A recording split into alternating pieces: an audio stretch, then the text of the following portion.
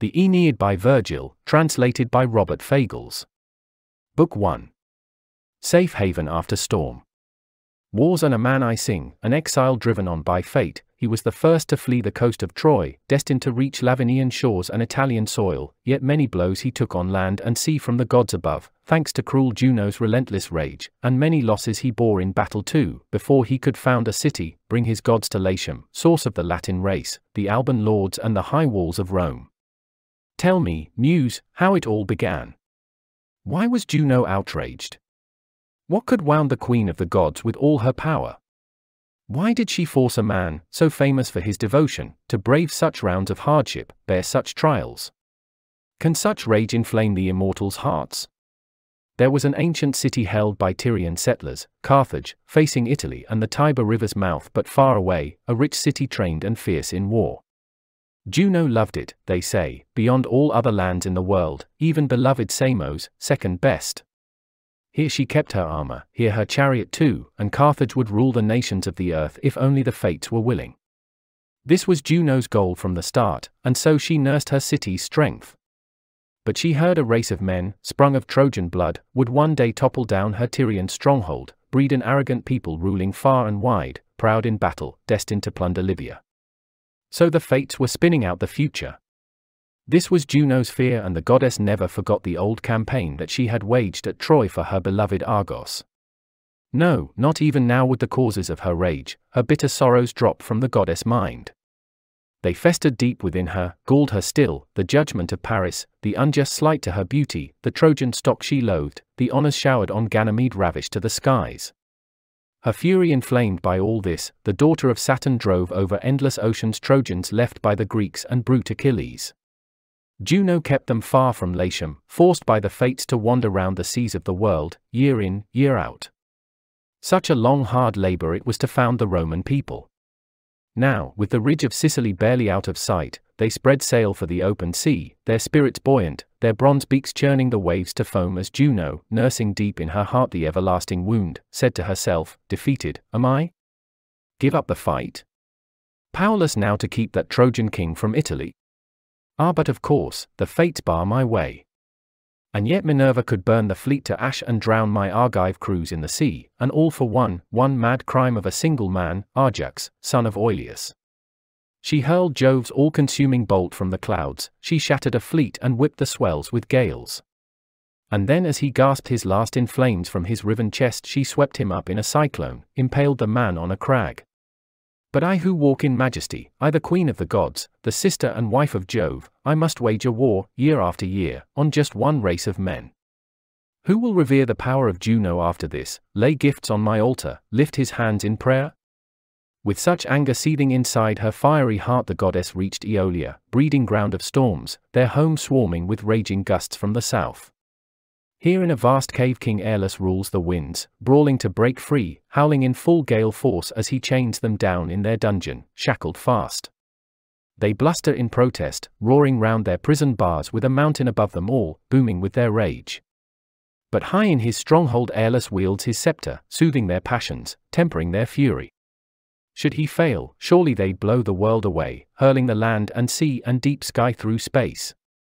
Fearing this, the Almighty Father banished the winds to that black cavern, piled above them a mountain mass, and imposed on all a king empowered, by binding pact, to rein them back on command or let them gallop free. Now Juno made this plea to the Lord of Winds, Aeolus, the Father of gods and King of men gave you the power to calm the waves or rouse them with your gales. A race I loathe is crossing the Tuscan Sea, transporting Troy to Italy, bearing their conquered household gods, thrash your winds to fury, sink their warships, overwhelm them or break them apart, scatter their crews, drown them all. I happen to have some sea nymphs, fourteen beauties, Deiopea the finest of all by far. I'll join you in lasting marriage, call her yours and for all her years to come she will live with you and make you the proud father of handsome children. Such service earns such gifts. Aeolus warmed to Juno's offer, Yours is the task, my queen, to explore your heart's desires. Mine is the duty to follow your commands. Yes, thanks to you I rule this humble little kingdom of mine.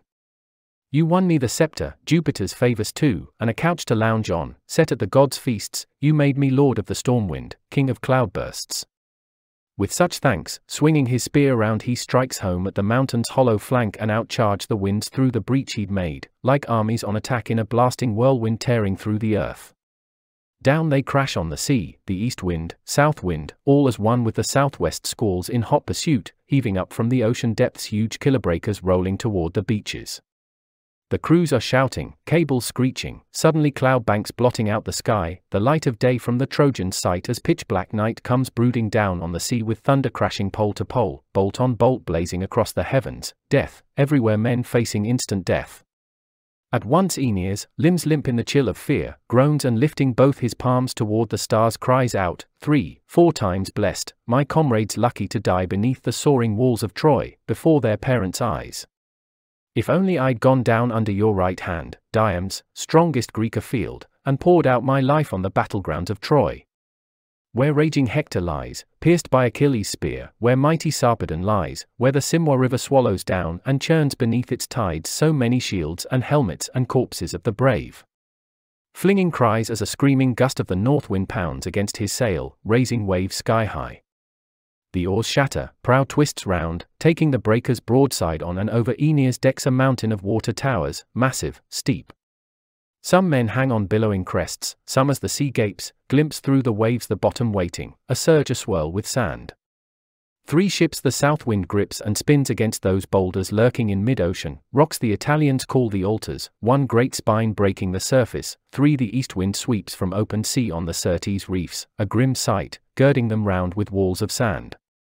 One ship that carried the Lycian units led by staunch Orontes, before Aeneas' eyes a toppling summit of water strikes the stern and hurls the helmsman overboard, pitching him head first, twirling his ship three times, right on the spot till the ravenous whirlpool gulps her down. Here and there you can sight some sailors bobbing in heavy seas, strewn in the welter now the weapons, men, stray spars and treasures saved from Troy. Now Ilioneus' sturdy ship, now brave Achates, now the galley that carried Abas, another, Aletes, yes, the storm routs them all, down to the last craft the joints split, beams spring and the lethal flood pours in. All the while Neptune sensed the furor above him, the roaring seas first and the storm breaking next, his standing waters boiling up from the seabed, churning back. And the mighty god, stirred to his depths, lifts his head from the crests and serene in power, gazing out over all his realm, he sees Aeneas' squadrons scattered across the ocean, Trojans overwhelmed by the surf and the wild crashing skies. Nor did he miss his sister Juno's cunning wrath at work. He summons the east and west wind, takes them to task, what insolence! Trusting so to your lofty birth? You winds, you dare make heaven and earth a chaos, raising such a riot of waves without my blessings. You, what I won't do. But first I had better set to rest the flood you ruffled so. Next time, trust me, you will pay for your crimes with more than just a scolding. Away with you, quick! And give your king this message power over the sea and ruthless trident is mine, not his, it's mine by lot, by destiny. His place, east wind, is the rough rocks where you are all at home. Let him bluster there and play the king in his court, let Aeolus rule his bolted dungeon of the winds. Quicker than his command he calms the heaving seas, putting the clouds to rout and bringing back the sun. Struggling shoulder to shoulder, Triton and Cymothoe hoist and heave the ships from the jagged rocks as the god himself whisks them up with his trident, clearing a channel through the deadly reefs, his chariot skimming over the cresting waves on spinning wheels to set the seas to rest. Just as, all too often, some huge crowd is seized by a vast uprising, the rabble runs amok, all slaves to passion, rocks, firebrands flying. Rage finds them arms, but then, if they chance to see a man among them, one whose devotion and public service lend him weight, they stand there, stock still with their ears alert as he rules their furor with his words and calms their passion. So the crash of the breakers all fell silent once their father, gazing over his realm under clear skies, flicks his horses, giving them free rein, and his eager chariot flies. Now bone weary, Aeneas' shipmates make a run for the nearest landfall, wheeling prows around they turn for Libya's coast. There is a haven shaped by an island shielding the mouth of a long deep bay, its flanks breaking the force of combers pounding in from the sea while drawing them off into calm receding channels. Both sides of the harbour, rock cliffs tower, crowned by twin crags that menace the sky, overshadowing reaches of sheltered water, quiet and secure. Over them as a backdrop looms a quivering wood, above them rears a grove, bristling dark with shade, and fronting the cliff, a cave under hanging rocks with fresh water inside, seats cut in the native stone, the home of nymphs. Never a need of cables here to moor a weathered ship, no anchor with biting flukes to bind her fast. Aeneas puts in here with a bare seven warships saved from his whole fleet. How keen their longing for dry land underfoot as the Trojans disembark, taking hold of the earth, their last best hope, and fling their brine racked bodies on the sand. Achates is first to strike a spark from flint, then works to keep it alive in dry leaves, cups it around with kindling, feeds it chips, and briskly fans the tinder into flame. Then, spent as they were from all their toil, they set out food, the bounty of Ceres, drenched in sea salt, Ceres' utensils too, her mills and troughs, and bend to parch with fire the grain they had salvaged, grind it fine on stones. While they see to their meal Aeneas scales a crag, straining to scan the sea reach far and wide, is there any trace of Antheus now, tossed by the gales, or his warships banked with oars? Or Capys perhaps, or Caicus stern adorned with shields? Not a ship in sight but he does spot three stags roaming the shore, an entire herd behind them grazing down the glens in a long ranked line. He halts, grasps his bow and his flying arrows, the weapons his trusty aid Achates keeps at hand. First the leaders, antlers branching over their high heads, he brings them down, then turns on the herd, his shaft stampeding the rest like rabble into the leafy groves. Shaft on shaft, no stopping him till he stretches seven hefty carcasses on the ground, a triumph, one for each of his ships, and makes for the cove, divides the kill with his whole crew and then shares out the wine that good Acestes, princely man, had brimmed in their cask the day they left Sicilian shores. The commander's words relieve their stricken hearts, my comrades, hardly strangers to pain before now, we all have weathered worse. Some God will grant us an end to this as well. You've threaded the rocks resounding with Scylla's howling rabid dogs, and taken the brunt of the Cyclops' boulders, too. Call up your courage again. Dismiss your grief and fear. A joy it will be one day, perhaps, to remember even this. Through so many hard straits, so many twists and turns our course holds firm for Latium. Their fate holds out a homeland, calm, at peace. There the gods decree the kingdom of Troy will rise again. Bear up, Save your strength for better times to come. Brave words. Sick with mounting cares, he assumes a look of hope and keeps his anguish buried in his heart. The men gird up for the game, the coming feast, they skin the hide from the ribs, lay bare the meat. Some cut it into quivering strips, impale it on skewers, some set cauldrons along the beach and fire them to the boil.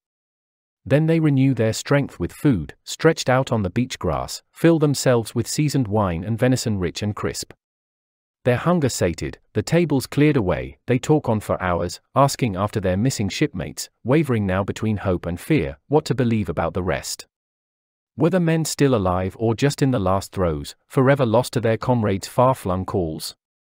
Aeneas most of all, devoted to his shipmates, deep within himself he moans for the losses, now for Orontes, hardy soldier, now for Amycus, now for the brutal fate that Lycus may have met, then Gyas and brave Cloanthus, hearts of oak.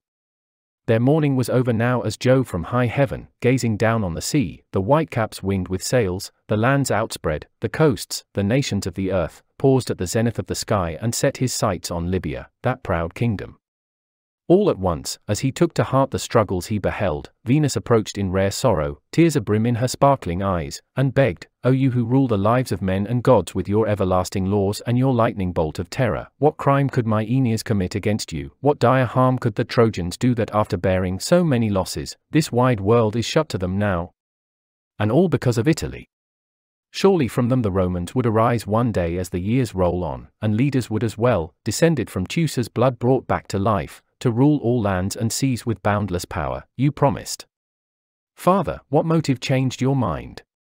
With that, at least, I consoled myself for Troy's demise, that heartrending ruin, weighing fate against fate. But now, after all my Trojans suffered, still the same disastrous fortune drives them on and on. What end, great king, do you set to their ordeals? Antenor could slip out from under the Greek siege, then make his passage through the Illyrian gulfs and, safe through the inlands where the Liburnians rule, he struggled past the Timavus river source. There, through its nine mouths as the mountain caves roar back, the river bursts out into full flood, a thundering surf that overpowers the fields. Reaching Italy, he erected a city for his people, a Trojan home called Padua, gave them a Trojan name, hung up their Trojan arms, and there, after long wars, he lingers on in serene and settled peace. But we, your own children, the ones you swore would hold the battlements of heaven, now our ships are lost, appalling. We are abandoned, thanks to the rage of a single foe, cut off from Italy's shores. Is this our reward for reverence, this the way you give us back our throne? The father of men and gods, smiling down on her with the glance that clears the sky and calms the tempest, lightly kissing his daughter on the lips, replied, Relieve yourself of fear, my lady of Cythera, the fate of your children stands unchanged, I swear. You will see your promised city, see Lavinium's walls, and bear your great hearted Aeneas up to the stars on high. Nothing has changed my mind. No, your son, believe me, since anguish is gnawing at you, I will tell you more, unrolling the scroll of fate to reveal its darkest secrets. Aeneas will wage a long, costly war in Italy, crush defiant tribes and build high city walls for his people there and found the rule of law. Only three summers will see him govern Latium, three winters pass in barracks after the Latins have been broken. But his son Ascanius, now that he gains the name of Iulus, Ilus he was, while Ilium ruled on high, will fill out with his own reign thirty sovereign years, a giant cycle of months revolving round and round, transferring his rule from its old Lavinian home to raise up Alba Longa's mighty ramparts. There, in turn, for a full 300 years the dynasty of Hector will hold sway till Ilia, a royal priestess great with the brood of Mars, will bear the god-twin sons. Then one, Romulus, reveling in the tawny pelt of a wolf that nursed him, will inherit the line and build the walls of Mars and after his own name, call his people Romans. On them I set no limits, space or time, I have granted them power, empire without end. Even furious Juno, now plaguing the land and sea and sky with terror, she will mend her ways and hold dear with me these Romans, lords of the earth, the race arrayed in togas. This is my pleasure, my decree. Indeed, an age will come, as the long years slip by, when Assaracus' royal house will quell Achilles' homeland, brilliant Mycenae too, and enslave their people, rule defeated Argos. From that noble blood will arise a Trojan Caesar, his empire bound by the ocean, his glory by the stars, Julius, a name passed down from Iulus, his great forebear. And you, in years to come, will welcome him to the skies, you rest assured, laden with plunder of the east, and he with Aeneas will be invoked in prayer. Then will the violent centuries, battles set aside, grow gentle, kind. Vesta and silver-haired good faith and Romulus flanked by brother Remus will make the laws. The terrible gates of war with their welded iron bars will stand bolted shut, and locked inside, the frenzy of civil strife will crouch down on his savage weapons, hands pinioned behind his back with a hundred brazen shackles, monstrously roaring out from his bloody jaws. So he decrees and speeds the son of Maia down the sky to make the lands and the new stronghold, Carthage, open in welcome to the Trojans, not let Dido, unaware of fate, expel them from her borders. Down through the vast clear air flies Mercury, rowing his wings like oars and in a moment stands on Libya's shores, obeys commands and the will of God is done. The Carthaginians calm their fiery temper and Queen Dido, above all, takes to heart a spirit of peace and warm goodwill to meet the men of Troy.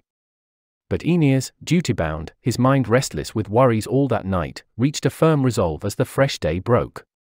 Out he goes to explore the strange terrain, what coast had the storm winds brought him to? Who lives here? All he sees is wild, untilled, what men, or what creatures? Then report the news to all his comrades. So, concealing his ships in the sheltered woody narrows overarched by rocks and screened around by trees and trembling shade, Aeneas moves out, with only Achates at his side, two steel-tipped javelins balanced in his grip. Suddenly, in the heart of the woods, his mother crossed his path. She looked like a young girl, a Spartan girl decked out in dress and gear or Thracian Harpalice tiring out her mares, outracing the Hebrus river's rapid tides. Hung from a shoulder, a bow that fit her grip, a huntress for all the world, she'd let her curls go streaming free in the wind, her knees were bare, her flowing skirts hitched up with a tight knot. She speaks out first, You there, young soldiers, did you by any chance see one of my sisters? Which way did she go? Roaming the woods, a quiver slung from her belt, wearing a spotted lynx skin, or in full cry, hot on the track of some great frothing boar. So Venus asked, and the son of Venus answered, Not one of your sisters have I seen or heard, but how should I greet a young girl like you? Your face, your features, hardly a mortal's looks, and the tone of your voice is hardly human either. Oh, a goddess, without a doubt. What, are you Apollo's sister? Or one of the breed of nymphs? Be kind, whoever you are, relieve our troubled hearts. Under what skies and onto what coasts of the world have we been driven? Tell us, please. Castaways, we know nothing, not the people, not the place, lost, hurled here by the gales and heavy seas. Many a victim will fall before your altars, we'll slaughter them for you. But Venus replied, Now there's an honor I really don't deserve. It's just the style for Tyrian girls to sport a quiver and high laced hunting boots in crimson. What you see is a Punic kingdom, people of Tyre and Agenor's town, but the borders held by Libyans hard to break in war. Phoenician Dido is in command, she sailed from Tyre, in flight from her own brother. Oh, it's a long tale of crime, long, twisting, dark, but I'll try to trace the high points in their order. Dido was married to Sychaeus, the richest man in Tyre, and she, poor girl, was consumed with love for him. Her father gave her away, wed for the first time, a virgin still, and these her first solemn rites. But her brother held power in Tyre, Pygmalion, a monster, the vilest man alive. A murderous feud broke out between both men. Pygmalion, catching Sychaeus off guard at the altar, slaughtered him in blood. That unholy man, so blind in his lust for gold he ran him through with a sword, then hid the crime for months, deaf to his sister's love, her heartbreak. Still he mocked her with wicked lies, with empty hopes. But she had a dream one night. The true ghost of her husband, not yet buried, came and lifting his face, ashen, awesome in death, showed her the cruel altar, the wounds that pierced his chest and exposed the secret horror that lurked within the house. He urged her on, take flight from our homeland, quick. And then he revealed an unknown ancient treasure, an untold weight of silver and gold, a comrade to speed her on her way. Driven by all this, Dido plans her escape, collects her followers fired by savage hate of the tyrant or bitter fear. They seize some galleys set to sail, load them with gold, the wealth Pygmalion craved, and they bear it overseas and a woman leads them all. Reaching this haven here, where now you will see the steep ramparts rising, the new city of Carthage, the Tyrians purchased land as large as a bull's hide could enclose but cut in strips for size and called it Byrsa, the hide, for the spread they bought. But you, who are you? What shores do you come from? Where are you headed now? He answered her questions, drawing a labored sigh from deep within his chest. Goddess, if I'd retrace our story to its start, if you had time to hear the saga of our ordeals, before I finished the evening star would close the gates of Olympus, put the day to sleep. From old Troy we come, Troy it's called, perhaps you've heard the name, sailing over the world seas until, by chance, some whim of the winds, some tempest drove us onto Libyan shores. I am Aeneas, duty bound. I carry aboard my ships the gods of house and home we seized from enemy hands. My fame goes past the skies. I seek my homeland, Italy, born as I am from highest Jove. I launched out on the Phrygian sea with twenty ships, my goddess mother marking the way, and followed hard on the course the fates had charted. A mere seven, battered by wind and wave, survived the worst. I myself am a stranger, utterly at a loss, trekking over this wild Libyan wasteland, forced from Europe, Asia too, an exile. Venus could bear no more of his laments and broke in on his tale of endless hardship. Whoever you are, I scarcely think the powers hate you, you enjoy the breath of life, you've reached a Tyrian city. So off you go now. Take this path to the Queen's gates. I have good news. Your friends are restored to you, your fleets reclaimed the wind swerved from the north and drove them safe to port. True, unless my parents taught me to read the flight of birds for nothing. Look at those dozen swans triumphant in formation. The eagle of Jove had just swooped down on them all from heaven's heights and scattered them into open sky, but now you can see them flying trim in their long ranks, landing or looking down where their friends have landed, home, cavorting on ruffling wings and wheeling round the sky in convoy, trumpeting in their glory. So homeward bound, your ships and hardy shipmates anchor in port now or approach the harbour's mouth, full sail ahead. Now off you go, move on, wherever the path leads you, steer your steps. At that, as she turned away, her neck shone with a rosy glow, her Manev hair gave off an ambrosial fragrance, her skirt flowed loose, rippling down to her feet, and her stride alone revealed her as a goddess. He knew her at once, his mother, and called after her now as she sped away, Why, you too, cruel as the rest. So often you ridicule your son with your disguises.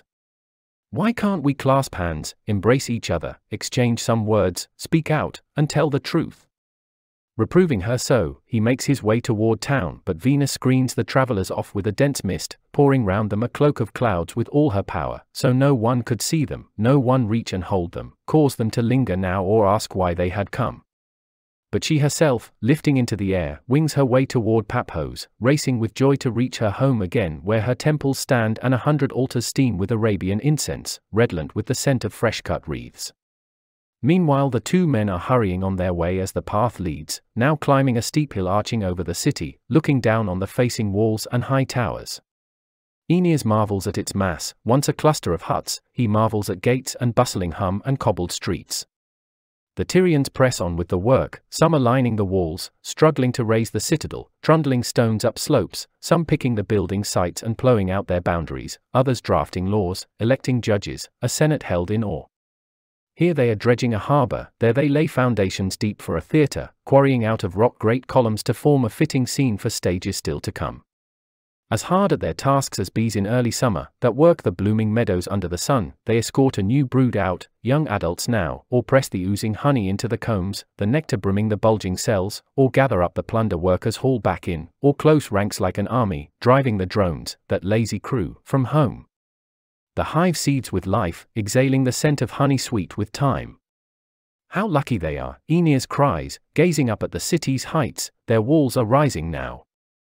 And on he goes, cloaked in cloud, remarkable, right in their midst he blends in with the crowds, and no one sees him. Now deep in the heart of Carthage stood a grove, lavish with shade, where the Tyrians, making landfall, still shaken by wind and breakers, first unearthed that sign, Queen Juno had led their way to the fiery stallion's head that signaled power in war and ease in life for ages. Here Dido of Tyre was building Juno a mighty temple, rich with gifts and the goddess aura of power. Bronze the threshold crowning a flight of stairs, the doorposts sheathed in bronze, and the bronze doors grown deep on their hinges. Here in this grove a strange sight met his eyes and calmed his fears for the first time. Here, for the first time, Aeneas dared to hope he had found some haven, for all his hard straits, to trust in better days. For awaiting the queen, beneath the great temple now, exploring its features one by one, amazed at it all, the city's splendor, the work of rival workers' hands and the vast scale of their labors, all at once he sees, spread out from first to last, the battles fought at Troy, the fame of the Trojan war now known throughout the world, Atreus' sons and Priam, Achilles, savage to both at once. Aeneas came to a halt and wept, and oh, Achates, he cried, is there anywhere, any place on earth not filled with our ordeals? There's Priam, look. Even here, merit will have its true reward, even here, the world is a world of tears and the burdens of mortality touch the heart. Dismiss your fears. Trust me, this fame of ours will offer us some haven. So Aeneas says, feeding his spirit on empty, lifeless pictures, groaning low, the tears rivering down his face as he sees once more the fighters circling Troy. Here Greeks in flight, routed by Troy's young ranks, their Trojans routed by plumed Achilles in his chariot. Just in range are the snow-white canvas tents of Rhesus, he knows them at once, and sobs, Rhesus men betrayed in their first slumber, droves of them slaughtered by Diomedes splattered with their blood, lashing back to the Greek camp their high-strung teams before they could ever savor the grass of Troy or drink at Xanthus' banks. Next Aeneas sees Troilus in flight, his weapons flung aside, unlucky boy, no match for Achilles' onslaught, horses haul him on, tangled behind an empty war car, flat on his back, clinging still to the reins, his neck and hair dragging along the ground, the butt of his javelin scrawling zigzags in the dust. And here the Trojan women are moving toward the temple of Pallas, their deadly foe, their hair unbound as they bear the robe, their offering, suppliants grieving, palms beating their breasts but Pallas turns away, staring at the ground. And Hector, three times Achilles has hauled him round the walls of Troy and now he's selling his lifeless body off for gold. Aeneas gives a groan, heaving up from his depths, he sees the plundered armor, the car, the corpse of his great friend, and Priam reaching out with helpless hands. He even sees himself swept up in the melee, clashing with Greek captains, sees the troops of the dawn and swarthy Memnon's arms and Penthesilea leading her Amazons bearing half-moon shields, she blazes with battle fury out in front of her army, cinching a golden breastband under her bared breast, a girl, a warrior queen who dares to battle men. And now, as Trojan Aeneas, gazing in awe at all the scenes of Troy, stood there, spellbound, eyes fixed on the war alone, the queen aglow with beauty approached the temple, Dido, with massed escorts marching in her wake. Like Diana urging her dancing troops along the Eurotas banks or up Mount Cynthus ridge as a thousand mountain nymphs crowd in behind her, left and right, with quiver slung from her shoulder, taller than any other goddess as she goes striding on and silent Latona thrills with joy too deep for words. Like Dido now, striding triumphant among her people, spurring on the work of their kingdom still to come. And then by Juno's doors beneath the vaulted dome, flanked by an honor guard beside her lofty seat, the queen assumed her throne. Here as she handed down decrees and laws to her people, sharing labors fairly, some by lot, some with her sense of justice, Aeneas suddenly sees his men approaching through the crowds, Antheus, Sergestus, gallant Cloanthus, other Trojans the black gales had battered over the seas and swept to far-flung coasts. Aeneas, Achates, both were amazed, both struck with joy and fear. They yearn to grasp their companions' hands in haste but both men are unnerved by the mystery of it all. So, cloaked in folds of mist, they hide their feelings, waiting, hoping to see what luck their friends have found. Where have they left their ships, what coast? Why have they come? These picked men, still marching in from the whole armada, pressing toward the temple amid the rising din to plead for some goodwill. Once they had entered, allowed to appeal before the queen, the eldest, Prince Ilioneus, calm, composed, spoke out, Your Majesty, empowered by Jove to found your new city here and curb rebellious tribes with your sense of justice, we poor Trojans, castaways, tossed by storms over all the seas, we beg you, keep the cursed fire off our ships. Pity us, God fearing men. Look on us kindly, see the state we are in. We have not come to put your Libyan gods and homes to the sword, loot them and haul our plunder toward the beach. No, such pride, such violence has no place in the hearts of beaten men. There is a country, the Greeks called it Hesperia, land of the West, an ancient land, mighty in war and rich in soil. Oenotrians settled it, now we hear their descendants call their kingdom Italy, after their leader, Italus. Italy bound we were when, surging with sudden breakers stormy Orion drove us against blind shoals and from the south came vicious gales to scatter us, whelmed by the sea, across the murderous surf and rocky barrier reefs. We few escaped and floated toward your coast. What kind of men are these? What land is this, that you can tolerate such barbaric ways? We are denied the sailor's right to shore, attacked, forbidden even a footing on your beach. If you have no use for humankind and mortal armor, at least respect the gods. They know right from wrong. They don't forget. We once had a king, Aeneas, none more just, none more devoted to duty, none more brave in arms. If fate has saved that man, if he still draws strength from the air we breathe, if he's not laid low, not yet with the heartless shades, fear not, nor will you once regret the first step you take to compete with him in kindness. We have cities too, in the land of Sicily, arms and a king, Acestes, born of Trojan blood.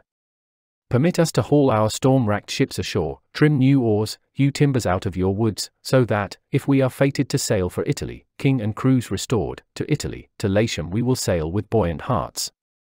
But if we have lost our haven there, if Libyan waters hold you now, my captain, best of the men of Troy, and all our hopes for Iülus have been dashed, at least we can cross back over Sicilian seas, the straits we came from, homes ready and waiting, and seek out greater Acestes for our king. So Ilioneus closed. And with one accord the Trojans murmured yes. Her eyes lowered, Dido replies with a few choice words of welcome, cast fear to the winds, Trojans, free your minds. Our kingdom is new. Our hard straits have forced me to set defenses, station guards along our far frontiers. Who has not heard of Aeneas' people, his city, Troy, her men, her heroes, the flames of that horrendous war? We are not so dull of mind, we Carthaginians here. When he yokes his team, the sun shines down on us as well. Whatever you choose, great Hesperia, Saturn's fields, or the shores of Eryx with Acestes as your king, I will provide safe passage, escorts and support to speed you on your way. Or would you rather settle here in my realm on equal terms with me? This city I build, it's yours. Haul ships to shore. Trojans, Tyrians, they will be all the same to me. If only the storm that drove you drove your king and Aeneas were here now, Indeed, I'll send out trusty men to scour the coast of Libya far and wide. Perhaps he's shipwrecked, lost in woods or towns. Spirits lifting at Dido's welcome, brave Achates and Captain Aeneas had long chafed to break free of the mist, and now Achates spurs Aeneas on, son of Venus, what feelings are rising in you now? You see the coast is clear, our ships and friends restored. Just one is lost. We saw him drown at sea ourselves. All else is just as your mother promised. He barely ended when all at once the mist around them parted, melting into the open air, and there Aeneas stood, clear in the light of day, his head, his shoulders, the man was like a god. His own mother had breathed her beauty on her son, a gloss on his flowing hair, and the ruddy glow of youth, and radiant joy shone in his eyes. His beauty fine as a craftsman's hand can add to ivory, or a glow as silver or Parian marble ringed in glinting gold. Suddenly, surprising all, he tells the queen, Here I am before you, the man you are looking for. Aeneas the Trojan, plucked from Libya's heavy seas. You alone have pitted the long ordeals of Troy, unspeakable, and here you would share your city and your home with us, this remnant left by the Greeks. We who have drunk deep of each and every disaster land and sea can offer. Stripped of everything, now it's past our power to reward you gift for gift, Dido, there's as well, whoever may survive of the Dardan people still, strewn over the wide world now. But may the gods, if there are powers who still respect the good and true, if justice still exists on the face of the earth, may they in their own sense of right and wrong bring you your just rewards. What age has been so blessed to give you birth? What noble parents produced so fine a daughter? So long as rivers run to the sea, so long as shadows travel the mountain slopes and the stars range the skies, your honor, your name, your praise will live forever, whatever lands may call me to their shores. With that, he extends his right hand toward his friend Ilioneus, greeting Serestus with his left, and then the others, gallant Gyas, gallant Cloanthus. Tyrian Dido marveled, first at the sight of him, next at all he'd suffered, then she said aloud, Born of a goddess, even so what destiny hunts you down through such ordeals? What violence lands you on this frightful coast? Are you that Aeneas whom loving Venus bore to Dardan Anchises on the Simois banks at Troy? Well I remember. Teucer came to Sidon once, banished from native ground, searching for new realms, and my father Belus helped him. Belus had sacked Cyprus, plundered that rich island, ruled with a victor's hand. From that day on I have known of Troy's disaster, known your name, and all the kings of Greece. Teucer, your enemy, often sang Troy's praises, claiming his own descent from Teucer's ancient stock. So come, young soldiers, welcome to our house. My destiny, harrying me with trials hard as yours, led me as well, at last, to anchor in this land. Schooled in suffering, now I learn to comfort those who suffer too. With that greeting, she leads Aeneas into the royal halls, announcing offerings in the gods' high temples as she goes not forgetting to send his shipmates on the beaches 20 bulls and a hundred huge, bristling razorbacks and a hundred fatted lambs together with their mothers, gifts to make this day a day of joy. Within the palace all is decked with adornments, lavish, regal splendor. In the central hall they are setting out a banquet, draping the gorgeous purple, intricately worked, heaping the board with grand displays of silver and gold engraved with her father's valiant deeds, a long, unending series of captains and commands, traced through a line of heroes since her country's birth. Aeneas, a father's love would give the man no rest, quickly sends Achates down to the ships to take the news to Ascanius, bring him back to Carthage. All his paternal care is focused on his son. He tells Achates to fetch some gifts as well, plucked from the ruins of Troy, a gown stiff with figures stitched in gold, and a woven veil with yellow sprays of acanthus round the border. Helen's glory, gifts she carried out of Mycenae, fleeing Argos for Troy to seal her wicked marriage, the marvelous handiwork of Helen's mother, Leda. Aeneas adds the scepter Ilione used to bear, the eldest daughter of Priam, a necklace too, strung with pearls, and a crown of double bands, one studded with gems, the other, gold. Achates, following orders, hurries toward the ships. But now Venus is mulling over some new schemes, new intrigues. Altered in face and figure, Cupid would go in place of the captivating Ascanius, using his gifts to fire the queen to madness, weaving a lover's order through her bones. No doubt Venus fears that treacherous House and the Tyrians' forked tongues, and brutal Juno inflames her anguish too, and her cares keep coming back as night draws on. So Venus makes an appeal to love, her winged son, you, my son, are my strength, my greatest power, you alone, my son, can scoff at the lightning bolts the high and mighty father hurled against Typhoeus. Help me, I beg you. I need all your immortal force. Your brother Aeneas is tossed round every coast on earth, thanks to Juno's ruthless hatred, as you well know, and time and again you've grieved to see my grief. But now Phoenician Dido has him in her clutches, holding him back with smooth, seductive words, and I fear the outcome of Juno's welcome here. She won't sit tight while fate is turning on its hinge. So I plan to forestall her with ruses of my own and besiege the queen with flames, and no goddess will change her mood, she's mine, my ally in arms in my great love for Aeneas. Now how can you go about this? Hear my plan. His dear father has just sent for the young prince, he means the world to me, and he's bound for Carthage now, bearing presents saved from the sea, the flames of Troy. I'll lull him into a deep sleep and hide him far away on Cythera's heights or high Idalium, my shrines, so he cannot learn of my trap or spring it open while it's being set. And you with your cunning, forge his appearance, just one night, no more, put on the familiar features of the boy, boy that you are, so when the wine flows free at the royal board and Dido, lost in joy, cradles you in her lap, caressing, kissing you gently, you can breathe your secret fire into her, poison the queen and she will never know. Cupid leaps at once to his loving mother's orders. Shedding his wings he masquerades as Iülus, prancing with his stride but now Venus distills a deep, soothing sleep into Iülus' limbs, and warming him in her breast the goddess spirits him off to her high Idalian grove where beds of marjoram breathe and embrace him with aromatic flowers and rustling shade. Now Cupid is on the move, under her orders, bringing the Tyrians royal gifts, his spirits high as Achates leads him on. Arriving, he finds the queen already poised on a golden throne beneath the sumptuous hangings, commanding the very center of her palace. Now Aeneas, the good captain, enters, then the Trojan soldiers, taking their seats on couches draped in purple. Servants pour them water to rinse their hands, quickly serving them bread from baskets, spreading their laps with linens, napkins clipped and smooth. In the kitchens are fifty serving maids assigned to lay out foods in a long line, course by course, and honor the household gods by building fires high. A hundred other maids and a hundred men, all matched in age, are spreading the feast on trestles, setting out the cups. Tyrians join them, bustling through the doors, filling the hall with joy, to take invited seats on brocaded couches.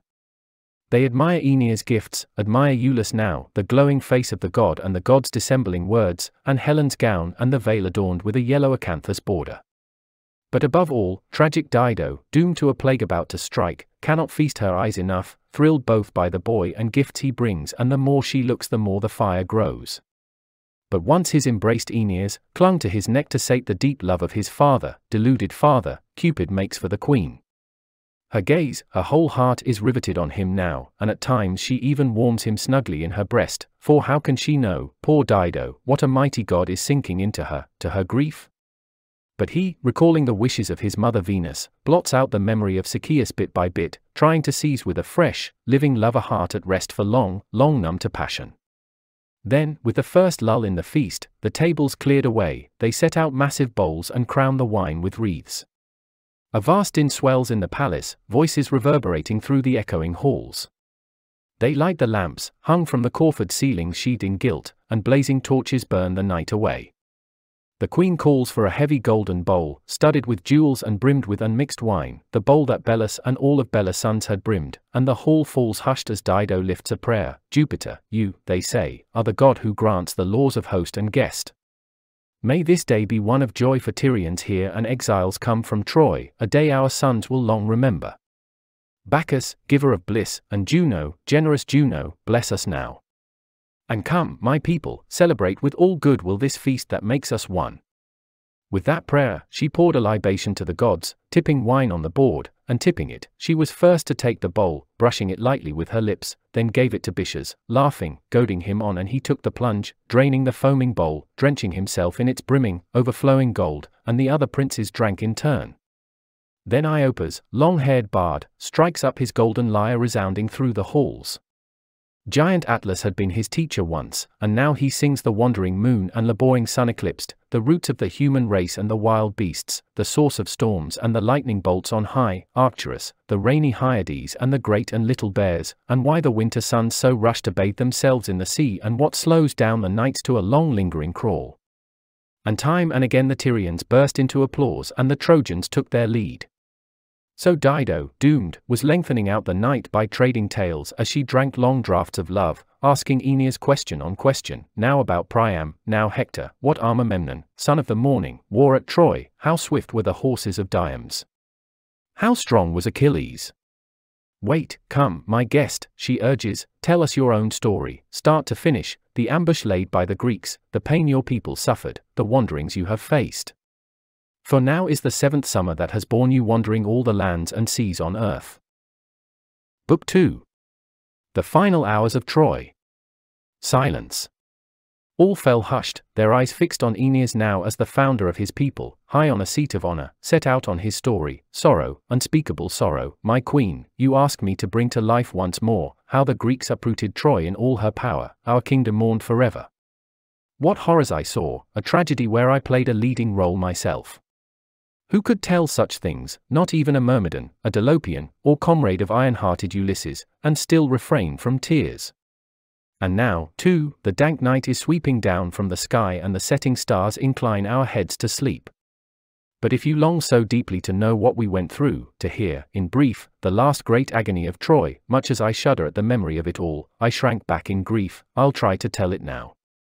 Ground down by the war and driven back by fate, the Greek captains had watched the years slip by until, helped by Minerva's superhuman skill, they built that mammoth horse, immense as a mountain, lining its ribs with ship timbers hewn from pine.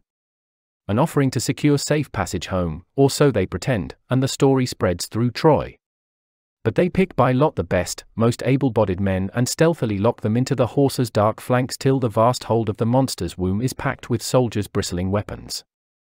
Just in sight of Troy an island rises, Tenedos, famed in the old songs, powerful, rich, while Priam's realm stood fast. Now it's only a bay, a treacherous cove for ships. Well there they sail, hiding out on its lonely coast while we thought, gone. Sped home on the winds to Greece. So all Troy breathes free, relieved of her endless sorrow. We fling open the gates and stream out, elated to see the Greeks abandon camp, the deserted beachhead. Here the Dolopians formed ranks, here savage Achilles pitched his tents, over there the armada moored and here the familiar killing fields of battle. Some gaze wonder-struck at the gift for Pallas, the virgin never wed, transfixed by the horse, its looming mass, our doom. Thymoetes leads the way. Drag it inside the walls, he urges, plant it high on the city heights. Inspired by treachery now or the fate of Troy was moving toward this end. But Capys with other saner heads who take his side, suspecting a trap in any gift the Greeks might offer, tells us, fling it into the sea or torch the thing to ash or bore into the depths of its womb where men can hide. The common people are split into warring factions. But now, out in the lead with a troop of comrades, down Laocoon runs from the heights in full fury, calling out from a distance, Poor doomed fools, have you gone mad, you Trojans? You really believe the enemy sailed away? Or any gift of the Greeks is free of guile. Is that how well you know Ulysses? Trust me, either the Greeks are hiding, shut inside those beams, or the horse is a battle engine geared to breach our walls, spy on our homes, come down on our city, overwhelm us, or some other deceptions lurking deep inside it. Trojans, never trust that horse. Whatever it is, I fear the Greeks, especially bearing gifts. In that spirit, with all his might he hurled a huge spear straight into the monster's flanks, the mortise timberwork of its swollen belly. Quivering, there it stuck, and the stricken womb came booming back from its depths with echoing groans. If fate and our own wits had not gone against us, surely Laocoon would have driven us on, now, to rip the Greek lair open with iron spears and Troy would still be standing, proud fortress of Priam, you would tower still. Suddenly, in the thick of it all, a young soldier, hands shackled behind his back, with much shouting Trojan shepherds were hailing him toward the king. They'd come on the man by chance, a total stranger. He'd given himself up, with one goal in mind, to open Troy to the Greeks and lay her waste. He trusted to courage, nerved for either end, to weave his lies or face his certain death. Young Trojan recruits, keen to have a look, came scurrying up from all sides, crowding round, outdoing each other to make a mockery of the captive. Now, hear the treachery of the Greeks and learn from a single crime the nature of the beast. Haggard, helpless, there in our midst he stood, all eyes riveted on him now, and turning a wary glance at the lines of Trojan troops he groaned and spoke, Where can I find some refuge, where on land, on sea? What's left for me now? A man of so much misery. Nothing among the Greeks, no place at all. And worse, I see my Trojan enemies crying for my blood. His groans convince us, cutting all our show of violence short. We press him, tell us where you were born, your family. What news do you bring? Tell us what you trust to, such a willing captive. All of it, my king, I'll tell you, come what may, the whole true story. Greek I am, I don't deny it. No, that first. Fortune may have made me a man of misery, but, wicked as she is, she can't make Sinon a lying fraud as well. Now, perhaps you've caught some rumor of Palamedes, Belus' son, and his shining fame that rings in song. The Greeks charge him with treason, a trumped up charge, an innocent man, and just because he opposed the war they put him to death, but once he's robbed of the light, they mourn him sorely. Now I was his blood kin, a youngster when my father, a poor man, sent me off to the war at Troy as Palamedes' comrade. Long as he kept his royal status, holding forth in the councils of the kings, I had some standing too, some pride of place.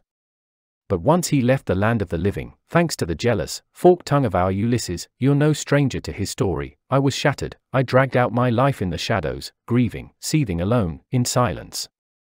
Outraged by my innocent friend's demise until I burst out like a madman, swore if I ever returned in triumph to our native Argos, ever got the chance I'd take revenge, and my oath provoked a storm of hatred. That was my first step on the slippery road to ruin. From then on, Ulysses kept tormenting me, pressing charge on charge. From then on, he bruited about his two edged rumors among the rank and file. Driven by guilt, he looked for ways to kill me, he never rested until, making Calchas his henchman. But why now? Why go over that unforgiving ground again? Why waste words? If you think all Greeks are one, if hearing the name Greek is enough for you, it's high time you made me pay the price. How that would please the man of Ithaca, how the sons of Atreus would repay you. Now, of course, we burn to question him, urge him to explain, blind to how false the cunning Greeks could be. All a tremble, he carries on with his tale, lying from the cockles of his heart. Time and again the Greeks had yearned to abandon Troy, bone tired from a long hard war, to put it far behind and beat a clean retreat. Would to God they had. But time and again, as they were setting sail, the heavy seas would keep them confined to port and the south wind filled their hearts with dread and worst of all, once this horse, this mass of timber with locking planks, stood stationed here at last, the thunderheads rumbled up and down the sky. So, at our wits' end, we send Eurypylus off to question Apollo's oracle now, and back he comes from the god's shrine with these bleak words With blood you appeased the winds, with a virgin's sacrifice when you, you Greeks, first sought the shores of Troy. With blood you must seek fair winds to sail you home, must sacrifice one more Greek life in return. As the word spread, the ranks were struck dumb and icy fear sent shivers down their spines. Whom did the god demand? Who'd meet his doom? Just that moment the Ithacan hailed the prophet, Calchas, into our midst, he'd twist out of him, what was the god's will? The army rose in uproar. Even then our soldiers sensed that I was the one, the target of that Ulysses' vicious schemes, they saw it coming, still they held their tongues. For ten days the seer, silent, closed off in his tent, refused to say a word or betray a man to death. But at last, goaded on by Ulysses' mounting threats but in fact conniving in their plot, he breaks his silence and dooms me to the altar. And the army gave consent. The death that each man dreaded turned to the fate of one poor soul, a burden they could bear. The day of infamy soon came, the sacred rites were all performed for the victim, the salted meal strewn, the bands tied round my head. But I broke free of death, I tell you, burst my shackles, yes, and hid all night in the reeds of a marshy lake, waiting for them to sail, if only they would sail. Well, no hope now of seeing the land where I was born or my sweet children, the father I longed for all these years. Maybe they'll wring from them the price for my escape, avenge my guilt with my loved one's blood, poor things. I beg you, King, by the powers who know the truth, by any trust still uncorrupt in the world of men, pity a man whose torment knows no bounds. Pity me in my pain. I know in my soul I don't deserve to suffer. He wept and won his life, our pity, too. Priam takes command, has him freed from the ropes and chains that bind him fast, and hails him warmly, whoever you are, from now on, now you've lost the Greeks, put them out of your mind and you'll be one of us. But answer my questions. Tell me the whole truth. Why did they raise up this giant, monstrous horse? Who conceived it? What's it for? Its purpose? A gift to the gods? A great engine of battle? He broke off. Sinon, adept at deceit, with all his Greek cunning lifted his hands, just freed from their fetters, up to the stars and prayed, Bear witness, you eternal fires of the sky and you inviolate will of the gods. Bear witness, altar and those infernal knives that I escaped and the sacred bands I wore myself, the victim. It's right to break my sworn oath to the Greeks, it's right to detest those men and bring to light all they are hiding now. No laws of my native land can bind me here. Just keep your promise, Troy, and if I can save you, you must save me too, if I reveal the truth and pay you back in full. All the hopes of the Greeks, their firm faith in a war they'd launched themselves had always hinged on Pallas Athena's help but from the moment that godless Diomedes, flanked by Ulysses, the mastermind of crime, attacked and tore the fateful image of Pallas out of her own hallowed shrine, and cut down the sentries ringing your city heights and seized that holy image and even dared touch the sacred bands on the virgin goddess head with hands reeking blood, from that hour on, the high hopes of the Greeks had trickled away like a slow, ebbing tide. They were broken, beaten men, the will of the goddess dead set against them. Omens of this she gave in no uncertain terms. They'd hardly stood her image up in the Greek camp when flickering fire shot from its glaring eyes and salt sweat ran glistening down its limbs, and three times the goddess herself, a marvel, blazed forth from the ground, shield clashing, spear brandished. The prophet spurs them at once to risk escape by sea. You cannot root out Troy with your Greek spears unless you seek new omens in Greece and bring the god back here, the image they'd borne across the sea in their curved ships. So now they've sailed away on the wind for home shores, just to rearm, recruit their gods as allies yet again, then measure back their course on the high seas and back they'll come to attack you all off guard. So Calchas read the omens. At his command they raised this horse, this effigy, all to atone for the violated image of Pallas, her wounded pride, her power, and expiate the outrage they had done. But he made them do the work on a grand scale, a tremendous mass of interlocking timbers towering toward the sky, so the horse could not be trundled through your gates or hauled inside your walls or guard your people if they revered it well in the old, ancient way. For if your hands should violate this great offering to Minerva, a total disaster, if only God would turn it against the seer himself, will wheel down on Priam's empire, Troy, and all your futures. But if your hands will rear it up, into your city, then all Asia in arms can invade Greece, can launch an all out war right up to the walls of Pelops. That's the doom that awaits our son's sons. Trapped by his craft, that cunning liar Sinon, we believed his story. His tears, his treachery seized the men whom neither Tydeus' son nor Achilles could defeat, nor ten long years of war, nor all the thousand ships. But a new portent strikes our doomed people now, a greater omen, far more terrible, fatal, shakes our senses, blind to what was coming. Laocoon, the priest of Neptune picked by Lot, was sacrificing a massive bull at the holy altar when, I cringe to recall it now, look there. Over the calm deep straits off Tenedos swim twin, giant serpents, rearing in coils, breasting the sea swell side by side, plunging toward the shore, their heads, their blood red crests surging over the waves, their bodies thrashing, backs rolling in coil on mammoth coil, and the wake behind them churns in a roar of foaming spray, and now, their eyes glittering, shot with blood and fire, flickering tongues licking their hissing maws, yes, now they are about to land. We blanch at the sight, we scatter. Like troops on attack, they are heading straight for Laocoon. First, each serpent seizes one of his small young sons, constricting, twisting around him, sinks its fangs in the tortured limbs, and gorges.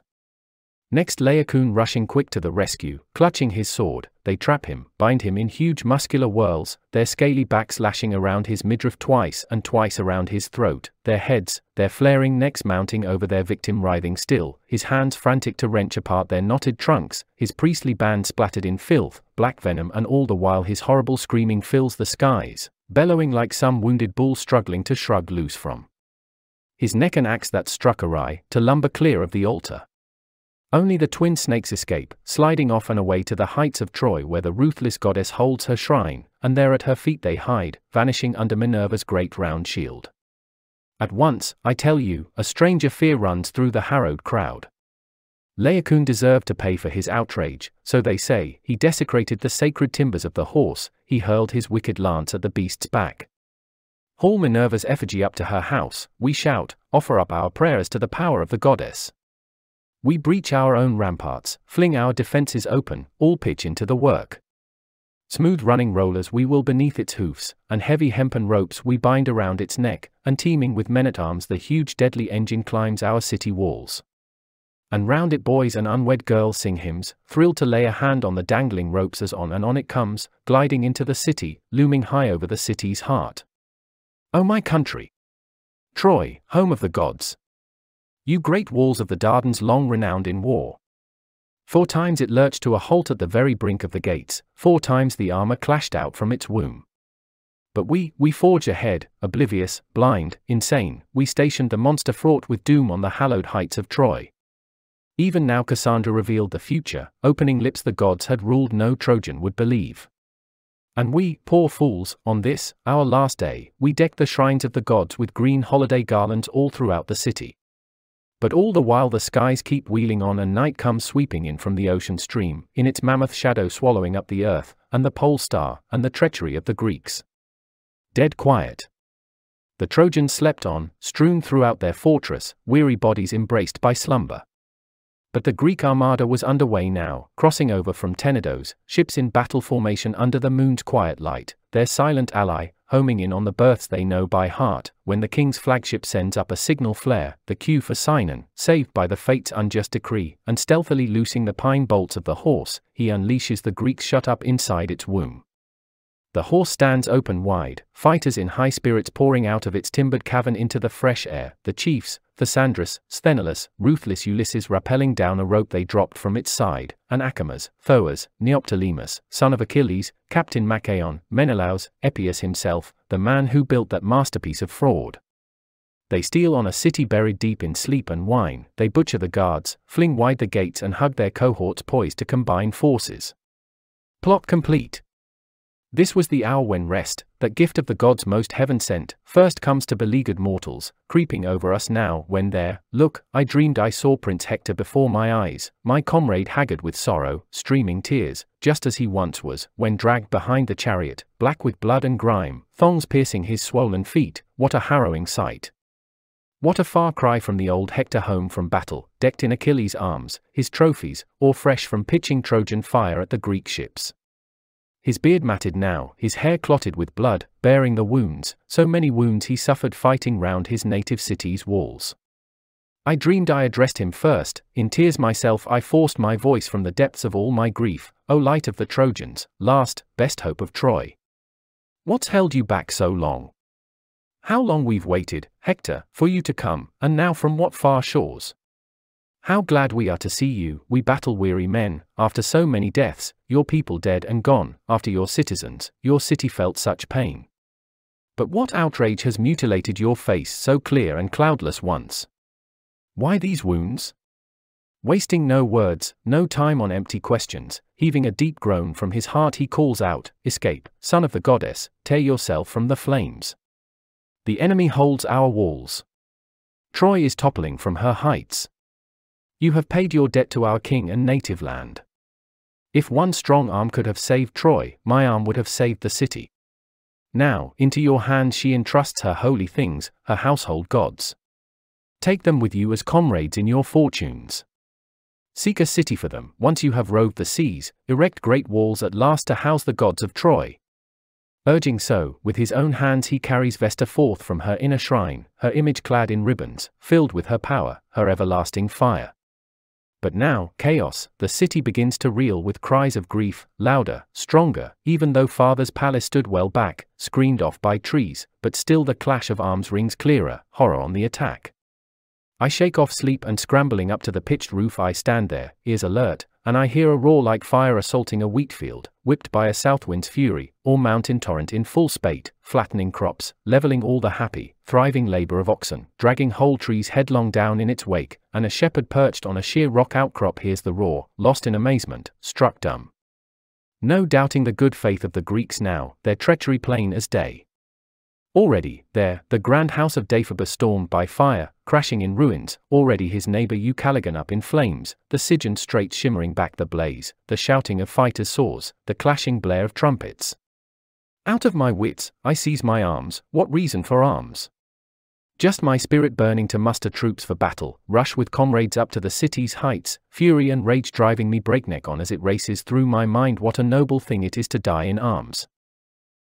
But now, look, just slipped out from under the Greek barrage of spears, Panthus, Othrys' son, a priest of Apollo's shrine on the citadel, hands full of the holy things, the images of our conquered gods, he's dragging along his little grandson, making a wild dash for our doors. Panthus, where's our stronghold? Our last stand? Words still on my lips as he groans in answer, the last day has come for the Trojan people, no escaping this moment.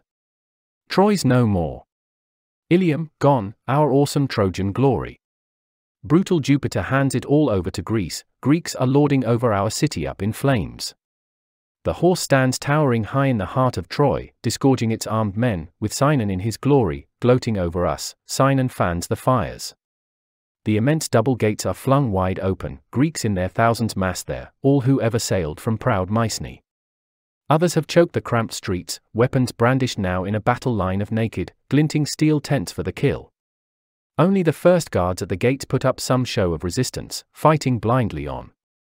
Spurred by Panthus' words and the god's will, into the blaze I dive, into the fray, wherever the din of combat breaks and war cries fill the sky, wherever the battle fury drives me on and now I'm joined by Rhipeus, Epytus mighty in armor, rearing up in the moonlight, Hypanis comes to my side, and Dymas too, flanked by the young Coroebus, Mygdon's son. Late in the day he chanced to come to Troy incensed with a mad, burning love for Cassandra, son-in-law to our king, he would rescue Troy. Poor man, if only he'd marked his bride's inspired ravings. Seeing their close packed ranks, hot for battle, I spur them on their way. Men, brave hearts, though bravery cannot save us, if you're bent on following me and risking all to face the worst, look around you, see how our chances stand. The gods who shored our empire up have left us, all have deserted their altars and their shrines. You race to defend a city already lost in flames. But let us die, go plunging into the thick of battle. One hope saves the defeated, they know they can't be saved. That fired their hearts with the fury of despair. Now, like a wolf pack out for blood on a foggy night, driven blindly on by relentless, rabid hunger, leaving cubs behind, waiting, jaws parched, so through spears, through enemy ranks we plow to certain death, striking into the city's heart, the shielding wings of the darkness beating round us. Who has words to capture that night's disaster, tell that slaughter? What tears could match our torments now? An ancient city is falling, a power that ruled for ages, now in ruins. Everywhere lie the motionless bodies of the dead, strewn in her streets, her homes, and the god's shrines we held in awe. And not only Trojans pay the price in blood, at times the courage races back in their conquered hearts and they cut their enemies down in all their triumph. Everywhere, wrenching grief, everywhere, terror and a thousand shapes of death. And the first Greek to cross our path? Androgeos leading a horde of troops and taking us for allies on the march, the fool, he even gives us a warm salute and calls out, Hurry up, men. Why holding back, why now, why drag your heels? Troy's up in flames, the rest are looting, sacking the city heights. But you, have you just come from the tall ships? Suddenly, getting no password he can trust, he sensed he'd stumbled into enemy ranks, Stunned, he recoiled, swallowing back his words like a man who threads his way through prickly brambles, pressing his full weight on the ground, and blindly treads on a lurking snake and back he shrinks in instant fear as it rears in anger, puffs its blue-black neck. Just so Androgeos, seeing us, cringes with fear, recoiling, struggling to flee but we attack, flinging a ring of steel around his cohorts, panic takes the Greeks unsure of their ground and we cut them all to pieces. Fortune fills our sails in that first clash and Coroebus, flushed, fired with such success, exults, comrades, wherever fortune points the way, wherever the first road to safety leads, let's soldier on. Exchange shields with the Greeks and wear their emblems. Call it cunning or courage, who would ask in war? Our enemies will arm us to the hilt, with that he dons Androgeos' crested helmet, his handsome blazoned shield and straps a Greek sword to his hip, and comrades, spirits rising, take his lead. Rhipeus, Dymas too and our corps of young recruits, each fighter arms himself in the loot that he just seized and on we forge, blending in with the enemy, battling time and again under strange gods, fighting hand to hand in the blind dark and many Greeks we send to the king of death. Some scatter back to their ships, making a run for shore and safety. Others disgrace themselves, so panicked they clamber back inside the monstrous horse, burying into the womb they know so well. But, oh, how wrong to rely on God's dead set against you. Watch, the virgin daughter of Priam, Cassandra, torn from the sacred depths of Minerva's shrine, dragged by the hair, raising her burning eyes to the heavens, just her eyes, so helpless, shackles kept her from raising her gentle hands. Coroebus could not bear the sight of it, mad with rage he flung himself at the Greek lines and met his death. Closing ranks we charge after him, into the thick of battle and face our first disaster. Down from the temple roof come showers of lances hurled by our own comrades there, duped by the look of our Greek arms, our Greek crests that launched this grisly slaughter. And worse still, the Greeks roaring with anger, we had saved Cassandra, attack us from all sides. Ajax, fiercest of all and Atreus' two sons and the whole Dolopian army, wild as a rampaging whirlwind, gusts clashing, the west and the south, an east wind riding high on the rushing horses of the dawn, and the woods howl and Nereus, thrashing his savage trident, churns up the sea exploding in foam from its rocky depths. And those Greeks we had put to rout, our ruse in the murky night stampeding them headlong on throughout the city, back they come, the first to see that our shields and spears are naked lies, to mark the words on our lips that jar with theirs. In a flash, superior numbers overwhelm us. Coroebus is first to go, cut down by Peneleus' right hand he sprawls at Minerva's shrine, the goddess, power of armies. Rhipeus falls too, the most righteous man in Troy, the most devoted to justice, true, but the gods had other plans. Hypanis, Dymas die as well, run through by their own men, and you, Panthus, not all your piety, all the sacred bands you wore as Apollo's priest could save you as you fell. Ashes of Ilium, last flames that engulfed my world, I swear by you that in your last hour I never shrank from the Greek spears, from any startling hazard of war, if fate had struck me down, my sword arm earned it all. Now we are swept away, Iphitus, Pelias with me, one way down with age and the other slowed by a wound Ulysses gave him, heading straight for Priam's palace, driven there by the outcries. And there, I tell you, a pitched battle flares. You'd think no other battles could match its fury, nowhere else in the city were people dying so. Invincible Mars rears up to meet us face to face with waves of Greeks assaulting the roofs, we see them choking the gateway, under a tortoiseshell of shields, and the scaling ladders cling to the steep ramparts. Just at the gates, the raiders scramble up the rungs, shields on their left arms thrust out for defense, their right hands clutching the gables. Over against them, Trojans ripping the tiles and turrets from all their roofs, the end is near, they can see it now, at the brink of death, desperate for weapons, some defense, and these, these missiles they send reeling down on the Greeks' heads, the gilded beams, the inlaid glory of all our ancient fathers. Comrades below, posted in close packed ranks, block the entries, sword points drawn and poised. My courage renewed, I rush to relieve the palace, brace the defenders, bring the defeated strength. There was a secret door, a hidden passage linking the wings of Priam's house, remote, far to the rear. Long as our realm still stood, Andromache, poor woman, would often go this way, unattended, to Hector's parents, taking the boy Astyanax by the hand to see grandfather Priam. I slipped through the door, up to the jutting roof where the doomed Trojans were hurling futile spears. There was a tower soaring high at the peak toward the sky, our favorite vantage point for surveying all of Troy and the Greek fleet and camp. We attacked that tower with iron crowbars, just where the upper story planks showed loosening joints. We rocked it, wrenched it free of its deep moorings, and all at once we heaved it toppling down with a crash, trailing its wake of ruin to grind the massed Greeks assaulting left and right. But on came Greek reserves, no let up, the hail of rocks, the missiles of every kind would never cease.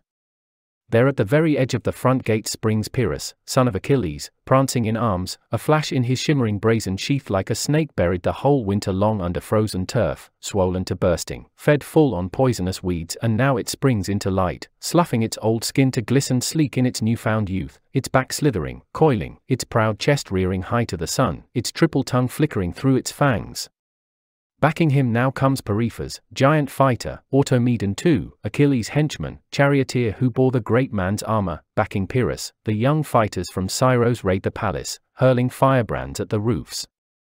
Out in the lead, Pyrrhus seizes a double axe and batters the rocky sill and ripping the bronze posts out of their sockets, hacking the rugged oaken planks of the doors, makes a breach, a gaping maw, and there, exposed, the heart of the house, the sweep of the colonnades, the palace depths of the old kings and Priam lie exposed and they see the armed sentries bracing at the portals.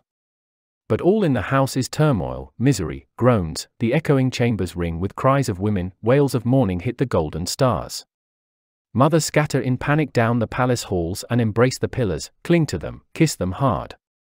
But on he comes, Pyrrhus with all his father's force, no bolts, not even the guards can hold him back, under the ram's repeated blows the doors cave in, the doorposts, prized from their sockets, crash flat. Force makes a breach and the Greeks come storming through, butcher the sentries, flood the entire place with men at arms. No river so wild, so frothing in spate, bursting its banks to overpower the dikes, anything in its way, its cresting tide stampeding in fury down on the fields to sweep the flocks and stalls across the open plain. I saw him myself, Pyrrhus crazed with carnage and Atreus' two sons just at the threshold. I saw Hecuba with her hundred daughters and daughters-in-law, saw Priam fouling with blood the altar fires he himself had blessed. Those fifty bridal chambers filled with the hope of children's children still to come, the pillars proud with trophies, gilded with eastern gold, they all come tumbling down, and the Greeks hold what the raging fire spares. Perhaps you wonder how Priam met his end. When he saw his city stormed and seized, his gates wrenched apart, the enemy camped in his palace depths, the old man dons his armor long unused, he clamps it round his shoulders shaking with age and, all for nothing, straps his useless sword to his hip, then makes for the thick of battle, out to meet his death. At the heart of the house an ample altar stood, naked under the skies, an ancient laurel bending over the shrine, embracing our household gods within its shade. Here, flocking the altar, Hecuba and her daughters huddled, blown headlong down like doves by a black storm, clutching, all for nothing, the figures of their gods. Seeing Priam decked in the arms he'd worn as a young man, Are you insane? she cries, Poor husband, what impels you to strap that sword on now? Where are you rushing? Too late for such defense, such help. Not even my own Hector, if he came to the rescue now. Come to me, Priam. This altar will shield us all or else you'll die with us. With those words, drawing him toward her there, she made a place for the old man beside the holy shrine. Suddenly, look, a son of Priam, Polites, just escaped from slaughter at Pyrrhus' hands, comes racing in through spears, through enemy fighters, fleeing down the long arcades and deserted hallways, badly wounded, Pyrrhus hot on his heels, a weapon poised for the kill, about to seize him, about to run him through and pressing home as Polites reaches his parents and collapses, vomiting out his lifeblood before their eyes. At that, Priam, trapped in the grip of death, not holding back, not checking his words, his rage, you, he cries, you and your vicious crimes. If any power on high recoils at such an outrage, let the gods repay you for all your reckless work, grant you the thanks, the rich reward you've earned. You've made me see my son's death with my own eyes, defiled a father's sight with a son's lifeblood. You say you're Achilles' son? You lie. Achilles never treated his enemy Priam so. No, he honored a suppliant's rights, he blushed to betray my trust, he restored my Hector's bloodless corpse for burial, sent me safely home to the land I rule. With that and with all his might the old man flings his spear, but too impotent now to pierce, it merely grazes Pyrrhus' brazen shield that blocks its way and clings there, dangling limp from the boss, all for nothing. Pyrrhus shouts back, Well then, down you go, a messenger to my father, Peleus' son. Tell him about my vicious work, how Neoptolemus degrades his father's name, don't you forget. Now, die. That said, he drags the old man straight to the altar, quaking, slithering on through slicks of his son's blood, and twisting Priam's hair in his left hand, his right hand sweeping forth his sword, a flash of steel, he buries it hilt deep in the king's flank. Such was the fate of Priam, his death, his lot on earth, with Troy blazing before his eyes, her ramparts down, the monarch who once had ruled in all his glory the many lands of Asia, Asia's many tribes. A powerful trunk is lying on the shore. The head wrenched from the shoulders. A corpse without a name. Then, for the first time, the full horror came home to me at last. I froze. The thought of my own dear father filled my mind when I saw the old king gasping out his life with that raw wound, both men were the same age, and the thought of my Creusa, alone, abandoned, our house plundered, our little Iulus fate. I look back, what forces still stood by me? None. Totally spent in war, they'd all deserted, down from the roofs they'd flung themselves to earth or hurled their broken bodies in the flames. So, three at just that moment I was the one man left and then I saw her, clinging to Vesta's threshold, hiding in silence, tucked away, Helen of Argos. Glare of the fires lit my view as I looked down, scanning the city left and right, and there she was, terrified of the Trojans' hate. Now Troy was overpowered, terrified of the Greeks' revenge, her deserted husband's rage, that universal fury, a curse to Troy and her native land, and here she lurked, skulking, a thing of loathing cowering at the altar, Helen. Out it flared, the fire inside my soul, my rage ablaze to avenge our fallen country, pay Helen back, crime for crime.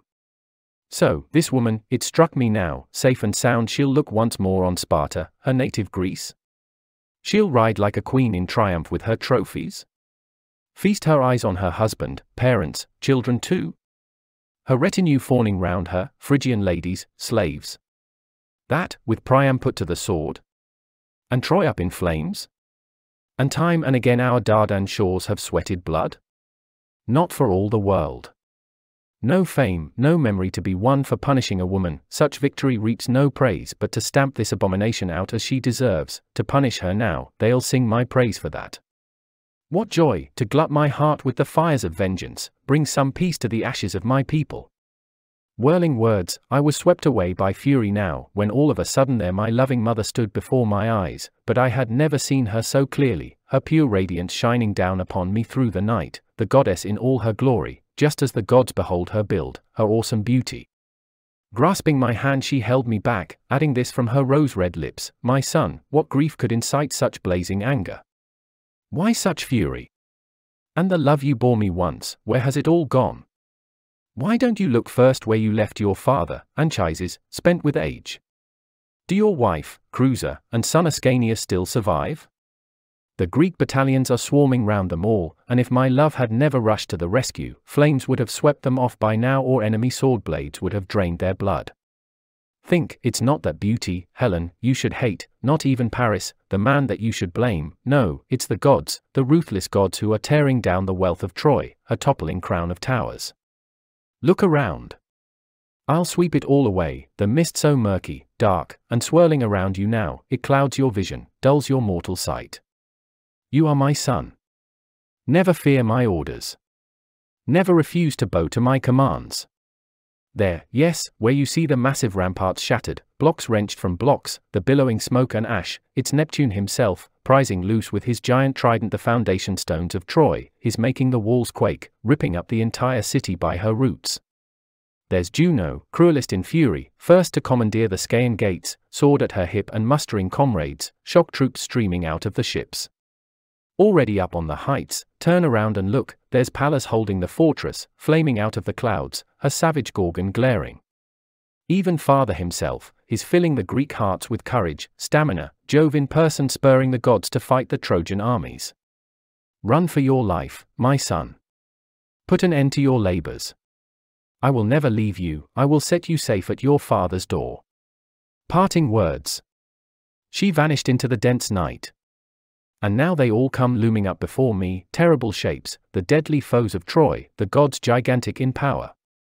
Then at last I saw it all, all Ilium settling into her embers, Neptune's Troy, toppling over now from her roots like a proud, veteran ash on its mountain summit, chopped by stroke after stroke of the iron axe as woodsmen fight to bring it down, and over and over it threatens to fall, its boughs shudder, its leafy crown quakes and back and forth it sways till overwhelmed by its wounds, with a long last groan it goes, torn up from its heights it crashes down in ruins from its ridge.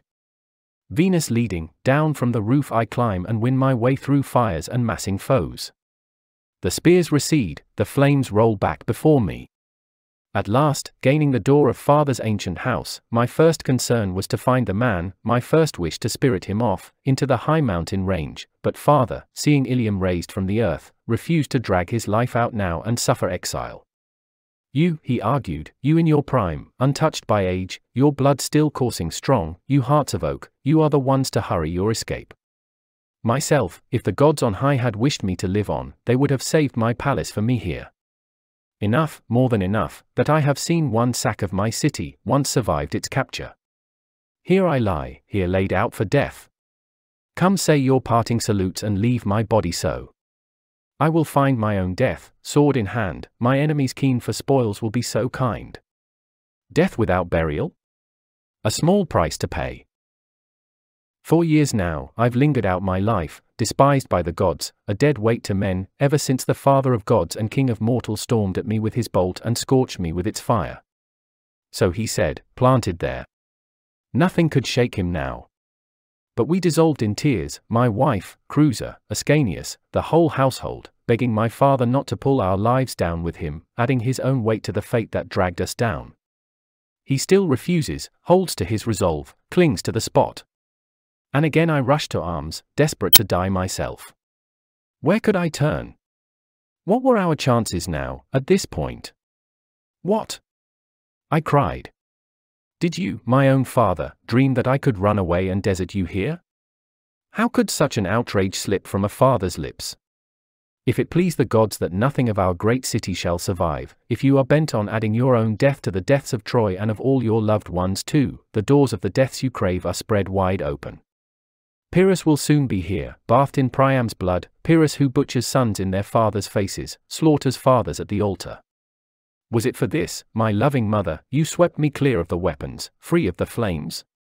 Just to see the enemy camped in the very heart of our house, to see my son, Ascanius, see my father, my wife, Creusa, with them, sacrificed, massacred in each other's blood? Arms, my comrades, bring me arms. The last light calls the defeated. Send me back to the Greeks, let me go back to fight new battles. Not all of us here will die today without revenge now buckling on my sword again and working my left arm through the shield's trap, grasping it tightly, just as I was rushing out, right at the doors my wife, Creusa, look, flung herself at my feet and hugged my knees and raised our little Iulus up to his father. If you are going off to die, she begged, then take us with you too, to face the worst together. But if your battles teach you to hope in arms, the arms you buckle on, your first duty should be to guard our house. Desert us, leave us now, to whom? Whom? Little Iulus, your father and your wife, so I once was called. So Creusa cries, her wails of anguish echoing through the house when out of the blue an omen strikes, a marvel. Now as we held our son between our hands and both our grieving faces, a tongue of fire, watch, flares up from the crown of Iulus' head, a subtle flame licking his downy hair, feeding around the boy's brow, and though it never harmed him, panicked, we rush to shake the flame from his curls and smother the holy fire, damp it down with water. But Father Anchises lifts his eyes to the stars in joy and stretching his hands toward the sky, sings out, Almighty Jove. If any prayer can persuade you now, look down on us, that's all I ask, if our devotion has earned it, grant us another omen, Father, seal this first clear sign. No sooner said than an instant peal of thunder crashes on the left and down from the sky a shooting star comes gliding, trailing a flaming torch to irradiate the night as it comes sweeping down. We watch it sailing over the topmost palace roofs to bury itself, still burning bright, in the forests of Mount Ida, blazing its path with light, leaving a broad furrow, a fiery wake, and miles around the smoking sulfur fumes. Won over at last, my father rises to his full height and prays to the gods and reveres that holy star, no more delay, not now. You gods of my fathers, now I follow wherever you lead me, I am with you. Safeguard our house, safeguard my grandson Iulus. This sign is yours, Troy rests in your power. I give way, my son. No more refusals. I will go with you, your comrade. So he yielded, but now the roar of flames grows louder all through Troy, and the seething floods of fire are rolling closer. So come, dear father, climb up onto my shoulders. I will carry you on my back. This labor of love will never wear me down. Whatever falls to us now, we both will share one peril, one path to safety. Little Iulus, walk beside me, and you, my wife, follow me at a distance, in my footsteps. Servants, listen closely.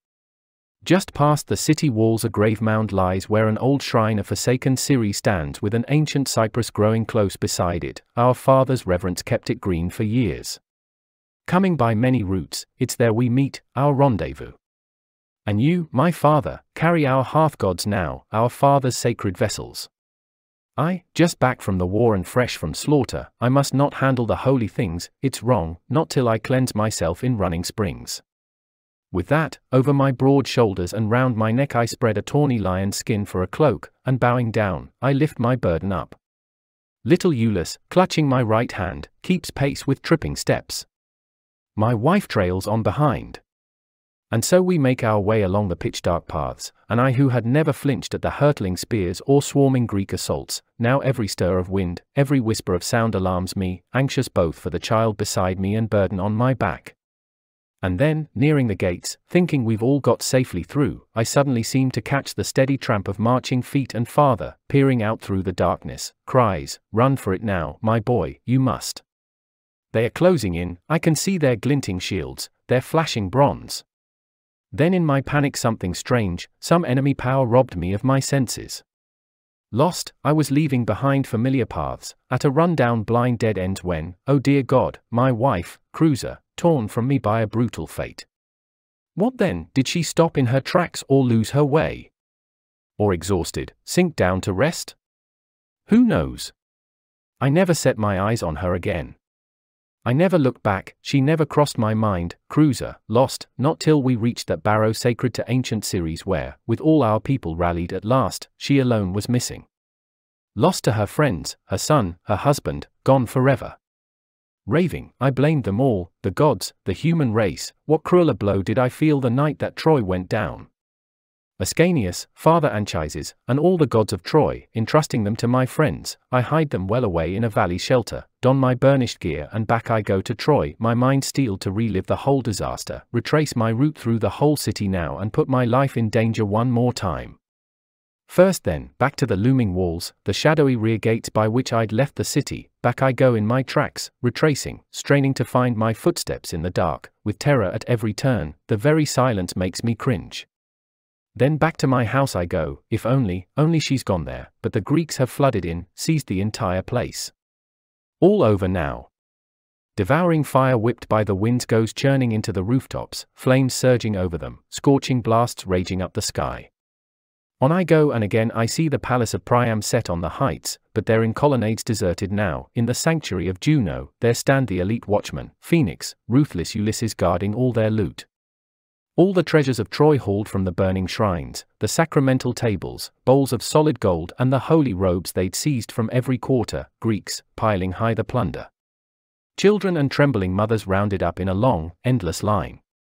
Why, I even dared fling my voice through the dark, my shouts filled the streets as time and again, overcome with grief, I called out, Creusa. Nothing, no reply, and again, Creusa.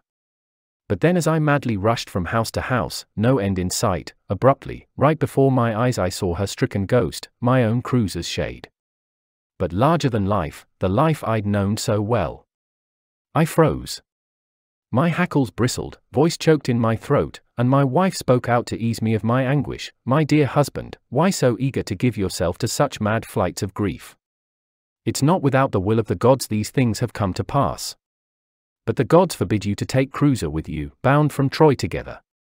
The king of lofty Olympus won't allow it. A long exile is your fate, the vast plains of the sea are yours to plough until you reach Hesperian land, where Lydian Tiber flows with its smooth march through rich and loamy fields, a land of hardy people. Their great joy and a kingdom are yours to claim, and a queen to make your wife. Dispel your tears for Creusa whom you loved. I will never behold the high and mighty pride of their palaces, the Myrmidons, the Dolopians, or go as a slave to some Greek matron, no, not I, daughter of Dardanus that I am, the wife of Venus' son. The great mother of gods detains me on these shores. And now farewell. Hold dear the son we share, we love together. These were her parting words, and for all my tears, I longed to say so much, dissolving into the empty air she left me now. Three times I tried to fling my arms around her neck, three times I embraced, nothing, her phantom sifting through my fingers, light as wind, quick as a dream in flight. Gone, and at last the night was over. Back I went to my people, and I was amazed to see what throngs of new companions had poured in to swell our numbers. Mothers, men, our forces gathered for exile, grieving masses. They had come together from every quarter, belongings, spirits ready for me to lead them over the sea to whatever lands I'd choose and now the morning star was mounting above the high crests of Ida, leading on the day. The Greeks had taken the city, blocked off every gate. No hope of rescue now. So I gave way at last and lifting my father, headed toward the mountains. Book 3 Landfalls, Ports of Call. Now that it pleased the gods to crush the power of Asia and Priam's innocent people, now proud Troy had fallen, Neptune's city a total ruin smoking on the ground, signs from the high gods drive us on, exiles now, searching earth for a home in some neglected land. We labor to build a fleet, hard by Antandros, under the heights of Phrygian Ida, knowing nothing. Where would destiny take us? Where are we to settle? We muster men for crews. Summer has just begun when Father commands us, hoist our sails to fate. And I launch out in tears and desert our native land, the old safe haven, the plains where Troy once stood. So I take to the open sea, an exile outward bound with son and comrades, gods of hearth and home and the great gods themselves. Just in the offing lies the land of Mars, the boundless farmlands tilled by the Thracian field hands, ruled in the old days by merciless Lycurgus. His realm was a friend of Troy for years, our household gods in league so long as our fortunes lasted. Well, here I sail and begin to build our first walls on the curving shore, though fate will block our way, and I give the town the name of Enos modelled on my own. Now, making offerings to my mother, Dione's daughter, and to the gods who bless new ventures, I was poised, there on the beach, to slaughter a pure white bull to Jove above all who rules the powers on high. Nearby I chanced on a rise of ground topped off by thickets bristling dogwood and myrtle spears. I tried to tear some green shoots from the brush to make a canopy for the altar with leafy boughs, when a dreadful, ghastly sight, too strange for words, strikes my eyes. Soon as I tear the first stalk from its roots and rip it up from the earth, dark blood oozes out and fouls the soil with filth. Icy shudders rack my limbs, my blood chills with fear. But again I try, I tear at another stubborn stalk, I'll probe this mystery to its hidden roots, and again the dark blood runs from the torn bark. Deeply shaken, I pray to the country nymphs and Father Mars who strides the fields of Thrace, make this sight a blessing, lift the omen's weight. But now, as I pitch at a third stalk, doubling my effort, knees bracing against the sand, struggling to pry it loose, shall I tell you or hold my tongue? I hear it, clearly, a wrenching groan rising up from the deep mound, a cry heaving into the air. Why, Aeneas, why mangle this wretched flesh? Spare the body buried here, spare your own pure hands, don't stain them. I am no stranger to you. I was born in Troy, and the blood you see is oozing from no tree. Oh, escape from this savage land, I beg you, flee these grasping shores. I am Polydorus. Here they impaled me, an iron planting of lances covered my body, now they sprout in stabbing spears. Then I was awestruck, stunned by doubt and dread. My hackles bristled, voice choked in my throat. This Polydorus, the doomed Priam had once dispatched him in secret, bearing a great weight of gold, to be maintained by the king of Thrace when Priam lost his faith in Trojan arms and saw his city gripped by siege. That Thracian, once the power of Troy was shattered, our Trojan fortunes gone, he joins forces with Agamemnon, siding with his victorious arms, and breaks all human laws. He hacks Polydorus down and commandeers the gold. To what extremes won't you compel our hearts, you accursed lust for gold? When dread has left my bones, I bring this omen sent by the gods before our chosen Trojan captains, my father first of all, I had to have their judgment. With one mind they insist we leave this wicked land where the bonds of hospitality are so stained, sail out on the south wind now. And so we give Polydorus a fresh new burial, piling masses of earth on his first mound, raising to all the shades below an altar dark with the reeds of grief and dead black cypress ringed by Trojan women, hair unbound in mourning. We offer up full bowls, foaming with warm milk, and our cups of hallowed blood. And so we lay his soul in the grave as our voices raise his name, the resounding last farewell. Then, in the first light, when we can trust the waves, a breeze has calmed the surf and a gentle rustling south wind makes the rigging sing, inviting us to sea. My crewmen crowd the beaches, launch the ships, and out from port we sail, leaving the land and cities sinking in our wake. Mid-sea there lies the sacred island of Delos, loved by the Nereids' mother, Aegean Neptune too. Apollo the archer, finding his birthplace drifting shore to shore, like a proper son had chained it fast to Mykonos' steep coast and Gyaros, made it stable, a home for men that scorns the wind's assaults. Here I sail, and here a haven, still, serene, receives our weary bodies safe and sound. Landing, we just begin to admire Apollo's city when King Anius, king of men and priest of the god, his brow wreathed with the bands and holy laurel leaves, comes to meet us, spotting a long lost friend, Anchises. Clasping our host's hands, we file toward his palace. There, awed by the shrine of God, built strong of ancient stone, I begged Apollo, grant us our own home, god of Thymbra. Grant us weary men some walls of our own, some sons, a city that will last. Safeguard this second Troy, this remnant left by the Greeks and cruel Achilles. Whom do we follow? Where do we go? Command us, where do we settle now? Grant us a sign, Father, flow into our hearts.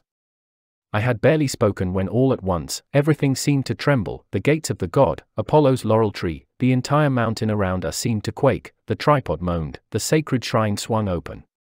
We flung ourselves on the ground, and a voice sounded out, Sons of Dardanus, hardy souls, your father's land that gave you birth will take you back again, restored to her fertile breast. Search for your ancient mother. There your house, the line of Aeneas, will rule all parts of the world, your sons' sons and all their descendants down the years. And Phoebus' words were met by a ringing burst of joy mixed with confusion, all our voices rising, asking, Where is this city? Where is the land that Apollo calls us wanderers to, the land of our return? Then my father, mulling over our old traditions, answers, Lords of Troy, learn where your best hopes rest. An island rises in mid-sea, Crete, great Jove's own land where the first Mount Ida rears, the cradle of our people. The Cretans live in a hundred spacious cities, rich domains. From there, if I recall what I heard, our first father, Teucer sailed to Troy, Cape Rhoeteum, picked the point and founded his kingdom on those shores. But Troy and her soaring ramparts were not standing yet, the people lived in valleys, deep in lowlands. From Crete came our great mother of Mount Cybelus, her Corybantes clashing cymbals, her grove on Ida, the sacred binding silence kept for her mystic rites and the team of lions yoked to Our Lady's chariot. So come, follow the gods' commands that lead us on. Placate the winds, set sail for Knossos country. It's no long journey. If only Jove is with us now, the third dawn will find us beached on the shores of Crete. With that, he slaughtered fitting beasts on the altars, a bull to Neptune, a bull to you, our noble Apollo, a black ram to the winter storms, and a white ram to the zephyrs fair and warm. Rumor flies that Idomeneus, famous Cretan prince, has fled his father's kingdom, an exile, and the shores of Crete are now deserted, clear of enemies, homes derelict, standing ready for us to settle.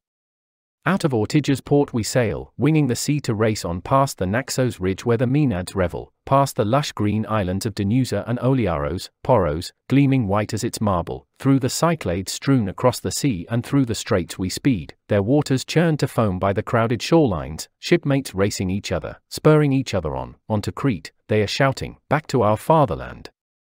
And a rising stern wind surges, drives our vessels on and at last we're gliding into the old Curetes harbour. Inspired, I start to build the city walls we crave. I call it Pergamum, yes, and my people all rejoice at the old Trojan name. I urge them to cherish their hearths and homes, erect a citadel strong to shield them well. Our ships were no sooner hauled onto dry land, our young crewmen busy with weddings, plowing the fresh soil while I was drafting laws and assigning homes, when suddenly, no warning, out of some foul polluted quarter of the skies a plague struck now, a heartrending scourge attacking our bodies, rotting trees and crops, one whole year of death. Men surrendered their own sweet lives or dragged their decrepit bodies on and on. And the dog star scorched the green fields barren, the grasses shriveled, blighted crops refused us food. Double back on the sea lanes, back to Delos now, Apollo's oracle. So my father Anchises urges, pray for the gods' goodwill and ask him there, where will they end, our backbreaking labors? Where can we turn for help from all our toil? What new course do we set? Night had fallen and sleep embraced all living things on earth. But the sacred images of our Trojan household gods, those I'd saved from the fires that swept through Troy. Now, as I lay asleep, they seemed to stand before me, clear before my eyes, so vivid, washed in the light of the full moon flooding in through deep set windows. Then the power spoke out to ease me of my anguish, all that Apollo will predict if you return to Delos, he tells you here, of his own free will he sends us here before your doors. You and your force at arms, we followed you all when Troy was burnt to rubble. We are the gods, with you at the helm, who crossed the billowing sea in ships. And one day we shall lift your children to the stars and exalt your city's power. For a destiny so great, great walls you must erect and never shrink from the long labor of exile. No, you must leave this home. These are not the shores Apollo of Delos urged. He never commanded you to settle here on Crete. There is a country, the Greeks called it Hesperia, land of the west, an ancient land, mighty in war and rich in soil. Oenotrian settled it, now we hear their descendants call their kingdom Italy, after their leader, Italus. There lies our true home. There Dardanus was born, there Iasus. Fathers, founders of our people. Rise up now. Rejoice, relay our message, certain beyond all doubt, to your father full of years. Seek out the town of Corythus, sail for Italy. Jove denies you the fields of Dicte, Crete. Thunderstruck by the vision, the god's voice, this was no empty dream, I saw them clear before me, their features, face to face, their hair crowned with wreaths. At the sight an icy sweat goes rippling down my body, I tear myself from bed, I raise my hands and voice in prayer to the skies and tip a pure, unmixed libation on the hearth. Gladly, the rite performed, I unfold the whole event to Anchises, point by point. He recalls at once the two lines of our race, two parents, his own error, his late mistake about ancient places.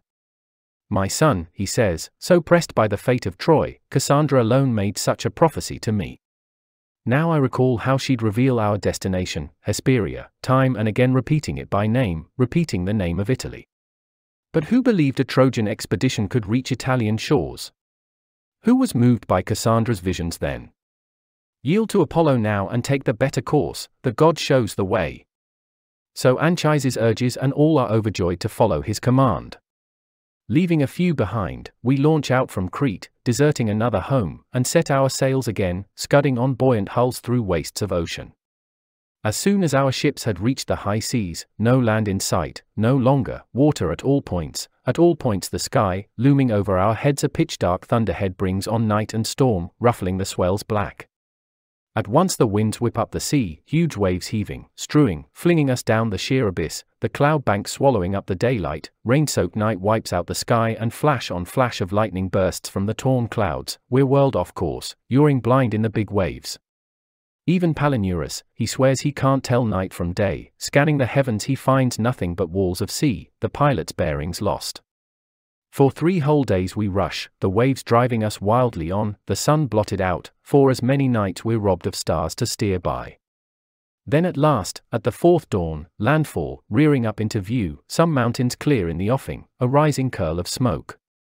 Down come the sails, the crewmen leap to the oars, no time to lose, they bend to it, churn the spray and sweep the clear blue sea. So I was saved from the deep, the shores of the Strophades first to take me in. Strophades, Greek name for the turning islands, lie in the great Ionian Sea. Here grim Celaeno and sister Harpies settled after Phineus' doors were locked against them all and they fled in fear from the tables where they'd gorged.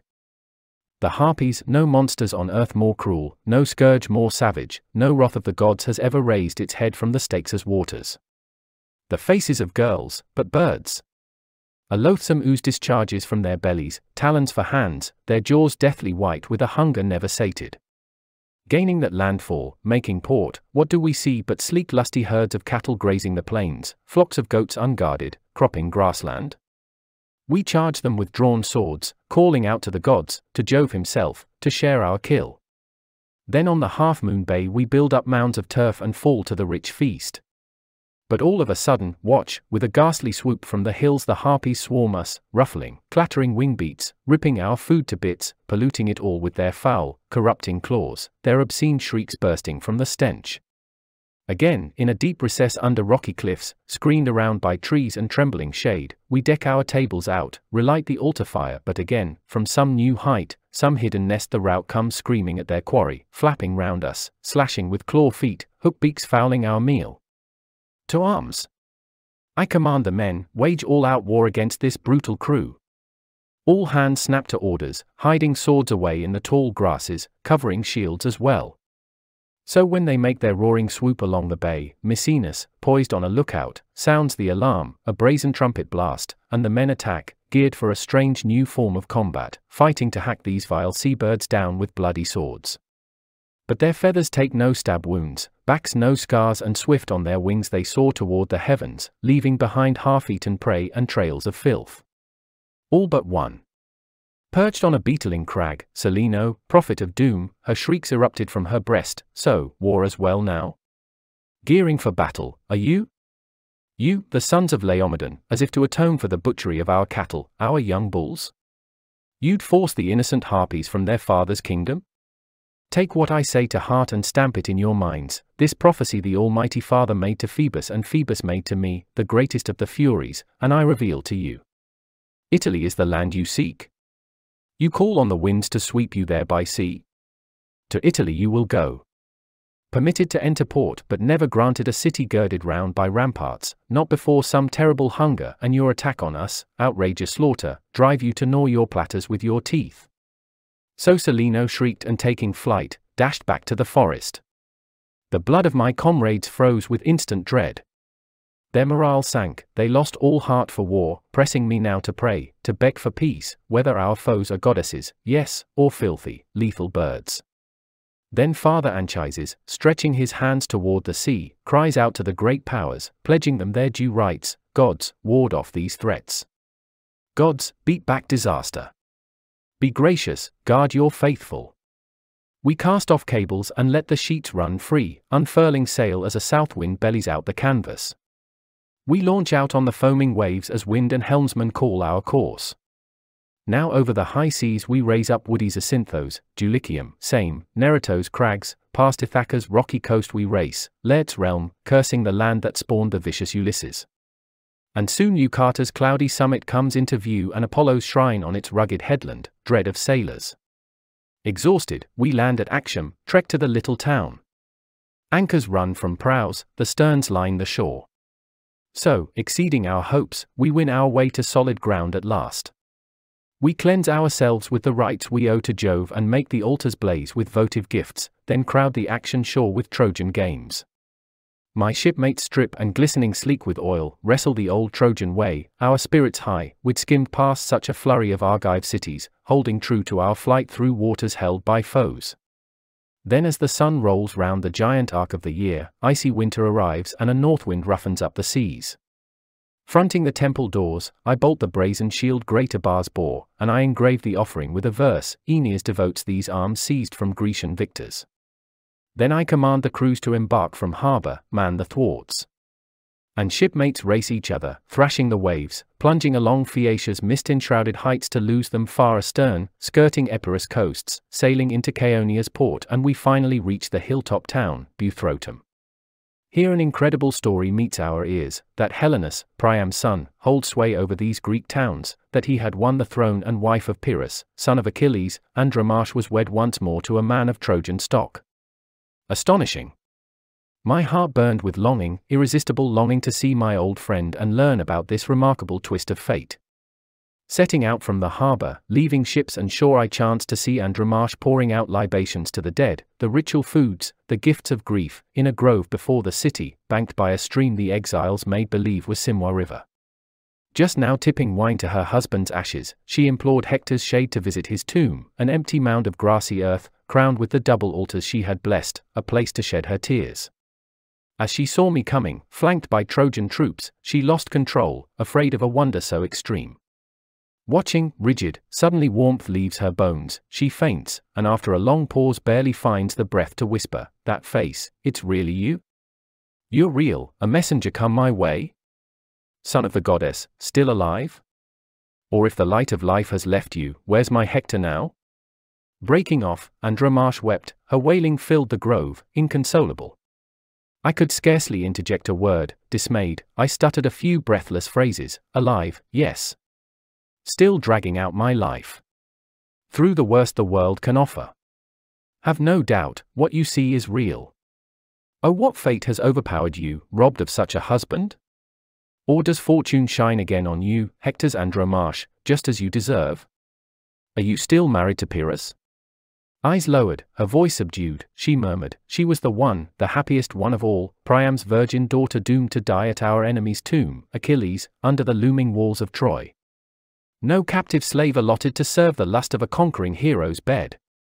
But I, our home in flames, was shipped over strange seas, I bowed to the high and mighty pride of Achilles' son, produced him a child, in slavery. Then, keen to marry a Spartan bride, Hermione, granddaughter of Leda, he turned me over to Helenus, slave to slave. But Orestes burned with love for his stolen bride, spurred by the Furies for his crimes, he seized Pyrrhus, quite off guard, and butchered him at his father's altar. At Pyrrhus' death, part of his kingdom passed to Helenus, who named the plains Chaonian, all this realm, Chaonia, after the Trojan Chaon, and built a Trojan fortress, the Ilian stronghold rising on this ridge. But you, what following winds, what fates have sailed you here? What god urged you, all unknowing, to our shores? And what of your son, Ascanius? Still alive, still breathing the breath of life? Your son, whom in the old days at Troy, does he still love his mother lost and gone? Do his father Aeneas and uncle Hector fire his heart with the old courage, his heroic forebear spirit? A torrent of questions, weeping futile tears, she sobs her long lament as Priam's warrior son, Helenus, comes from the walls with full cortege. Recognizing his kin, he gladly leads us home, each word of welcome breaking through his tears. And I, as I walk, I recognize a little Troy, a miniature, mimicking our great Trojan towers, and a dried up brook they call the river Xanthus, and I put my arms around a cut down Scaean gate. And all my Trojans join me, drinking deep of a Trojan city's welcome. The king ushered us into generous colonnades, in the heart of the court we offered Bacchus wine and feasted from golden plates, all cups held high. Now time wears on, day in, day out, and the breezes lure our sails, a south wind rippling in our canvas. So I approach the prophet king with questions, son of Troy and seer of the gods, you know the will of Phoebus Apollo, know his clarion tripods and his laurel, know the stars, the cries of birds, the omens quick on the wing. Please, tell me, all the signs foretold me a happy voyage, yes, and the will of all the gods impels me now to sail for Italy, seek that far off land. The harpy Celæno alone foretold a monstrous sign, chanting out the unspeakable, withering wrath to come and the ghastly pangs of famine. What dangers, tell me, to steer away from first? What course to set to master these ordeals? At that, Helenus first performs a sacrifice, slaughters many bulls. He prays the gods for peace, he looses the sacred ribbons round his hallowed head and taking me by the hand he leads me to your shrine, Apollo, stirred with awe by your vibrant power, and at once this prophecy comes singing from the priest's inspired lips, Son of the goddess, surely proof is clear, the highest sanctions shine upon your voyage. So the king of the gods has sorted out your fate, so rolls your life, as the world rolls through its changes.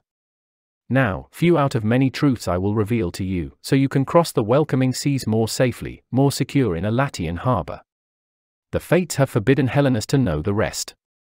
Saturnian Juno says I may not speak a word. First, that Italian land you think so near, all unknowing, planning to ease into its harbors, lies far off. A long wandering path will part you miles from that shore by a lengthy stretch of coast. So, first you must bend your oar in Sicilian seas and cross in your ships the salt Italian waves, the lakes of the underworld and Aeaea, Circe's Isle, before you can build your city safe on solid ground. I will give you a sign. Guard it in your heart. When at an anxious time by a secret river's run, under the oaks along the bank you find a great sow stretched on her side with thirty pigs just farrowed, a snow white mother with snow white young at her dugs, that will be the place to found your city, there your repose from labor lies. No reason to fear that prophecy, the horror of eating your own platters. The fates will find the way. Apollo comes to your call. But set sail from our land, steer clear of Italy's coast, the closest coast to our own, washed by our own seas, every seaboard town is manned by hostile Greeks. Here the Narycian Locri built their walls and troops of Cretan Idomeneus from Lyctos commandeered the Salentine level fields.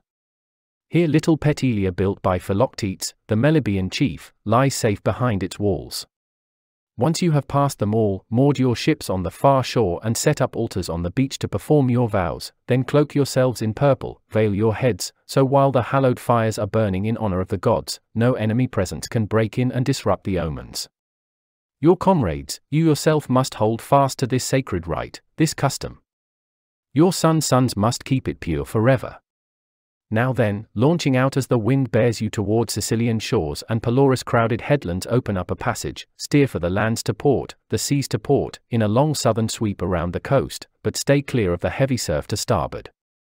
These lands, they say, were once an immense unbroken mass, but long ago, such is the power of time to work great change as the ages pass, some vast convulsion sprang them apart, a surge of the sea burst in between them, cleaving Sicily clear of Hesperia's flanks, dividing lands and towns into two coasts, rushing between them down a narrow tide drip but now Scylla to starboard blocks your way, with never sated Charybdis off to port, three times a day, into the plunging whirlpool of her abyss she gulps down floods of sea, then heaves them back in the air, pelting the stars with spray. Scylla lurks in her blind cave, thrusting out her mouths and hauling ships on her rocks. She's human at first glance, down to the waist a girl with lovely breasts, but a monster of the deep below, her body a writhing horror, her belly spawns wolves flailing with dolphins' tails. Better to waste time, skirting Sicily then in a long arc rounding Cape Pachynus, than once set eyes on gruesome Scylla deep in her cave, her rocks booming with all her sea green hounds. What's more, if a prophet has second sight, if Helenus earns your trust and Apollo fills his soul with truth, one prophecy, one above all, son of the goddess, I will make to you, over and over repeat this warning word. Revere great Juno's power first in all your prayers, to Juno chant your vows with a full heart and win the mighty goddess over with gifts to match your vows. Only then can you leave Sicilian shores at last, dispatched to Italy's coast, a conquering hero. Once ashore, when you reach the city of Cumae and Avernus haunted lakes and murmuring forests, there you will see the prophetess in her frenzy, chanting deep in her rocky cavern, charting the fates, committing her vision to words, to signs on leaves. Whatever verses the seer writes down on leaves she puts in order, sealed in her cave, left behind. There they stay, motionless, never slip from sequence. But the leaves are light, if the door turns on its hinge, the slightest breath of air will scatter them all about and she never cares to retrieve them, flitting through her cave, or restore them to order, join them as verses with a vision.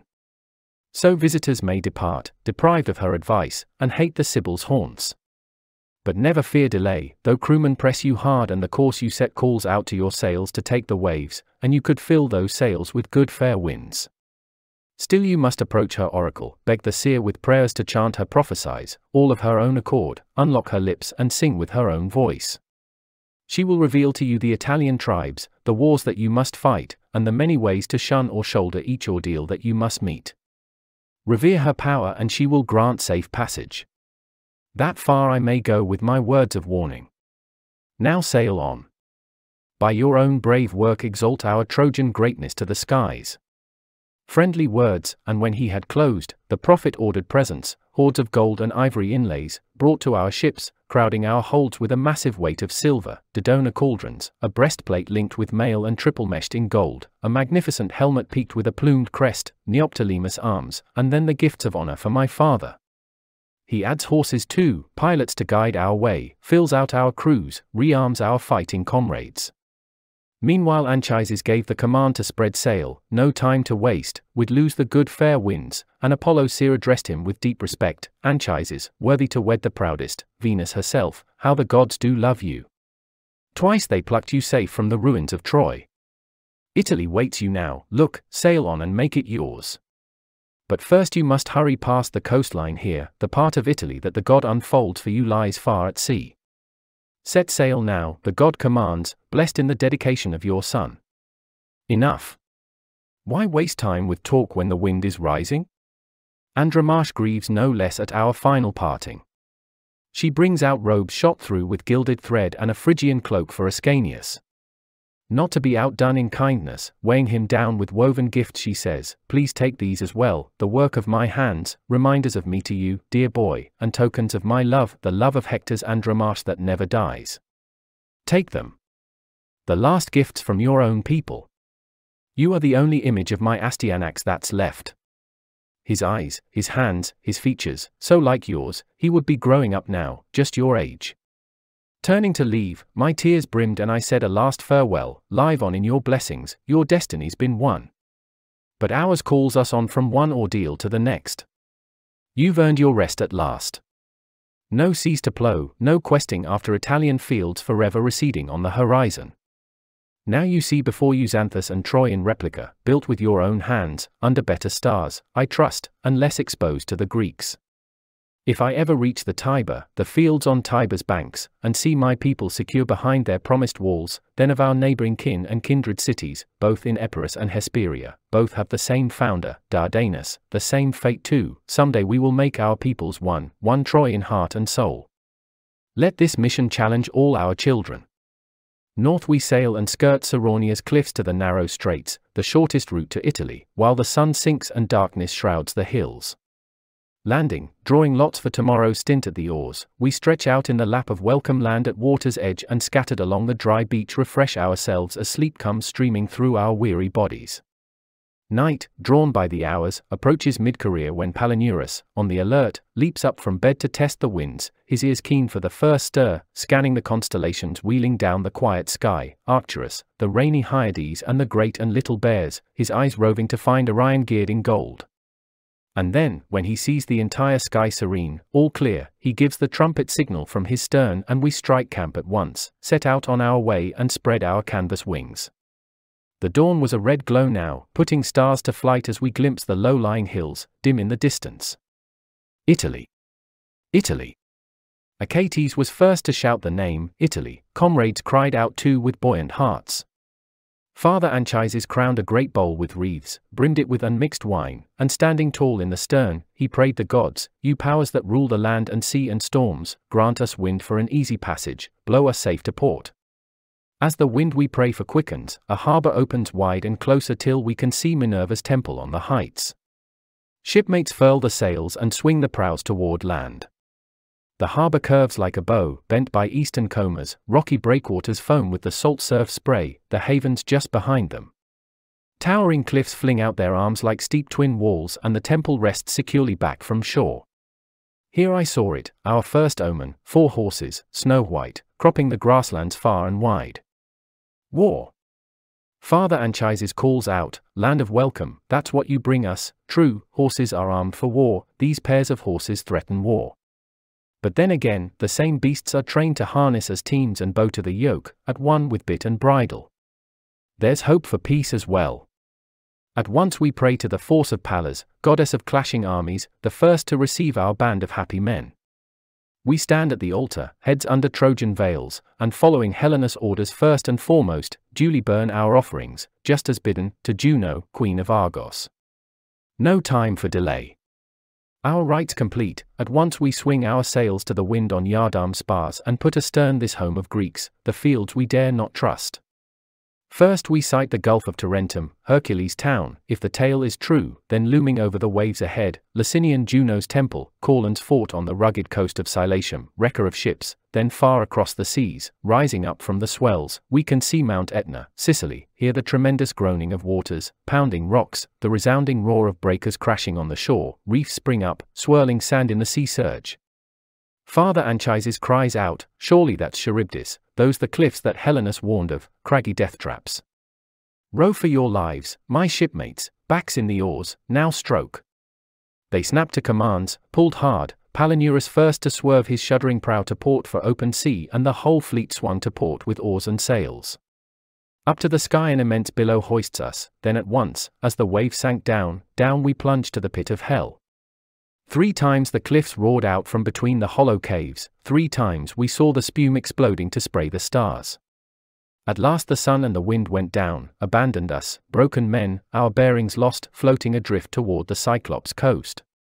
There is a harbour clear of the wind, and spacious, calm, a haven, but Etna rumbles, hard by, showering deadly scree, and now it heaves into the sky a thundering dark cloud, a whirlwind pitch black with smoke and red hot coals, and it hurls up huge balls of fire that lap the stars, and now it vomits rocks ripped from the mountain's bowels, erupting lava into the air, enormous molten boulders, groaning magma roiling up from its bedrock depths, they say Enceladus' body, half devoured by lightning, lies crushed under Etna's mass, the mighty volcano piled over him, breathing flames from its furnaces blasting open, and every time the giant rolls on his bone-weary side all Sicily moans, quakes, shrouds the sky with smoke. Covered by woods that night we brave out horrors, unable to see what made such a monstrous uproar. The stars were extinguished, the high skies black, the luminous heavens blotted out by a thick cloud cover, the dead of night had wrapped the moon in mist. At last the day was breaking, the morning star on the rise, Aurora had just burned off the night's dank fog, when suddenly out of the woods the weird shape of a man, a stranger, all but starved to death, in wretched condition, emerges, staggers toward us, hands outstretched to us on the beaches, begging mercy. We turned, looked back at him, his filth appalling, his beard all tangled, his rags hooked up with thorns. Still, head to foot a Greek, a man once sent to Troy equipped with his country's arms. Soon as he saw our Dardan dress from afar, our Trojan swords, he froze in his tracks a moment, gripped by fear, then breakneck made for the shore with tears and prayers. I beg you, Trojans, beg by the stars, the gods above, the clear bright air we breathe, sail me off and away. Anywhere, any land you please, that's all I want. I am, I confess, a man from the Greek fleets, I admit I fought to seize your household gods. For that, if my crime against you is so wicked, rip me to bits and fling the bits in the sea, plunge me into the depths. If die I must, death at the hands of men will be a joy. With that, he clutched my knees and kneeling, grovelling, clung fast. We press him hard, who is he? Who are his parents? What rough fortune has driven him to despair? Father Anchises, barely pausing, gives the man his hand and the friendly gesture lifts the stranger's spirits. Setting his fears aside, he starts out on his story I come from Ithaca, my country, unlucky Ulysses' comrade. Call me Achaemenides. My father Adamastus was poor, and so I sailed to Troy, oh, if only our poverty lasted longer. But here my comrades left me, forgot me, this monstrous cave of the Cyclops, fleeing in terror from its brutal mouth. This gruesome house. Gory with its hideous feasts. Pitch dark inside. Immense. The giant himself, his head scrapes the stars. God save our earth from such a scourge. No looking him in the face, no trying to reach him with a word. He gorges himself on the innards and black blood of all his wretched victims.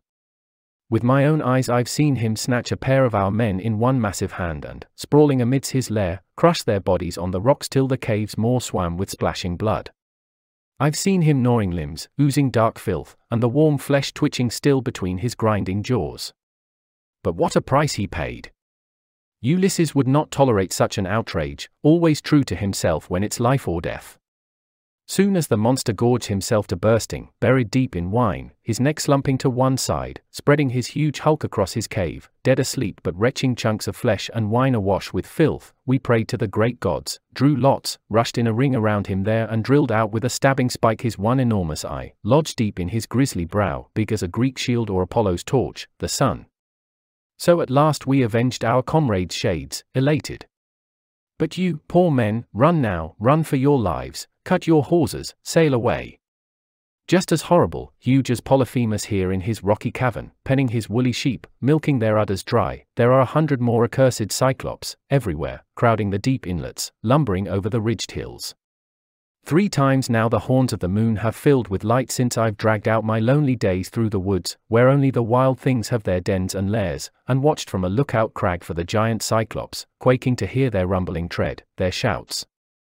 I live on the meager fare the branches offer, berries and cornel nuts as hard as rocks, and feed on roots I tear from the earth. As I scanned the horizon, yours were the first ships that I'd seen come ashore. I throw myself on your mercy, whoever you may be. Enough for me to escape that barbarous crew. Better for you to take this wretched life, by any death you please. He'd barely finished when there, up on a ridge we saw him, Polyphemus. The shepherd among his flock, hauling his massive hulk, groping toward the shore he knew by heart. The monster, immense, gargantuan, hideous, blind, his lone eye gone, clutching a pine tree trunk to keep his footing firm. His woolly sheep at his side, his sole pleasure, his only solace in pain. Soon as the giant gained deep water and offshore swells, he washed the blood still trickling down from his dugout socket, gnashing his teeth, groaning, and wades out in the surf, but the breakers still can't douse his soaring thighs. In panic, we rush to escape, get clear of his reach, take aboard the fugitive, he had earned his way, and we cut our lines, dead quiet, put our backs in a racing stroke that makes the waters churn. He hears us, wheels to follow our splashing oars, but he has no chance to seize us in his clutches, he's no match for Ionian tides in his pursuit, so he gives a tremendous howl that shakes the sea and all its waves, all Italy inland shudders in fear and Etna's echoing caverns bellow from their depths. Down from the woods and high hills they lumber in alarm, the tribe of Cyclops, down to the harbor, crowding the shore, the brotherhood of Etna. We see them standing there, powerless, each with his one glaring eye, their heads towering up, an horrendous muster looming into the vaulting sky like mountain oaks or cypress heavy with cones in Jupiter's soaring woods or Diana's sacred grove. Breakneck on, impelled by the sharp edge of fear, we shake our sheets out, spread our sails to the wind, wherever it may blow. But we run counter to Helenus' warnings not to steer between Scylla and Charybdis, only a razor edge between the devil and deep blue sea, so it's come about, we must swing back, when look, a north wind speeds to our rescue, sweeping south from the narrow cape of Pelorus, driving us past the Pantagias' mouth, that haven of native rock, past the bay of Megara, Thapsus lying low, sea marks pointed out by Achaemenides now, retracing the shores he once had coasted past as luckless Ulysses' shipmate. There is an island fronting the Bay of Syracuse, over against Plemmyrium's headland rocked by breakers, called Ortygia once by men in the old days. They tell how Alpheus, the Elian River, forcing his passage undersea by secret channels, now, Arethusa, mixes streams at your fountain's mouth with your Sicilian waters. We act on command, we worship the powers of the place, then sail on past the Helorus rich, marshy fields, then brush by the jutting reefs of craggy Cape Pachynus, then distant Camarina heaves into view, a town the fates will never allow to move, then Gela's fields and Gela named for its rushing torrent. Next in the offing Acragas rears, steep city, once a famous breeder of fiery steeds, and shows its mighty ramparts. Next we run with the winds and leave Selinus, city of palms, astern, then pick our way by the shoals and hidden spurs of Lilybaeum. Then, at last, the port of Drepanum takes me in, a shore that brought no joy. Here, after all the blows of sea and storm I lost my father, my mainstay in every danger and defeat. Spent as I was, you left me here, Anchises, best of fathers, plucked from so many perils, all for nothing. Not even Helenus, filled with dreadful warnings, foresaw such grief for me, not even foul Celaeno. This was my last ordeal, my long journey's end. From here I sailed. God drove me to your shores. So Aeneas, with all eyes fixed on him alone, the founder of his people recalled his wanderings now, the fates the gods had sent. He fell hushed at last, his tale complete, at rest. Book 4 The Tragic Queen of Carthage but the queen, too long she has suffered the pain of love, our by our nursing the wound with her lifeblood, consumed by the fire buried in her heart. The man's courage, the sheer pride of his line, they all come pressing home to her, over and over. His looks, his words, they pierce her heart and cling, no peace, no rest for her body, love will give her none. A new day's dawn was moving over the earth, Aurora's torch cleansing the sky, burning away the dank shade of night as the restless queen, beside herself, confides now to the sister of her soul, Dear Anna, the dreams that haunt my quaking heart. Who is this stranger just arrived to lodge in our house, our guest? How noble his face, his courage, and what a soldier! I'm sure, I know it's true, the man is born of the gods. Fear exposes the low born man at once. But, oh, how tossed he's been by the blows of fate. What a tale he's told, what a bitter bowl of war he's drunk to the dregs. If my heart had not been fixed, dead set against embracing another man in the bonds of marriage, ever since my first love deceived me, cheated me by his death, if I were not as sick as I am of the bridal bed and torch, this, perhaps, is my one lapse that might have brought me down. I confess it, Anna, yes. Ever since my Sychaeus, my poor husband met his fate, and my own brother shed his blood and stained our household gods, this is the only man who's roused me deeply, swayed my wavering heart. The signs of the old flame, I know them well. I pray that the earth gape deep enough to take me down or the Almighty Father blast me with one bolt to the shades, the pale, glimmering shades in hell, the pit of night, before I dishonor you, my conscience, break your laws. He's carried my love away, the man who wed me first, may he hold it tight, safeguard it in his grave. She broke off, her voice choking with tears that brimmed and wet her breast. But Anna answered, Dear one, dearer than light to me, your sister, would you waste away, grieving your youth away, alone, never to know the joy of children, all the gifts of love? Do you really believe that's what the dust desires, the ghosts in their ashen tombs? Have it your way. But granted that no one tempted you in the past, not in your great grief, no Libyan suitor, and none before in Tyre, you scorned Iarbas and other lords of Africa, sons bred by this fertile earth in all their triumph, why resist it now, this love that stirs your heart? Don't you recall whose lands you settled here, the men who press around you? On one side the Gaetulian cities, fighters matchless in battle, unbridled Numidians, Syrtes, the treacherous sandbanks. On the other side an endless desert, parched earth where the wild Barcaean marauders range at will. Why mention the war that's boiling up in Tyre, your brother's deadly threats? I think, in fact, the favor of all the gods and Juno's backing drove these Trojan ships on the winds that sailed them here. Think what a city you will see, my sister, what a kingdom rising high if you marry such a man. With a Trojan army marching at our side, think how the glory of Carthage will tower to the clouds. Just ask the gods for pardon, win them with offerings. Treat your guests like kings. Weave together some pretext for delay, while winter spends its rage and drenching Orion whips the sea, the ship still battered, weather still too wild. These were the words that fanned her sister's fire, turned her doubts to hopes, and dissolved her sense of shame. And first they visit the altars, make the rounds, praying the gods for blessings, shrine by shrine. They slaughter the pick of yelling sheep, the old way, to Ceres, giver of laws, to Apollo, Bacchus who sets us free, and Juno above all, who guards the bonds of marriage.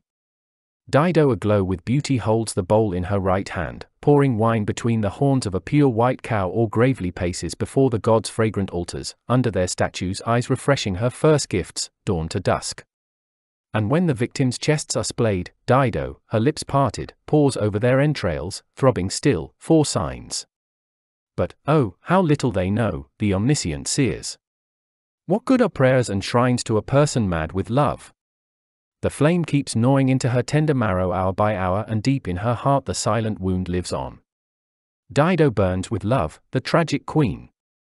She wanders in frenzy through her city streets like a wounded doe caught all off guard by a hunter stalking the woods of Crete, who strikes her from afar and leaves his winging steel in her flesh, and his unaware but she veers in flight through Dicte's woody glades, fixed in her side the shaft that takes her life. And now Dido leads her guest through the heart of Carthage, displaying Phoenician power, the city readied for him. She'd speak her heart but her voice chokes, mid-word. Now at dusk she calls for the feast to start again, madly begging to hear again the agony of Troy, to hang on his lips again, savoring his story. Then, with the guests gone, and the dimming moon quenching its light in turn, and the setting stars inclining heads to sleep, alone in the echoing hall, distraught, she flings herself on the couch that he left empty. Lost as he is, she's lost as well, she hears him, sees him or she holds Ascanius back and dandles him on her lap, bewitched by the boy's resemblance to his father, trying to cheat the love she dare not tell. The towers of Carthage, half built, rise no more, and the young men quit their combat drills in arms. The harbors, the battlements planned to block attack, all work suspended now, the huge, threatening walls with the soaring cranes that sway across the sky. Now, no sooner had Jove's dear wife perceived that Dido was in the grip of such a scourge, no thought of pride could stem her passion now, than Juno approaches Venus and sets a cunning trap. What a glittering prize, a triumph you carry home. You and your boy there, you grand and glorious powers. Just look, one woman crushed by the craft of two gods. I am not blind, you know. For years you've looked askance at the homes of rising Carthage, feared our ramparts. But where will it end? What good is all our strife? Come, why don't we labor now to live in peace? Eternal peace, sealed with the bonds of marriage. You have it all, whatever your heart desires, Dido's ablaze with love, drawing the frenzy deep into her bones. So, let us rule this people in common, joint command. And let her marry her Phrygian lover, be his slave, and give her Tyrians over to your control, her dowry in your hands. Perceiving at once that this was all pretense, a ruse to shift the kingdom of Italy onto Libyan shores, Venus countered Juno, now who'd be so insane as to shun your offer and strive with you in war? If only fortune crowns your proposal with success. But swayed by the fates, I have my doubts. Would Jove want one city to hold the Tyrians and the Trojan exiles? Would he sanction the mingling of their peoples, bless their binding pacts? You are his wife, with every right to probe him with your prayers. You lead the way. I'll follow. The work is mine, imperious Juno carried on, but how to begin this pressing matter now and see it through? I'll explain in a word or so. Listen closely. Tomorrow Aeneas and lovesick Dido plan to hunt the woods together, soon as the day's first light climbs high and the Titan's rays lay bare the earth. But while the beaters scramble to ring the glens with nets, I'll shower down a cloudburst, hail, black driving rain, I'll shatter the vaulting sky with claps of thunder. The huntsmen will scatter, swallowed up in the dark, and Dido and Troy's commander will make their way to the same cave for shelter. And I'll be there, if I can count on your own goodwill in this, I'll bind them in lasting marriage, make them one. Their wedding it will be. So Juno appealed, and Venus did not oppose her, nodding in assent and smiling at all the guile she saw through. Meanwhile, Dawn rose up and left her ocean bed, and soon as her rays have lit the sky, an elite band of young huntsmen streams out through the gates, bearing the nets, wide meshed or tight for traps, and their hunting spears with broad iron heads, troops of Massilian horsemen galloping hard, packs of powerful hounds, keen on the scent. Yet the queen delays, lingering in her chamber with Carthaginian chiefs expectant at her doors and there her proud, mettlesome charger prances in gold and royal purple, pouring with thunder hoofs, champing a foam fleck bit. At last she comes, with a great retinue crowding round the queen who wears a Tyrian cloak with rich embroidered fringe. Her quiver is gold, her hair drawn up in a golden torque and a golden buckle clasps her purple robe in folds. Nor do her Trojan comrades tarry. Out they march, young Iulus flushed with joy. Aeneas in command, the handsomest of them all, advancing as her companion joins his troop with hers. So vivid. Think of Apollo leaving his Lycian haunts and Xanthus in winter spate, his out to visit Delos, his mother's isle, and strike up the dance again while round the altars swirls a growing throng of Cretans, Dryopians, Agathyrsians with tattoos, and a drumming roar goes up as the god himself strides the Cynthian ridge, his streaming hair braided with pliant laurel leaves entwined in twists of gold, and arrows clash on his shoulders. So no less swiftly Aeneas strides forward now and his face shines with a glory like the gods. Once the huntsmen have reached the trackless lairs aloft in the foothills, suddenly, look, some wild goats flushed from a ridge come scampering down the slopes and lower down a herd of stags goes bounding across the open country, ranks massed in a cloud of dust, fleeing the high ground but young Ascanius, deep in the valley, rides his eager mount and relishing every stride, outstrips them all, now goats, now stags, but his heart is racing, praying, if only they'd send among this feeble, easy game some frothing wild boar or a lion stalking down from the heights and tawny in the sun. Too late. The skies have begun to rumble, peals of thunder first and the storm breaking next, a cloudburst pelting hail and the troops of hunters scatter up and down the plain, Tyrian comrades, bands of Dardans, Venus grandson Iulus panicking, running for cover, quick, and down the mountain gullies erupt in torrents. Dido and Troy's commander make their way to the same cave for shelter now. Primordial Earth and Juno, queen of marriage, give the signal and lightning torches flare and the high sky bears witness to the wedding. Nymphs on the mountain tops wail out the wedding hymn. This was the first day of her death, the first of grief, the cause of it all. From now on, Dido cares no more for appearances, nor for her reputation, either. She no longer thinks to keep the affair a secret, no, she calls it a marriage, using the word to cloak her sense of guilt. Straightway rumor flies through Libya's great cities, rumor, swiftest of all the evils in the world. She thrives on speed, stronger for every stride, slight with fear at first, soon soaring into the air she treads the ground and hides her head in the clouds. She is the last, they say, our Mother Earth produced. Bursting in rage against the gods, she bore a sister for Coeus and Enceladus, Rumor, quicksilver afoot and swift on the wing, a monster, horrific, huge and under every feather on her body, what a marvel, an eye that never sleeps and as many tongues as eyes and as many raucous mouths and ears pricked up for news. By night she flies aloft, between the earth and sky, whirring across the dark, never closing her lids in soothing sleep. By day she keeps her watch, crouched on a peaked roof or palace turret, terrorizing the great cities, clinging as fast to her twisted lies as she clings to words of truth. Now rumor is in her glory, filling Africa's ears with tale on tale of intrigue, bruiting her song of facts and falsehoods mingled. Here this Aeneas, born of Trojan blood, has arrived in Carthage, and lovely Dido deigns to join the man in wedlock. Even now they warm the winter, long as it lasts, with obscene desire, oblivious to their kingdoms, abject thralls of lust. Such talk the sordid goddess spreads on the lips of men, then swerves in her course and heading straight for King Iarbas, stokes his heart with hearsay, piling fuel on his fire. Iarbas, son of an African nymph whom Jove had raped, raised the god a hundred splendid temples across the king's wide realm, a hundred altars too, consecrating the sacred fires that never died, eternal sentinels of the gods. The earth was rich with blood of slaughtered herds and the temple doorways wreathed with riots of flowers. This Iarbas, driven wild, set ablaze by the bitter rumor, approached an altar, they say, as the gods hovered round, and lifting a suppliant's hands, he poured out prayers to Jove, Almighty Jove. Now as the Moors adore you, feasting away on their gaudy couches, tipping wine in your honor, do you see this? Or are we all fools, Father, to dread the bolts you hurl? All aimless then, your fires high in the clouds that terrify us so? All empty noise, your peals of grumbling thunder? That woman, that vagrant. Here in my own land she founded her paltry city for a pittance. We tossed her some beach to plough, on my terms, and then she spurns our offer of marriage, she embraces Aeneas as lord and master in her realm. And now this second Paris, leading his troop of eunuchs, his hair oozing oil, a Phrygian bonnet tucked up under his chin, he revels in all that he has filched, while we keep bearing gifts to your temples, yes, yours, coddling your reputation, all your hollow show. So King Iarbas appealed, his hand clutching the altar, and Jove Almighty heard and turned his gaze on the royal walls of Carthage and the lovers oblivious now to their good name. He summons Mercury, gives him marching orders, quick, my son, away. Call up the zephyrs, glide on wings of the wind. Find the Dardan captain who now malingers long in Tyrian Carthage, look, and pays no heed to the city's fate decrees are his.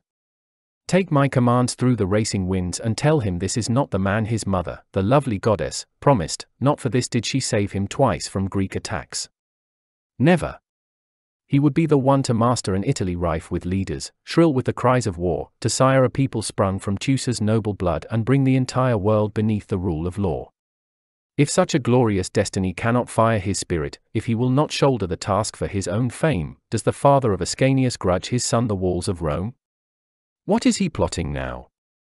What hope can make him loiter among his foes, lose sight of Italian offspring still to come and all the Lavinian fields? Let him set sail. This is the sum of it. This must be our message. Jove had spoken.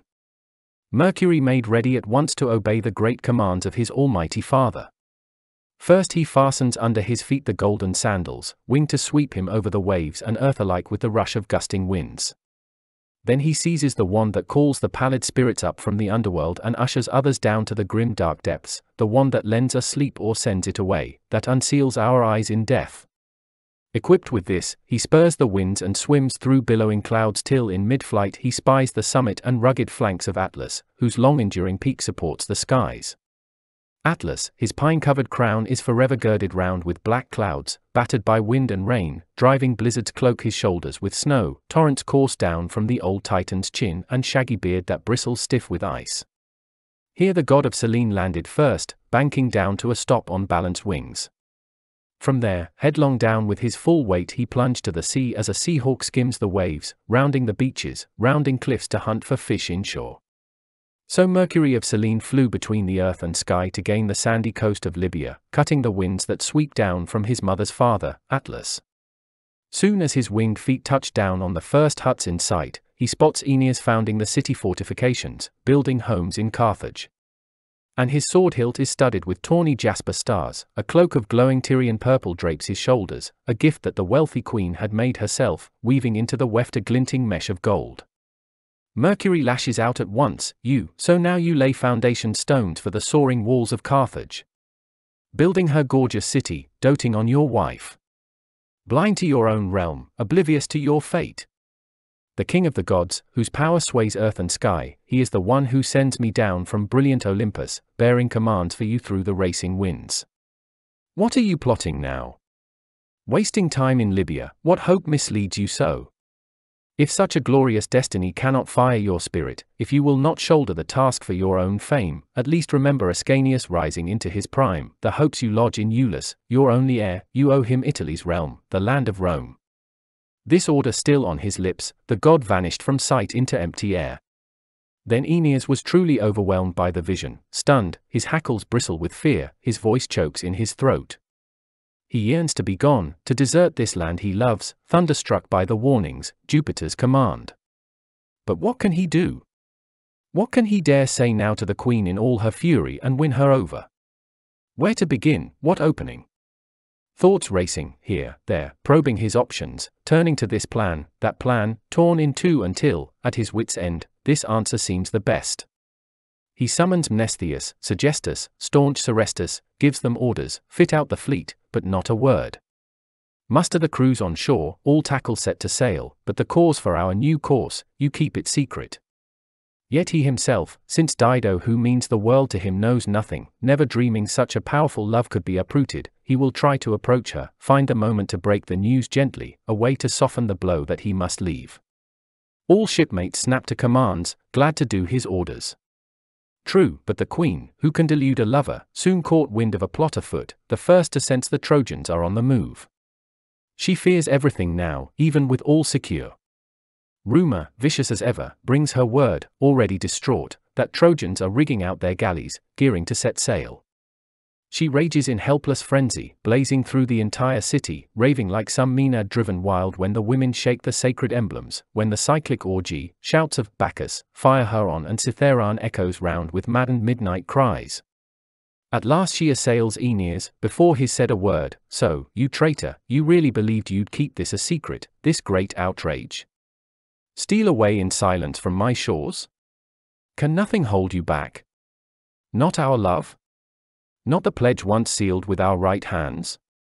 Not even the thought of Dido doomed to a cruel death? Why labor to rig your fleet when the winters roar, to risk the deep when the north wind's closing in? You cruel, heartless, even if you were not pursuing alien fields and unknown homes, even if ancient Troy were standing, still, who'd sail for Troy across such heaving seas? You're running away from me?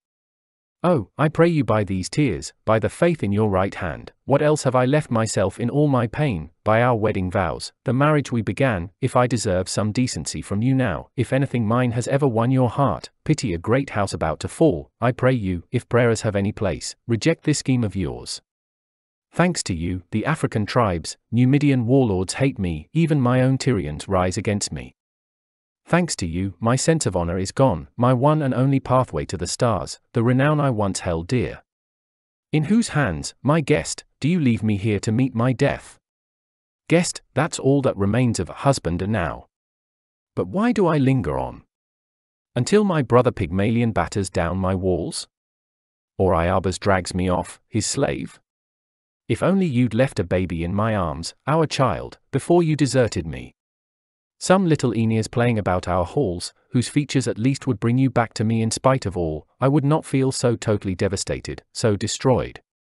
The queen stopped, but he, warned by Jupiter now, his gaze held steady, fought to master the torment in his heart. At last he ventured a few words I, you have done me so many kindnesses, and you could count them all. I shall never deny what you deserve, my queen, never regret my memories of Dido, not while I can recall myself and draw the breath of life. I'll state my case in a few words. I never dreamed I'd keep my flight a secret. Don't imagine that. Nor did I once extend a bridegroom's torch or enter into a marriage pact with you.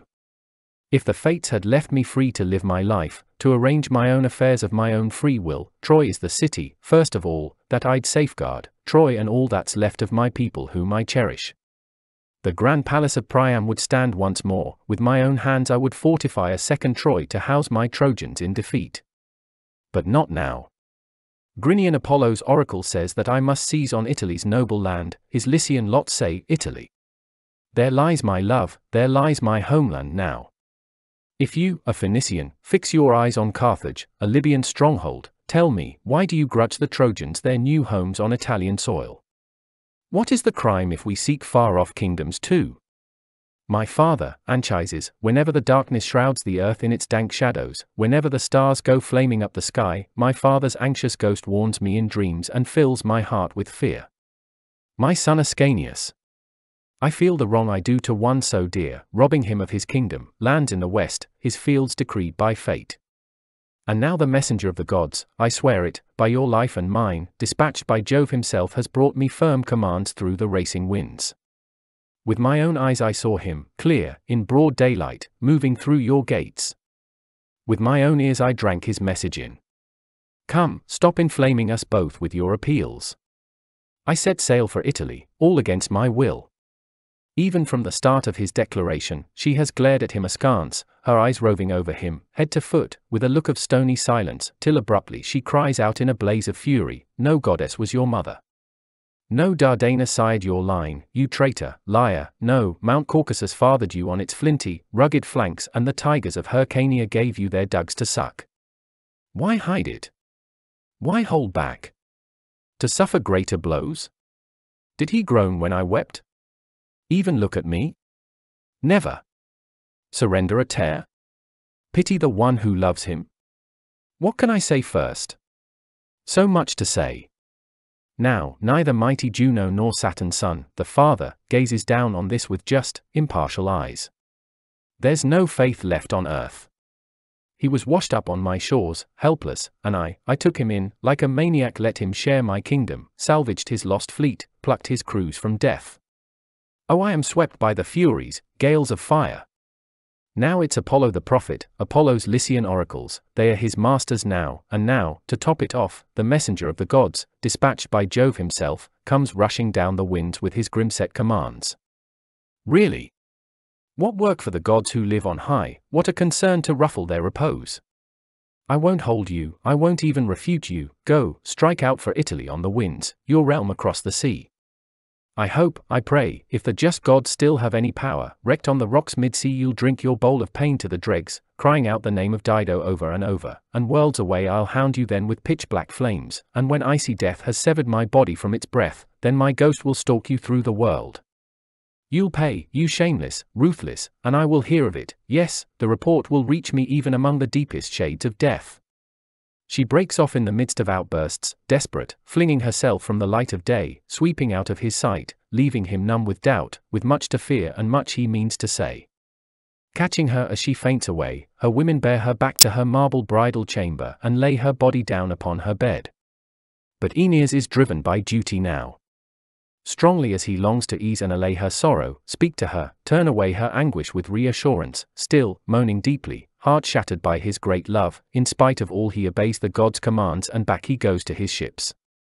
Then the Trojans throw themselves in the labor, launching their tall vessels down along the beach and the hull rubbed sleek with pitch floats high again.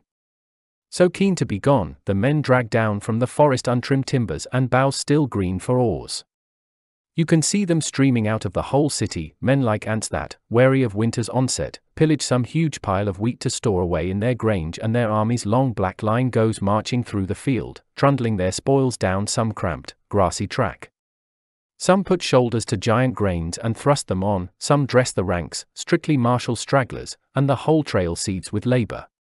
What did you feel then, Dido, seeing this? How deep were the groans you uttered, gazing now from the city heights to watch the broad beaches seething with action, the bay a chaos of outcries right before your eyes?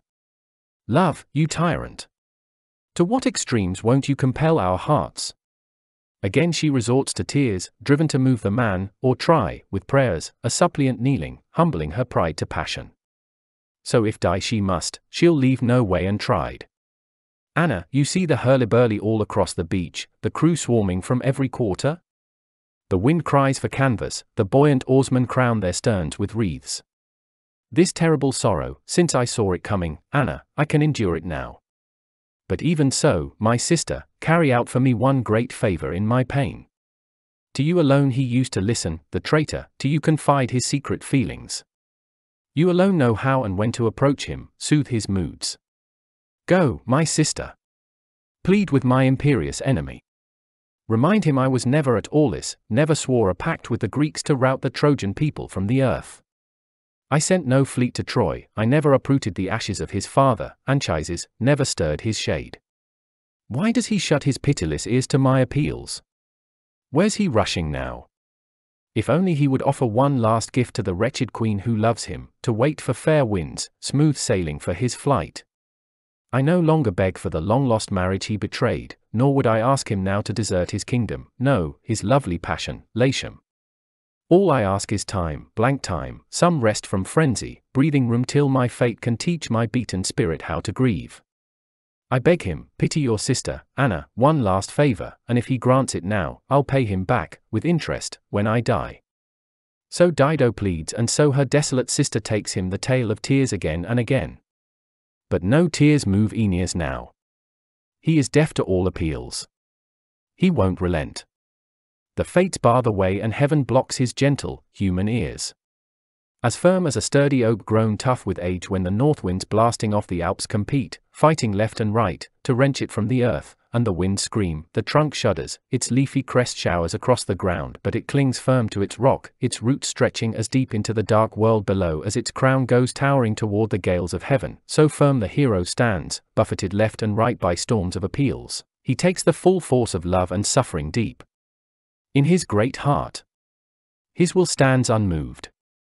The falling tears are futile. Then, terrified by her fate, tragic Dido prays for death, sickened to see the vaulting sky above her. And to steel her new resolve to leave the light, she sees, laying gifts on the altar's steaming incense, shudder to hear it now, the holy water going black and the wine she pours congeals in bloody filth.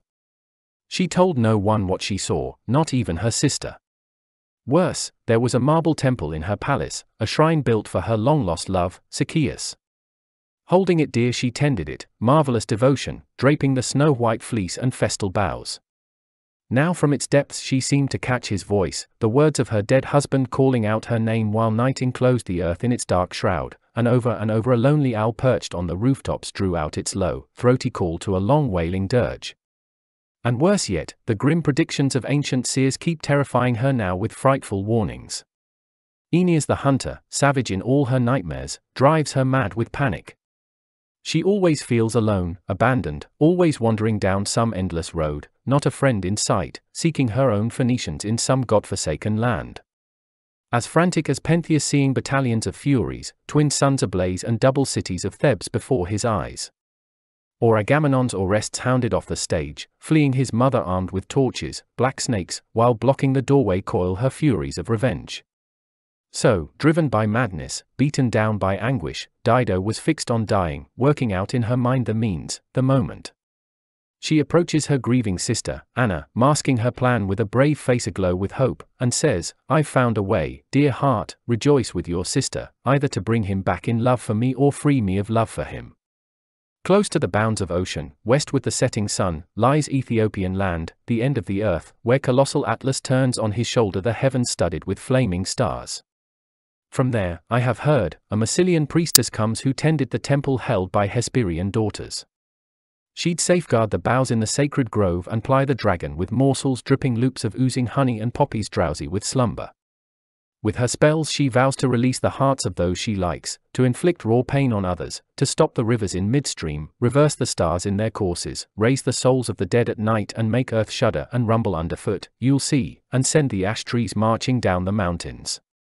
I swear by the gods, dear Anna, by your sweet life, I arm myself with magic arts against my will. Now go, build me a pyre in secret, deep inside our courtyard under the open sky. Pile it high with his arms, he left them hanging within our bridal chamber, the traitor, so devoted then. And all his clothes and crowning it all, the bridal bed that brought my doom. I must obliterate every trace of the man, the curse, and the priestess shows the way. She says no more, and now, as the queen falls silent, pallor sweeps her face. Still, Anna cannot imagine these outlandish rites would mask her sister's death. She can't conceive of such a fiery passion. She fears nothing graver than Dido's grief at the death of her Sychaeus. So she does as she is told. But now the queen, as soon as the pyre was built beneath the open sky, towering up with pitch pine and cut logs of oak, deep in the heart of her house, she drapes the court with flowers, crowning the place with wreaths of death, and to top it off she lays his arms and the sword he left and an effigy of Aeneas, all on the bed they'd shared, for well she knows the future. Altars ring the pyre. Hair loose in the wind, the priestess thunders out the names of her three hundred gods, Erebus, Chaos and triple Hecate, Diana the three-faced virgin. She'd sprinkled water, simulating the springs of hell, and gathered potent herbs, reaped with bronze sickles under the moonlight, dripping their milky black poison, and fetched a love charm ripped from a foal's brow, just born, before the mother could gnaw it off. And Dido herself, standing before the altar, holding the sacred grain in reverent hands, with one foot free of its sandal, robes unbound, sworn now to die, she calls on the gods to witness, calls on the stars who know her approaching fate and then to any power above, mindful, even handed, who watches over lovers bound by unequal passion, Dido says her prayers. the dead of night, and weary living creatures throughout the world are enjoying peaceful sleep. The woods and savage seas are calm, at rest, and the circling stars are gliding on in their midnight courses. All the fields lie hushed, and the flocks and gay and gorgeous birds that haunt the deep clear pools and the thorny country thickets all lie quiet now, under the silent night, asleep. But not the tragic queen torn in spirit, Dido will not dissolve into sleep, her eyes, her mind won't yield to night. Her torments multiply, over and over her passion surges back into heaving waves of rage, she keeps on brooding, obsessions roil her heart, and now, what shall I do? Make a mockery of myself, go back to my old suitors, tempt them to try again? Beg the Numidians, grovel, plead for a husband, though time and again I scorn to wed their like. What then? Trail the Trojan ships, bend to the Trojans every last demand? So pleased are they with all the help, the relief I lent them once. And memory of my service past stands firm in grateful minds. And even if I were willing, would the Trojans allow me to board their proud ships, a woman they hate? Poor lost fool, can't you sense it, grasp it yet, the treachery of Laomedon's breed? What now? Do I take flight alone, consorting with crews of Trojan oarsmen in their triumph? Or follow them out with all my troops of Tyrians thronging the decks? Yes, hard as it was to uproot them once from Tyre. How can I force them back to sea once more, command them to spread their sails to the winds? No, no, die. You deserve it, end your pain with the sword. You, my sister, you were the first, won over by my tears, to pile these sorrows on my shoulders, mad as I was, to throw me into my enemy's arms. If only I'd been free to live my life, untested in marriage, free of guilt as some wild beast untouched by pangs like these. I broke the faith I swore to the ashes of Sychaeus. Such terrible grief kept breaking from her heart as Aeneas slept in peace on his ship's high stern, bent on departing now, all tackle set to sail. And now in his dreams it came again, the god, his phantom, the same features shining clear. Like Mercury head to foot, the voice, the glow, the golden hair, the bloom of youth on his limbs, and his voice rang out with warnings once again Son of the goddess, how can you sleep so soundly in such a crisis? Can't you see the dangers closing around you now? Madman! Can't you hear the west wind ruffling to speed you on? That woman spawns her plots, mulling over some desperate outrage in her heart, lashing her surging rage, she's bent on death. Why not flee headlong? Flee headlong while you can. You'll soon see the waves a chaos of ships, lethal torches flaring, the whole coast ablaze, if now a new dawn breaks and finds you still malingering on these shores. Up with you now. Enough delay. Woman's a thing that's always changing, shifting like the wind. With that he vanished into the black night. Then, terrified by the sudden phantom, Aeneas, wrenching himself from sleep, leaps up and rouses his crews and spurs them headlong on, quick. Up and at it, shipmates, man the thwarts. Spread canvas fast. A god's come down from the sky once more, I've just seen him, urging us on to sever our mooring cables, sail at once. We follow you, bless God, whoever you are, glad at heart we obey your commands once more. Now help us, stand beside us with all your kindness, bring us favoring stars in the sky to blaze our way. Tearing sword from sheath like a lightning flash, he hacks the mooring lines with a naked blade. Gripped by the same desire, all hands pitch in, they hoist and haul. The shore's deserted now, the waters hidden under the fleet, they bend to it, churn the spray and sweep the clear blue sea. By now early dawn had risen up from the saffron bed of Tithonus, scattering fresh light on the world. But the queen from her high tower, catching sight of the morning's white glare, the armada heading out to sea with sails trimmed to the wind, uncertain the shore and port were empty, stripped of oarsmen, three, four times over she beat her lovely breast, she ripped at her golden hair and oh, by God, she cries, will the stranger just sail off and make a mockery of our realm? Will no one rush to arms, come streaming out of the whole city, hunt him down, race to the docks and launch the ships? Go, quick, bring fire. Hand out weapons. Bend to the oars. What am I saying? Where am I? What insanity's this that shifts my fixed resolve? Dido, O oh poor fool, is it only now your wicked work strikes home? It should have then, when you offered him your scepter. Look at his hand clasp, look at his good faith now, that man who, they say, carries his father's gods, who stooped to shoulder his father bent with age. Couldn't I have seized him then, ripped him to pieces, scattered them in the sea? Or slashed his men with steel, butchered Ascanius, served him up as his father's feast? True, the luck of battle might have been at risk, well, risk away. Whom did I have to fear? I was about to die. I should have torched their camp and flooded their decks with fire. The son, the father, the whole Trojan line, I should have wiped them out, then hurled myself on the pyre to crown it all. You, sun, whose fires scan all works of the earth, and you, Juno, the witness, midwife to my agonies, Hecate greeted by nightly shrieks at city crossroads, and you, you avenging furies and gods of dying Dido. Hear me, turn your power my way, attend my sorrows, I deserve your mercy, hear my prayers. If that curse of the earth must reach his haven, labor on to landfall, if Jove and the fates command and the boundary stone is fixed, still, let him be plagued in war by a nation proud in arms, torn from his borders, wrenched from Iülus' embrace, let him grovel for help and watch his people die a shameful death.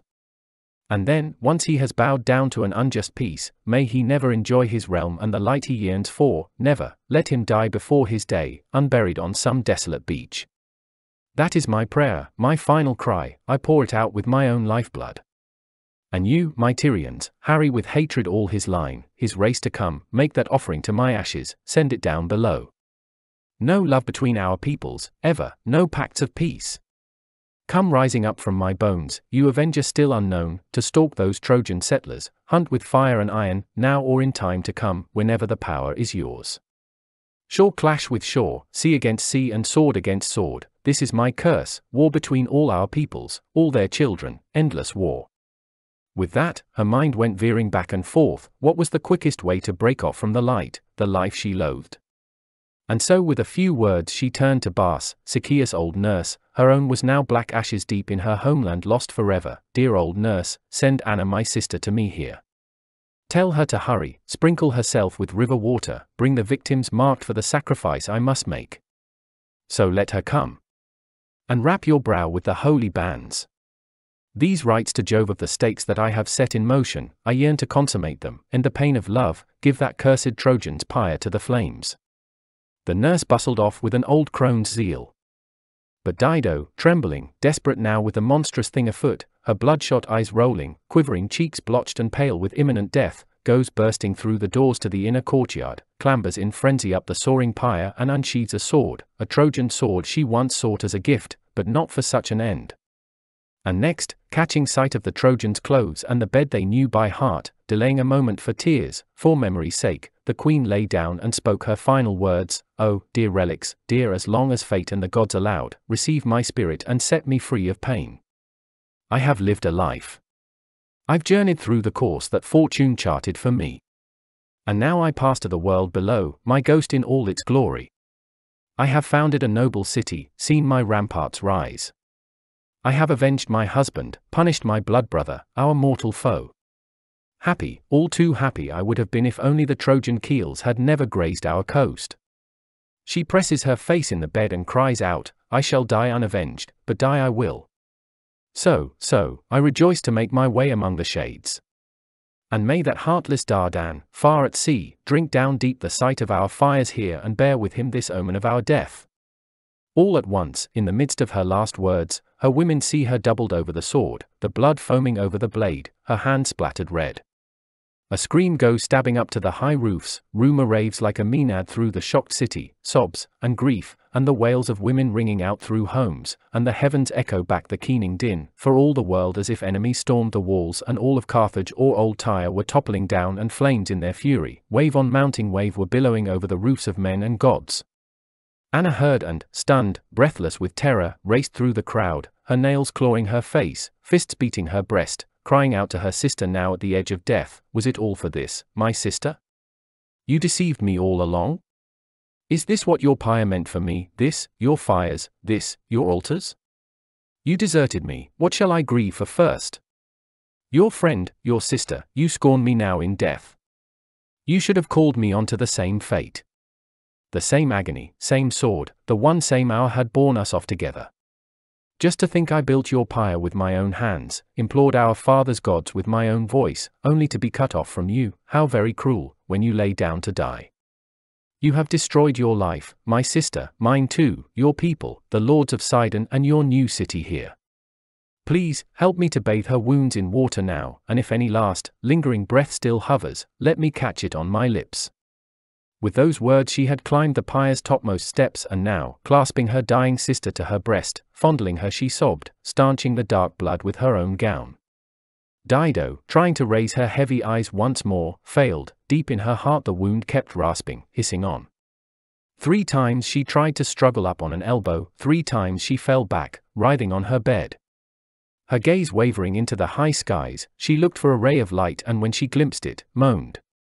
Then Juno in all her power, filled with pity for Dido's agonizing death, her labor long and hard, sped Iris down from Olympus to release her spirit wrestling now in a deathlock with her limbs.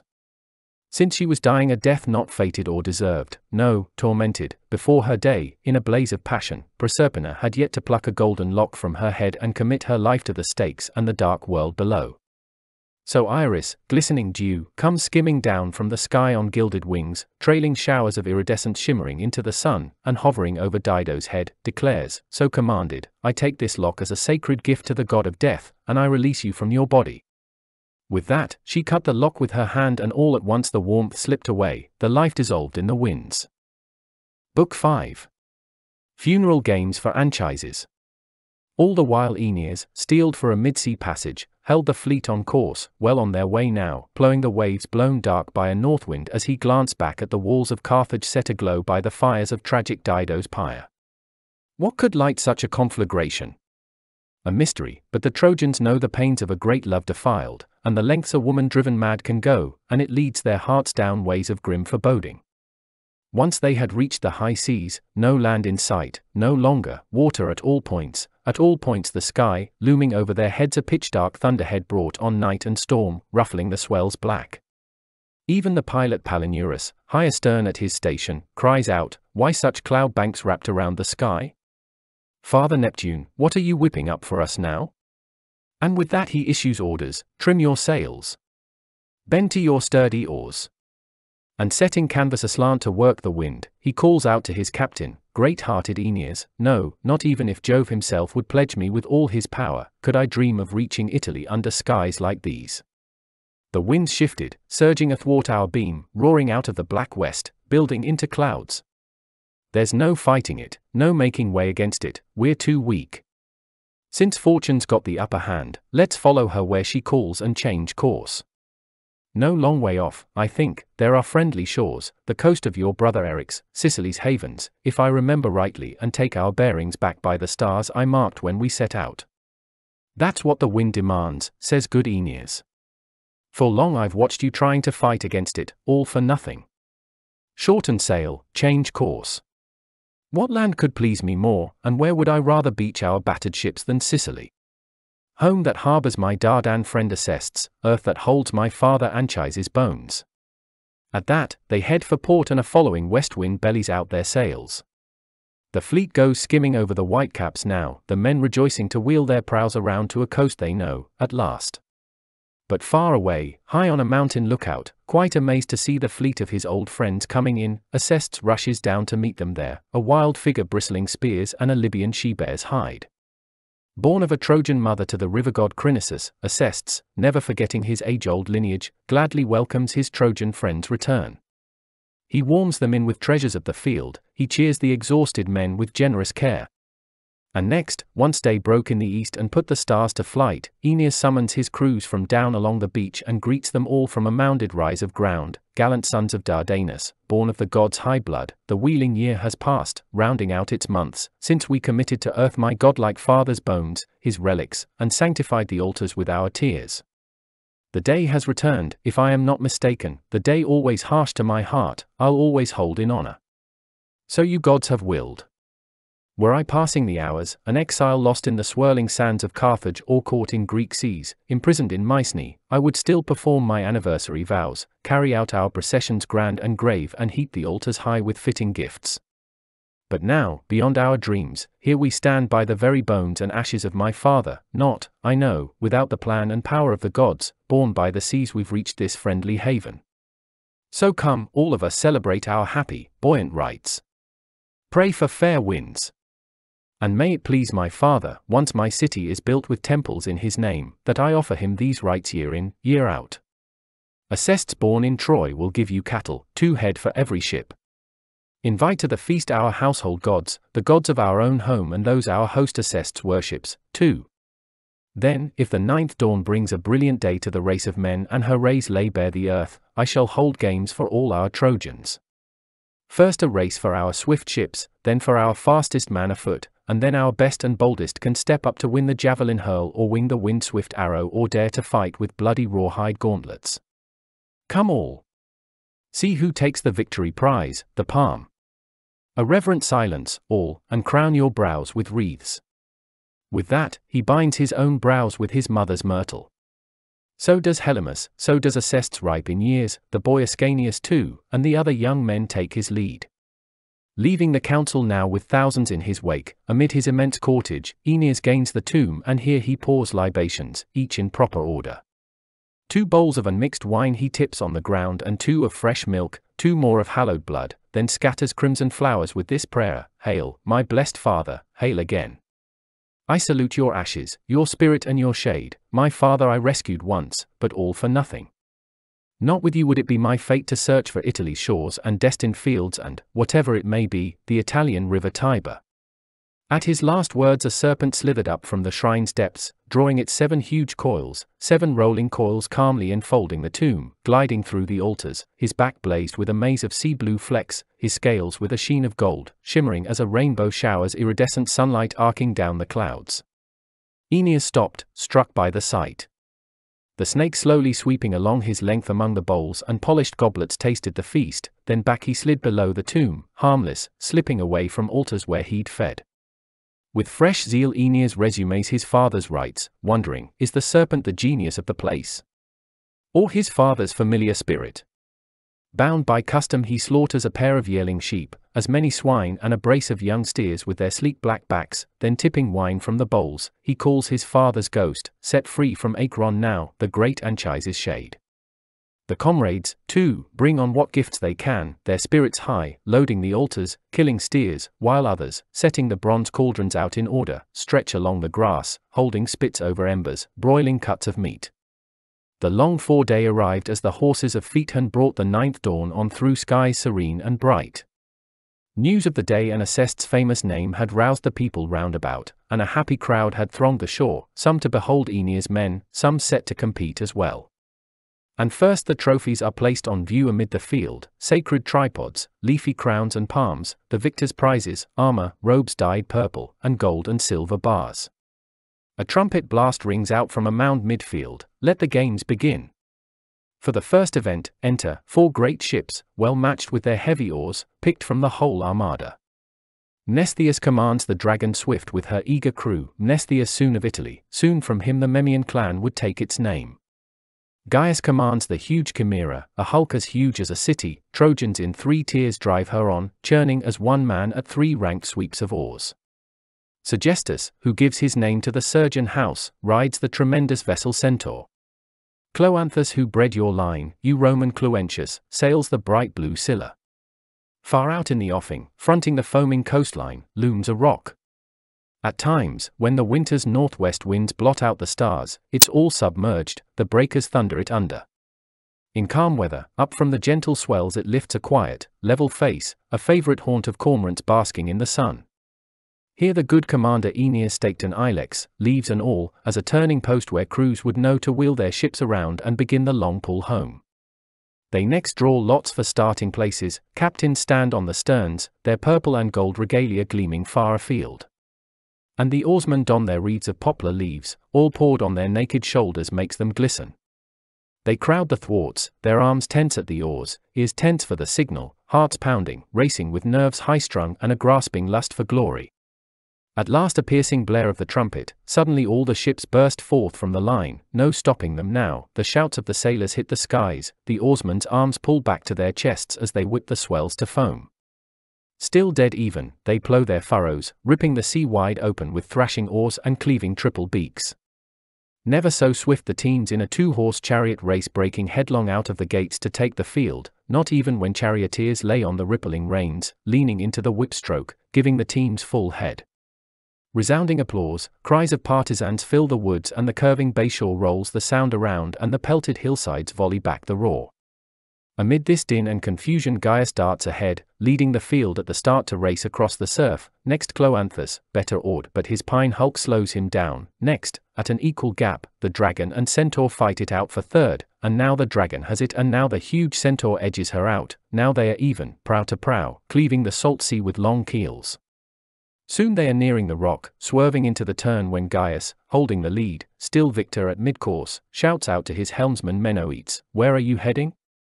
Why so hard to starboard? Hold course. Hug the coast. Your oars should barely shave that rock to port. Leave the deep sea to the rest. Clear commands, but Menoetes, fearing some hidden reefs, veers his prow to starboard, to open water, and Gyas shouts again, Where now? Still off course. Head for the rocks, Menoetes. And glancing back, watch, Cloanthus right in his wake, grazing past to port on an inside track between Gyas' ship and the booming reefs, races round into safe water, leaving the mark astern. Young Gyas blazed in indignation deep to his bones, tears streamed down his cheeks, he flings to the winds all care for self-respect and the safety of his crew and pitches the sluggish Menoetes off the stern, headlong into the sea and takes the helm himself. His own pilot now, he spurs his oarsman, turning the rudder hard to port and heads for home.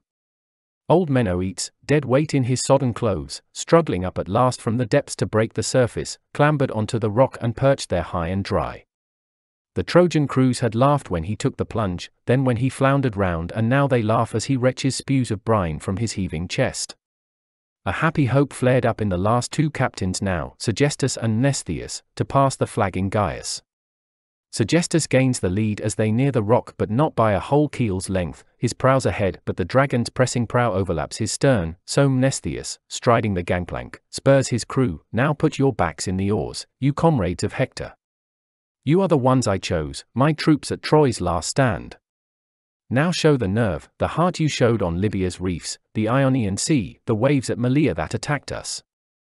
It's not for first place now Mnestheus strives, not for victory, oh, if only, no, let Neptune pick the winner he wants but we must not come last, what shame. Just win that victory, oh, my Trojans, spare us that disgrace.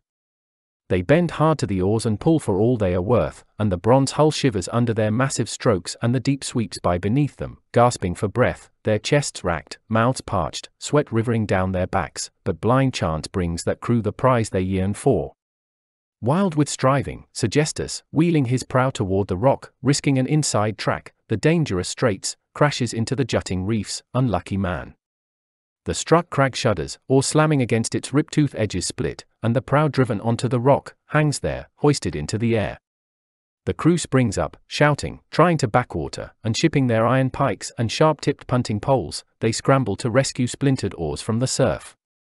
Mnestheus riding high, the higher for his success, oars at a racing stroke, wind at his beck and call, shoots into open water, homing down the coast. Swift as a dove, flushed in fear from a cave where it nests its darling chicks in crannies, a sudden burst of wings and out its home it flies, terrified, off into open fields and next it skims through the bright, quiet air and never beats a wing. So Mnestheus, so his dragon speeds ahead, cleaving the swells on the home stretch, so she flies along on her own forward drive. First he leaves a stern Sergestus struggling still at his beetling rock, splashing in shallows, crying for help, no use, as he studies how to race with shattered oars. Next Mnestheus goes for Gyas, the huge chimera stripped of her helmsman, giving up the lead. Now nearing the finish, that left one, Cloanthus, Mnestheus goes for him all out, urging his crews to give it all they've got. Roars of the crowd re-echo, cheering on his challenge, the air resounds with cries. One crew, stung by the shame of losing victory now with glory won, would trade their lives for fame. But Mnestheus and his crew, fired by their success, can just about win the day because they think they can. They were drawing abreast, perhaps they'd seize the prize if Cloanthus had not flung his arms to the sea and poured his prayers to the gods and begged them to hear his vows. You gods, you lords of the waves I'm racing over here, I'll gladly steady a pure white bull at your altars, there on shore, and pay my vows, scatter its innards over the salt swell and tip out streams of wine. So he prayed, and far in the depths they heard him, all the Nereids, Phorcus Chorus, Virgin Panopea and Father Portunus himself, with his own mighty hand, drove the racing Scylla swifter than southern winds or a winging arrow, speeding toward the shore to find her berth in the good deep water harbour. Then the son of Anchises summons all together, true to custom. A herald's ringing voice declares Cloanthus the victor and Aeneas crowns his brows with fresh green laurel. He presents the prizes to each ship's crew, some wine, three bulls of their choice and a heavy silver bar and for each ship's captain lays on gifts of honor. To the winner a cloak of braided gold that's fringed with twin ripples of Melibæan crimson running round it, and woven into its weft, Ganymede, prince of woody Ida spins his javelins, wearing out the racing stags, his breathless, hot on the hunt, so true to life as the eagle that bears Jove's lightning sweeps him up from Ida into the heavens, pinned in its talons while old guardsmen reach for the stars in vain and the watchdog's savage howling fills the air. Then to the man whose prowess won him second place he gives a coat of mail, glinting with burnished links and triple meshed in gold, a victor's trophy he himself had dragged from Demoleos, killed near Simois rapids under Troy's high wall. This armor he gives Mnestheus, a fighter's badge of honor to shield him well in war. Two aides de camp, Phegeus and Sagares, hefting it on their shoulders now, could hardly bear it off with all its heavy plies, yet Demoleos wore it once, fully armed as he ran down Trojan stragglers. Aeneas presents a pair of brazen cauldrons for third prize and two cups of hammered silver, ridged in sharp relief. Now, with the gifts presented, all were moving off, proud of their prizes, scarlet ribbons binding their brows when here comes Sergestus, bringing in his ship. He'd barely worked her free of the ruthless rock with craft and effort, one bank of her oars gone, one in splinters. A laughing stark, shorn of glory, she came crawling in. Like a snake caught, as they often are, on a causeway, crushed by a bronze will or heavy rock flung by a traveler, trampled, left half dead, trying to slip away, writhing in gnarled coils, no hope.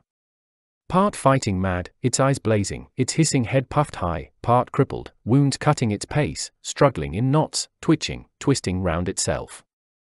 So the ship limped in, oars laboring, slowly, and still she spreads her sails and enters the harbour, canvas taut. Aeneas, glad that the ship is salvaged, crew restored, gives Sergestus the prize that he had promised, a slave girl, Pholo, born of Cretan stock and hardly inept at Minerva's works of hand, nursing twins at her breast. The ship race over, good Aeneas strides to the grassy level field ringed by hills with woodland sloping down to a vale that formed an enormous round arena. There he went, the hero leading many thousands, and took his own seat on a built up platform mid the growing crowd. And here, for those who chance to long for a breathless foot race now, Aeneas stirs their spirits, setting out the prizes. Trojans mixed with Sicilians come from all directions, with Nisus and Euryalus out in front. Euryalus radiant, famed for the bloom of youth, Nisus, for the pure love he devoted to the boy. Following them, Diores, sprung from the stock of Priam's royal house. Then Patron flanked by Salius, an Acarnanian, one, and one an Arcadian born of Tegean blood. Then two Sicilian youngsters, Helymus, Panopes, hunters used to the woods, and friends of old Acestes, and many others too, their names now lost in the dark depths of time.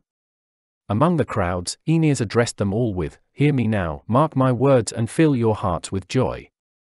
Not one of you leaves and lacks a gift from me.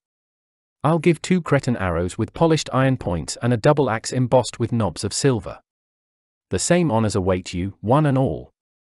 But prize trophies go to the three frontrunners, brows crowned with the wreaths of braided gold and olive. First, the winner shall have a horse with dazzling trappings. The second, an Amazon's quiver bristling Thracian arrows, slung from a sweeping sword belt starred with gold and clasped with a brilliant jewel. The third can leave content with this Greek helmet. Soon as said they take their mark, ready, set, a sudden signal, go, and they break from the start, pouring over the course like a storm cloud streaking on, all eyes fixed on the goal, with Nisus far in the lead, shooting out of the tight pack and faster than wind or the winged lightning. Second, second at quite a gap, comes Salius, next, and a good long way behind, Euryalus coming third, and after Euryalus, Helymus. Then Diores flying hot on his heels and closer, closing, watch, breathing over his shoulder and if there had been more track to cover he would have caught and passed him or run him a dead heat. Now down the stretch they come, the exhausted runners closing on the goal when all at once unlucky Nisus skids on a slick of blood they chance to spill, killing bullocks, soaking the turf and green grass surface. Here the racer, elated, victory won, pressing the pace he stumbles, pitching face first in the filthy dung and blood of victims. But he won't forget Euryalus, his great love, never, up from the slime he struggles, flings himself in Salius' path to send him spinning, reeling backward, splayed out on the beaten track as Euryalus flashes past, thanks to his friend he takes the lead, the victor flying along, sped by the roaring crowd, with Helymus next and Diores wins third prize. But at this, Salius bursts out with howls that ring through the huge arena, round from the front row elders to the crowd, a foul had robbed him clean of the prize he wanted back. True, but Euryalus has the people on his side, plus modest tears and his own gallant ways, favored all the more for his handsome build. And Diores backs him up with loud appeals, he finished third, but no third prize for him if the victor's prize returned to Salius' hands. Your prizes are yours, said Captain Aeneas firmly, they all stand fast, young comrades. No one alters our ranked list of winners now. Just let me offer a consolation prize to a luckless man, a friend without a fault. And with that, he handed Salius a giant African lion's hide, a great weight with its shaggy mane and gilded claws. If losers win such prizes, Nisus erupted now, and the ones who trip, such pity, what gift will you give to Nisus worth his salt? Why, I clearly had earned the crown for first prize if the same bad luck that leveled Salius had not knocked me down.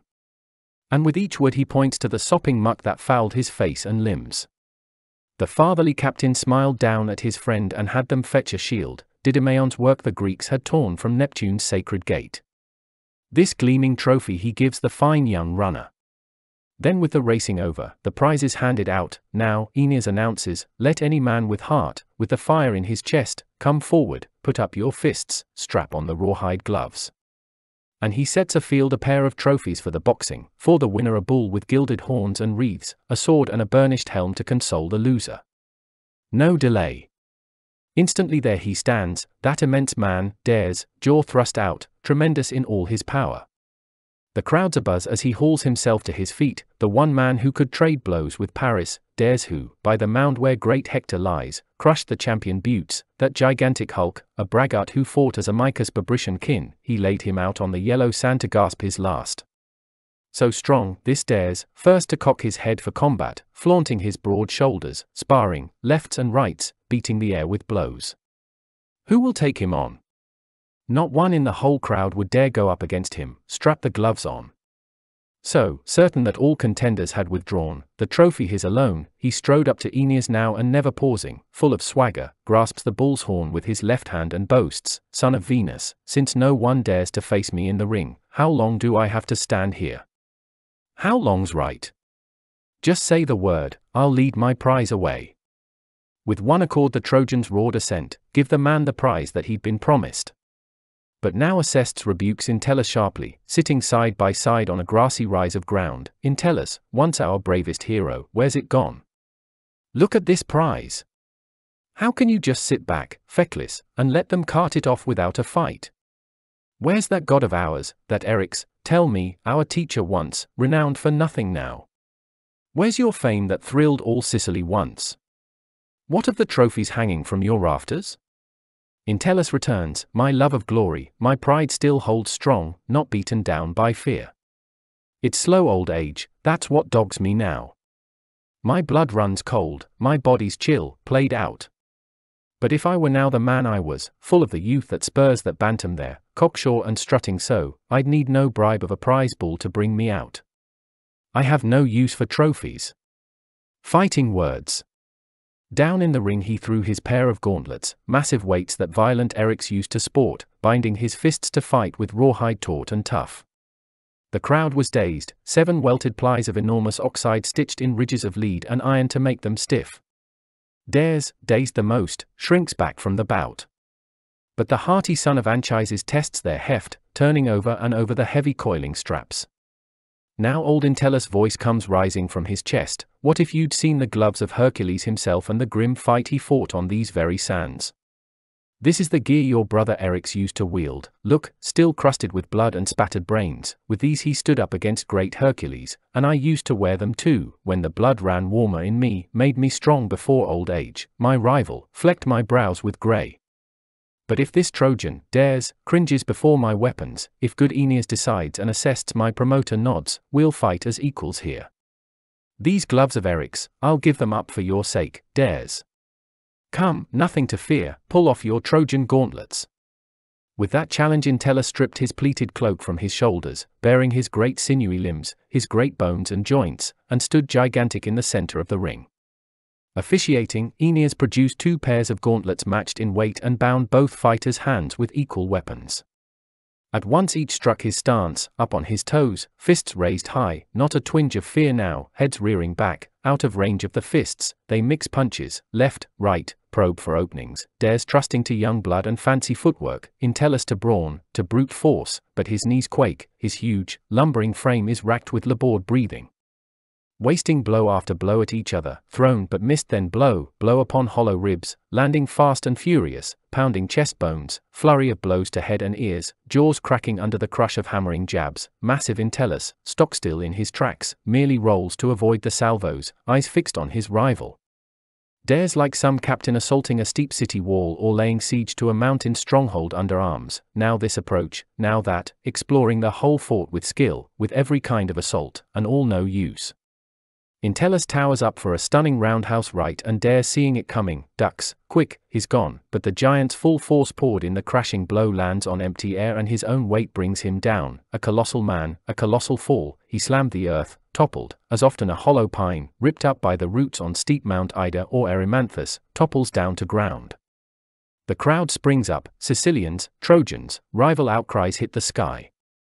Acestes, first to rush to his aged friend, pities Entellus, hoists him off the ground. The champion, never slowed by a fall, unshaken, goes back to fight and all the fiercer, anger fueling his power now, shame fires him up, and a sense of his own strength. So in a blaze of fury he pummels Dares headlong over the whole wide ring, lefts and rights, doubling blows, no lull, no let up, thick and fast as the hailstones pelting down from a storm cloud, rattling roofs, so dense the champion's blows, both fists pounding over and over, battering Dares reeling round, enough. Aeneas, the good captain, could not permit the fury, the blind rage of Entellus to rampage any longer.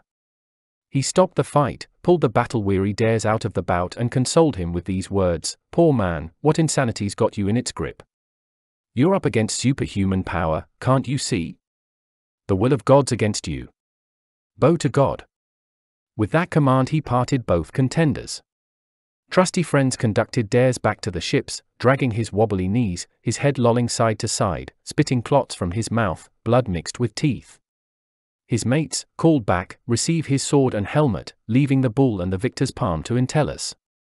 Overflowing with pride, glorying over his the old champion shouts, Son of the goddess, see, you Trojans too, what power I had when I was in my prime, and from what a death you rescue Dares now. With that, standing over against the bull's head steadied there, the battle's prize, he drew the iron gauntlet back and rearing up for the blow, swings it square between both horns, crushing the skull and dashing out the brains, and dying, quivering, down on the ground the great beast sprawls. And rising over it now the champion's voice comes pouring from his heart, Here, Eryx, I pay your spirit a better life than Dares. Here, in victory, I lay down my gloves, my skill. At once Aeneas invites all those who wish to contend with winging shafts and names the prizes. With powerful hands he steps the mast from Serestus' ship and tethers atop it, looped by a cord, a fluttering dove, a mark for steel-shod arrows. The archers gather now, cast lots in a bronze helmet, and first to leap out, to partisan shouts, is Hippocoon, son of Hyrtacus. Next, Mnestheus, flushed with victory in the ships, his brow still crowned with an olive wreath of green. Third, Eurytion, your brother, famous Pandarus, archer who once under orders broke that truce, the first to whip an arrow into the Argive ranks. The last lot, deep in the helm, was Acestes' own, who dared to try his hand at young men's work. Now as they flex their bows to a curve with all their force, all each man can muster, drawing shafts from quivers, young Hippocoon shot first, his bowstring twanged, his whizzing arrow ripped through the swift air and struck home, fixed deep in the timber mast. The mast shuddered, the dove fluttered in fright and the whole arena round rang out with cheers. And next, keen Mnestheus took his stand, bow drawn, aiming higher, his eye and shaft both trained on the mark, but he had no luck, he missed the bird itself, his shaft just slit a knot in the hempen cord that tied her foot as the dove dangled high from the soaring mast and off she flew to the south and the dark clouds. Quick as a wink Eurytion, bow long bent and arrow set for release, prayed to his archer brother, aimed at the dove that revelled in open sky, winging under a black cloud, and struck, and down she dropped, dead weight, leaving her life in the stars and bringing home the shaft that shot her through. Now Acestes alone remained, and his prize lost. Still he whipped an arrow high in the lofting air to display his seasoned art and make his bow ring out. Suddenly, right before their eyes, look, a potent marvel destined to shape the future. So the outcome proved when the awestruck prophet sang the signs to later ages. Flying up to the swirling clouds, the arrow shot into flames, blazing its way in fire, burning out into thin air, lost like the shooting stars that often break loose, trailing a manner of flames to sweep across the sky. Transfixed, the men of Troy and Sicily froze and prayed the gods on high. Nor did Prince Aeneas hold back from the omen he embraced Acestes in all his glory, heaping splendid gifts on the old king and urging, Take them, father. By this sign the great lord of Olympus has decreed that you should bear off honors far from all the rest. Here, you'll have a gift from old Anchises himself. A mixing bowl, richly engraved, the proud trophy that Thracian Cisseus one day gave my father. A memento of his host, a pledge of his affection. With that, he crowns his brows with laurel leaves and declares Acestes first, the winner over all. Good Eurytion never grudged him this distinction, though he alone shot down the dove from the high sky. Next in the prizes comes the one who slit the cord and last the man whose shaft had drilled the mast. Even before the contest ended, Great Aeneas calls Epytides over, friend and bodyguard of the young Iülus, and whispers in his trusted ear, Go, and if Ascanius has his troop of boys prepared, their horses mustered to ride through their maneuvers, have him parade his squadrons now, to honor Anchises here and display himself in arms. Aeneas commands the flooding crowds to clear the whole broad arena, leave the field wide open. Then in ride the boys, trim in their ranks before their parents' eyes, mounted on bridled steeds and glittering in the light, and as they pass, the men of Troy and Sicily murmur a hum of admiration. All the riders, following custom, wear their hair bound tight with close cut wreaths, each bearing a pair of lances, cornel, tipped with steel. Some sling burnished quivers over their shoulders, high on their necks the torques of flexible, braided gold encircle each boy's neck. Three squadrons with three captains weave their ways, each leading a column of twelve, six boys in double file, a trainer beside each troop, all shining in the sun. The first young squadron parades along in triumph led by little Priam, who bore his forebear's name, your noble son, Polites, destined to sire Italians, riding a Thracian stallion dappled white, his pasterns white and prancing, high brow flashing a blaze of white. Next comes Atys, soon the source of the Latinations, little Atys, a boy the boy Prince Iülus loved. Last, handsomest captain of them all, comes Iülus riding a mount from Sidon, radiant Dido's gift, a memento of the queen, a pledge of her affection. The rest of the youngsters ride Sicilian horses, old Acestes gifts, the riders awed by applause the Dardans give their fine dressage, delighted to see in their looks their own lost parents' faces. Now, once they'd paraded past the assembled crowd, triumphant on horseback, bright in the eyes of kinsmen, all riders took their places and Epytides from afar called out, Get set, a crack of his whip, and watch, the long column, split into three equal squads, splits into rows of six, in bands dancing away, then recalled at the next command they wheeled and charged each other, lances tense for attack, wheeling charge into countercharge, return and turn through the whole arena, enemy circling swerving back in their armor, acting out a mock display of war, now bearing their backs in flight, now turning spears for attack, now making peace and riding file by file. So complex the labyrinth once in hilly Crete, they say, where the passage wove between blind walls and wavered on in numberless cunning paths that broke down every clue, with nothing to trace and no way back, a baffling maze. Complex as the course the sons of Troy now follow, weaving their way through mock escapes and clashes all in sport as swiftly as frisky dolphins skim the rolling surf, cleaving the Libyan or Carpathian seas in play. This tradition of drill and these mock battles, Ascanius was the first to revive the ride when he girded Alba Longa round with ramparts, teaching the early Latins to keep these rites, just as he and his fellow Trojan boys had done, and the Albans taught their sons, and in her turn great Rome received the rites and preserved our father's fame. The boys are now called Troy, their troop the Trojan Corps. Here came to an end the games in honor of Aeneas' hallowed father. But here for the first time fortune veered in its course and turned against the Trojans. While they consecrated the tomb with various games, Saturnian Juno hurries Iris down from the sky to the Trojan fleet, breathing gusts at her back to wing her on her way. Juno brooding, scheming, her old inveterate rants are never sated. Iris flies, arcing down on her rainbow showering iridescence, and no one sees the Virgin glide along the shore, past the huge assembly, catching sight of the harbour all deserted now, and the fleet they left unguarded. But there, far off on a lonely stretch of beach, the Trojan women wept for the lost Anchises. Gazing out on the deep dark swells, they wept and wailed, How many reefs, how many sea miles more that we must cross? Heart weary as we are.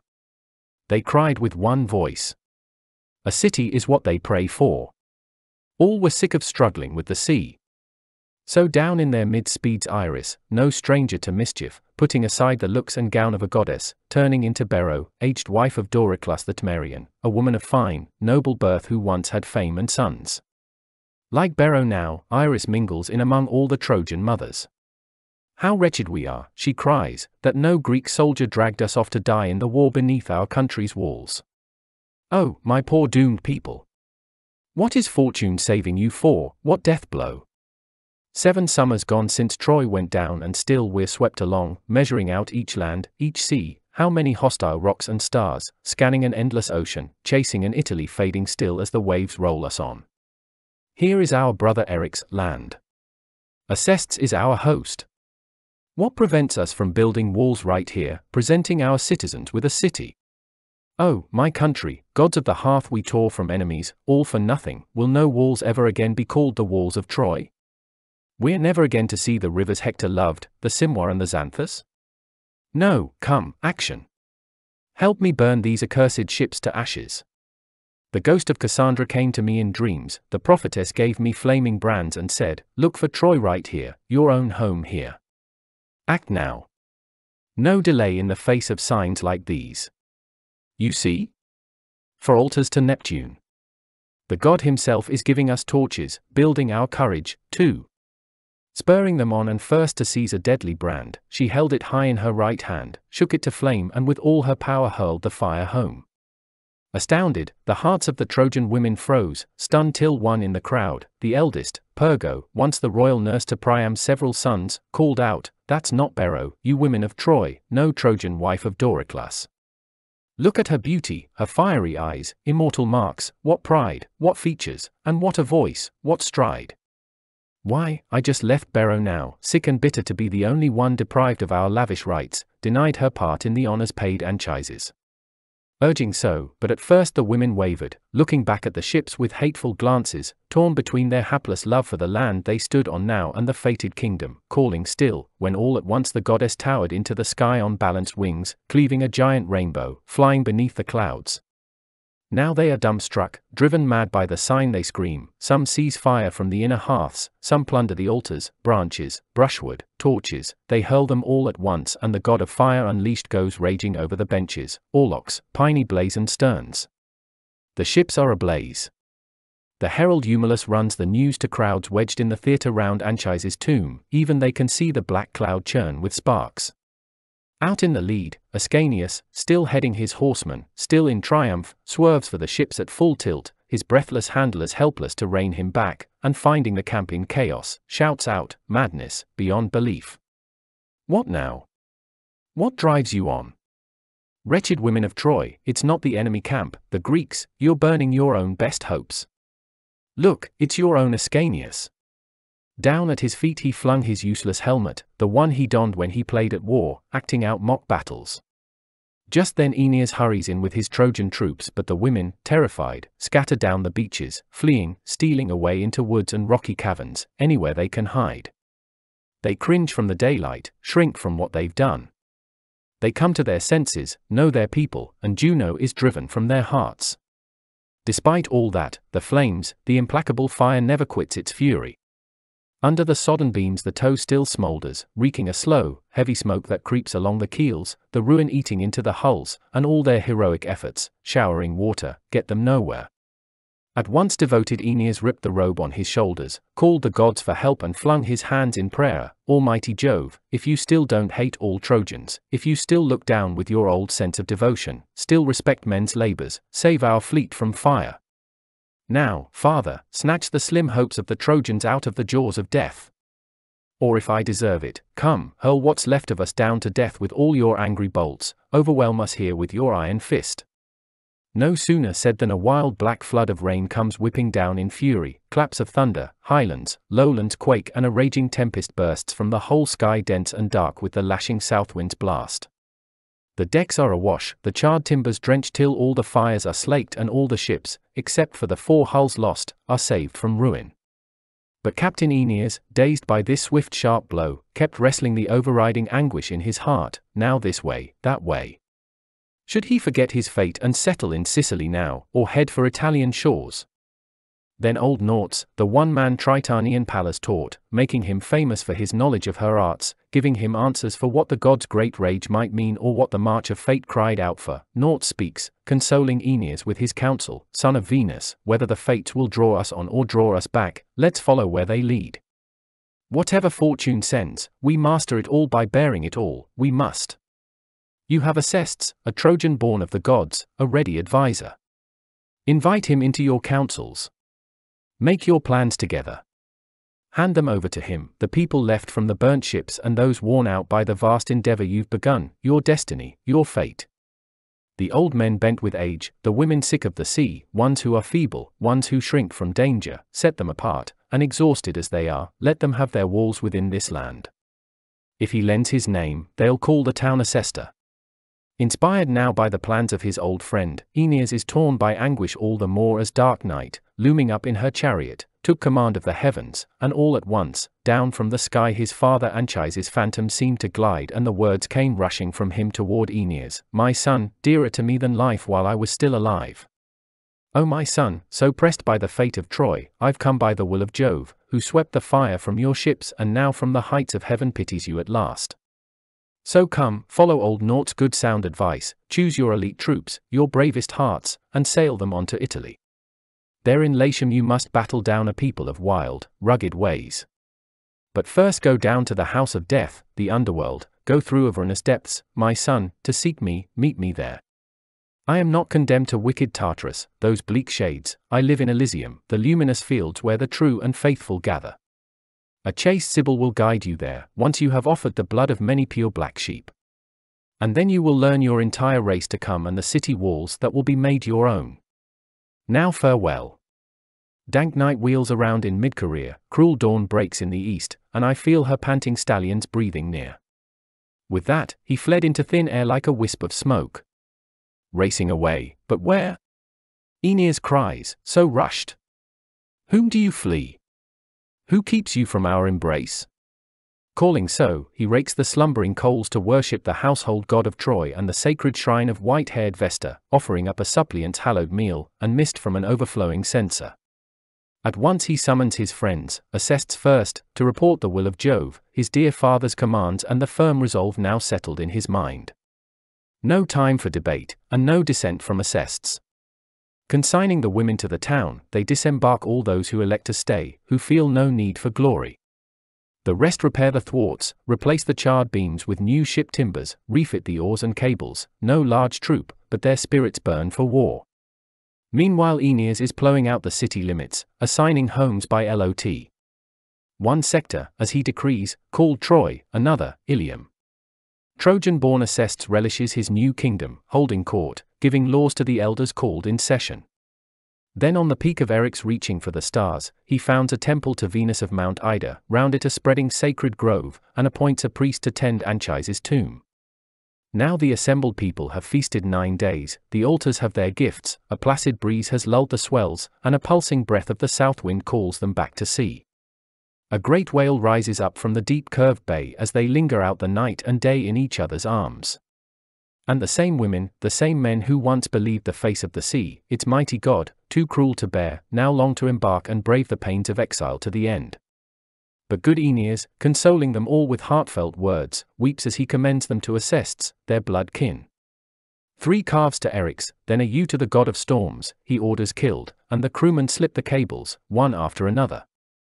Apart at the prow, Aeneas takes his stand, crowned with a trim olive wreath, and raises a wine bowl high and scatters innards over the salt swell and tips out streams of wine. Shipmates race each other, thrashing the waves, and a rising stern wind surges, drives the vessels on. But now Venus, her anguish mounting, goes to Neptune, pouring out her heart in a flood of lamentation. Juno, her lethal rage, her insatiable spirit, Neptune, makes me stoop to every kind of prayer. No lapse of time, no reverence, nothing tames her, no decree of Jove or the fates can break her will, she never rests. Not even devouring a city, the heart of the Phrygian race, in all her hatred, dragging the remnant down through pains of every sort, it's not enough for her. Now she stalks the bones, the ashes of murdered Troy. Such furies beyond me, no doubt she has her reasons. Neptune, you yourself, you're my witness to what great instant chaos she unleashed, just now, in Libya's heaving seas, mixing the sea and wind and backed by airless blasts, all for nothing, but all dared in your own realm. What outrage!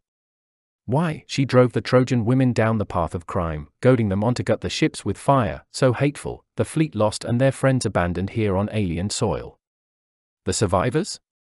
I beg you, give them all safe passage across your waters, let them reach the Tiber, if only my prayers are granted, if fate will grant the Trojan city walls. Saturn's son, the king of the deep, complied, by all rights, Cytherea, you should trust my realm, it gave you birth. I've earned your trust, what's more? Time and again I tamed the wild rage of sky and sea, the same on land, Xanthus and Simois be my witness, I cared for your Aeneas. Once when Achilles harried the breathless Trojans, pounding their ranks against their walls, slaughtering thousands, rivers crammed with corpses groaned and the Xanthus could find no channel rolling down to sea, and then as Aeneas went up against the mighty Achilles, hardly a match for the man's gods, the man's power, then I saved him, wrapped him into a fold of clouds, though I longed to crush their ramparts roots and all, the walls I built with my own hands, those lying Trojans. And now as then, my concern for him stands firm. So cast your fear to the winds. Just as you wish, he will arrive at Avernus haven safe and sound. Only one will be lost, one you'll seek at sea. One life, for the lives of many men. Welcome words, and soon as Father Neptune had soothed the goddess' heart, he harnesses up his team with their yoke of gold, slips the frothing bits in their chafing jaws, slacks the reins, and the team goes running free, the sea blue chariot skimming lightly over the crests, and the waves fall calm, and under the axles thunder the sea swell levels off, and the storm clouds flee from the wild skies. And now his retinue rises in all their forms, enormous beasts of the deep, the veteran troop of Glaucus, Ino's son Palaemon, wind-swift Tritons, Phorcus army in full force with Thetis, Melite, virgin Panopea out on the left, Fair Isle, Sea Cave, Spray, and the waves embrace. No more wavering now, now buoyant spirit seize Aeneas' heart. The good commander orders all masts stepped at once and the yardarms hung with sail.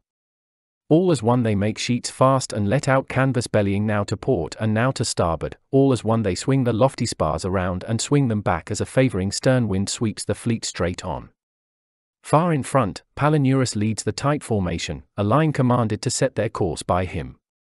By now dank night had nearly reached her turning point in the sky, and stretched on the hard thwarts beneath their oars the crews gave way to a deep, quiet rest, when down from the stars the god of sleep came gliding gently, cleaving the dark mists and scattering shadows, hunting you, Palinurus, bringing you fatal sleep in all your innocence. Like Phoebus to the life, the god sat high astern, pouring his persuasions into your ears, son of Iasus, Palinurus, the sea, all on its own, is sweeping the squadrons on, the wind is blowing steady. Time to sleep. Come, put your head down, steal some rest for your eyes worn out from labor. For a moment I'll take on your work myself. Barely raising his eyes, Palinurus answers, You tell me to forget my sense of the sea, the placid face of the swells, the sleeping breakers? You tell me to put my trust in that, that monster? How could I leave Aeneas prey to the lying winds? I, betrayed so often by calm, deceptive skies. So the pilot countered, iron grip on the tiller, never loosing his grasp, his eyes fixed on the stars. But watch, the god with a bow drenched in Lethe's dew and drowsy with all the river Styx's numbing power shakes it over the pilot's temples left and right and fight as he does, his swimming eyes fall shut. Just as an instant sleep stole in and left him limp, the god, rearing over him, hurled him into the churning surf and down he went, head first, wrenching a piece of rudder off and the tiller too, and crying out to his shipmates time and again, no use, as the god himself goes winging off into thin air. And the squadrons forge ahead undaunted, swift as ever, sailing safely along as Father Neptune promised, true, but carried closer into the Sirens' rocks, hard straits once, white with the bones of many men, now roaring out with the sounding boom of surf on reef when Captain Aeneas felt his ship adrift, her pilot lost, and took command himself, at sea in the black night, moaning deeply, stunned by his comrade's fate, you trusted, oh, Palinurus, far too much to a calm sky and sea. Your naked corpse will lie on an unknown shore. Book 6 The Kingdom of the Dead. So as he speaks in tears, Aeneas gives the ships free rein, and at last they glide onto Euboean Cumae's beaches. Swinging their prows around to face the sea, they moor the fleet with the anchor's biting grip and the curved sterns edge the bay. Bands of sailors, primed for action, leap out onto land, Hesperian land. Some strike seeds of fire buried in veins of flint, some strip the dense thickets, lairs of wild beasts, and lighting on streams, are quick to point them out. But devout Aeneas makes his way to the stronghold that Apollo rules, throned on high, and set apart is a vast cave, the awesome Sibyl's secret haunt where the seer of Delos breathes his mighty will, his soul inspiring her to lay the future bare. And now they approach Diana's sacred grove and walk beneath the golden roofs of God. Daedalus, so the story's told, fleeing the realm of Minos, daring to trust himself to the sky on beating wings, floated up to the icy north, the first man to fly, and hovered lightly on Cumae's heights at last. Here, on first returning to earth, he hallowed to you, Apollo, the oars of his rowing wings, and here he built your grand, imposing temple. High on a gate he carved Androgeos' death and then the people of Athens, doomed, so cruel, to pay with the lives of seven sons. Year in, year out, the urn stands ready, the fateful lots are drawn. Balancing these on a facing gate, the land of Crete comes rising from the sea. Here the cursed lust for the bull and Pasiphae spread beneath him, duping both her mates, and here the mixed breed, part man, part beast, the Minotaur, a warning against such monstrous passion. Here its lair, that house of labor, the endless blinding maze, but Daedalus, pitying royal Ariadne's love so deep, unraveled his own baffling labyrinth's winding paths, guiding Theseus' groping steps with a trail of thread. And you too, Icarus, what part you might have played in a work that great, had Daedalus grief allowed it. Twice he tried to engrave your fall in gold, and twice his hands, a father's hands, fell useless. Yes, and they would have kept on scanning scene by scene if Achates, sent ahead, had not returned, bringing Deiphobe, Glaucus' daughter, priestess of Phoebus and Diana too, and the Sibyl tells the king, this is no time for gazing at the sights. Better to slaughter seven bulls from a herd unbroken by the yoke, as the old rite requires, and as many head of teething yearling sheep. Directing Aeneas so, and his men are quick with the sacrifice she demands, the Sibyl calls them into her lofty shrine. Now carved out of the rocky flanks of Cumae lies an enormous cavern pierced by a hundred tunnels, a hundred mouths with as many voices rushing out, the Sibyl's rapt replies. They had just gained the sacred sill when the Virgin cries aloud, Now is the time to ask your fate to speak. The god, look, the god. So she cries before the entrance, suddenly all her features, all her color changes, her braided hair flies loose and her breast heaves, her heart bursts with frenzy, she seems to rise in height, the ring of her voice no longer human, the breath, the power of God comes closer, closer. Why so slow, Trojan Aeneas, she shouts, so slow to pray, to swear your vows? Not until you do will the great jaws of our spellbound house gape wide. And with that command the prophetess fell silent. An icy shiver runs through the Trojan's sturdy spines, and the king's prayers come pouring from his heart. Apollo, you always pitted the Trojans' heavy labors. You guided the arrow of Paris, pierced Achilles' body. You led me through many seas, bordering endless coasts, far off Massylian tribes, and fields washed by the Syrtes, and now, at long last, Italy's shores, forever fading, lie within our grasp. Let the doom of Troy pursue us just this far, no more. You too, you gods and goddesses, all who could never suffer Troy and Troy's high glory, spare the people of Pergamum now, it's only right. And you, you blessed Sibyl who knows the future, grant my prayer. I ask no more than the realm my fate decrees, let the Trojans rest in Latium, they and their roaming gods, their rootless powers. Then I will build you a solid marble temple, Apollo and Diana, establish hallowed days, Apollo, in your name. And Cybele, for you too, a magnificent sacred shrine awaits you in our kingdom. There I will house your oracles, mystic revelations made to our race, and ordain your chosen priests, my gracious lady. Just don't commit your words to the rustling, scattering leaves, sport of the winds that whirl them all away. Sing them yourself, I beg you. There Aeneas stopped. But the Sibyl, still not broken in by Apollo, storms with a wild fury through her cave. And the more she tries to pitch the great god off her breast, the more his bridle exhausts her raving lips, overwhelming her untamed heart, bending her to his will. Now the hundred immense mouths of the house swing open, all on their own, and bear the Sibyl's answers through the air, you who have braved the terrors of the sea, though worse remain on land, you Trojans will reach Lavinium's realm, lift that care from your hearts, but you will rue your arrival. Wars, horrendous wars, and the Tiber foaming with tides of blood, I see it all. Simois, Xanthus, a Greek camp, you'll never lack them here. Already a new Achilles springs to life in Latium, son of a goddess too. Nor will Juno ever fail to harry the Trojan race, and all the while, pleading, pressed by need, what tribes, what towns of Italy won't you beg for help? And the cause of this, this new Trojan grief? Again a stranger bride, a marriage with a stranger once again but never bow to suffering, go and face it, all the bolder, wherever fortune clears the way. Your path to safety will open first from where you least expect it, a city built by Greeks. Those words re echoing from her shrine, the Cumaean Sibyl chants her riddling visions filled with dread, her cave resounds as she shrouds the truth in darkness, Phoebus whips her on in all her frenzy, twisting his spurs below her breast. As soon as her fury dies and raving lips fall still, the hero Aeneas launches in, no trials, my lady, can loom before me in any new, surprising form. No, deep in my spirit I have known them all, I've faced them all before. But grant one prayer. Since here, they say, are the gates of Death's King and the dark marsh where the Acheron comes flooding up, please, allow me to go and see my beloved father, meet him face to face. Teach me the way, throw wide the sacred doors. Through fires, a thousand menacing spears I swept him off on these shoulders, saved him from our enemies' onslaught. He shared all roads and he braved all seas with me, all threats of the waves and skies, frail as he was but graced with a strength beyond his years, his LOT. He was the one, in fact, who ordered, pressed me on to reach your doors and seek you, beg you now. Pity the son and father, I pray you, kindly lady. All power is yours. Hecate held back nothing, put you in charge of Avernus groves.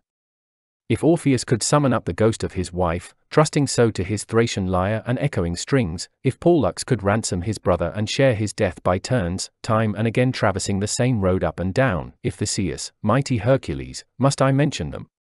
I too can trace my birth from Jove on high. So he prayed, grasping the altar while the Sibyl gave her answer, born of the blood of gods, Anchises' son, man of Troy, the descent to the underworld is easy. Night and day the gates of shadowy death stand open wide, but to retrace your steps, to climb back to the upper air, there the struggle, there the labor lies. Only a few, loved by impartial Jove or borne aloft to the sky by their own fiery virtue, some sons of the gods have made their way. The entire heartland here is thick with woods, Cocytus glides around it, coiling dense and dark. But if such a wild desire seizes on you, twice to sail the Stygian marsh, to see black Tartarus twice, if you're so eager to give yourself to this, this mad ordeal, then hear what you must accomplish first. Hidden deep in a shady tree there grows a golden bough, its leaves and its hardy, sinewy stem all gold, held sacred to Juno of the dead, Proserpina. The whole grove covers it over, dusky valleys enfold it too, closing in around it. No one may pass below the secret places of earth before he plucks the fruit, the golden foliage of that tree. As her beauty's due, Proserpina decreed this bough shall be offered up to her as her own hallowed gift. When the first spray's torn away, another takes its place, gold too, the metal breaks into leaf again, all gold. Lift up your eyes and search, and once you find it, duly pluck it off with your hand. Freely, easily, all by itself it comes away, if fate calls you on. If not, no strength within you can overpower it, no iron blade, however hard, can tear it off. One thing more I must tell you. A friend lies dead, oh, you could not know, his body pollutes your entire fleet with death while you search on for oracles, linger at our doors. Bear him first to his place of rest, bury him in his tomb. Lead black cattle there, first offerings of atonement. Only then can you set eyes on the Stygian groves and the realms no living man has ever trod. Abruptly she fell silent, lips sealed tight. His eyes fixed on the ground, his face in tears, Aeneas moves on, leaving the cavern, turning over within his mind these strange, dark events. His trusty comrade Achates keeps his pace and the same cares weigh down his plodding steps. They traded many questions, wondering, back and forth, what dead friend did the Sibyl mean, whose body must be buried. Suddenly, Misenus, out on the dry beach they see him, reach him now, cut off by a death all undeserved.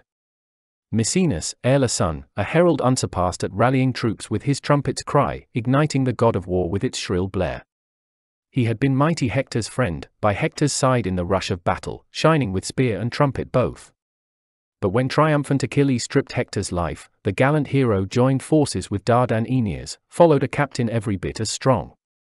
But then, chancing to make the ocean ring with his hollow shell, the madman challenged the gods to match him blast for blast, and jealous Triton, if we can believe the story, snatched him up and drowned the man in the surf that seethed between the rocks. So all his shipmates gathered round his body and raised a loud lament, devoted Aeneas in the lead. Then, still in tears, they rushed to perform the Sibyl's orders, no delay, they strive to pile up trees, to build an altar pyre rising to the skies. Then into an ancient wood and the hidden dens of beasts they make their way, and down crash the pines, the ilex rings to the axe, the trunks of ash and oak are split by the driving wedge, and they roll huge rounds down the hilly slopes. Aeneas spurs his men in the forefront of their labors, geared with the same woodsman's tools around his waist. But the same anxiety keeps on churning in his heart as he scans the endless woods and prays by chance, if only that golden bough would gleam before us now on a tree in this dark grove. Since all the Sibyl foretold of you was true, Misenus, all too true. No sooner said than before his eyes, twin doves chanced to come flying down the sky and lit on the green grass at his feet. His mother's birds, the great captain knew them and raised a prayer of joy Be my guides. If there's a path, fly through the air, set me a course to the grove where that rich branch shades the good green earth. And you, goddess, mother, don't fail me in this, my hour of doubt. With that, he stopped in his tracks, watching keenly what sign would they offer? Where would they lead? And on they flew, pausing to feed, then flying on as far as a follower's eye could track their flight, and once they reached the foul smelling gorge of Avernus, up they veered, quickly, then slipped down through the clear air to settle atop the longed for goal, the twofold tree, its green a foil for the breath of gold that glows along its branch, as mistletoe in the dead of winter's icy forests leaves with life on a tree that never gave it birth, embracing the smooth trunk with its pale yellow bloom, so glowed the golden foliage against the ilex evergreen, so rustled the sheer gold leaf in the light breeze. Aeneas grips it at once, the bough holds back, he tears it off in his zeal and bears it into the Vatic Sibyl's shrine. All the while the Trojans along the shore keep weeping for Misenus, paying his thankless ashes final rites. And first they build an immense pyre of resinous pitch pine and oaken logs, weaving into its flanks dark leaves and setting before it rows a funereal cypress, crowning it all with the herald's gleaming arms. Some heat water in cauldrons fired to boiling, bathe and anoint the body chill with death. The dirge rises up. Then, their weeping over, they lay his corpse on a litter, swathe him round in purple robes that form the well known shroud. Some hoisted up the enormous bier, sad service, their eyes averted, after their fathers' ways of old, and thrust the torch below. The piled offerings blazed, frankincense, hallowed foods, and brimming bowls of oil. And after the coals sank in and the fires died down, they washed his embers, thirsty remains, with wine. Corynaeus sealed the bones he culled in a bronze urn, then circling his comrades three times with pure water, sprinkling like drops from a blooming olive spray, he cleansed the men and voiced the last farewell. But devout Aeneas mounds the tomb, an immense barrow crowned with a man's own gear, his oar and trumpet, under a steep headland, called after the herald now and for all time to come it bears Misenus' name. The rite performed, Aeneas hurries to carry out the Sibyl's orders. There was a vast cave deep in the gaping, jagged rock, shielded well by a dusky lake and shadowed grove. Over it no bird on earth could make its way unscathed, such poisonous vapors steamed up from its dark throat to cloud the arching sky. Here, as her first step, the priestess steadies four black backed calves, she tips wine on their brows, then plucks some tufts from the crown between their horns and casts them over the altar fire, first offerings, crying out to Hecate, mighty queen of heaven and hell.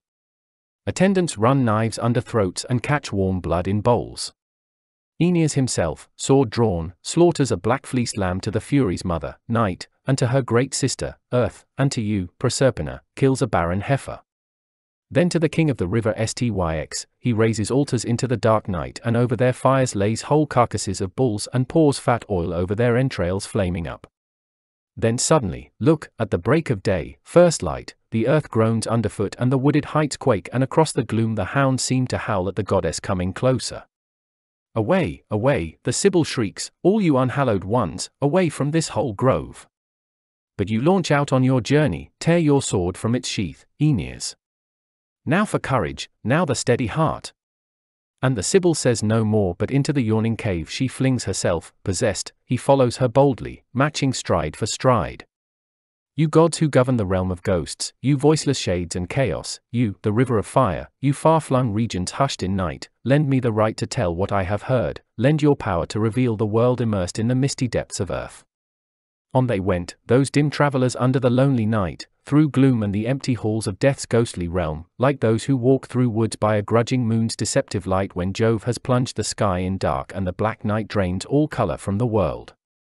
There in the entryway, the gorge of hell itself, grief and the pangs of conscience make their beds, and fatal pale disease lives there, and bleak old age, dread and hunger, seductress to crime, and grinding poverty, all, terrible shapes to see, and death and deadly struggle and sleep, twin brother of death, and twisted, wicked joys and facing them at the threshold, war, rife with death, and the furies' iron chambers, and mad, raging strife whose blood-stained headbands knot her snaky locks, there in the midst, a giant shadowy elm tree spreads her ancient branching arms, home, they say, to swarms of false dreams, one clinging tight under each leaf.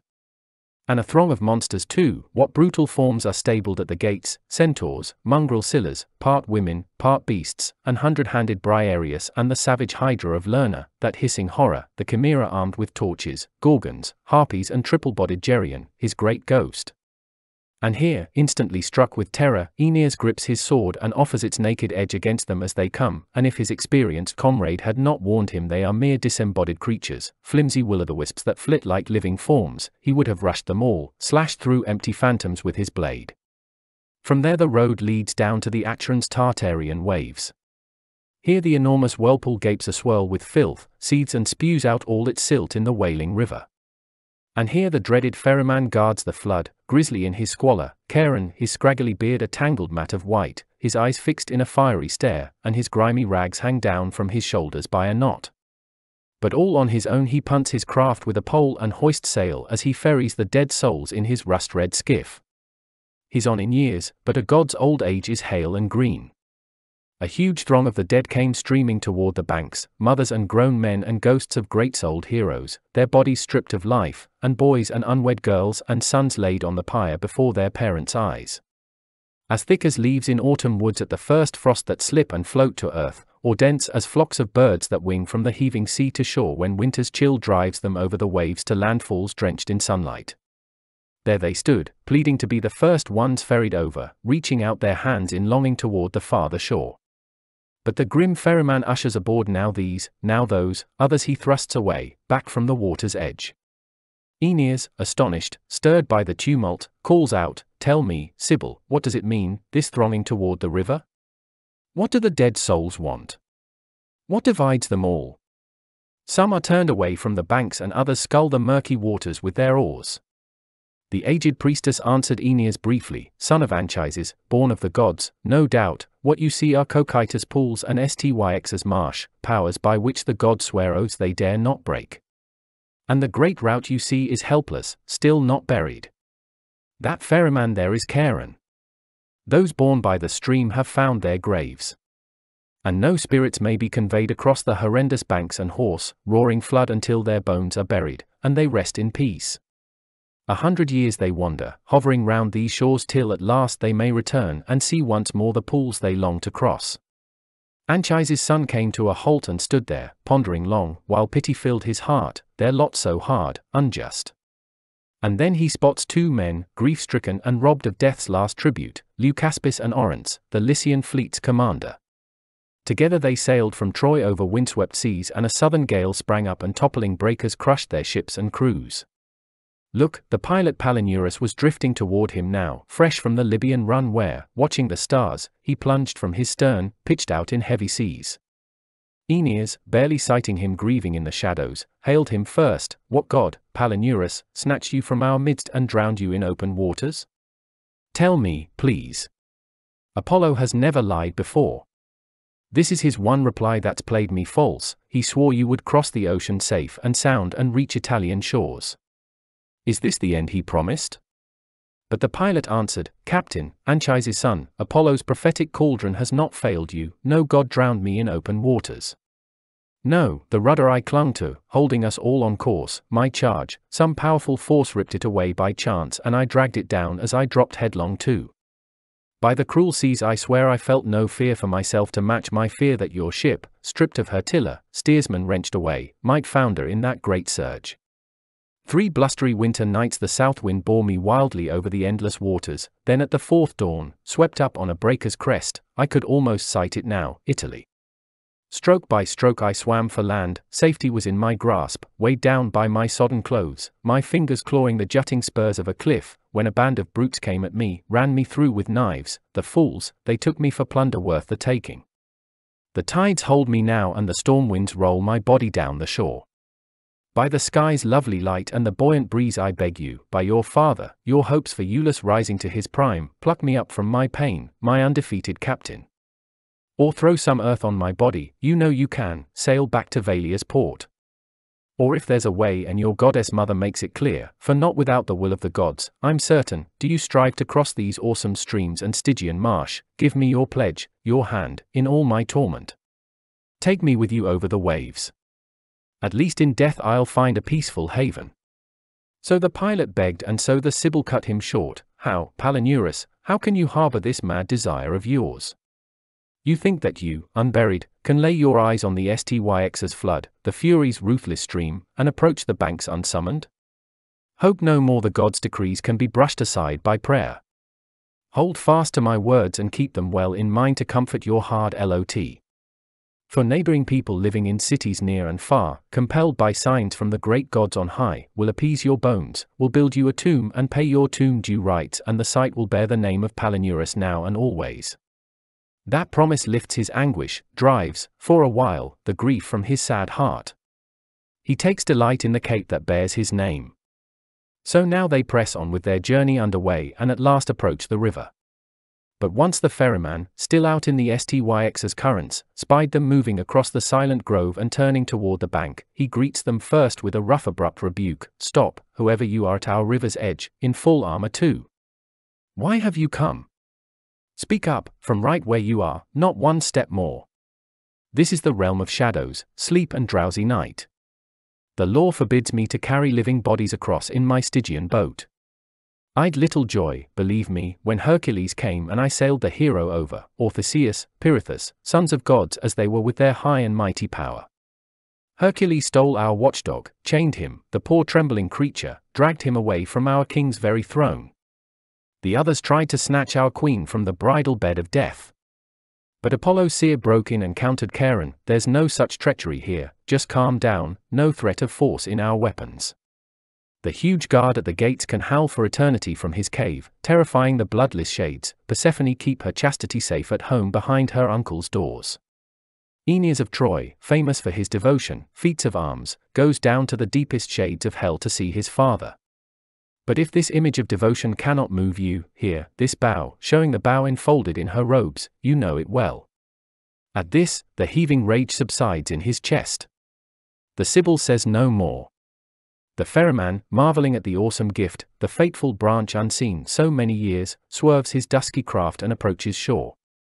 The souls already crouched at the long thwarts, he brusquely thrusts them out, clearing the gangways, quickly taking massive Aeneas aboard the little skiff. Under his weight the boat groans and her stitched seams gape as she ships great pools of water pouring in. At last, the river crossed, the ferryman lands the seer and hero all unharmed in the marsh, the repellent oozing slime and livid sedge. These are the realms that monstrous Cerberus rocks with howls braying out of his three throats, his enormous bulk squatting low in the cave that faced them there. The Sibyl, seeing the serpents writhe around his neck, tossed him a sop, slumbrous with honey and drugged seed, and he, frothing with hunger, three jaws spread wide, snapped it up where the Sibyl tossed it, gone. His tremendous back relaxed, he sags to earth and sprawls over all his cave, his giant hulk limp. The watchdog buried now in sleep, Aeneas seizes the way in, quickly clear of the river's edge, the point of no return. At that moment, cries, they could hear them now, a crescendo of wailing, ghosts of infants weeping, robbed of their share of this sweet life, at its very threshold too, all, snatched from the breast on that black day that swept them off and drowned them in bitter death. Beside them were those condemned to die on a false charge. But not without jury picked by lot, not without judge are their places handed down. Not at all. Minos the Grand Inquisitor stirs the urn, he summons the silent jury of the dead, he scans the lives of those accused, their charges. The region next to them is held by those sad ghosts, innocents all, who brought on death by their own hands, despising the light, they threw their lives away. How they would yearn, now, in the world above to endure grim want and long hard labor. But fate bars the way. The grisly swamp and its loveless, lethal waters bind them fast, STYX with its nine huge coils holds them captive. Close to the spot, extending toward the horizon, the Sibyl points them out, are the fields of mourning, that is the name they bear. Here wait those souls consumed by the harsh, wasting sickness, cruel love, concealed on lonely paths, shrouded by myrtle bowers. Not even in death do their torments leave them, ever. Here he glimpses Phaedra, Procris, and Eriphyle grieving, bearing the wounds her heartless son had dealt her. Evadne, Pasiphae, and Laodamia walking side by side, and another, a young man once, a woman now, Caeneus, turned back by fate to the form she bore at first. And wandering there among them, wound still fresh, Phoenician Dido drifted along the endless woods. As the Trojan hero paused beside her, recognized her through the shadows, a dim, misty figure, as one when the month is young may see or seem to see the new moon rising up through banks of clouds. That moment Aeneas wept and approached the ghost with tender words of love. Tragic Dido, so, was the story true that came my way? I heard that you were dead, you took the final measure with a sword. Oh, dear God, was it I who caused your death? I swear by the stars, by the powers on high, whatever faith one swears by here in the depths of earth, I left your shores, my queen, against my will. Yes, the will of the gods, that drives me through the shadows now, these mouldering places so forlorn, this deep unfathomed night, their decrees have forced me on. Nor did I ever dream my leaving could have brought you so much grief. Stay a moment. Don't withdraw from my sight. Running away, from whom? This is the last word that fate allows me to say to you. The last. Aeneas, with such appeals, with welling tears, tried to soothe her rage, her wild fiery glance. But she, her eyes fixed on the ground, turned away, her features no more moved by his pleas as he talked on than if she were set in stony flint or Parian marble rock. And at last she tears herself away, his enemy forever, fleeing back to the shadowed forests where Sychaeus, her husband long ago, answers all her anguish, meets her love with love. But Aeneas, no less struck by her unjust fate, escorts her from afar with streaming tears and pities her as she passes. From there they labor along the charted path and at last they gain the utmost outer fields where throngs of the great war heroes live apart. Here Tydeus comes to meet him, Parthenopaeus shining in arms, and Adrastus pallid phantom. Here, mourned in the world above and fallen dead in battle, sons of Dardanus, chiefs arrayed in a long ranked line. Seeing them all, he groaned, Glaucus, Medon, Thersilochus, Antenor's three sons and the priest of Ceres, Polyboetes, Idaeus too, still with chariot, still with gear in hand. Their spirits crowding around Aeneas, left and right, beg him to linger longer, a glimpse is not enough, to walk beside him and learn the reasons why he's come. But the Greek commanders and Agamemnon's troops in phalanx, spotting the hero and his armor glinting through the shadows, blinding panic grips them, some turn tail and run as they once ran back to the ships, some strain to raise a battle cry, a thin wisp of a cry that mocks their gaping jaws. And here he sees Deiphobus too, Priam's son mutilated, his whole body, his face hacked to pieces, ah, so cruel, his face and both his hands, and his ears ripped from his ravaged head, his nostrils slashed, disgraceful wound. He can hardly recognize him, a cowering shadow hiding his punishment so raw. Aeneas, never pausing, hails the ghost at once in an old familiar voice, Mighty Captain, Deiphobus, sprung of the noble blood of Teucer, who was bent on making you pay a price so harsh. Who could maim you so? I heard on that last night that you, exhausted from killing hordes of Greeks, had fallen dead on a mangled pile of carnage. So I was the one who raised your empty tomb on Rhoeteum Cape and called out to your shade three times with a ringing voice. Your name and armor mark the site, my friend, but I could not find you, could not bury your bones in native soil when I set out to sea. Nothing, my friend, Priam's son replies, you have left nothing undone. All that's owed Deiphobus and his shadow you have paid in full. My own fate and the deadly crimes of that Spartan whore have plunged me in this hell. Look at the souvenirs she left me. And how we spent that last night, lost in deluded joys, you know remember it we must, and all too well. When the fatal horse mounted over our steep walls, its weighted belly teeming with infantry in arms, she led the Phrygian women round the city, feigning the orgiastic rites of Bacchus, dancing, shrieking, but in their midst she shook her monstrous torch, a flare from the city heights, a signal to the Greeks. While I in our cursed bridal chamber, there I lay, bone weary with anguish, buried deep in sleep, peaceful, sweet, like the peace of death itself and all the while that matchless wife of mine is removing all my weapons from the house, even slipping my trusty sword from under my pillow. She calls Menelaus in and flings the doors wide open, hoping no doubt by this grand gift to him, her lover, to wipe the slate clean of her former wicked ways. Why drag things out? They burst into the bedroom, Ulysses, that rouser of outrage right beside them, Aeolus' crafty heir. You gods, if my lips are pure, I pray for vengeance now, deal such blows to the Greeks as they dealt me. But come, tell me in turn what twist of fate has brought you here alive? Forced by wanderings, storm tossed at sea, or prompted by the gods? What destiny hounds you on to visit these, these sunless homes of sorrow, harrowed lands? Trading words, as dawn in her rose red chariot crossed in mid career, high noon in the arching sky, and they might have spent what time they had with tales if the Sibyl next to Aeneas had not warned him tersely Night comes on, Aeneas. We waste our time with tears. This is the place where the road divides in two. To the right it runs below the mighty walls of death, our path to Elysium, but the left hand road torments the wicked, leading down to Tartarus, path to doom. No anger, please, great priestess, begged Deiphobus. Back I go to the shades to fill the tally out. Now go, our glory of Troy, go forth and enjoy a better fate than mine. With his last words, he turned in his tracks and went his way. Aeneas suddenly glances back, and beneath a cliff to the left, he sees an enormous fortress ringed with triple walls and raging around it all, a blazing flood of lava, Tartarus river of fire, whirling thunderous boulders. Before it rears a giant gate, its columns solid adamant, so no power of man, not even the gods themselves, can root it out in war. An iron tower looms on high where Tisiphone, crouching with bloody shroud girt up, never sleeping, keeps her watch at the entrance night and day. Groans resound from the depths, the savage crack of the lash, the grating creak of iron, the clank of dragging chains. And Aeneas froze there, terrified, taking in the din, what are the crimes, what kinds? Tell me, Sibyl, what are the punishments, why this scourging? Why such wailing echoing in the air?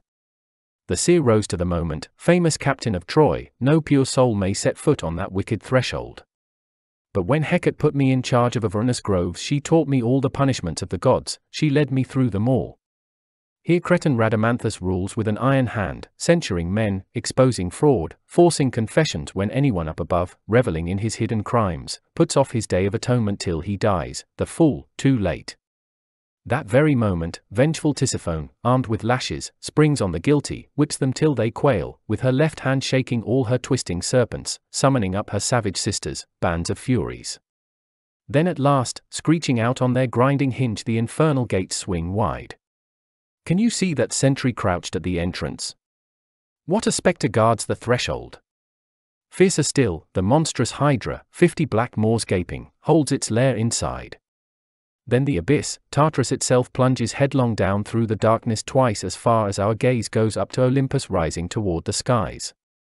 Here the ancient line of the earth, the Titan spawn, flung down by lightning, writhe in the deep pit. There I saw the twin sons of Aloeus too, giant bodies that clawed the soaring sky with their hands to tear it down and thrust great Jove from his kingdom high above. I saw Salmoneus too, who paid a brutal price for aping the flames of Jove and Olympus thunder. Sped by his four horse chariot, flaunting torches, right through the Greek tribes and Elis city's heart he rode in triumph, claiming as his the honors of the gods. The madman, trying to match the storm and matchless lightning just by stamping on bronze with prancing horn hoofed steeds. The Almighty Father hurled his bolt through the thunderheads, no torches for him, no smoky flicker of pitch pines, no, he spun him headlong down in a raging whirlwind. Tityus too, you could see that son of earth, the mother of us all, his giant body splayed out over nine whole acres, a hideous vulture with hooked beak gorging down his immortal liver and innards ever ripe for torture. Deep in his chest it nestles, ripping into its feast and the fibers, grown afresh, get no relief from pain. What need to tell of the Lapiths, Ixion, or Pirithous? Above them a black rock, now, now slipping, teetering, watch, forever about to fall. While the golden posts of high festal couches gleam, and a banquet spreads before their eyes with luxury fit for kings, but reclining just beside them, the oldest Fury holds back their hands from even touching the food, surging up with her brandished torch and deafening screams. Hear those who hated their brothers, while alive, or struck their fathers down, or embroiled clients in fraud, or brooded alone over troves of gold they gained and never put aside some share for their own kin, a great multitude, these, then those killed for adultery, those who marched to the flag of civil war and never shrank from breaking their pledge to their lords and masters, all of them, walled up here, wait to meet their doom. Don't hunger to know their doom, what form of torture or twist of fortune drags them down. Some trundle enormous boulders, others dangle, racked to the breaking point on the spokes of rolling wheels. Doom sits on his seat and there he will sit forever. Phlegyas, most in agony, sounds out his warning to all, his piercing cries bear witness through the darkness, learn to bow to justice. Never scorn the gods. You all stand forewarned. Here's one who bartered his native land for gold, he saddled her with a tyrant, set up laws for a bribe, for a bribe he struck them down. This one forced himself on his daughter's bed and sealed a forbidden marriage. All dared an outrageous crime, and what they dared, they did. No, not if I had a hundred tongues and a hundred mouths and a voice of iron too, I could never capture all the crimes or run through all the torments, doom by doom. So Apollo's aged priestess ended her answer, then she added, Come, press on with your journey. See it through, this duty you've undertaken. We must hurry now. I can just make out the ramparts forged by the Cyclops. There are the gates, facing us with their arch. There our orders say to place our gifts. At that, both of them march in step along the shadowed paths, consuming the space between, and approach the doors. Aeneas springs to the entryway and rinsing his limbs with fresh pure water, there at the threshold, just before them, stakes the golden bough. The rite complete at last, their duty to the goddess performed in full, they gained the land of joy, the fresh green fields, the fortunate groves where the blessed make their homes. Here a freer air, a dazzling radiance clothes the fields and the spirits possess their own sun, their own stars. Some flex their limbs in the grassy wrestling rings, contending in sport, they grapple on the golden sands. Some beat out a dance with their feet and chant their songs and Orpheus himself, the Thracian priest with his long robes, keeps their rhythm strong with his lyre's seven ringing strings, plucking now with his fingers, now with his ivory plectrum. Here is the ancient line of Teucer, noblest stock of all, those great-hearted heroic sons born in better years, Ilus, and and Dardanus, founder of Troy. Far off, Aeneas gazes in awe, their arms, their chariots, phantoms all, their lances fixed in the ground, their horses, freed from harness, grazing the grasslands near and far. The same joy they took in arms and chariots when alive, in currying horses sleek and putting them to pasture, follows them now they rest beneath the earth. Others, look, he glimpses left and right in the meadows, feasting, singing in joy a chorus raised to healing Apollo, deep in a redolent laurel grove where Eridanus river rushes up, in full spate, and rolls through woods in the high world above. And here are troops of men who had suffered wounds, fighting to save their country, and those who had been pure priests while still alive, and the faithful poets whose songs were fit for Phoebus, those who enriched our lives with the new-found arts they forged and those we remember well for the good they did mankind and all, with snow-white headbands crowning their brows, flow around the Sibyl as she addresses them there, Musaeus first, who holds the center of that huge throng, his shoulders rearing high as they gaze up toward him, tell us, happy spirits, and you, the best of poets, what part of your world, what region holds Anchises? All for him we have come, we've sailed across the mighty streams of hell. And at once the great soul made a brief reply No one's home is fixed. We live in shady groves, we settle on pillowed banks and meadows washed with brooks. But you, if your heart compels you, climb this ridge and I soon will set your steps on an easy path. So he said, and walking on ahead, from high above points out to them open country swept with light. Down they come and leave the heights behind. Now Father Anchises, deep in a valley's green recess, was passing among the souls secluded there, reviewing them, eagerly, on their way to the world of light above. By chance he was counting over his own people, all his cherished heirs, their fame and their fates, their values, acts of valor. When he saw Aeneas striding toward him over the fields, he reached out both his hands as his spirit lifted, tears ran down his cheeks, a cry broke from his lips, You've come at last. Has the love your father hoped for mastered the hardship of the journey? Let me look at your face, my son, exchange some words, and hear your familiar voice. So I dreamed, I knew you'd come, I counted the moments, my longing has not betrayed me. Over what lands, what seas have you been driven, buffeted by what perils into my open arms, my son? How I feared the realm of Libya might well do you harm. Your ghost, my father, he replied, your grieving ghost, so often it came and urged me to your threshold. My ships are lying moored in the Tuscan sea.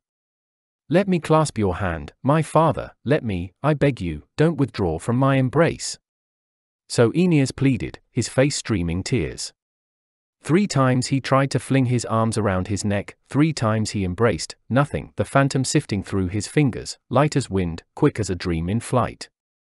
And now Aeneas sees in the valley's depths a sheltered grove and rustling wooded brakes and the Lethe flowing past the homes of peace. Around it hovered numberless races, nations of souls like bees in meadowlands on a cloudless summer day that settle on flowers, riots of color, swarming round the lily's lustrous sheen, and the whole field comes alive with a humming murmur. Struck by the sudden sight, Aeneas, all unknowing, wonders aloud, and asks, What is the river over there? And who are they who crowd the banks in such a growing throng? His father Anchises answers, They are the spirits owed a second body by the fates. They drink deep of the river Lethe's currents there, long draughts that will set them free of cares, oblivious forever. How long I have yearned to tell you, show them to you, face to face, yes, as I count the tally out of all my children's children. So all the more you can rejoice with me in Italy, found at last. What, Father, can we suppose that any spirits rise from here to the world above, return once more to the shackles of the body? Why this mad desire, poor souls, for the light of life? I will tell you, my son, not keep you in suspense, Anchises says, and unfolds all things in order, one by one. First, the sky and the earth and the flowing fields of the sea, the shining orb of the moon and the titan sun, the stars, an inner spirit feeds them, coursing through all their limbs, mind stirs the mass and their fusion brings the world to birth. From their union springs the human race and the wild beasts, the winged lives of birds and the wondrous monsters bred below the glistening surface of the sea. The seeds of life, fiery is their force, divine their birth, but they are weighed down by the body's ills or dulled by earthly limbs and flesh that's born for death. That is the source of all men's fears and longings, joys and sorrows, nor can they see the heaven's light, shut up in the body's tomb, a prison dark and deep. True, but even on that last day, when the light of life departs, the wretches are not completely purged of all the taints, nor are they wholly freed of all the body's plagues. Down deep they harden fast, they must, so long ingrained in the flesh, in strange, uncanny ways. And so the souls are drilled in punishments, they must pay for their old offenses. Some are hung splayed out, exposed to the empty winds, some are plunged in the rushing floods, their stains, their crimes scoured off or scorched away by fire. Each of us must suffer his own demanding ghost.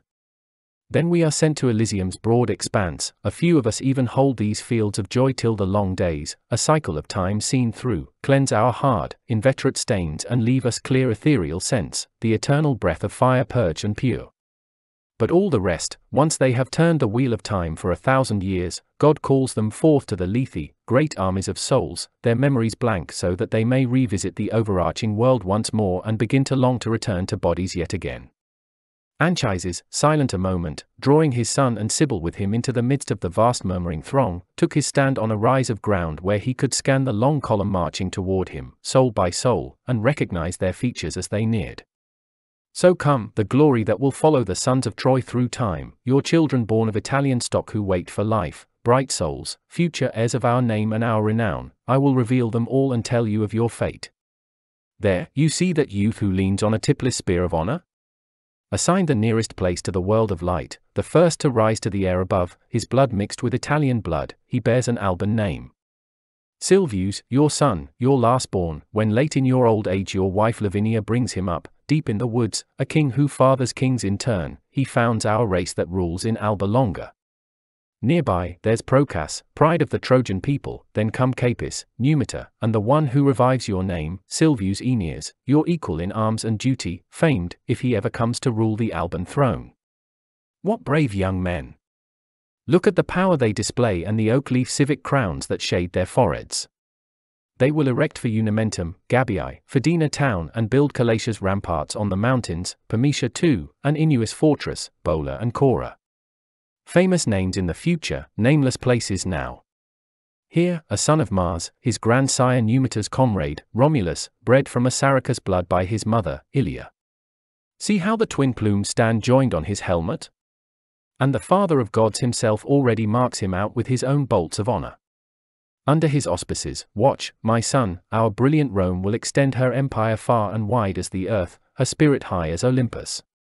Within her single wall she will gird her seven hills, blessed in her breed of men, like the Berecyntian mother crowned with her turrets, riding her victor's chariot through the Phrygian cities, glad in her brood of gods, embracing a hundred grandsons. All dwell in the heavens, all command the heights. Now turn your eyes this way and behold these people, your own Roman people. Here is Caesar and all the line of Iulus soon to venture under the sky's great arch. Here is the man, he's here. Time and again you've heard his coming promised, Caesar Augustus. Son of a god, he will bring back the age of gold to the Latian fields where Saturn once held sway, expand his empire past the Garamants and the Indians to a land beyond the stars, beyond the wheel of the year, the course of the sun itself, where Atlas bears the skies and turns on his shoulder the heaven studded with flaming stars. Even now the Caspian and Maeotic kingdoms quake at his coming, oracles sound the alarm and the seven mouths of the Nile churn with fear. Not even Hercules himself could cross such a vast expanse of earth, though it's true he shot the stag with its brazen hoofs, and brought peace to the ravaged woods of Erymanthus, terrorized the hydra of Lerna with his bow. Not even Bacchus in all his glory, driving his team with vines for reins and lashing his tigers down from Nysa's soaring ridge. Do we still flinch from turning our valor into deeds? or fear to make our home on Western soil. But look, who is that over there, crowned with an olive wreath and bearing sacred emblems? I know his snowy hair, his beard, the first king to found our Rome on laws, Numa, sent from the poor town of Cures, paltry land, to wield imperial power. And after him comes Tullus disrupting his country's peace to rouse a stagnant people, armies stale to the taste of triumph, back to war again and just behind him, Ancus, full of the old bravado, even now too swayed by the breeze of public favor. Wait, would you like to see the Tarquin kings, the overweening spirit of Brutus the Avenger, the fasces he reclaims? The first to hold a consul's power and ruthless axes, then, when his sons foment rebellion against the city, their father summons them to the executioner's block in freedom's noble name, unfortunate man. However, the future years will exalt his actions, a patriot's love wins out, and boundless lust for praise. Now, the Decii and the Drusi, look over there, Torquatus too, with his savage axe, Camillus bringing home the standards. But you see that pair of spirits? Gleaming in equal armor, equals now at peace, while darkness pins them down, but if they should reach the light of life, what war they'll rouse between them battles, massacres, Caesar, the bride's father, marching down from his alpine ramparts, Fortress Monoecus, Pompey her husband set to oppose him with the armies of the East. No, my sons, never inure yourselves to civil war, never turn your sturdy power against your country's heart. You, Caesar, you be first in mercy, you trace your line from Olympus, born of my blood, throw down your weapons now. Mummius her he will conquer Corinth and, famed for killing Achaeans, drive his victor's chariot up the Capitol's heights. And there is Paulus, and he will rout all Argos and Agamemnon's own Mycenae and cut Perseus down, the heir of Aeacus, born of Achilles' warrior blood, and avenge his Trojan kin and Minerva's violated shrine. Who, noble Cato, could pass you by in silence? Or you, Cossus? Or the Gracchi and their kin? Or the two Scipios, both thunderbolts of battle, Libya's scourge? Or you, Fabricius, reared from poverty into power? Or you, Serranus the sower, seeding your furrow? You Fabii, where do you rush me, all but spent? And you, famous Maximus, you are the one man whose delaying tactics save our Roman state.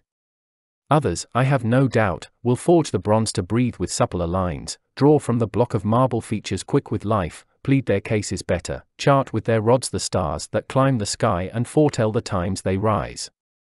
But you, Roman, remember, rule with all your power the peoples of the earth, these will be your arts, to put your stamp on the works and ways of peace, to spare the defeated, break the proud in war. They were struck with awe as Father Anchises paused, then carried on, Look there, Marcellus marching toward us, decked in splendid plunder he tore from a chief he killed, victorious, towering over all. This man on horseback, he will steady the Roman state when rocked by chaos, mow the Carthaginians down in droves, the rebel Gauls.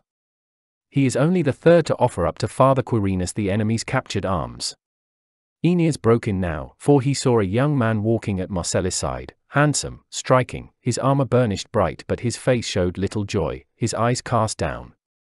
Who is that, father, matching Marcellus stride for stride? A son, or one of his son's descendants born of noble stock? What acclaim from his comrades!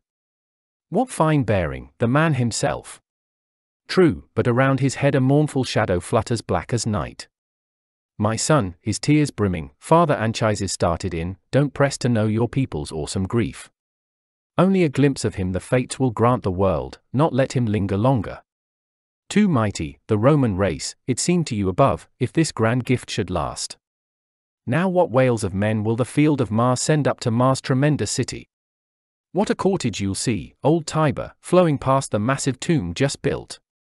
No child of Troy will ever raise so high the hopes of his Latin forebears, nor will the land of Romulus take such pride in a son she's born.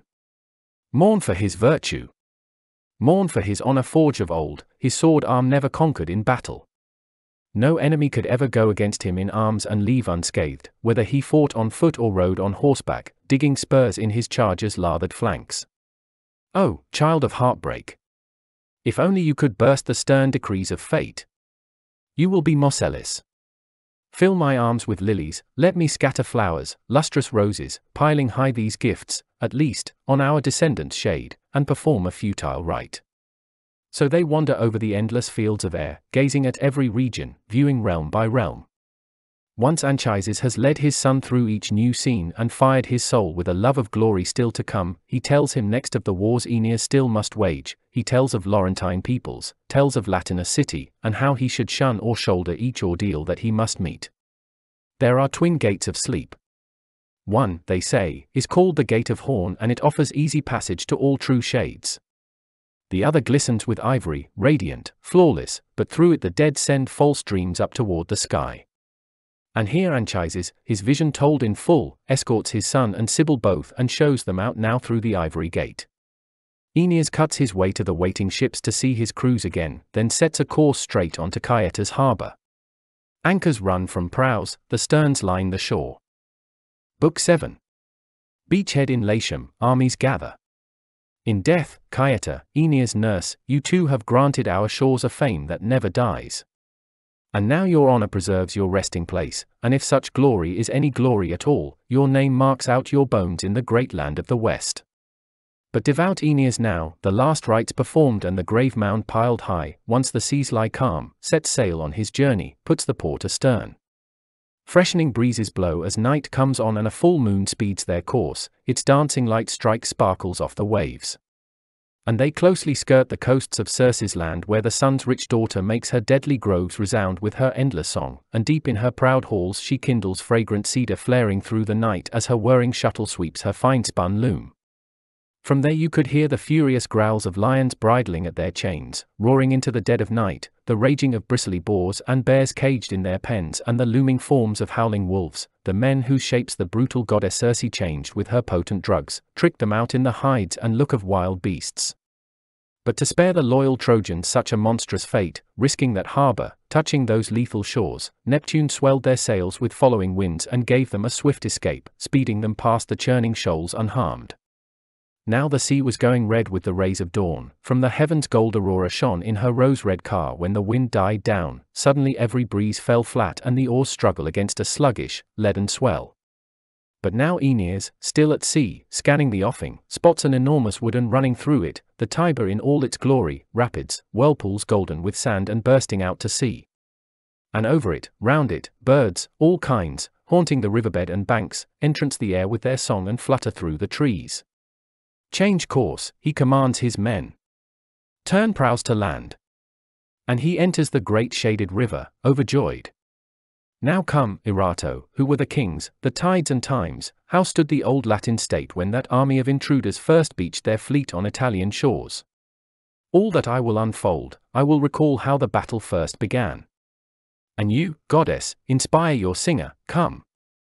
I will tell of horrendous wars, tell of battle lines and princes fired with courage, driven to their deaths, Etruscan battalions, all Hesperia called to arms. A greater tide of events springs up before me now, I launch a greater labor. King Latinus, already old, had governed the fields and towns through long years of peace. Faunus' son he was, and the Latian nymphs, Marica, so we hear. Picus was Faunus' father, and Picus boasted you as his sire, great Saturn, you, the founder of the bloodline. Latinus had no son, his one male issue torn from him by the gods' decrees, in the first bloom of youth. One daughter alone was left to preserve the house and royal line, ripe for marriage now, a full grown woman now.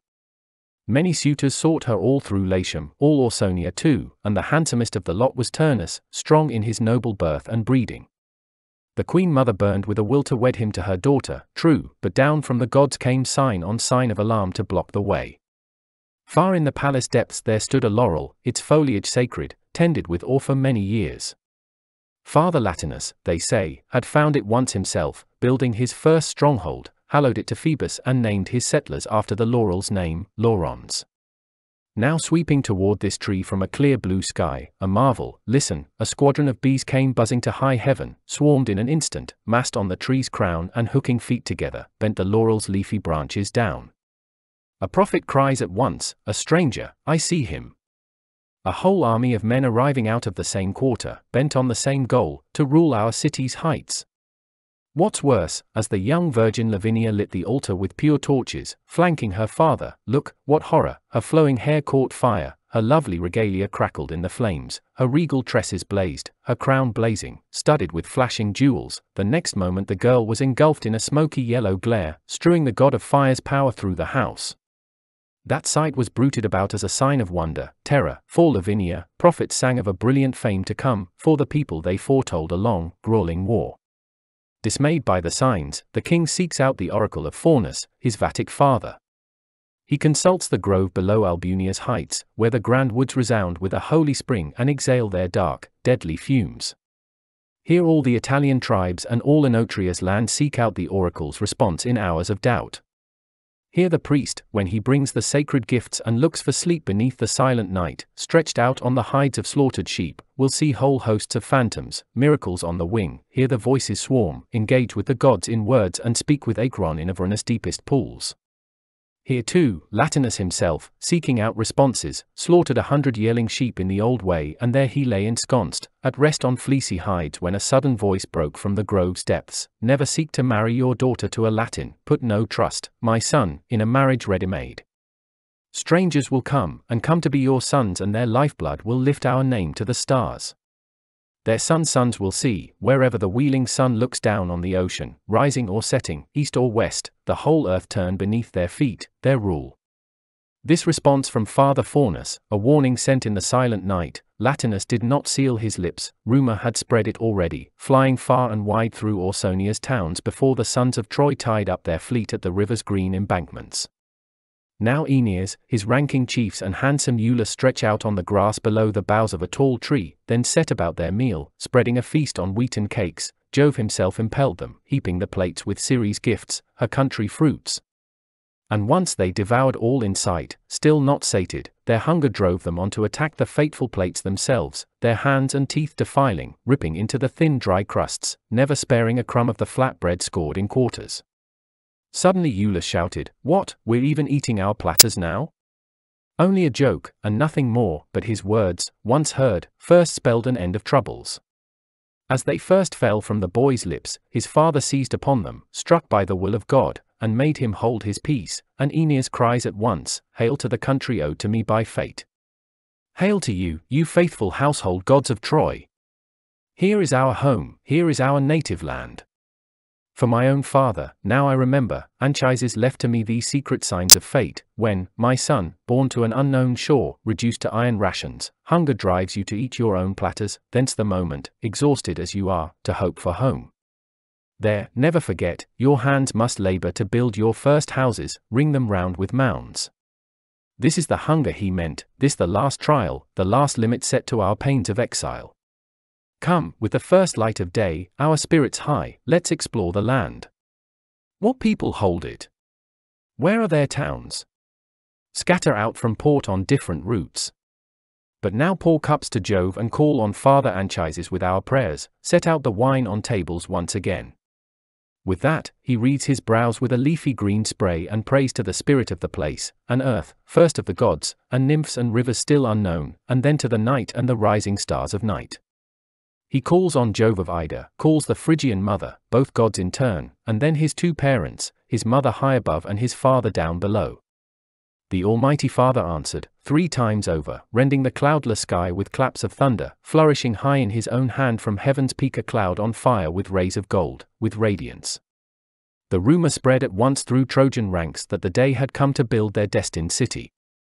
Impelled by the great omen, hearts filled with joy, they rushed to refresh the banquet, set out bowls and crown the wine with wreaths.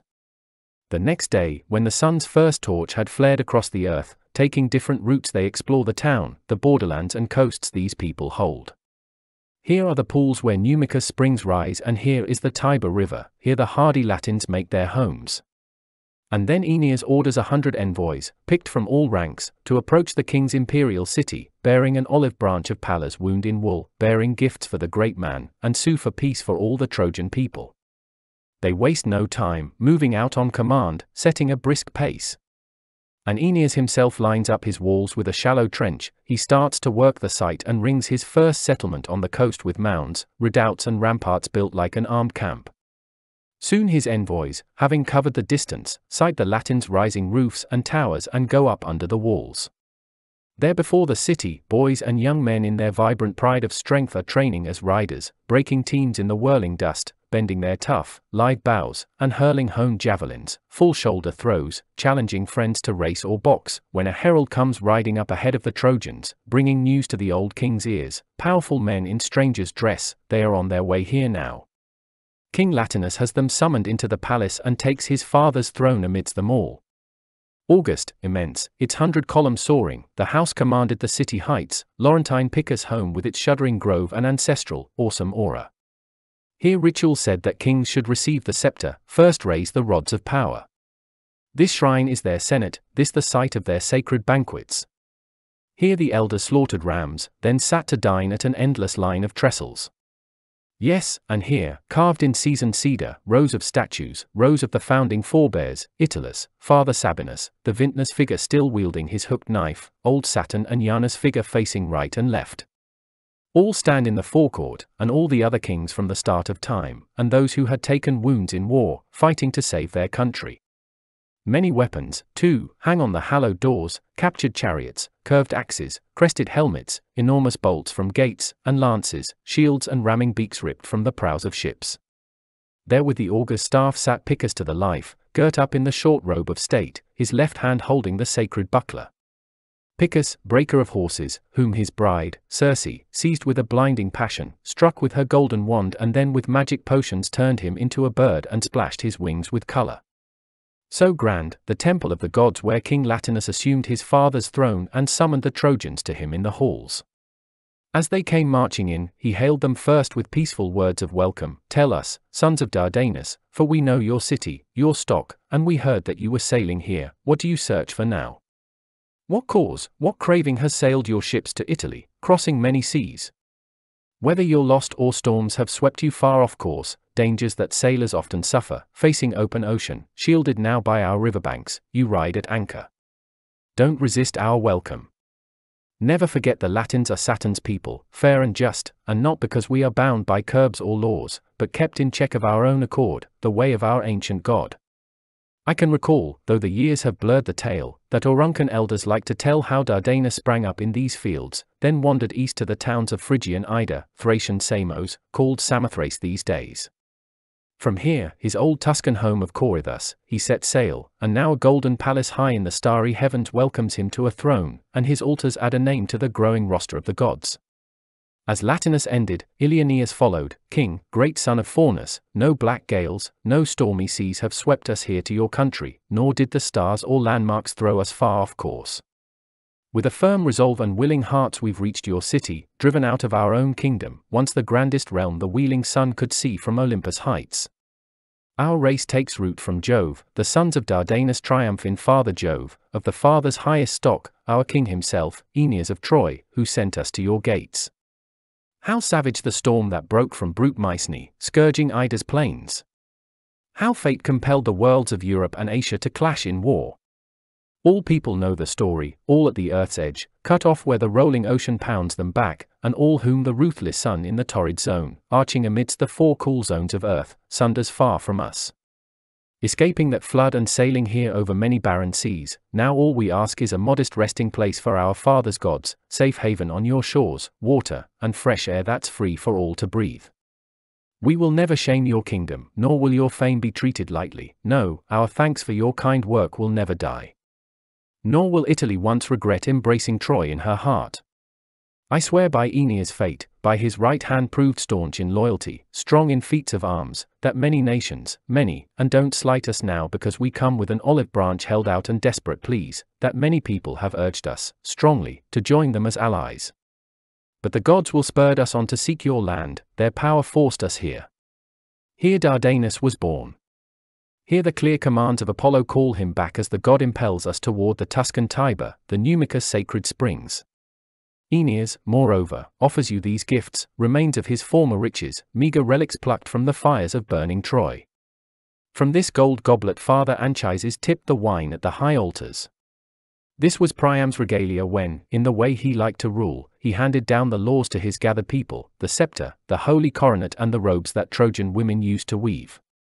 As Ilioneus ends his appeal, Latinus keeps on looking down at the ground, stock still, only his eyes moving, wrapped in concentration. The brocaded purple stirs him, king that he is, and Priam's scepter too, but he is stirred far more, dwelling long on his daughter's marriage, her wedding bed, and mulling deeply over the vision of old Faunus. So this, he thinks, is the man foretold by fate. That son-in-law from a foreign home, and his call to share my throne with equal power his heirs will blaze in courage, their might will sway the world. And at last he speaks out, filled with joy May the gods speed the plans that we launch here, their own omens too. Your wish will be my command, Trojan, I embrace your gifts. While Latinus rules, you'll never lack rich plowland, bounty great as Troy's. Just let Aeneas, if he needs us so, and presses so to join in alliance and take the name of comrade, come in person and never shy from the eyes of friends. Let this be part of our peace, to grasp your leader's hand. Take back to your king this answer I give you now. I have a daughter. Signs from my father's shrine and a host of omens from the skies forbid me to wed her to a bridegroom chosen from our race. Our sons in law will arrive from foreign shores, that is the fate in store for Latium, so the prophets say, a stranger's blood will raise our name to the stars. This is the one the fates demand. So I believe, and if I can read the future with any truth, I welcome him as ours. On that warm note, Latinus picks out horses from his entire stable, 300 strong, standing sleek in their lofty stalls. At once he orders them led out to the Trojans, one for each, swift with their winging hoofs, decked in embroidered purple saddle blankets, golden medallions dangling from their chests, their trappings gold, pure gold the bridle bits they champ between their teeth. For absent Aeneas, a chariot, twin chargers too, sprung from immortal stock, their nostrils flaring fire, born of the mixed breed that crafty Circe bred, making off with one of her father's stallions to mate him with a mare. Riding high with Latinus gifts and words, Aeneas' envoys bring back news of peace. But look, the merciless wife of Jove was winging back from Argos, in Inachus city, holding course through the heavens when, from far in the air, as far as Sicily's Cape Pachynus, she spied Aeneas exulting, Trojan ships at anchor. Men building their homes already, trusting the land already, their fleet abandoned now. Juno stopped, transfixed with anguish, then, shaking her head, this exclamation came pouring from her heart That cursed race I loathe, their Phrygian fate that clashes with my own. So, couldn't they die on the plains of Troy? So, couldn't they stay defeated in defeat?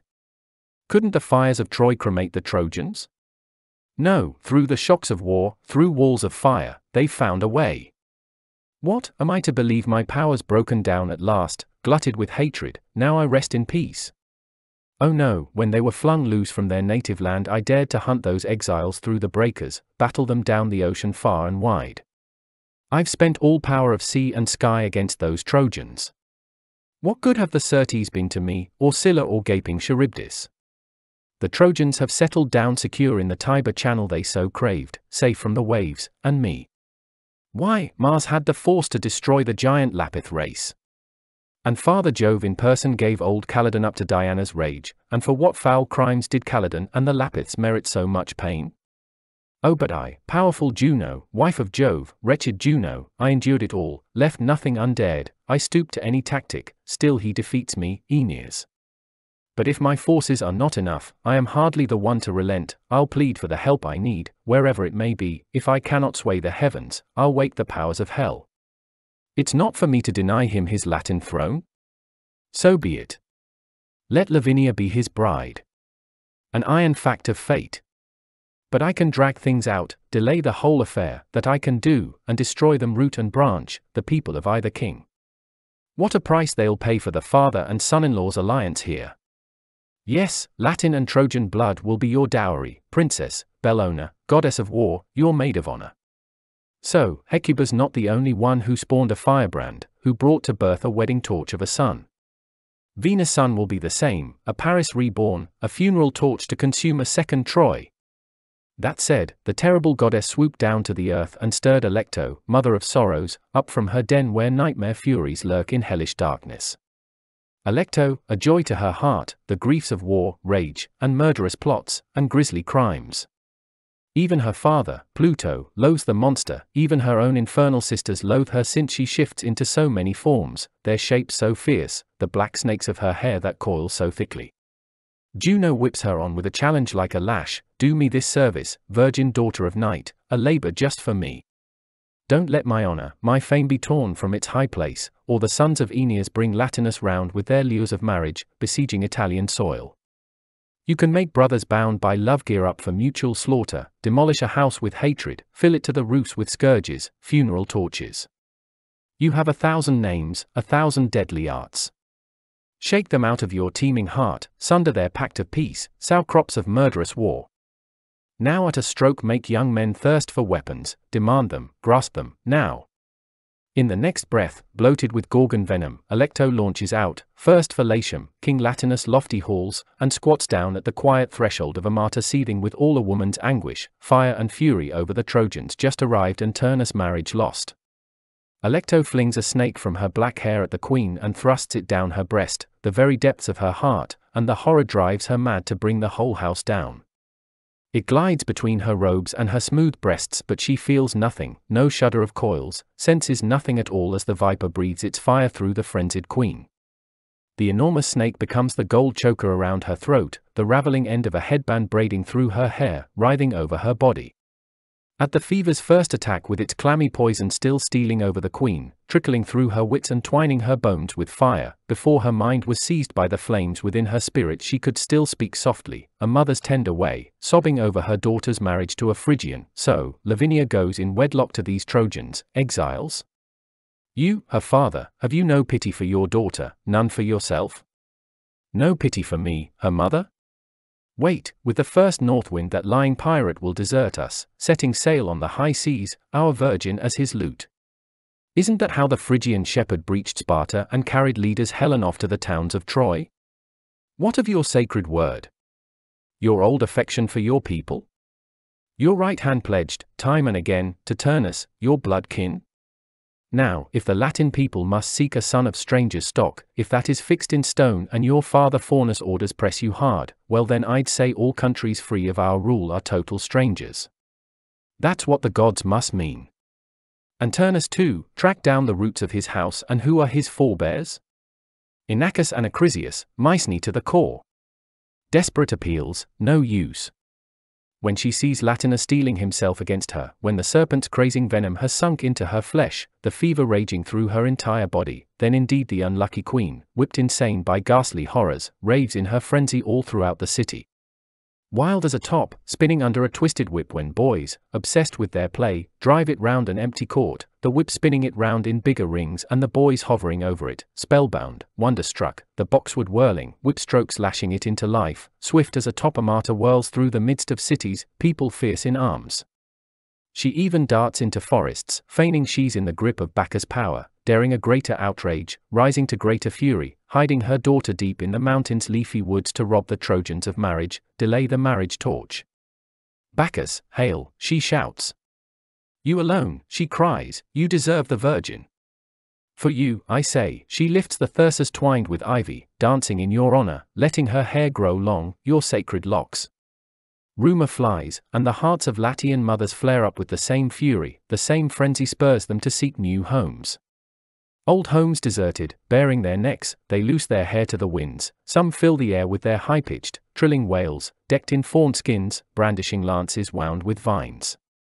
And Amata mid them all, shaking a flaming brand of pine, breaks into a marriage hymn for Turnus and her daughter, rolling her bloodshot eyes she suddenly bursts out, wildly, Mothers of Latium, listen, wherever you are, if any love for unlucky Amata still stirs your hearts, your loyal hearts, if any care for a mother's right still cuts you to the quick, loose your headbands, seize on the orgies with me. Mad, while through the woods and deserted lairs of wild beasts Alecto whips Amata on with the lash that whips her Maenads. Once Alecto saw her first arrows of madness piercing home and Latinus plans and his whole house overwhelmed, the grim goddess takes flight on her black wings and heads straight for the walls of bold Rutulian Turnus. Danae once, they say, swept ashore by a southern gale, built that town for her father's settlers, King Acrisius. Ardea, our forebears called the place in the old days, and the mighty name of Ardea still stands firm but its glory is gone forever. Here, under steep roofs in the dark night, Turnus, dead to the world, lay fast asleep, and Alecto strips away her ghastly features, her fury's writhing limbs, transforms herself, her face like an old crone's, she furrows her brow with hideous wrinkles now and takes on snowy hair, binds it with ribbons, braids it with sprays of olive. Now she's Calybe, aged priestess of Juno's temple, so she appears in the young king's eyes and urges, Turnus, how can you lie back and let your labors come to nothing? Your own scepters handed over to settlers fresh from Troy. The king denies you your bride, denies you your dowry earned in blood, he seeks a stranger as heir to his royal throne. Now go and offer yourself to thankless dangers, you, you laughing stock. Go mow the Tuscans down, armor your Latins well with pacts of peace. This message mighty Juno in person ordered me to give you here, asleep in the dead of night. Action. In high spirits, alert your men and arm them, move them out through the gates to the field of battle. Burn them to ash, those Phrygian chiefs encamped at ease along our lovely river, and all their painted ships. The great gods on high decree it so. King Latinus, if he won't yield your bride and keep his word, then he must learn his lesson, taste, at last, the force of Turnus' sword. Laughing, ready with his reply, the prince mocks the prophet, so, a fleet sailed into the Tiber the tale's not failed, as you imagine, to reach my ears. Stop concocting this panic for me, please. Queen Juno has hardly wiped me from her mind. It's your dotage, mother, you, you doddering wreck too spent to see the truth, that shakes you with anguish all for nothing now. You and your warring kings, your false alarms, you mockery of a prophet. See to your own chores, go tend the shrines and statues of the gods. Men will make war and peace. War's their work. Enough, Alecto ignited in rage. The challenge still on his lips, a sudden shuddering seized him, eyes fixed in terror, the fury was looming up with so many serpents hissing, so monstrous her features now revealed. Rolling her eyes, fiery as he faltered, struggling to say more, she hurled the man back and reared twin snakes from her coiling hair and cracked her whips and raved in her rabid words, So, I'm in my dotage, am I? A doddering wreck too spent to see the truth? I and my warring kings, a mockery of a prophet, am I? False alarms? Well, look at these alarms. I come to you from the nightmare fury's den, I brandish war and death in my right hand. With that she flung a torch at the prince and drove it home in his chest to smoke with a hellish black glare. A nightmare broke his sleep and the sweat poured from all over his body, drenched him to the bone. He shouts for armor, frenzied, cries for his armor, rifling through his bed and the whole house to find it. He burns with lust for the sword, the cursed madness of war and rage to top it off. He roars like blazing brush piled under the ribs of a billowing bronze cauldron, the water seethes in the heat and a river boils inside it, bubbling up in spume, the bowl can't hold it, it overflows and a thick cloud of steam goes shooting into the air. So, violating the peace, he tells his captains, march on King Latinus, gear up for war. Defend Italy. Hurl the enemy from the borders. Turnus comes, a match for Trojans and Latins both. Commands given, he called the gods to witness. His keen Rutulians spur each other to arms, some moved by his matchless build and youth, some by his royal bloodline, some by his sword arm's shining work in war. While Turnus fills his Rutulian troops with headlong daring, Alecto flies to the Trojan camp on Stygian wings, a fresh plot in the air, to scout out the place where handsome Iulus was hunting along the shore, coursing, netting game. Here the infernal fury throws an instant frenzy into the hounds, she daubs their nostrils wet with a well-known scent, and they burn to chase a stag. This was the first cause of all the pain and struggle, this first kindled the country people's lust for war. There was a stag, a rare beauty, antlers branching, torn from his mother's dugs. And the sons of Tyrrhus nursed it with father Tyrrhus, who kept the royal herds, charged with tending the broad, spreading pastures.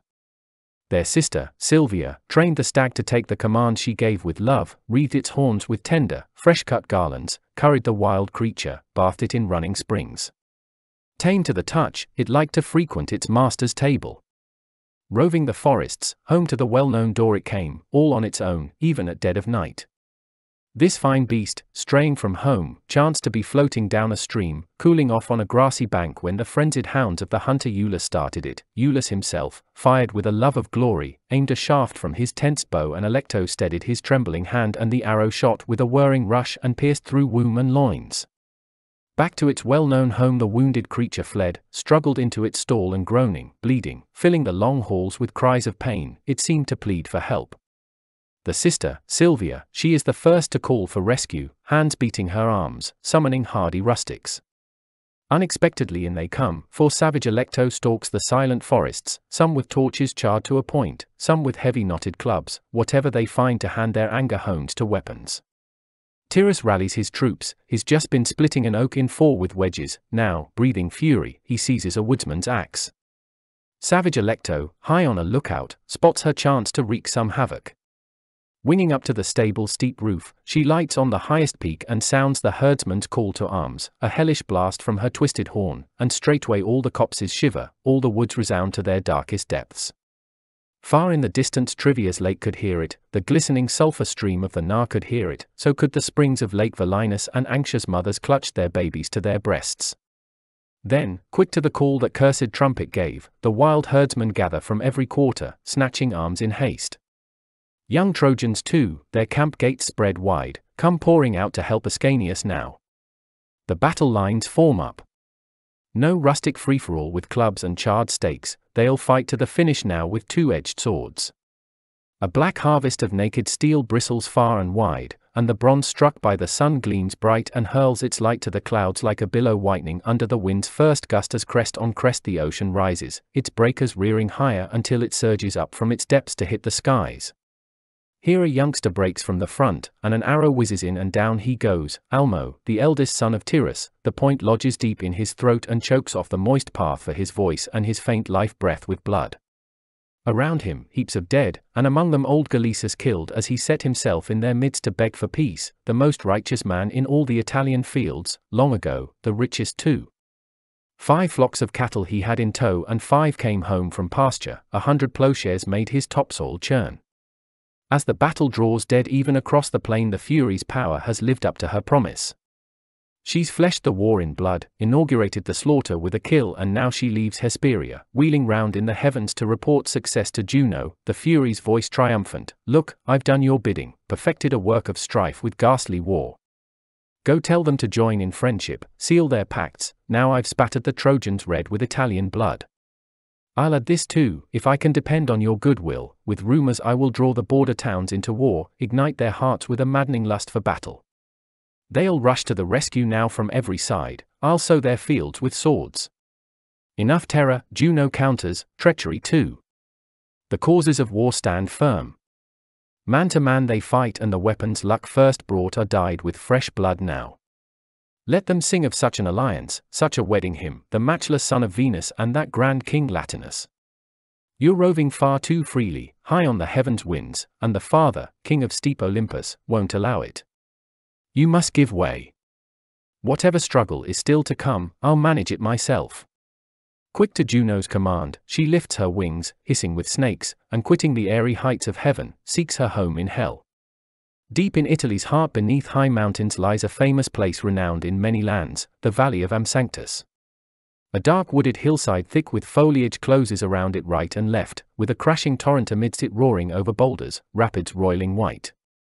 And here they display a cavern, an awesome breathing vent for the savage god of death, and a vast swirling gorge spreads wide its lethal jaws where the Acheron bursts through, and here the Fury hid her hateful power, releasing earth and sky. But no let up yet. Saturn's queenly daughter is just now putting the final touches to the war. Out of the field of battle, streaming into town whole troops of herdsmen are bringing home the dead, Almo the young boy, Galesus with his butchered face, and they beg the gods for rescue, pleading with Latinus. But there stands Turnus now, and amid their hot fury and rising cries of murder, he fires up their fears Trojans are called to share our realm. Phrygian blood will corrupt our own, and I, I'm driven from the doors. And all whose mothers, maddened by Bacchus, dance in frenzy through the trackless woods, Amata's name has no lightweight, swarm in from all sides, wearying Mars with war cries. Suddenly all are demanding this accursed war, against all omens, against the divine power of fate, they are spurred by a wicked impulse.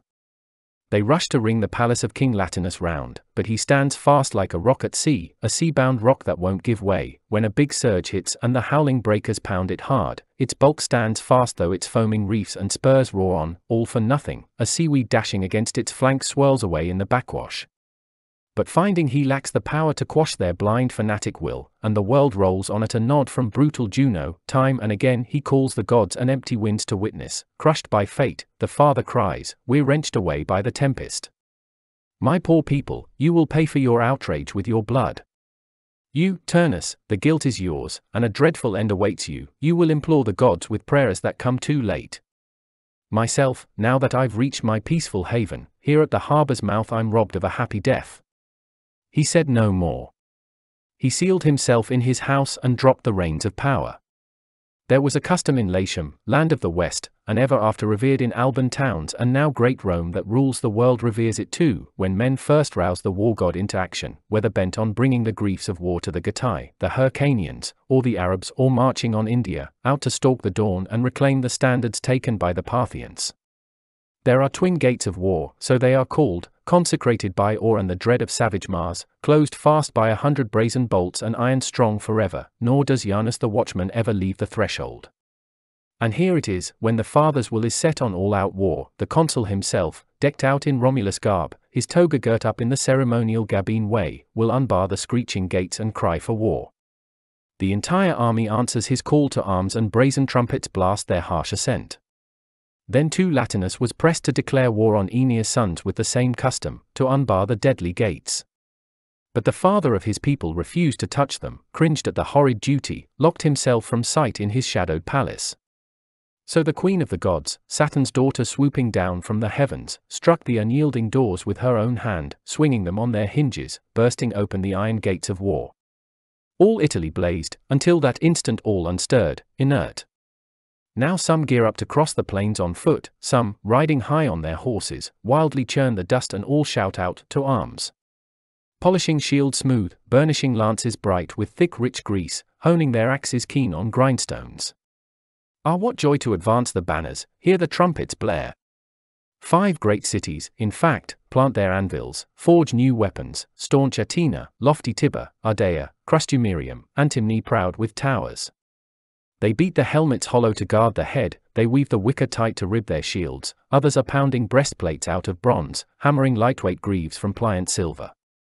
So it has given way to this, this, all their pride in the scythe and harrow, all their love of the plough. They reforge in the furnace all their fathers' swords. Now the trumpets blare. The watchwords out for war. One warrior wildly tears a helmet from his house, one yokes his panting, stamping team to a chariot, donning his shield and mail, triple meshed in gold, and he straps a trusty sword around his waist. Now throw Helicon open, muses, launch your song. What kings were fired for war, what armies at their orders thronged the plains? What heroes sprang into bloom, what weapons blazed, even in those days long ago, in Italy's life giving land? You are goddesses, you remember it all, and you can tell it all, all we catch is the distant ring of fame. First to march to war is brutal Mezentius, scorner of gods, fresh from the Tuscan coast to deploy his troops for battle. Beside him, his son, Lausus, second in build and beauty to Latian Turnus alone, Lausus, breaker of horses, hunter of wild game. From Agylla town he led a thousand men, who could not save his life, a son who deserved more joy in a father's rule, anyone but Mezentius for a father. Following them comes Aventinus, handsome Hercules' handsome son, parading his victor's team across the field, his chariot crowned with the victor's palm, his shield emblazed with his father's sign, the Hydra's hundred snakes, the serpents twisting round. Deep in the woods on Aventine Hill the priestess Rhea bore him all in secret, into the world of light. A woman matched with a god, with Hercules, hero of Tiryns come to the Latin land in glory, fresh from cutting the monster Geryon down, to wash the herds of Spain in the Tiber River. The men bear spears and grim pikes into battle, fight with sword blades ground to a razor edge and Sabellian hurling spears.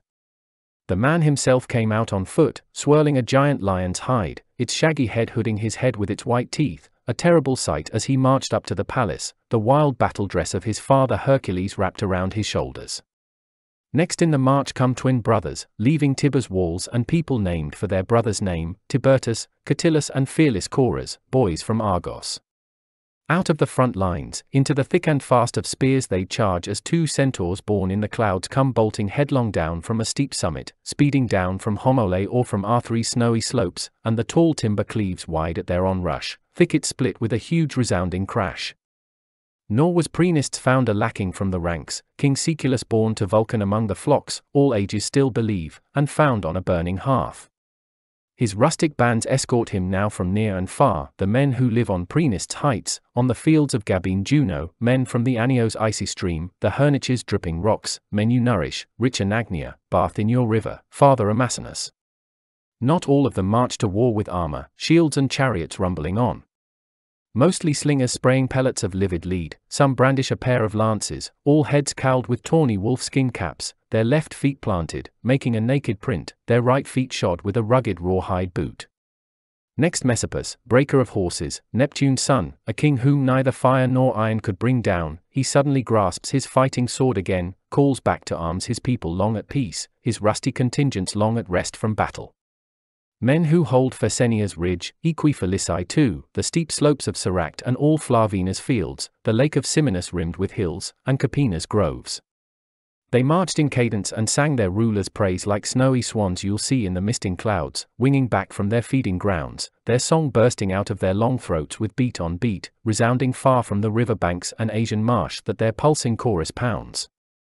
You'd never think such a throng of men in bronze were massing for battle now, but high in the sky a cloud of birds with their raucous song were surging home from open sea to shore. But look, Clausus, born of the age-old Sabine blood, heading a mighty force, a mighty force himself. From Clausus spreads through Latium both the Claudian tribe and clan, once Rome had long been shared with Sabine people. Under his command came huge divisions from Amiternum, the first Quirites, all the ranks from Eretum, Mutusca green with olives, all who live in the Mentum city, the Rosian fields by Lake Velinus, all on Tetricus shaggy spurs and grimset Mount Severus, all in Casperia, Formulae, on the Himela river's banks, men who drink the Tiber and Fabares, men dispatched from icy Nursia, musters from Orta, the Latin tribes, men that the Allia, ominous name, divides as it flows on. Men as many as breakers rolling in from the Libyan Sea when savage Orion sets low in the winter waves or dense as the ears of corn baked by an early sun on Hermus' plain or Lycia's burnished fields. Shields clang and under the trampling feet the earth quakes in fear.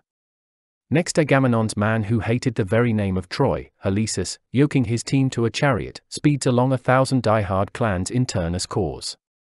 Men whose mattocks till the Marsic earth for wine, Auruncans their fathers sent from the rising hills and citizen flats close by, and men just come from Cales, men who make their homes along the Volturnus shoals and beside them rough Saticulans, squads of Oscans. Their weapons are long, pointed stakes they like to fit with a supple thong for swifter hurling. They have bucklers to shield their left side, sickle swords for combat, cut and thrust. Nor will you, Oebalus, go unsung in our songs. You, they say, the river nymph Sebethis once bore Telon, an old man now, when Telon ruled over Capri, the Telebian isle. But the son, unlike the father, not content with his forebears' holdings, even now held sway over broader realms, the Sarrastian clans, their meadows washed by the Sarnus, men from Rufrae, Batulum and Solemnus farms, and soldiers overseen by the high walls of Abella rife with apples, fighters who whirl the barbed lance, Teutonic style, their heads wrapped with the bark they strip from cork trees, bronze shields gleaming, gleaming bronze, their swords.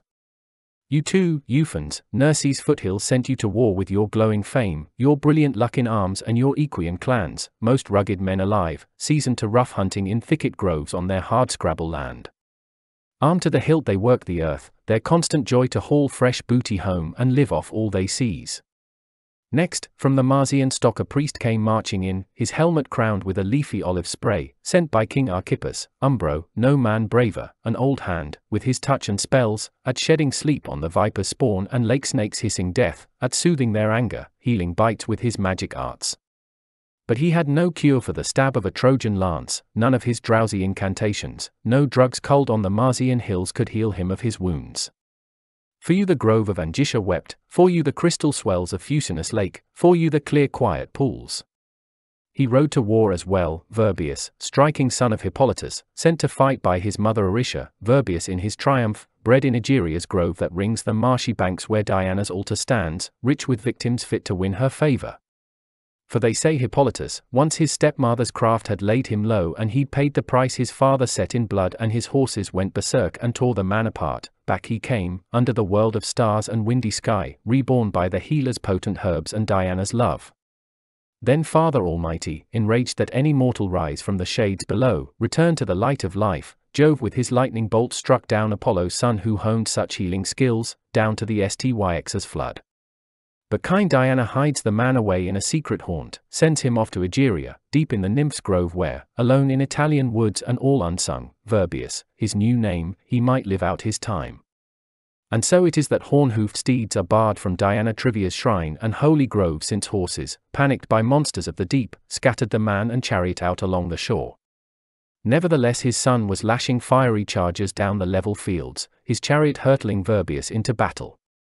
And there the man himself, Turnus, his build magnificent, sword brandished, marches among his captains, topping all by a head. Triple plumed, his high helmet raises up a chimera with all the fires of Etna blasting from its throat and roaring all the more, its searing flames more deadly the more blood flows and the battle grows more fierce. There on the burnished shield, Io, blazoned in gold, her horns raised, her skin already bristly with hair, already changed to a cow, an awesome emblem, as Argus guards the girl and Father Inachus pours his stream from a chaste urn. And following Turnus comes a cloud of troops on foot, shield-bearing battalions swarming the whole plain. Men in their prime from Argos, ranks of Auruncans, Rutulians, Sicanian veterans on in years, Sacranians in columns, Libicians bearing their painted shields, men who plough your glades, old Tiber, the Numicus holy banks, whose ploughshare turns the Rutulian slopes and Circe's high-ridged cape. Then men from fields where Jove of Anxur reigns and goddess Feronia takes joy in her fine green grove, and troops from Satura's black marsh where the frigid Ufens weaves his way through a valley's bottom land and plunges down to sea. Topping off the army's rides Camilla, sprung from the Volscian people, heading her horsemen, squadrons gleaming bronze. This warrior girl, with her young hands untrained for Minerva's spools and baskets filled with wool, a virgin seasoned to bear the rough work of battle, swift to outrace the winds with her lightning pace. Camilla could skim the tips of the unreaped crops, never bruising the tender ears in her swift rush or wing her way, hovering over the mid-sea swell and never dip her racing feet in the waves. Young men all come pouring from homes and fields and crowding mothers marvel, stare at her as she strides, awestruck, breathless, how the beauty of royal purple cloaks her glossy shoulders. How her golden brooch binds up her hair, how she cradles a Lycian quiver, her shepherd's staff of myrtle spiked with steel. Book 8 The Shield of Aeneas. Soon as Turnus hoisted the banner of war from Laurentum's heights and the piercing trumpets blared, soon as he whipped his horses rearing for action, clashed his spear against his shield, passions rose at once, all Latium stirred in frenzy to swear the oath, and young troops blazed for war the chiefs in the lead, Messapus, Ufens, Mezentius, scorner of gods, call up forces from all quarters and strip the fields of men who work the soil. They send Venulus out to great Diomedes' city to seek reserves and announce that Trojan ranks in camp in Latium. Aeneas arrives with his armada, bringing the conquered household gods of Troy, claiming himself a king demanded now by fate. And the many tribes report to join the Dardan chief, and his name rings far and wide through Latian country. But where does the build up end? What does he long to gain, if luck is on his side, from open warfare? Clearly, Diomedes would know, better than King Turnus, better than King Latinus. So things went in Latium. Watching it all, the Trojan hero heaved in a churning sea of anguish, his thoughts racing, here, there, probing his options, shifting to this plan, that, as quick as flickering light thrown off by water in bronze bowls reflects the sun or radiant moon, now flittering near and far, now rising to strike a ceiling's gilded fretwork, the dead of night. Over the earth all weary living things, all birds and flocks were fast asleep when Captain Aeneas, his heart racked by the threat of war, lay down on a bank beneath the chilly arc of the sky and at long last indulged his limbs in sleep. Before his eyes the god of the lovely river, old Tiber himself, seemed to rise from among the poplar leaves, gowned in his blue-grey linen fine as mist with a shady crown of reeds to wreathe his hair, and greeted Aeneas to ease him of his anguish, born of the stock of gods, you who bring back Troy to us from enemy hands and save her heights forever. How long we waited for you, here on Laurentine soil and Latian fields. Here your home is assured, yes, assured for your household gods. Don't retreat. Don't fear the threats of war. The swelling rage of the gods has died away. I tell you now, so you won't think me an empty dream, that under an oak along the banks you'll find a great sow stretched on her side with thirty pigs just farrowed, a snow white mother with snow white young at her dugs. By this sign, after thirty years have made their rounds Ascanius will establish Alba, bright as the city's name. All that I foresee has been decreed. But how to begin this current struggle here and see it through, victorious all the way? I'll explain in a word or so. Listen closely. On these shores Arcadians sprung from Pallas, King Evander's comrades marching under his banner, picked their site and placed a city on these hills, Pallanteum, named for their famous forebear, Pallas. They wage a relentless war against the Latin people. Welcome them to your camp as allies, seal your pacts. I myself will lead you between my banks, upstream, making your way against the current under oars, I'll speed you on your journey. Up with you, son of Venus. Now, as the first stars set, offer the proper prayers to Juno, overcome her anger and threats with vows and plead for help. You will pay me with honors once you have won your way. I am the flowing river that you see, sweeping the banks and cutting across the tilled fields rich and green. I am the river Tiber clear blue as the heavens, stream most loved by the gods who rule the sky. My great home is here, my fountainhead gives rise to noble cities. With that, the river sank low in his deep pool, heading down to the depths as Aeneas, night and slumber over, gazing toward the sunlight climbing up the sky, rises, duly draws up water in cupped hands and pours forth this prayer to heaven's heights, you nymphs, Laurentine nymphs, you springs of rivers, and you, Father Tiber, you and your holy stream, embrace Aeneas, shield him from dangers, now at last. You who pity our hardships, wherever the ground lies where you come surging forth in all your glory, always with offerings, always with gifts I'll do you honor, you great horned king of the rivers of the west. Just be with me. Prove your will with works. So he prays and choosing a pair of galleys from the fleet, he mans them both with rowers while fitting out his troops with battle gear. But look, suddenly, right before his awestruck eyes, a marvel, shining white through the woods with a brood as white, lying stretched out on a grassy bank for all to see, a great sow, devout Aeneas offers her up to you, Queen Juno on high, a blood sacrifice to you, standing her at your altar with her young. And all night long the Tiber lulled his swell, checking his current so his waves would lie serene, silent, still as a clear lagoon or peaceful marsh, soothing its surface smooth, no labor there for oars. So they embark with cheers to speed them on their way, and the dark tarred hulls go gliding through the river, amazing the tides, amazing the groves unused to the sight of warriors' shields, flashing far, and blazoned galleys moving on upstream. And on and on they row, wearying night and day as they round the long, winding bends, floating under the mottled shade of many trees and cleave the quiet stream reflecting leafy woods. The fiery sun had climbed to mid-career when, off in the distance, they catch sight of walls, a citadel, scattered roofs of houses, all that now the imperial power of Rome has lifted to the skies, but then what Evander held, his humble kingdom. Quickly they swerve their prows and row for town. As luck would have it, that day Arcadia's king was holding solemn annual rites in honor of Hercules, Amphitryon's powerful son, and paying vows to the gods in a grove before the city. Flanked by his son, Pallas, the ranking men and the lowly senate, all were offering incense now, and warm blood was steaming on the altars. As soon as they saw the tall ships gliding through the shadowed woods and the rowers bending to pull the oars in silence, alarmed by the unexpected sight, all rise as one to desert the sacred feast. But Pallas forbids them to cut short the rites, and fearless, seizes a spear and runs to confront the new arrivals by himself. Soldiers, he shouts from a barrow some way off, what drives you to try these unfamiliar paths? Where are you going? Who are your people? Where's your home? Do you bring peace or war? Then Captain Aeneas calls from his high stern, his hands extending the olive branch of peace, we're Trojans born. The weapons you see are honed for our foes, the Latins. They drive us here, as exiles, with all the arrogance of war. We look for Evander. Tell him this, leading chiefs of Dardania come, pressing to be his friends in arms. Dardania.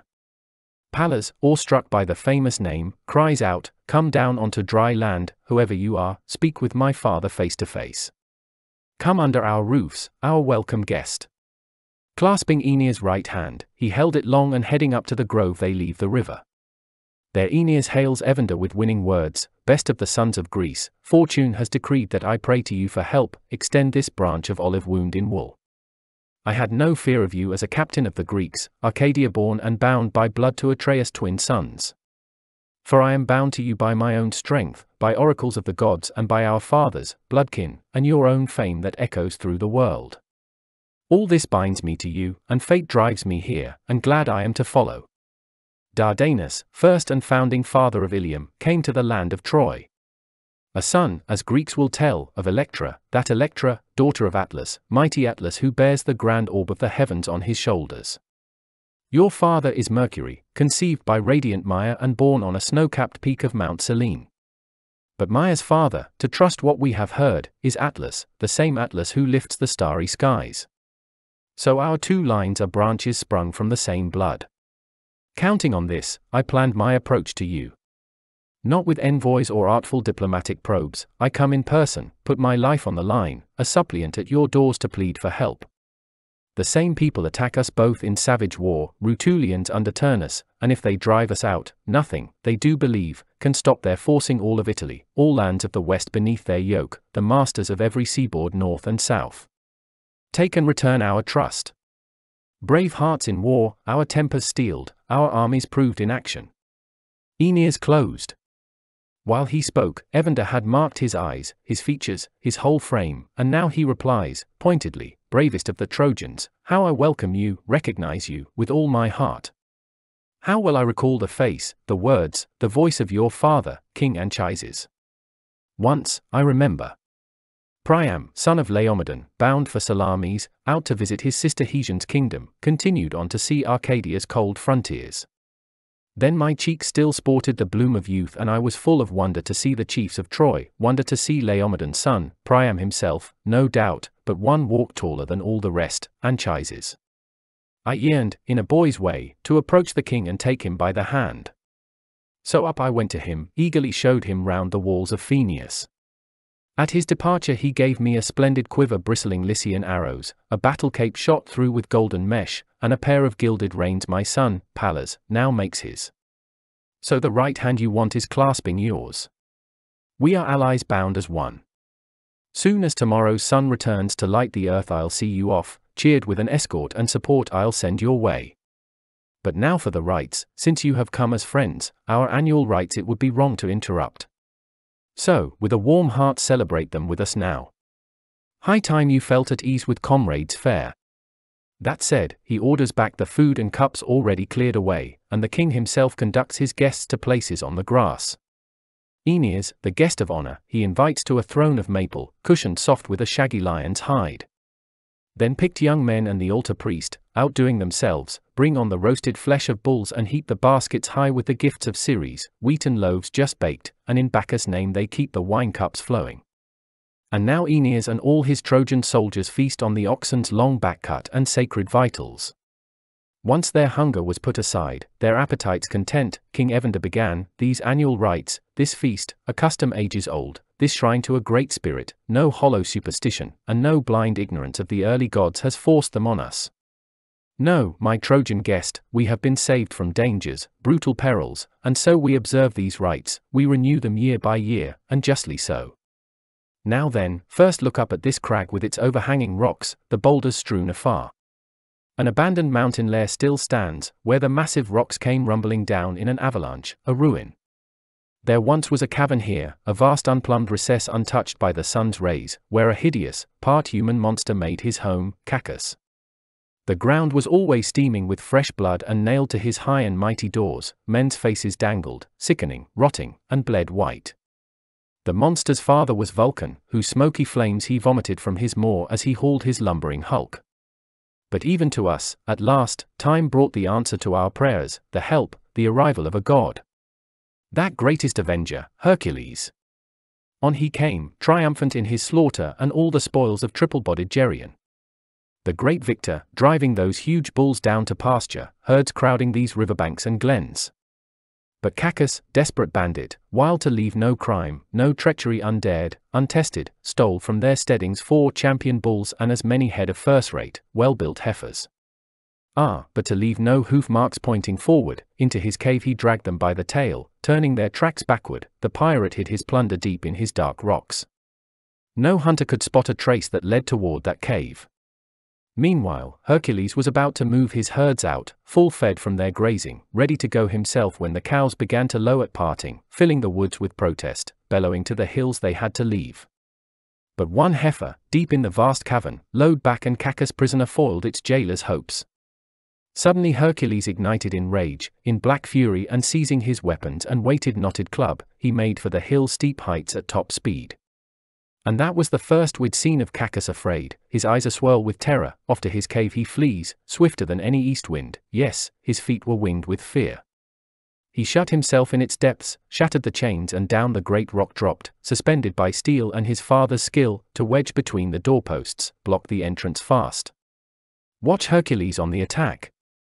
Scanning every opening, tossing his head, this way, that way, grinding his teeth, blazing in rage, three times he circles the whole Aventine hill, three times he tries to storm the rocky gates, no use, three times he sinks down in the lowlands, power spent. Looming over the cavern's ridge a spur reared up, all jagged flint, its steep sides shearing away, a beetling, towering sight, a favorite haunt of nestling vultures. This crag jutting over the ridge, leaning left of the river down below, he charged from the right and rocked it, prized it up from its bedrock, tore it free of its roots, then abruptly hurled it down and the hurl's force made mighty heaven roar as the bank split far apart and the river's tide went flooding back in terror. But the cave and giant palace of Cacus lay exposed and his shadowy cavern cleaved wide to its depths, as if earth's depths had yawned under some upheaval, bursting open the locks of the underworld's abodes, revealing the livid kingdom loathed by the gods, and from high above you could see the plunging abyss and the ghosts terror struck as the light comes streaming in. So Cacus, caught in that stunning flood of light, shut off in his hollow rock, Howling as never before, Hercules overwhelms him from high above, raining down all weapons he finds at hand, torn off branches, rocks like millstones.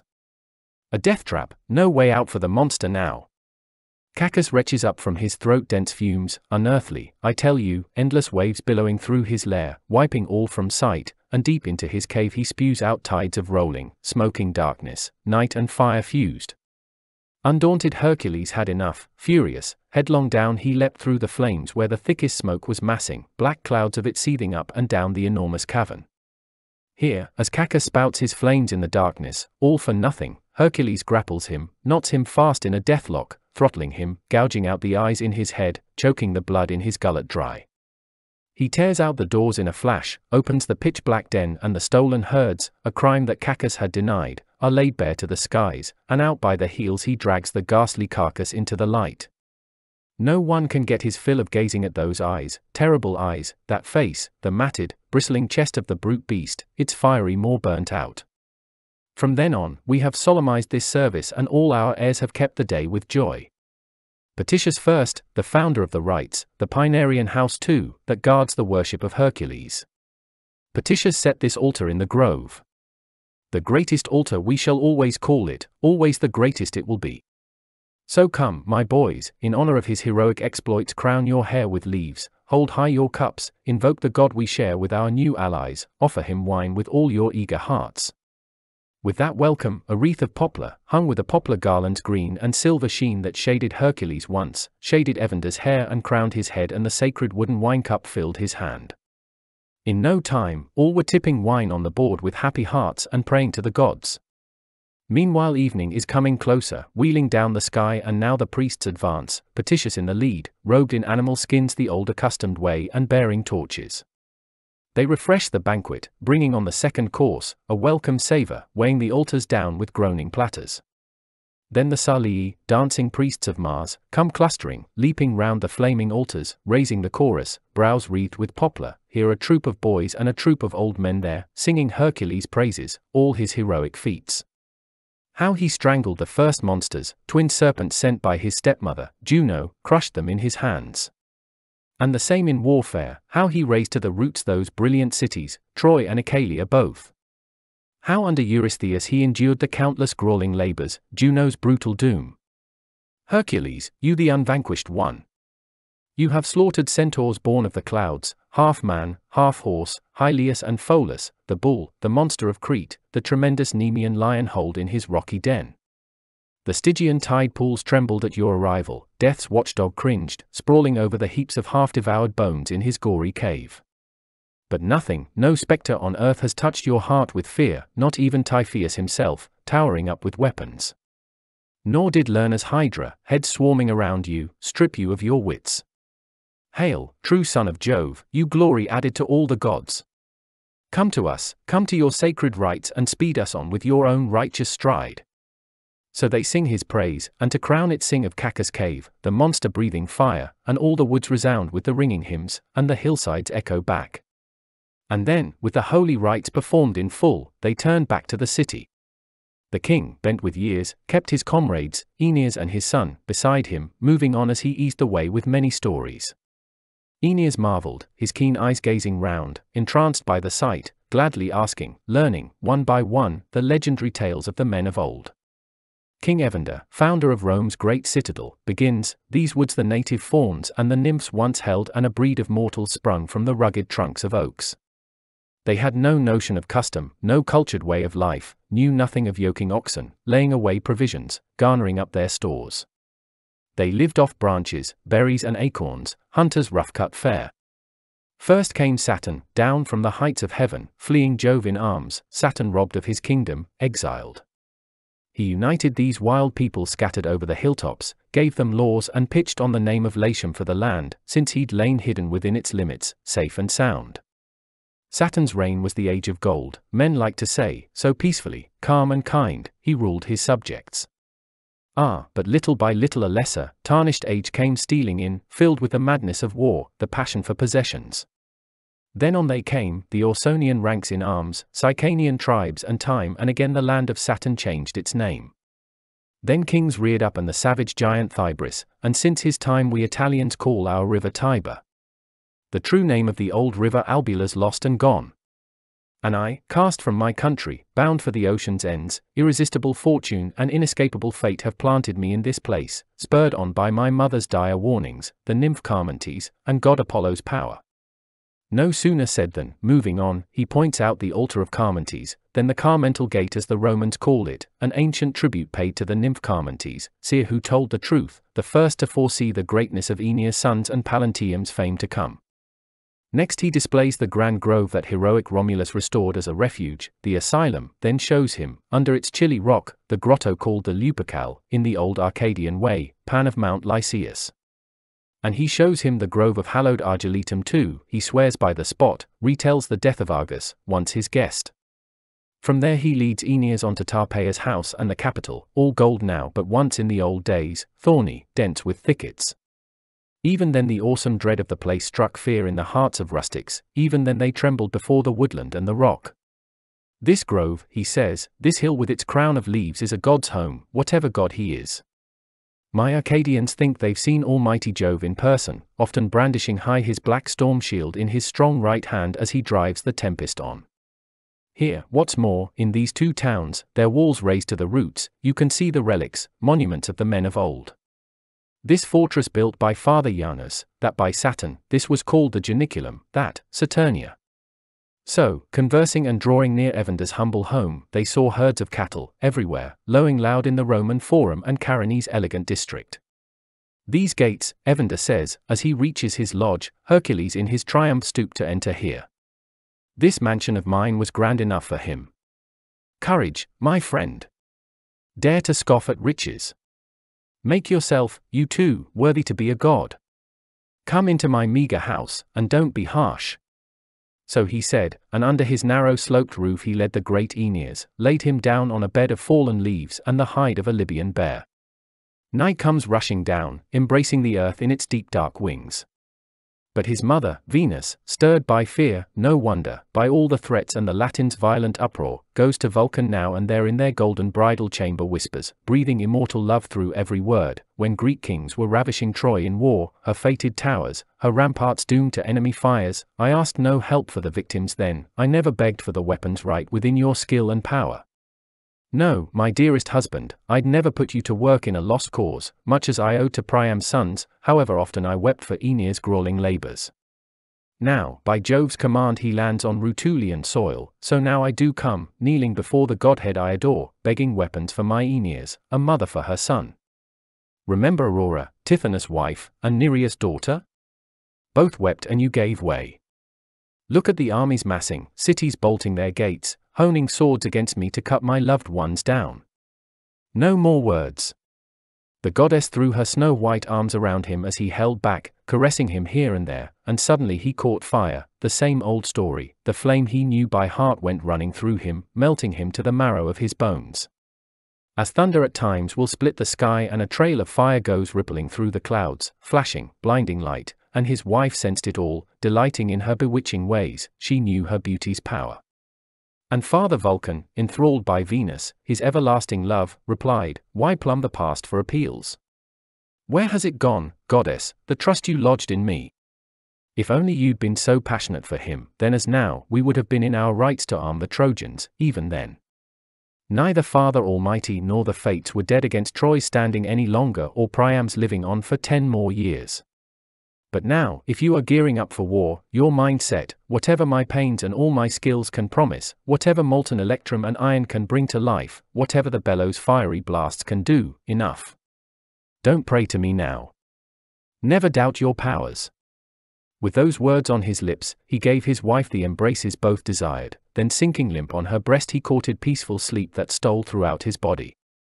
And then, when the first deep rest had driven sleep away and the chariot of night had wheeled past mid career, that hour a housewife rises, faced with scratching out a living with loom and Minerva's homespun crafts, and rakes the ashes first to awake the sleeping fires, adding night to her working hours, and sets her women toiling on at the long day's chores by torchlight, and all to keep the bed of her husband chaste and rear her little boys, so early, briskly, in such good time the fire god rises up from his downy bed to labor at his forge, not far from Aeolian Lipare flanked by Sicily's coast, an island of smoking boulders surges from the sea. Deep below it a vast cavern thunders, hollowed out like vaults under Etna, forming the Cyclops forges. You can hear the groaning anvils boom with mighty strokes, the hot steel ingot screeching steam in the cavern's troughs and fires panting hard in the furnace, Vulcan's home, it bears the name Vulcania. Here the fire god dove from heaven's heights. The Cyclops were forging iron now in the huge cave, thunder and lightning and fire anvil stripped bare. They had in hand a bolt they had just hammered out, one of the countless bolts the Father rains on earth from the arching sky, part buffed already, part still rough. Three shafts of jagged hail they'd riveted on that weapon, three of bursting storm clouds, three of blood red flame and the south wind winging fast. They welded into the work the blood curdling flashes, crackling thunder, terror and rage in hot pursuit. Others were pressing on, forging a chariot's whirling wheels for Master Harrow men and panicked towns in war. Others were finishing off the dreaded aegis donned by Pallas Athena blazing up in arms, outdoing themselves with burnished gilded scales, with serpents coiling, writhing around each other, the Gorgon herself, the severed head, the rolling eyes, the breastplate forged to guard the goddess chest. Pack it away, he shouts. Whatever you've started, set it aside, my Cyclops of Etna, bend to this. Armor must be forged for a man of courage. Now for strength, you need it. Now for flying hands. Now for mastery, all your skill. Cast delay to the winds. Enough said. At a stroke they all pitched into the work, dividing the labors, share and share alike, and bronze is running in rivers and flesh tearing steel and gold all melting down in the giant furnace. They are forging one tremendous shield, one against all the Latin spears, welding seven plates, circular rim to rim and some are working the bellows sucking the air in, blasting it out, while others are plunging hissing bronze in the brimming troughs, the ground of the cavern groaning under the anvil's weight, and the Cyclops raising their arms with all their power, arms up, arms down to the drumming, pounding beat as they twist the molten mass in gripping tongs. While Vulcan, the lord of Lemnos, spurs the work below that Aeolian coast, the life-giving light and birdsong under the eaves at crack of dawn awake Evander from sleep in his humble lodge. The old man rises, pulls a tunic over his chest and binds his Etruscan sandals round his feet. Over his right shoulder, down his flank he straps an Arcadian sword, swirling back the skin of a panther to drape his left side. For company, two watchdogs go loping on before him over the high doorsill, friends to their master's steps. He makes his way to the private quarters of his guest, Aeneas, the old veteran bearing in mind their recent talk and the help that he had promised. Just as early, Aeneas is stirring too. One comes with his son, Pallas, the other brings Achates. They meet and grasp right hands and sitting there in the open court, are free at last to indulge in frank discussion.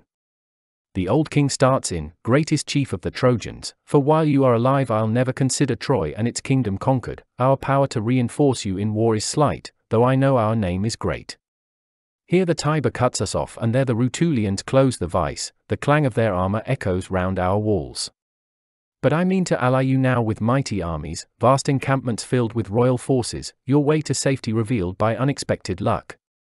It's fate that called you on to reach our shores. Now, not far from here Agylla city stands, founded on age-old rock by Lydian people once, brilliant in war, who built on Etruscan hilltops. The city flowered for many years till King Mezentius came to power, his brutal rule, barbaric force of arms. Why recount his unspeakable murders, savage crimes? The tyrant. God store up such pains for his own head and all his sons. Why, he'd even bind together dead bodies and living men, couple them tightly, hand to hand and mouth to mouth, what torture, so in that poison, oozing putrid slime they die by inches, locked in their brute embrace. Then, at last, at the end of their rope, his people revolt against that raving madman, they besiege Mezentius and his palace, hack his henchmen down and fling fire on his roof. In all this slaughter he slips away, taking flight to Rutulian soil, shielded by Turnus' armies, his old friend. So all Etruria rises up in righteous fury, demanding the king, threatening swift attack. Thousands, Aeneas, and I will put you in command. Their fleet is massed on the shore and a low roar grows, men crying for battle standards now, but an aged prophet holds them back, singing out his song of destiny. You elite Lydian troops, fine flower of courage born of an ancient race, oh, what just resentment whips you into battle. Mezentius makes you burn with well-earned rage. But still the gods forbid an Italian commander to lead a race so great, choose leaders from overseas. At that, the Etruscan fighting ranks subsided, checked on the field of battle, struck with awe by the warnings of the gods. Tarchon himself has sent me envoys, bearing the crown and scepter, offering me the ensigns, urging, Join our camp, take the Etruscan throne. Ah, but old age, sluggish, cold, played out with the years, has me in its grip, denies me the command.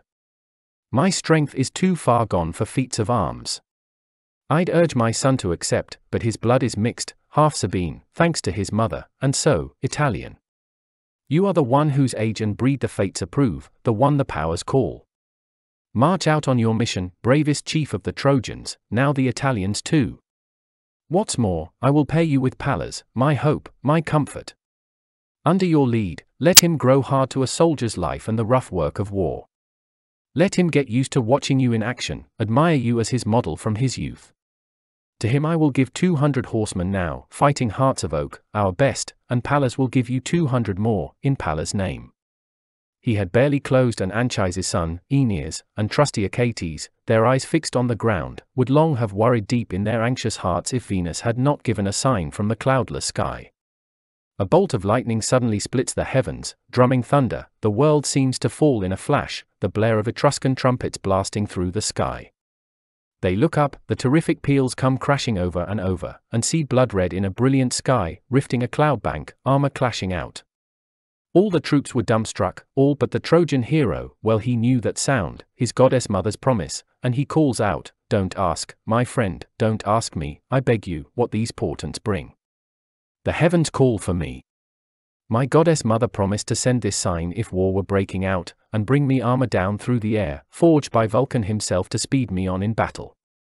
But, oh dear gods, what slaughter threatens the Paul Laurentine people? What a price in bloodshed, Turnus, you will pay me soon. How many shields and helmets and corpses of the brave you'll churn beneath your tides, old father Tiber? All right then, you Rutulians, beg for war. Break your pacts of peace. Fighting words. Aeneas rises from his high seat and first he rakes the fires asleep on Hercules' altar, then gladly goes to the lowly gods of hearth and home he worshipped just the day before. Evander himself and his new Trojan allies, share and share alike, slaughter yearling sheep as the old rite demands. And next Aeneas returns to his ships and shipmates, picks the best and bravest to take his lead in war while the rest glide on at ease, no oars required as the river's current bears them on downstream to bring Ascanius news of his father and his affairs. Horses go to the Trojans bound for Tuscan fields, and marked for Aeneas, a special mount decked out in a tawny lion skin that gleams with gilded claws. A sudden rumor flies through the little town, horsemen are rushing toward the Tuscan monarch's gates. Mothers struck with terror pray and re-echo prayers, the fear builds as the deadly peril comes closer, the spectre of war looms larger, ever larger. Evander, seizing the hand of his departing son, clinging, weeping inconsolably, cries out, If only Jove would give me back the years, all gone, and make me the man I was, killing the front ranks just below Praeneste's ramparts, heaping up their shields, torching them in my triumph, my right hand sent great King Erulus down to hell, Three lives his mother Feronia gave him at his birth, I shudder to say it now, three suits of armor for action. Three times I had to lay him low, but my right hand, my right hand then, stripped him of all his lives and all his armor too. Oh, if only. Then no force could ever tear me now from your dear embrace, my boy, nor could Mezentius ever have trod his neighbor Evander down, butchered so many, bereaved our city, so many widows left. But you, you powers above, and you, Jupiter, highest lord of the gods, pity, I implore you, a king of Arcadia, hear a father's prayers. If your commands will keep my palace safe and if the fates intend to preserve my son, and if I live to see him, join him again, why then I pray for life, I can suffer any pain on earth but if you are threatening some disaster, fortune, let me break this brutal life off now, now while anxieties waver and hopes for the future fade, while you, my beloved boy, my lone delight come lately, I still hold you in my embrace. Oh, let no graver news arrive and pierce my ears. So at their last parting the words came pouring deep from Evander's heart. He collapsed, and his servants bore him quickly into the house and even now the cavalry had come riding forth through the open gates, Aeneas out in the lead, flanked by trusty Achates, then other Trojan captains, with Pallas in command of the column center, Pallas brilliant in battle cape and glittering in inlaid armor. Bright as the morning star whom Venus loves above all the burning stars on high, when up from his ocean bath he lifts his holy face to the lofty skies and dissolves away the darkness. Mothers stand on the ramparts, trembling, eyes trailing the cloud of dust and the troops in gleaming bronze. Over the brush, the quickest route, cross country, armored fighters ride. Cries go up, squadrons form, galloping hoofbeats drum the rutted plain with thunder. Next to Caere's icy river a huge grove stands, held in ancestral or by people far and wide, on all sides cupped around by sheltering hills and ringed by pitch-dark pines. The story goes that ancient Pelasgians, first in time long past to settle the Latian borders, solemnized the grove and a festal day to Silvanus, god of fields and flocks. Not far from here, Tarchon and his Etruscans mustered, all secure, and now from the hills his entire army could be seen encamped on the spreading plain. Down come Captain Aeneas and all his fighters picked for battle, water their horses well and weary troops take rest. But the goddess Venus, lustrous among the cloud banks, bearing her gifts, approached and when she spotted her son alone, off in a glade's recess by the frigid stream, she hailed him, suddenly there before him, look, just forged to perfection by all my husband's skill, the gifts I promised. There's no need now, my son, to flinch from fighting swaggering Latin ranks or challenging savage Turnus to a duel. With that, Venus reached to embrace her son and set the brilliant armor down before him under a nearby oak. Aeneas takes delight in the goddess gifts and the honor of it all as he runs his eyes across them piece by piece. He cannot get enough of them, filled with wonder, turning them over, now with his hands, now his arms, the terrible crested helmet plumed and shooting fire, the sword blade honed to kill, the breastplate, solid bronze, blood red and immense, like a dark blue cloud inflamed by the sun's rays and gleaming through the heavens. Then the burnished greaves of electrum, smelted gold, the spear and the shield, the workmanship of the shield, no words can tell its power. There is the story of Italy, Rome in all her triumphs. There the fire god forged them, well aware of the seers and schooled in times to come, all in order the generations born of Ascanius stock and all the wars they waged. And Vulcan forged them too, the mother wolf stretched out in the green grotto of Mars, twin boys at her dugs, who hung there, frisky, suckling without a fear as she with her lithe neck bent back, stroking each in turn, licked her wolf pups into shape with a mother's tongue.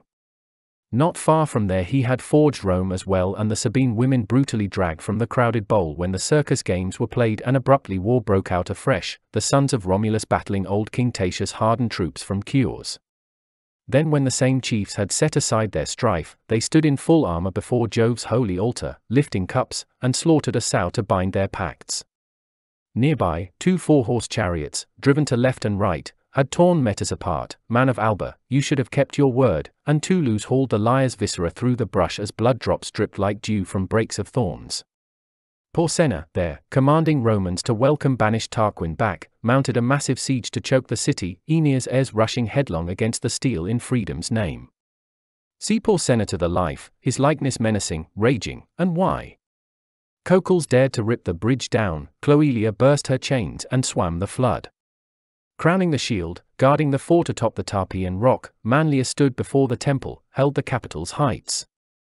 The new thatch bristled thick on Romulus' palace roof, and here the silver goose went ruffling through the gold arcades, squawking its warning Gauls attack the gates. Gauls swarming the thickets, about to seize the fortress, shielded by shadows, gift of the pitch dark night. Gold their flowing hair, their war dress gold, striped capes glinting, their milky necks ringed with golden chokers, pairs of alpine pikes in their hands, flashing like fire, and long shields wrapped their bodies. Here Vulcan pounded out the Salii, dancing priests of Mars, the Luperci, stripped, their peaked caps wound with wool, bearing their body shields that dropped from heaven, and chaste matrons, riding in pillowed coaches, led the sacred marches through the city. Far apart on the shield, what's more, he forged the homes of hell, the high gates of death and the torments of the doomed, with you, Catiline, dangling from a beetling crag, cringing before the Furies' open mouths.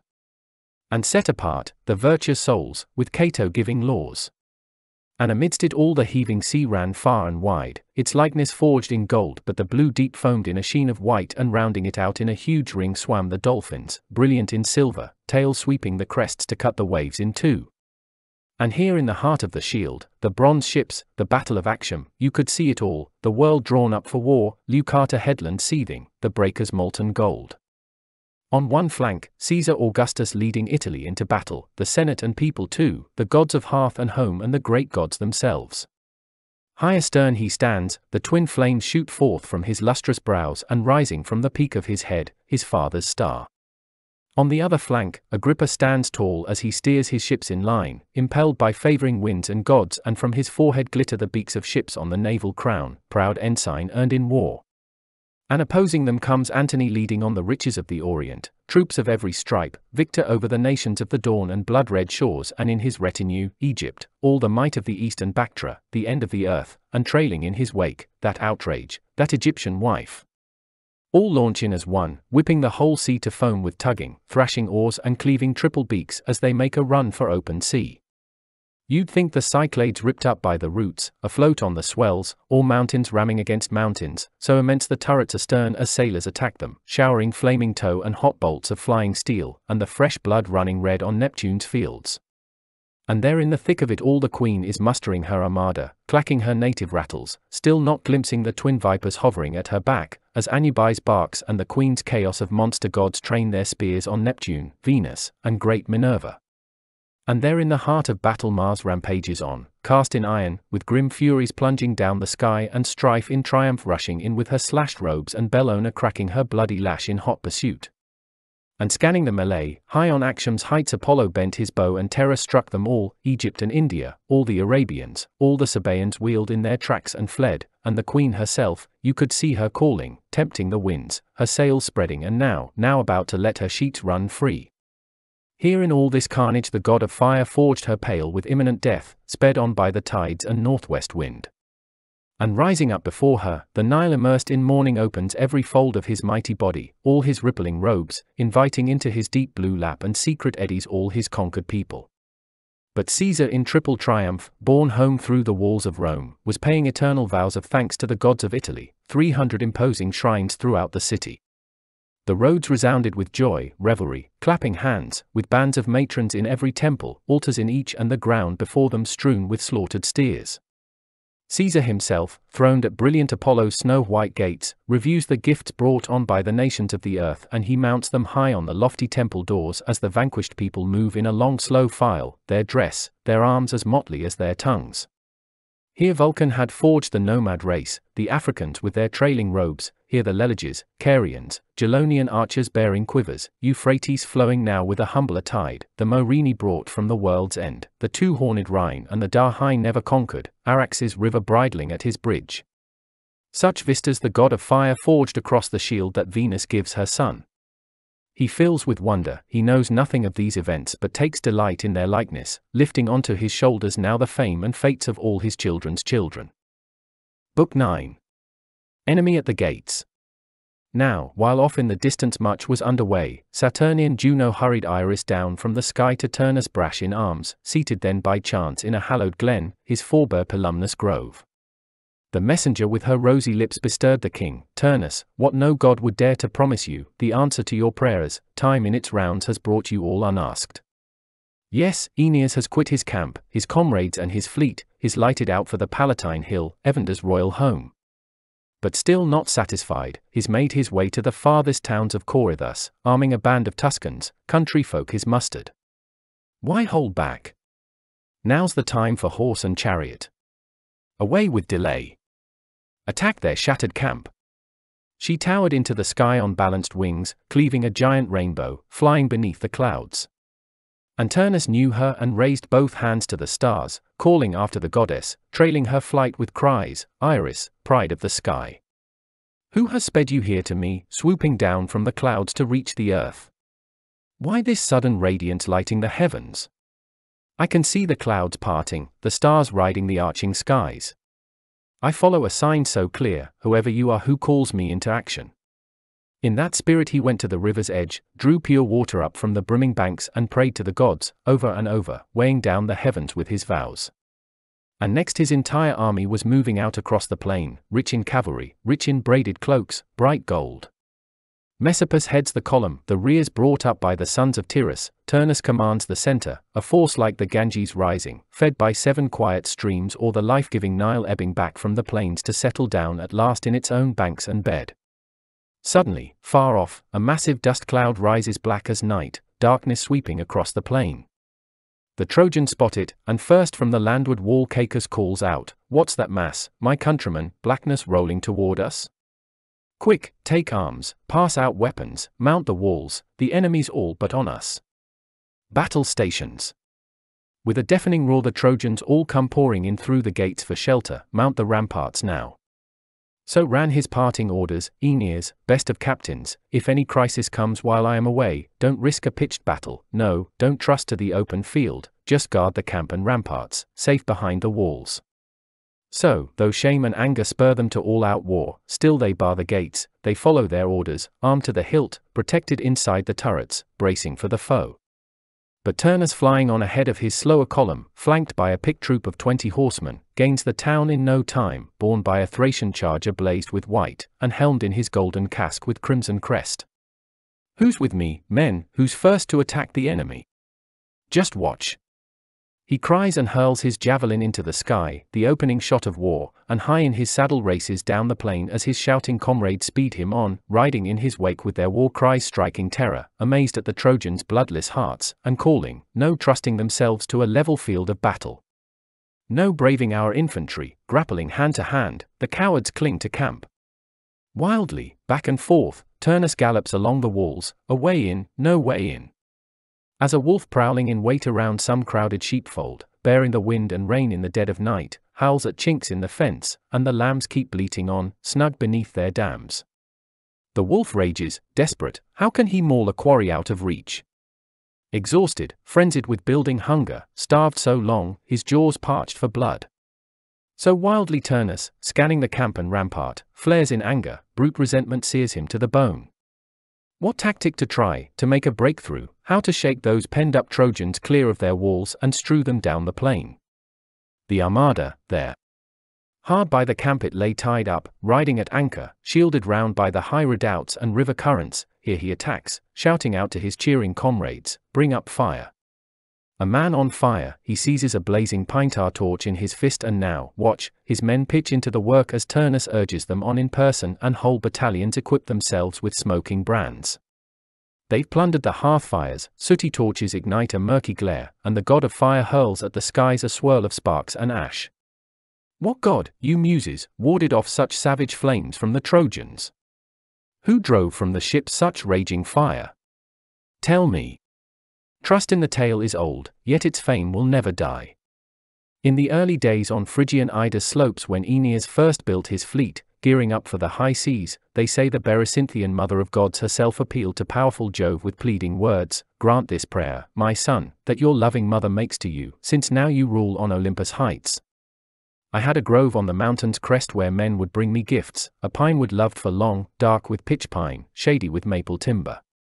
These woods I gladly gave the Dardan prince when the prince lacked a fleet, now dread and anguish have me in their grip.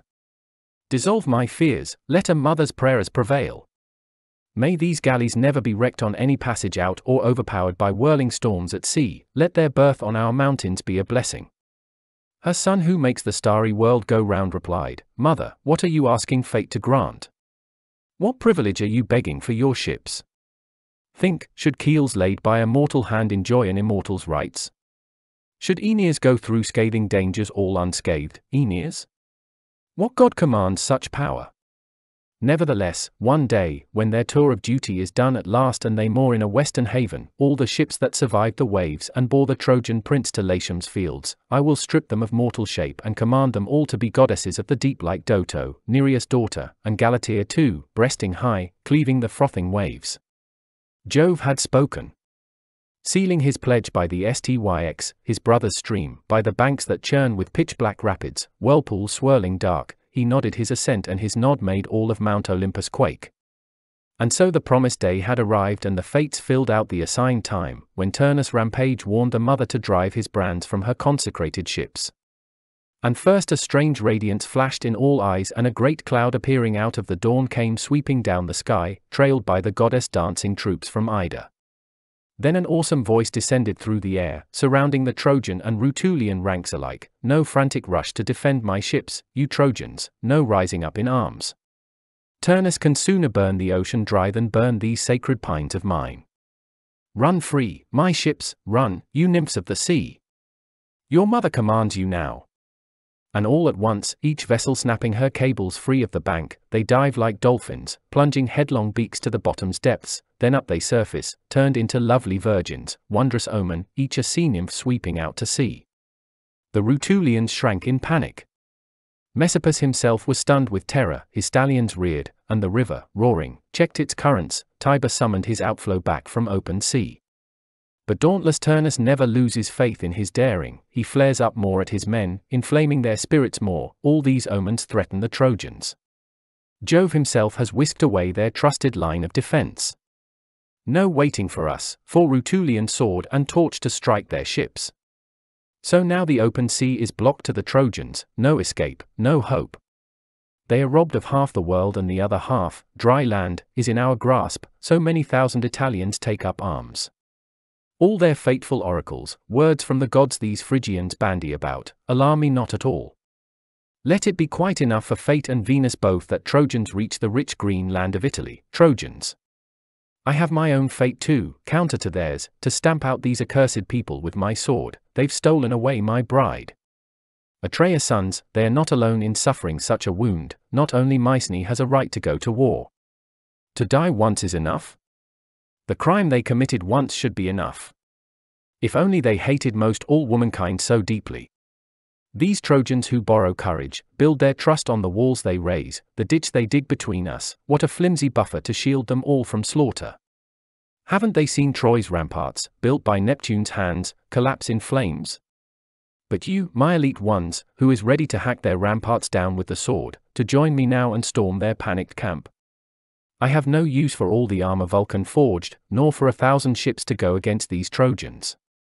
Let all the Etruscans join them at once as allies they need not fear our stealing up on them in the dark like skulking cowards to rob them of their palladium, butcher their sentries posted on the heights.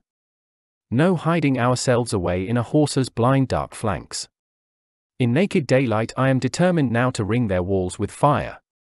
I'll make certain they never think they are fighting Greek and Pelasgian boys, the recruits that Hector warded off ten years.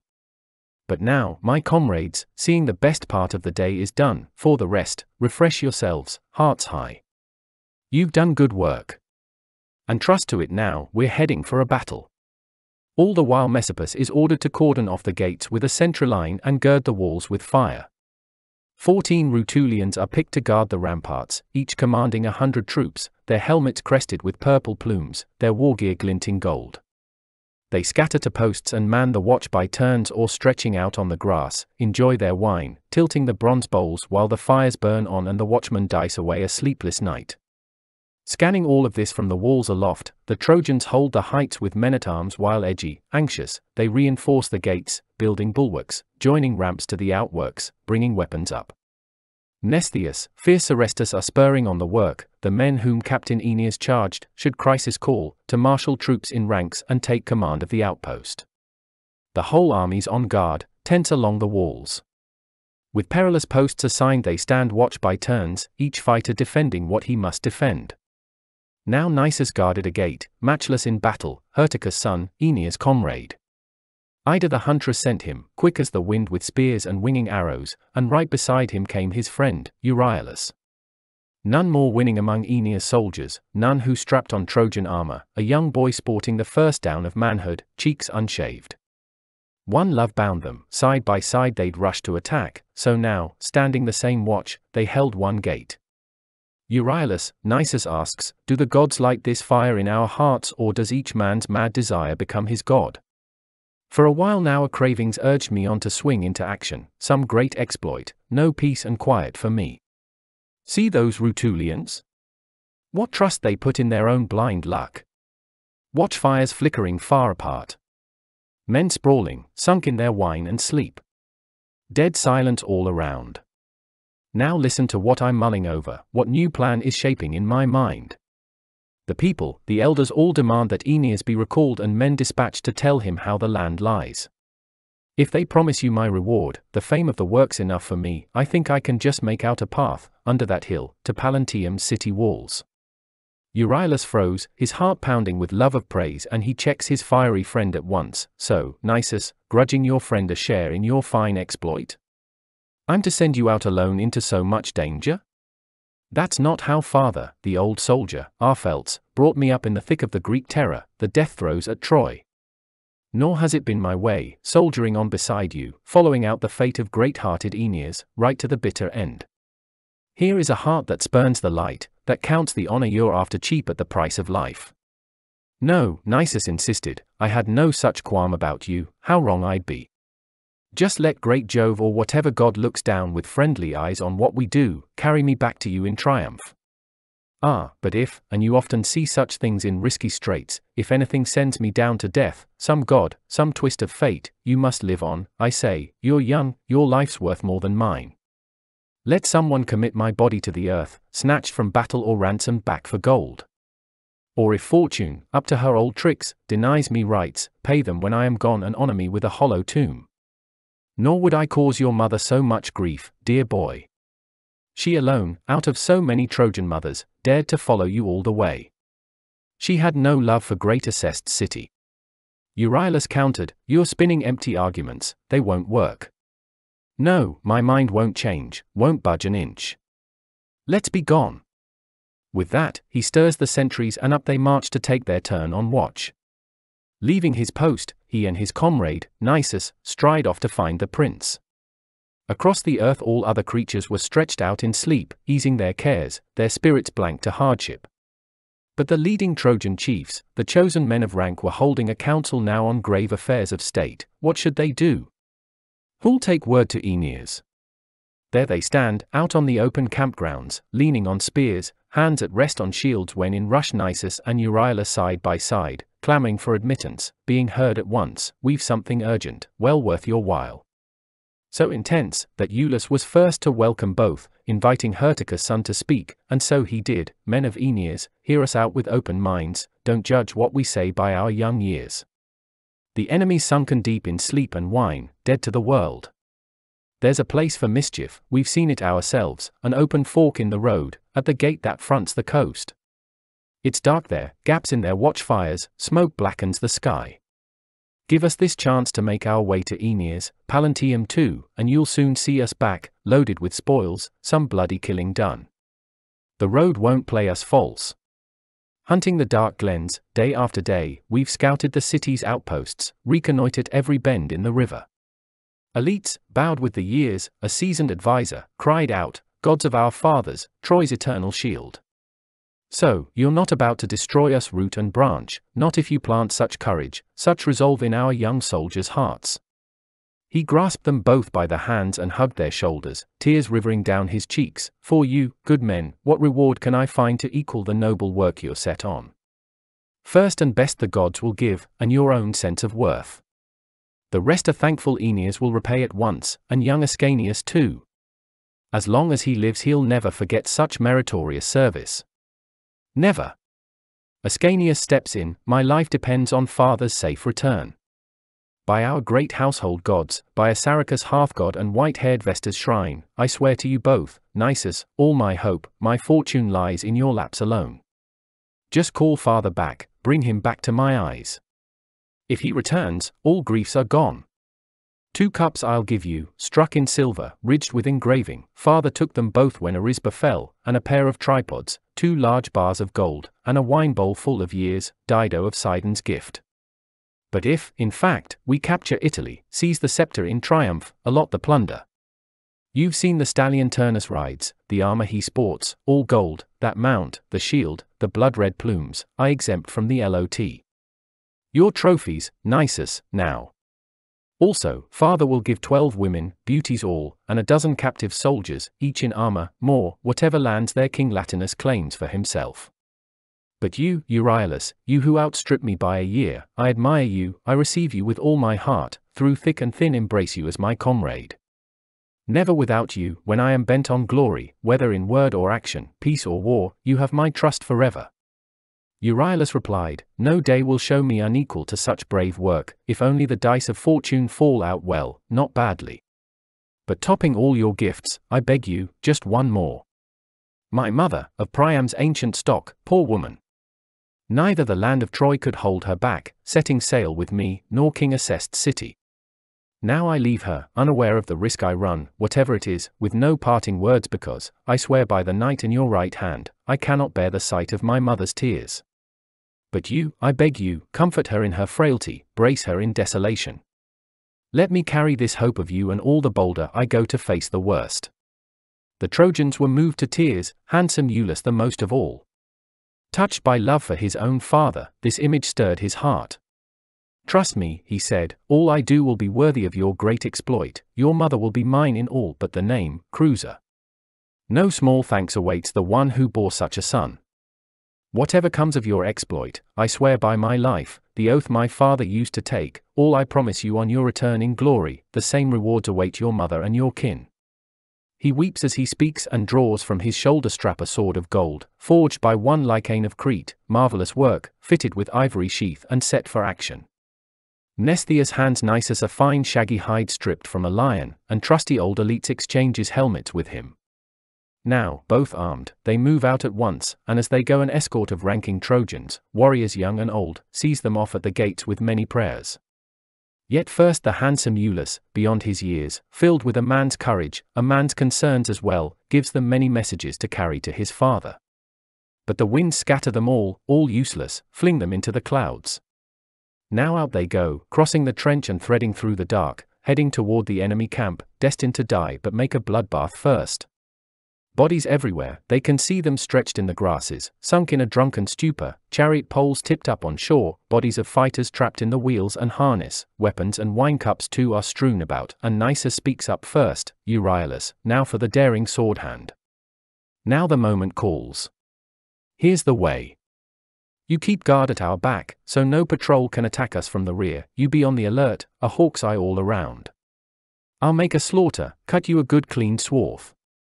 Nisus breaks off as he plants his sword in lofty Rhamnus, propped up by chance on a pile of rugs, his chest puffed out, and heaving, dead asleep, a king himself, King Turnus' favorite prophet, but no prophecy now could save him from his death.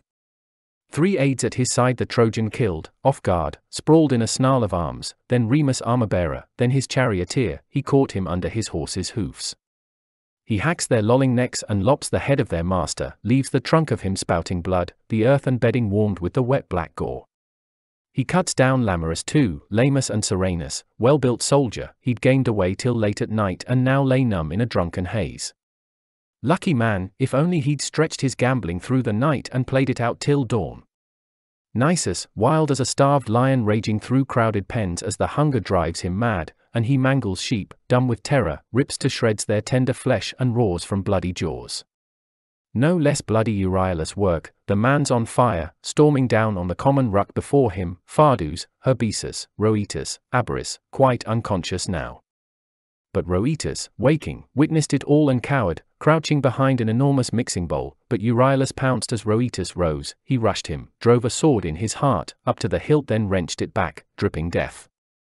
Rhoetus vomits his red lifeblood, spewing out gore and wine mixed with the man's last gasp.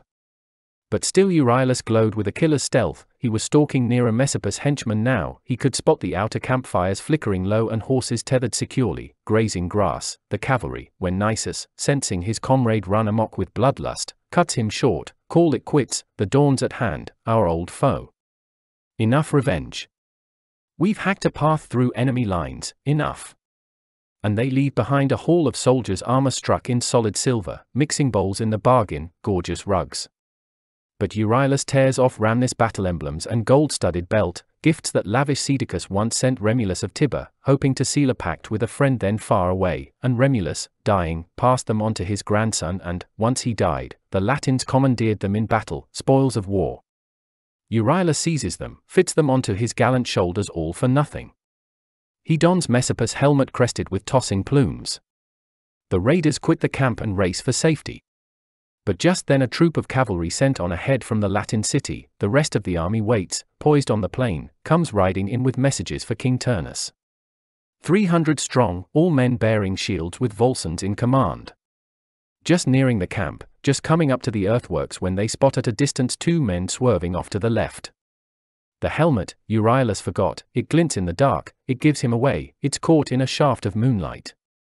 A sight not lost on Volscens, shouting out from the vanguard, Soldiers, halt! Why on the road, in armor? Who are you? Where are you headed?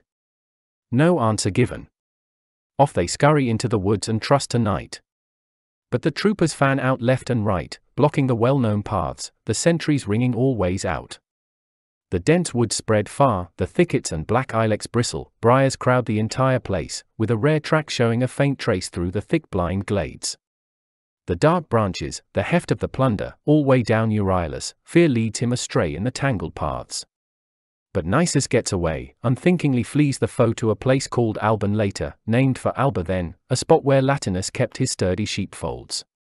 Here Nisus halts, looking back for his lost friend, no use, my poor Euryalus. Where did I lose you? Where can I find you now? Nisus already picks his way, wheeling, groping back through the whole deceptive wood, retracing, scouring his tracks through the silent brush. He hears hoofbeats, hears a commotion, orders, hot pursuit. The next moment a cry hits his ears, and look, Euryalus. Caught by the full band, undone by the dark, the place, the treachery, sudden crashing attack, he's overwhelmed, they are dragging him off, struggling, desperate, doomed. What can Nisus do? How can he save his young friend? What force, weapons, what bold stroke? Pitch himself at the swords and die at once? Race through wounds to a swift and noble death? Quickly cocking his arm, his lance brandished high, he cranes up at the moon and prays his heart out, You, goddess, Latona's daughter. Stand by me now.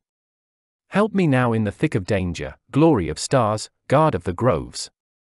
If Father Hyrtacus ever gave you gifts in my name to grace your altars, if I have ever adorned them with hunting trophies, hanging them from your dome, fixing them to your roofs, help me rout my enemies. Wing my spears through the air.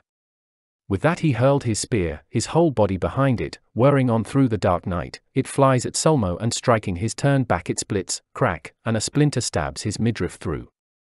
He twists over, vomiting hot blood from his chest, chill with death, his flanks racked with his last gasps. The Rutulians reel, looking about, but now Nisus, all the bolder, watch, cocking another spear beside his ear as the enemy panics, hurls and the shaft goes hissing right through Tagus' brow, splitting it, sticking deep in the man's warm brains. Volscens burns with fury, stymied, where can he find the one who threw it? Where can he aim his rage? No matter, he cries. Now you'll pay me in full with your hot blood for both my men. With that he rushes Euryalus, sword drawn as Nisus terrified, frenzied, no more hiding in shadows, no enduring such anguish any longer, he breaks out, Me, here I am, I did it. Turn your blades on me, Rutulians. The crime's all mine, he never dared, could never do it. I swear by the skies up there, the stars, they know it all. All he did was love his unlucky friend too well. But while he begged the sword goes plunging clean through Euryalus' ribs, cleaving open his white chest.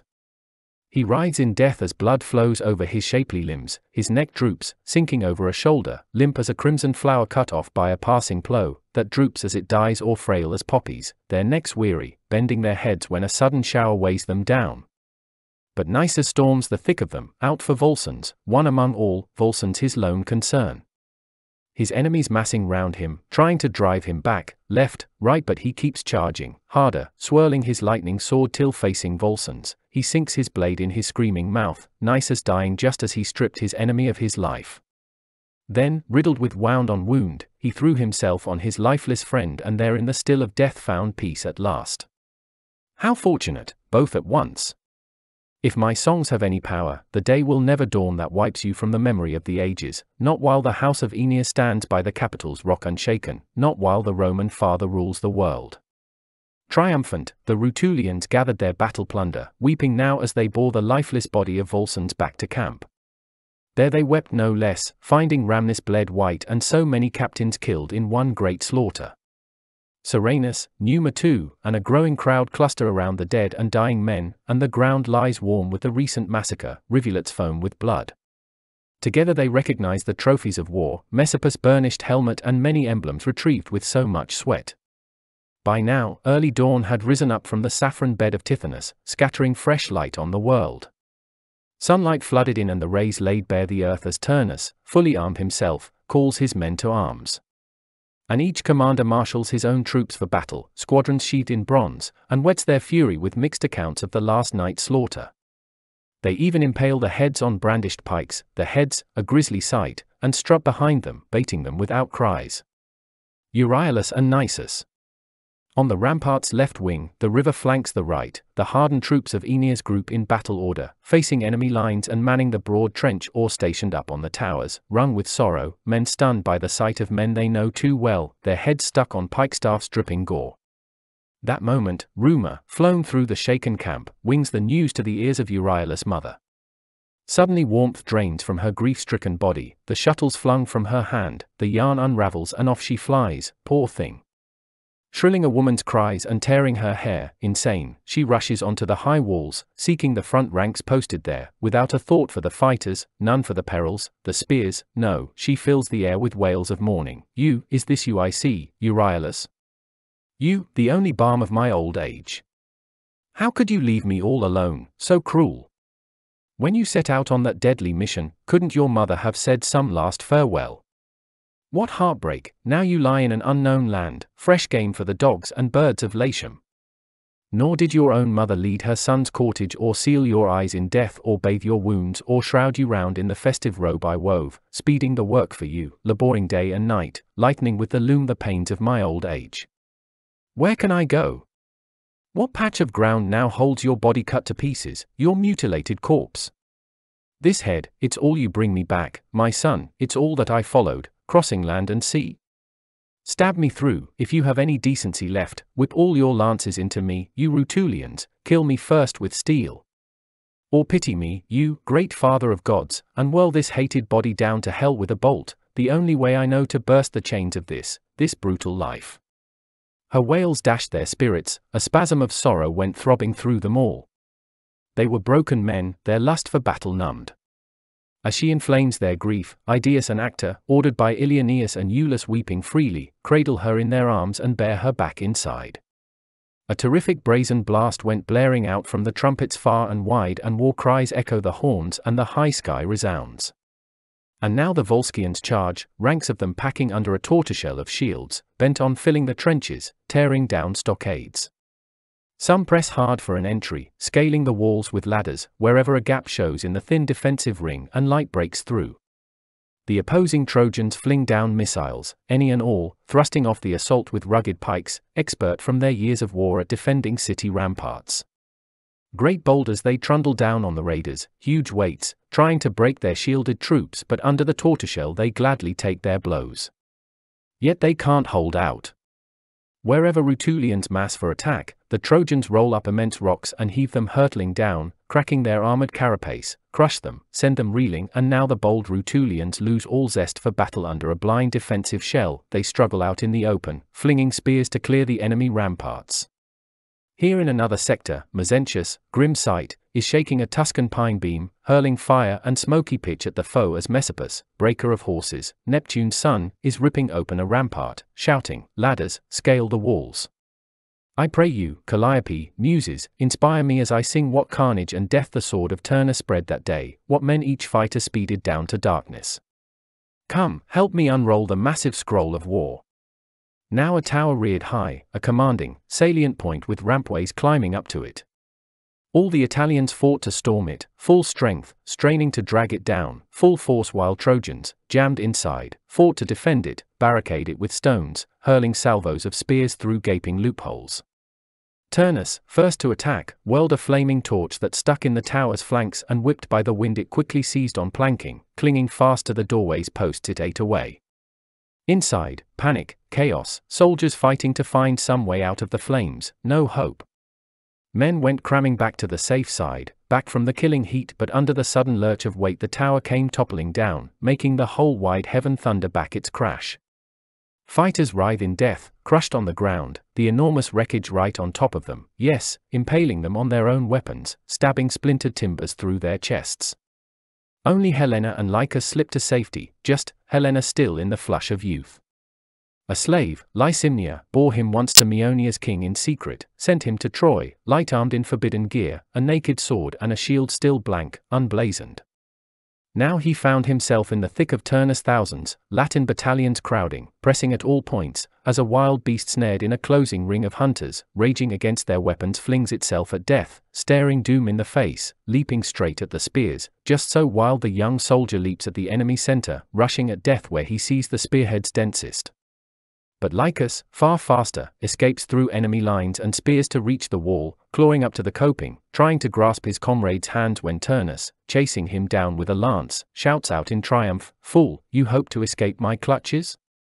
Seizing him as he dangles, tearing the man down along with a hefty piece of wall. As the eagle that bears Jove's lightning snatches up in his hooking talons a hare or snow white swan and towers into the sky, or the wolf of Mars that rips a lamb from the pens and its mother desperate to find it fills the air with bleating. War cries rising, everywhere, on and on they charge, packing the trench with earth, some men hurling fiery torches onto the rooftops. Ilioneus heaving a rock, a huge crag of a rock, brings down Lucetius just assaulting the gates with a flaming torch in hand as Liger kills Emathion. Asylas lays out Corineus, one adept with javelin, one with arrows blindsiding in from a distance. Caeneus kills Ortygius, Turnus, triumphant Caeneus, Turnus cuts down Itys, Clonius, Dioxippus and Promolus, Sagaris, Idas, posted out in front of the steepest towers, and Capys kills Privernus. Themillas' spear grazed him first, he dropped his shield, the idiot raised his hand to the gash as the arrow flew and digging deep in his left side, deeper, burst the ducts of his life breath with a deadly wound. There stood Arcens' son, decked out in brilliant gear and a war shirt stitched blood red with Spanish dye, a fine, striking boy. His father reared him once in the grove of Mars where Symaethus waters swirl and a shrine to the gods of Sicily stands, the Palici, quick to forgive, their altar rich with gifts, and he sent his son to war. Mezentius hissing sling, keeping it strapped taut and dropping his spears, three times he whipped it around his head, let fly and the lead shot, sizzling hot in flight, split his enemy's skull and splayed him out head first on a bank of sand. Then, they say, Ascanius shot for the first time in war the flying arrow he'd saved till now for wild game, rooting, terrorizing them. Now his bowhand cut down strong Numanus, Remulus by family name, just lately bound in marriage to Turnus' younger sister. Numanus, out of the front lines he swaggered, chest puffed up with his newfound royal rank and he let loose an indiscriminate string of ugly insults, flaunting his own power to high heaven. What, have you no shame? You Phrygians twice enslaved, penned up twice over inside blockaded ramparts, skulking away from death behind your walls. Look at the heroes who'd seize our brides in battle. What god drove you to Italy? What insanity? No sons of Atreus here, no spinner of tales, Ulysses. We're rugged stock, from the start we take our young ones down to the river, toughen them in the bitter icy streams. Our boys, they are up all night, hunting, scouring the woods, their sport is breaking horses, whipping shafts from boughs. Our young men, calloused by labor, used to iron rations, tame the earth with mattocks or shatter towns with war.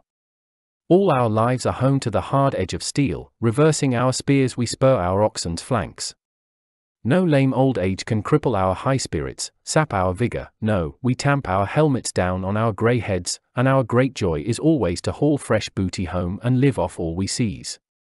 But you, with your saffron braided dress, your flashy purple, you live for lazing, lost in your dancing, your delight, blousy sleeves on your war shirts, ribbons on bonnets. Phrygian women, that's what you are, not Phrygian men. Go traipsing over the ridge of Dindyma, catch the songs on the double pipe you dote on so. The tambourines, they are calling for you now, and the boxwood flutes of your Berecynthian mother perched on Ida. Leave the fighting to men. Lay down your swords. Flinging his slander, ranting taunts, Ascanius had enough. Facing him down and aiming a shaft from his bowstring, horsegut, tense, he stood there, stretching both arms wide, praying first to Jove with a fervent heartfelt vow Jove Almighty, nod assent to the daring work I have in hand. All on my own I'll bring your temple yearly gifts. I'll steady before your altar a bull with gilded brows, bright white with its head held high as its mother's, butting its horns already, young hoofs kicking sand. And the father heard and thundered on the left from a cloudless sky, the instant the lethal bow sings out and the torch shaft flies through Remulus' head with a vicious hiss and rends his empty temples with its steel. Go on, now mock our courage with high and mighty talk. Here's the reply the Phrygians, twice enslaved, return to you Rutulians. That's all he says. The Trojans echo back with a roar of joy, their spirits sky high. By chance Apollo, god of the flowing hair enthroned on a cloud in the broad sweeping sky, was glancing down at Ausonia's troops and camp and calls to Iulus flushed with triumph now, Bravo, my boy, bravo, your newborn courage. That's the path to the stars, son of the gods, you'll father gods to come. All fated wars to come will end in peace, justly, under Assaracus' future sons, Troy can never hold you. In the same breath, the god Apollo dives from the vaulting skies and cleaving the gusty wind searches for Ascanius. He assumes the form and features of old Butes, armor bearer, once, to Dardan Anchises, trusty guard of his gates until Aeneas made him Ascanius' aid. So Apollo approached like Butes head to foot, the man's age, his voice, the shade of his skin, white hair, weapons clanging grimly, and counsels Iülus now in his full glow of triumph, son of Aeneas, stop. Enough that Numanus fell to your flying shafts and you've not paid a price. Apollo has granted this, your first flush of glory, he never envied your arrows, a match for the archer's own. For the battles to come, hold back for now, dear boy. This order still on his lips, Apollo vanished from sight into empty air. But the Trojan captains recognized the god, his immortal arms, and heard his arrows rustling in his quiver as he flew. So they restrain Ascanius blazing for battle, pressing on him Apollo's will and last commands, but they themselves go rushing back to fight and expose their lives to peril. Cries rock the ramparts, up and down the walls, they are tensing murderous bows, whipping spear straps, weapons strewing the ground, shields and hollow helmets ringing out under impact, fighting surges, raging strong as a tempest out of the west when the kids are rising great with rain that lashes the earth, and thick and fast as the hail that storm clouds shower, pelting headlong down on the waves when Jupiter fierce with south wind spins a whirlwind, thunderheads exploding down the sky. Pandarus and Bitias, Alcanor of Ida's offspring born by the nymph Iaera once in Jupiter's grove, men like pines and peaks of their native land, who trusted so to their swords they fling wide the gate their captain entrusted to them, all on their own inviting enemy ranks to breach the walls. There they loom in the gateway, left and right like towers, armored in iron, crests on their high heads flaring, tall as a pair of oaks along a stream in spate, by the Po's banks or the Adige's lovely waters, rearing their uncropped heads to the high sky, their twin crowns waving tall. But in they charge, the Rutulian forces seeing the way wide open now. In an instant Quercens, Aquiculus striking in armor, Tmarus, daredevil heart, and Haemon, son of Mars, with all their squadrons routed, turn tail and run or throw their lives down right at the gateway's mouth. And the more they fight, the hotter their battle fury grows, and now the Trojans mass, regrouping to storm the site, clashing man to man, daring to foray farther out. Turnus, the great captain, is blazing on in another zone, stampeding the Trojan ranks when the news arrives. The enemy flushed with the latest carnage offers up their gates flung open now. And Turnus wheels, dropping the task at hand and full of fury, speeds to the Trojan gate to face the headstrong brothers. But first Antiphates, he was the first to charge, Sarpedon's bastard son by a mother born in Thebes, but Turnus cuts him down, his Italian cornel spears half wings through the melting air and piercing the man's stomach thrusts up into his chest, and froth from the wound's black pit comes bubbling up as the steel heats in the lung it struck, then Merops and Erymas die at his hands, then Aphidnus, even Bitias, eyes ablaze, all rage at heart, and not by a spear, he'd never give up his life to a spear. A massive pike with a giant blade comes hurtling, roaring into him, driven home like a lightning bolt, and neither the two bull's hides of his shield nor trusty breastplate, double mailed with its scales of gold, can block its force. His immense limbs collapse, and earth groans as his giant shield thunders down on his body. Huge as a mason pier that falls at times on the shore of Euboean Baiae, first they build it of massive blocks, then send it crashing over, dragging all in its wake and it crushes down on the ocean floor as the waves roil and black sand goes heaving into the air and Prochyta Island quakes to its depths and the craggy bed of Inner Inarime waiting Typhoeus down by Jove's command. Here, Mars, power of war, injects new heart and force in the Latins, twisting his sharp spurs in their chests and loosing flight and dark fear at the Trojan ranks, and the Latins swarm in from all directions, seize the moment for all out assault as the war god strikes their spirits. Pandarus, seeing his brother's body spread on the ground and sensing how fortune falls, disaster rules the day, with all his might he rams his massive shoulder into the gate and wheels it shut on its hinges, shuts out many comrades now outside the ramparts, facing an uphill battle, and shuts in many others, ushering fighters home as in they rush, along with himself, the crazy fool, not to have spotted Turnus charging in with the crowds and all unwittingly shut him up inside the walls like a claw. Mad tiger among some helpless flock. Suddenly strange light flares from Turnus' eyes and his armor clangs, horrific, the blood-red plumes shake on his head and his shield shoots bolts of lightning. They know him at once, his hated face, his immense frame, and Aeneas' troops are stunned. But enormous Pandarus breaks ranks, afire with rage at his brother's death, and shouts, No palace here, your dowry from Amata. Look, no fortress Ardea hugging her native Turnus. What you see is your enemy's camp, you can't escape. And Turnus replied with a cool, collected smile, On with it now, if you have the backbone in you, let's trade blows. You'll tell the ghost of Priam you found an Achilles, even here. No more talk. Putting all his strength behind it, Pandarus hurls his spear, unpolished, knotted, bark still rough but the breezes whisk it away. Saturnian Juno flicks aside the approaching wound and the weapon stabs the gate. But you won't escape my blade, whirling in my right hand, cries Turnus. No, this sword and the man who wields it, the wounds they deal are fatal. Rearing to full height, sword high, the steel hacks the brows, splitting the temples, gruesome wound, and it cleaves the soft unshaven cheeks. A great crash. Under his huge weight, the earth quakes, his limbs fall limp, his armor splattered with brains, he sprawls on the ground in death, in perfect halves over both his shoulders, right and left, his head goes lolling free. The Trojans swerve and scatter in panic, and if the conquering hero had thought at once of smashing the gate bolts, letting his cohorts in, this day would have been the last day of the war, the last of the Trojans too. But Turnus' hot fury, his mad lust for carnage drives him against his foes. First he seizes Phalaris, cuts the knees from under Gyges, snatching their spears he whips them into the backs of men who break and run as Juno builds his courage, his war lust. Halys next, he sends him packing along with comrades, Phegeus too, as a spear impales him through his shield, then men on the ramparts keen for combat, blind to Turnus who picks them off, Alcander and Halius, Prytanis and Noemon.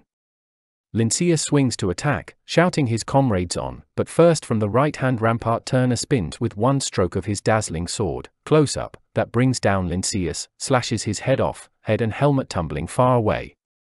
Next he brings down Amycus, gifted killer of wild game, no hand more skilled at dipping an arrow's point or capping a lance with poison, then Clytius, Aeolus' son, then Cretheus, friend of the Muses, the Muses' comrade, Cretheus, always dear to his heart the song and lyre, tuning a verse to the taut string, always singing of cavalry, weapons, wars and the men who fight them.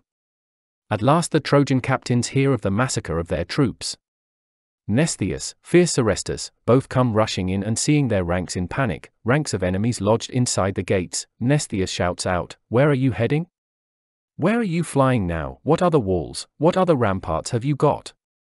My countrymen, can one man, penned up in your fortress on all sides, spread such slaughter through the city?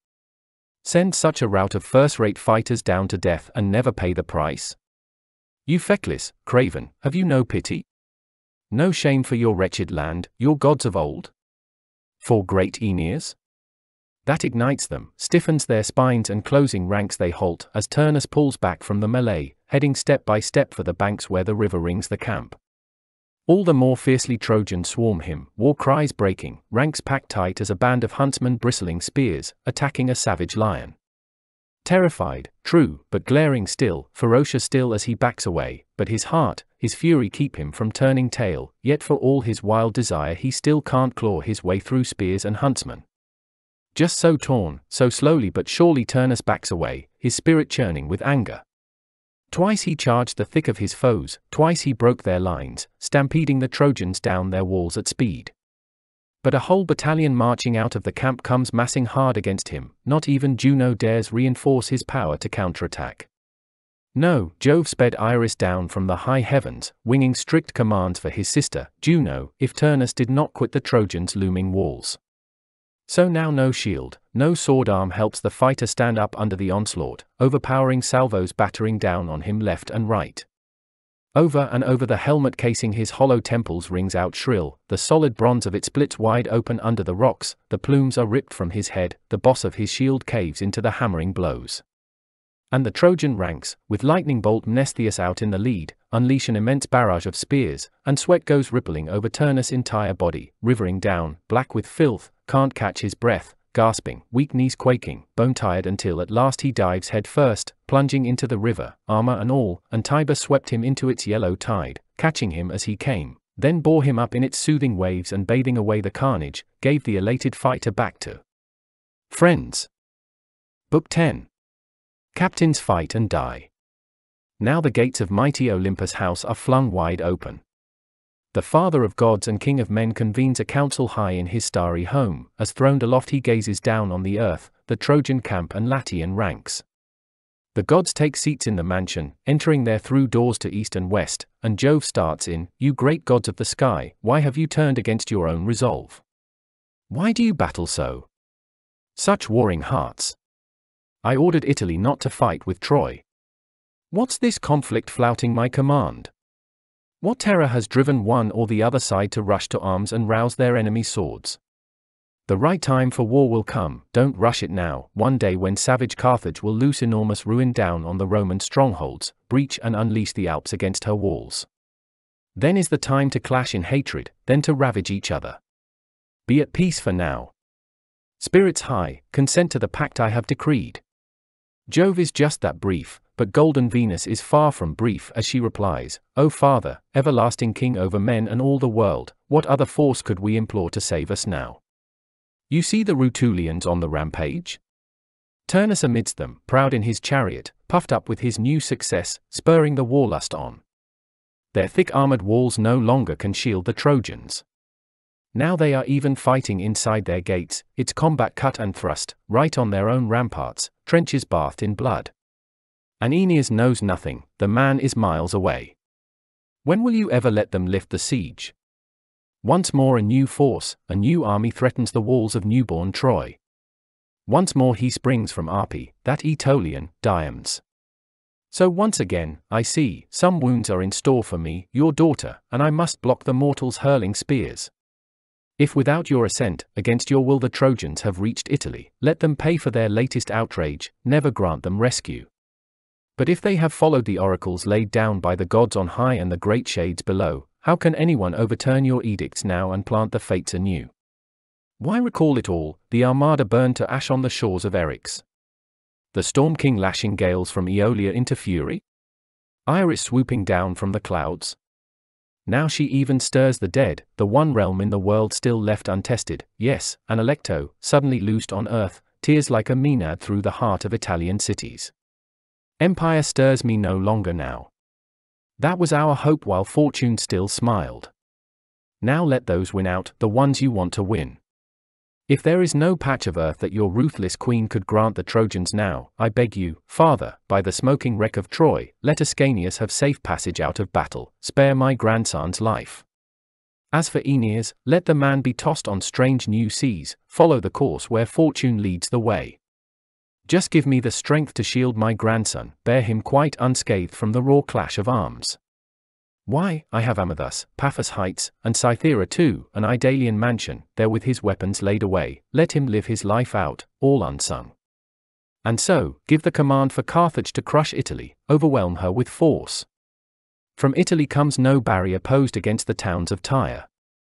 What good has it been to flee the plague of war, to slip through the thick of fires set by the Greeks?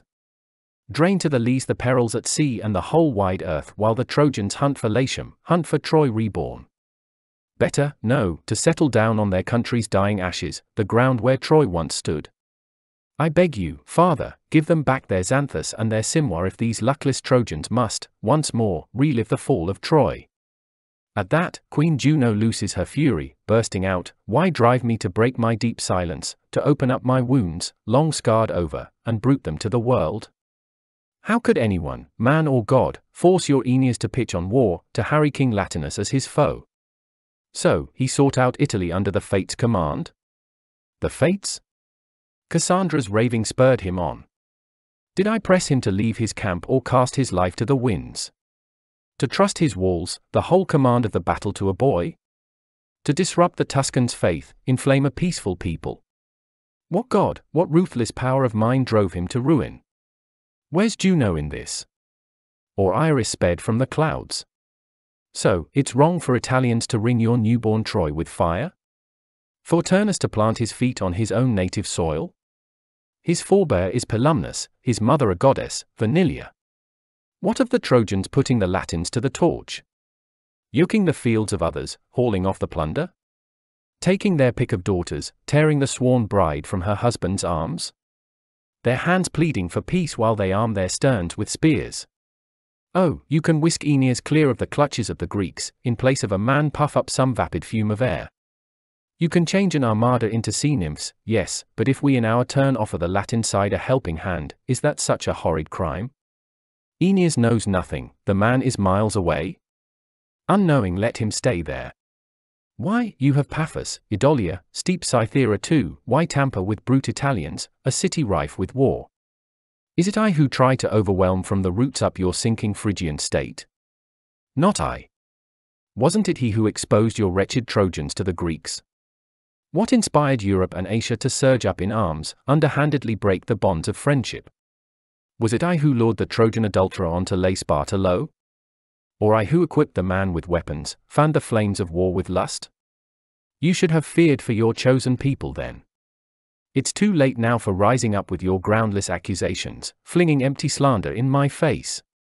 While Juno harangued the gods with her appeals, all were murmuring low, assenting, dissenting.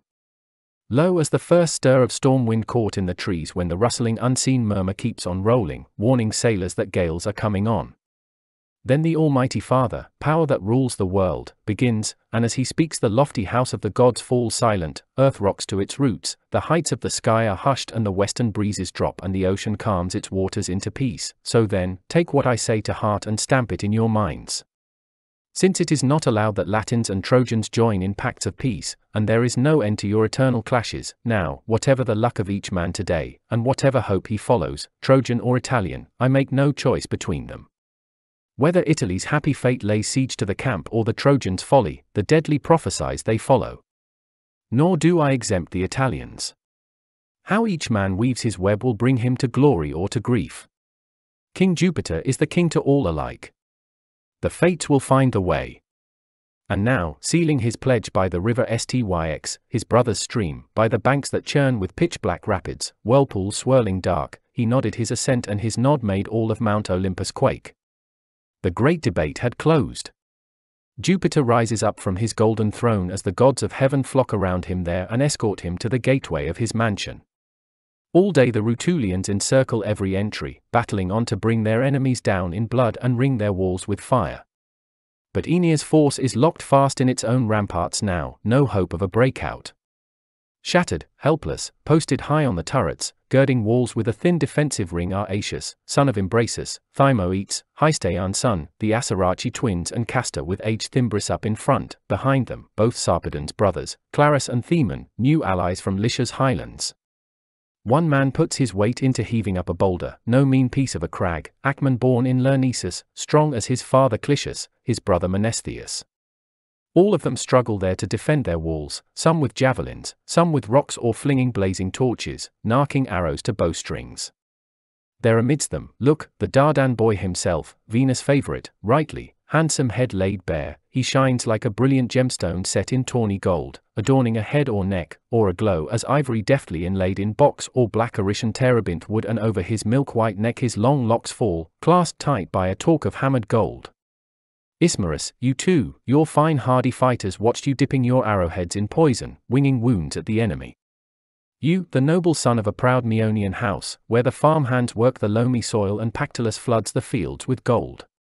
And there was Mnestheus too, his glory riding high with yesterday's triumph, driving Turnus off the walls, and Capys too, whose name comes down to us in Capua, the famed Campanian town. And so both sides had clashed in the cruel thick and fast of war while Aeneas ploughed the sea in the dead of night. Once he left Evander and entered the Tuscan camp, he seeks King Tarchon, tells him his name and stock and the help he needs and the help he brings himself. He tells him Mezentius musters fighters to his side, tells him the heart of Turnus flares for battle, warns him of what to trust in men's affairs, concluding all with his own strong appeals. Then no delay, Tarchon joins forces at once and seals a pact. And so, free of fate's demand, since they are sworn to a foreign leader now, under the will of God the Etruscans set sail. Aeneas ships in the lead, with Phrygian lions fixed on her beak, Mount Ida looming aloft, a god-sent sign of home to Trojan exiles.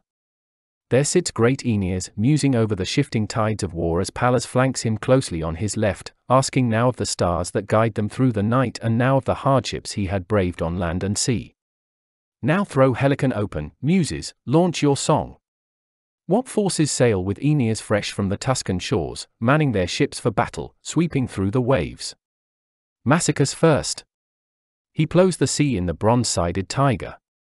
Under him sail battalions, a thousand men who put astern the walls of Clusium, Cosae too, their weapons, arrows, shouldering lightweight quivers, bows bristling death. Fierce Abas joins him, all his fighters shining in arms with a brilliant gilded Apollo stationed at the stern. Six hundred men his motherland Populonia gave him, soldiers drilled for war, three hundred more from Ilva, the blacksmith's inexhaustible island rife with iron ore. Asilas III, the famous seer who bridges the worlds of gods and men, a reader of animals' entrails, stars that sweep the sky and the cries of birds and the lightning charge with fate. A thousand men he rushes aboard, tight ranks spiked with spears. Pisa placed them at his command, a Greek city born by the river Alpheus, bred by Tuscan soil. And following in his wake sails irresistible Astur, Astur who trusts to his horse and armor rainbow hued and swelling his ranks, 300, all as one alert to obey his orders, men whose home is Caere men from Minio's fields, from ancient Pyrgi and Feveract Graviscae. Nor could I pass you by, Cunaris, stanchest in war of all Liguria's chiefs, or you with your modest band of men, Cupavo. Topping your crest the swan plumes toss, a fabulous mark of your father's altered form, and all for offending you, love, you and Venus. They tell how Cycnus, wrung by grief for his lover, lifting a song to soothe his broken heart for Phaeton, shadowed by leafy poplars, Phaeton's sisters once, Cycnus donned the downy white plumage of old age, left the earth behind and soared up to the stars on wings of song. And now his son, Cupavo, flanked by fighters his own age on deck, drives along under oars the giant centaur, the monster high on the figurehead makes threats to heave from aloft a massive boulder down on the waves while the long keel cuts its furrow through the deep. Ocnus too, heading an army come from native coasts, a son of Manto the seer and the Tuscan river Tiber. He gave you, Mantua, walls and his mother's name, Mantua, rich in the rosters of her forebears. Not all of a single tribe but three in one, four clans under each, and Mantua leads them all and the city draws her force from Tuscan blood. Mantua, source of the 500 men Mezentius goaded on to fight against himself, Menthemincius, son of Father Benacus gowned in grey-green reeds, steers down to the sea in warships built of pine. Aulestes bears down too, surging on with the beat of a hundred oaken oars that thrash the swells, churning the sea's clean surface into spume. He sails the massive Triton, her sea horn making the blue deep quake, and as she runs on her prow displays a shaggy man to the waist, all dragon to the tail and under the monster's breast, part man, part beast, the foaming swells resound. So many chosen captains heading thirty warships, speeding to rescue Troy, cleft the fields of salt with beaks of bronze. By now the day had slipped from the sky and the gentle moon was riding high through the heavens at mid-career, her horses pounding through the night. As pressures gave no rest to his limbs, Aeneas sat astern, guiding the tiller, trimming sail, when suddenly, look, a troop of his comrades comes to meet him, halfway home, the nymphs that kindly Cybele told to rule the sea in power, changing the ships to sea nymphs swimming abreast, cutting the waves, as many as all the bronze prows berthed at anchor once. They know their king far off, circling, dancing round him and one, most eloquent of them all, Cymodocea swims in on his wake and grips his stern with her right hand, arching her back above the swells as her left hand rows the silent waves, and she calls out to Aeneas, lost to it all, awake, Aeneas, son of the gods. Wake up. Fling your sheets to the winds, sail free. Here we are, the pines from the sacred ridge of Ida, now we're nymphs of the sea, we are your fleet. When traitorous Turnus forced us headlong on with sword and torch, we burst your mooring lines, we had no choice, and now we scour the seas to find our captain. The Great Mother pitied us, changed our shape, she made us goddesses, yes, and so we pass our lives beneath the waves. But not your son, Ascanius, trapped now by the wall and trench, in the thick of the spears, the Latins spiked for war. Already Arcadian horsemen flanked by strong Etruscans hold assigned positions but Turnus is dead against their joining up with the Trojan camp. He's setting his own squadrons between their closing forces now. Up with you. Call your men to arms with the dawn. That first, then seize the indestructible shield the god of fire gave you, ringed with gold. Daybreak, if you find my urgings on the mark, will see vast heaps of Rutulians cut down in blood. She closed with a dive and drove the tall ship on with her right hand, how well she knew the ropes and on it flies, faster than spear or wind-swift shaft while the rest race on in her wake. The Trojan son of Anchises, stunned with awe, his spirits lift with the sign, and scanning the skies above his head, Aeneas prays a few strong words Ida's generous queen and mother of the gods, by Dindyma dear to your heart, by towered cities, the double team of lions yoked to your reins, lead me in war, bring on the omen, goddess, speed the Trojans home with your victor's stride. No more words. As the wheeling sun swung round to the full light of day and put the dark to flight, First he commands his troops to follow orders, brace their hearts for battle, gear for war. Now Aeneas, standing high astern, no sooner catches a glimpse of his own Trojan camp than he quickly hoists his burnished, brazen shield in his left hand. The Trojans up on the ramparts shout to the skies, fresh hope ignites their rage, and wing their spears like cranes from the river Strymon calling out commands as they swoop through the air below the black clouds, flying before the south winds, cries raised in joy. The Rutulian king and the Latin captains marvel till, glancing back, they see an armada heading toward the shore and the whole sea rolling down on them now in a tide of ships. From the peak of Aeneas' helmet flames are leaping forth and a deadly blaze comes pouring from its crest. The golden boss of his shield spews streams of fire, strong as the lethal, blood-red light of comets streaming on in a clear night, or bright as the dog star, Sirius, bearing plague and thirst to afflicted mortals, rises up to shroud the sky with gloom. But dauntless Turnus never lost his faith in his daring, certain to seize the beaches first and hurl the invader off the land. Now then, here is the answer to your prayers, we'll break them all by force. The god of battle is in your hands, my men. Let each fighter think of his own wife, his home, remember the great works, the triumphs of our fathers. Down to the shore we go to take them on. They are dazed, they've just debarked, they've got no land legs yet. Fortune speeds the bold urging them on but torn, whom to lead to the shore assault?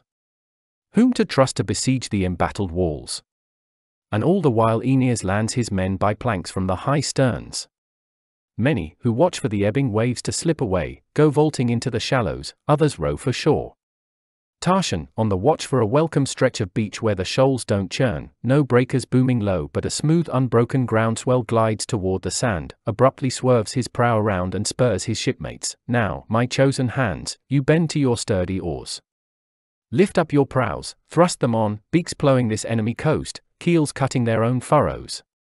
I don't flinch from a wreck in such a mooring once I've seized the land. At Tarchon's command his shipmates rise to their oars and drive their vessels foaming onto the Latian shore until their beaks have gripped dry land, all keels beach safe and sound, all but your own ship, Tarchon. Aground on the shoals, long impaled on a jagged reef it teeters back and forth, tiring the waves, and suddenly breaks up, flinging crews in the surf, ensnared in the shattered oars and bobbing thwarts as the heavy backwash drags their feet from shore. But Turnus wastes no time, he deploys his full force quickly against the Trojan force to fight them at the beaches. Trumpets blare. Aeneas is the first to attack the beleaguered farmers and, sign of the battle's outcome, brings the Latins down, killing mighty Theron who dared to attack Aeneas. His sword pierces the bronze mesh of Theron's tunic, stiff with its golden scales, and drains his gaping flank. Lichas next, cut live from his dead mother's womb and hallowed to you, the healer, but what good now to elude the knife at birth? Next Aeneas, as rugged Cisseus, giant Gyas clubbed their way through his ranks, he flung both down to death. No help to them now, the weapons of Hercules, no, nor their own strong arms or their father Melampus, Hercules' mainstay, long as the earth afforded the man his grueling labors. Here's Pharis, watch, hurling his hollow threats as Aeneas hurls his javelin, stakes it square in the man's howling mouth. You too, unlucky Cydon, pursuing Clitius, your new love, his cheeks soft with the first gold down of youth, you would have gone down under the Trojan's hand and died a pitiful death, with all recall of your young boy lovers lost, if a pack of your brothers had not blocked Aeneas, seven of Phorcys' offspring rifling seven spears, some glancing off his shield and his helmet, harmless, others, that loving Venus flicked away, just scratched his body. Aeneas cries to Achates, Give me a sheaf of weapons. I won't miss a single Rutulian with my spear, just as my spears impaled the Greeks at Troy. With that he seizes a heavy lance and wings it hard and straight through the bronze of Maeon's shield it pounds, ripping open his breast and breastplate both at once. His brother Alcanor runs to brace his falling brother, quick, but the spear's already flown its bloody way, stabbing his dying arm that hangs from his shoulder, dangling loose by the tendons. Another, Numitor, wrenching out the shaft from his brother's body, went at Aeneas, praying to hit him, pay him back but not a chance of that, he could only graze the stalwart Achates in the thigh. Now up steps Clausus from Cures, flushed with his young strength and flings his burly spear from a distance, hitting Dryops under the chin full force to choke the Trojan's throat as he shouted, cutting off both his voice and life in the same breath, and his brow slams the ground as he vomits clots of blood. Three Thracians too, of the North Wind's lofty stock, and three whom their father, Idas, and fatherland Ismarus sent away to the wars, but Clausus kills them all with a novel twist of death for each. Halesus rushes in with Auruncan troops and Messapus, Neptune's son, as well, the brilliant horseman. Trojans and Latins, struggling to rout each other, seesawing back and forth as they fight it out on Italy's very doorstep. Like clashing winds in the vast heavens, bursting forth into battle, matched in spirit, in power, no gust surrendering, one to another, neither the winds nor clouds nor seas, all hangs in the balance, the world gripped in a deadlock. So they clash, the Trojan armies, armies of Latins, foot dug in against foot, man packed against man. Another zone where a torrent had hurled down boulders, heaving them far and wide and torn out trees from its banks. When Pallas saw his Arcadians, untrained to attack on foot and turning tail before the Latins' pursuit, the lay of the rock-choked land convinced them all to desert their horses, so, seizing on one last way to stem disaster, now with prayers, now stinging taunts, he fires up their warlust, where are you flying, friends?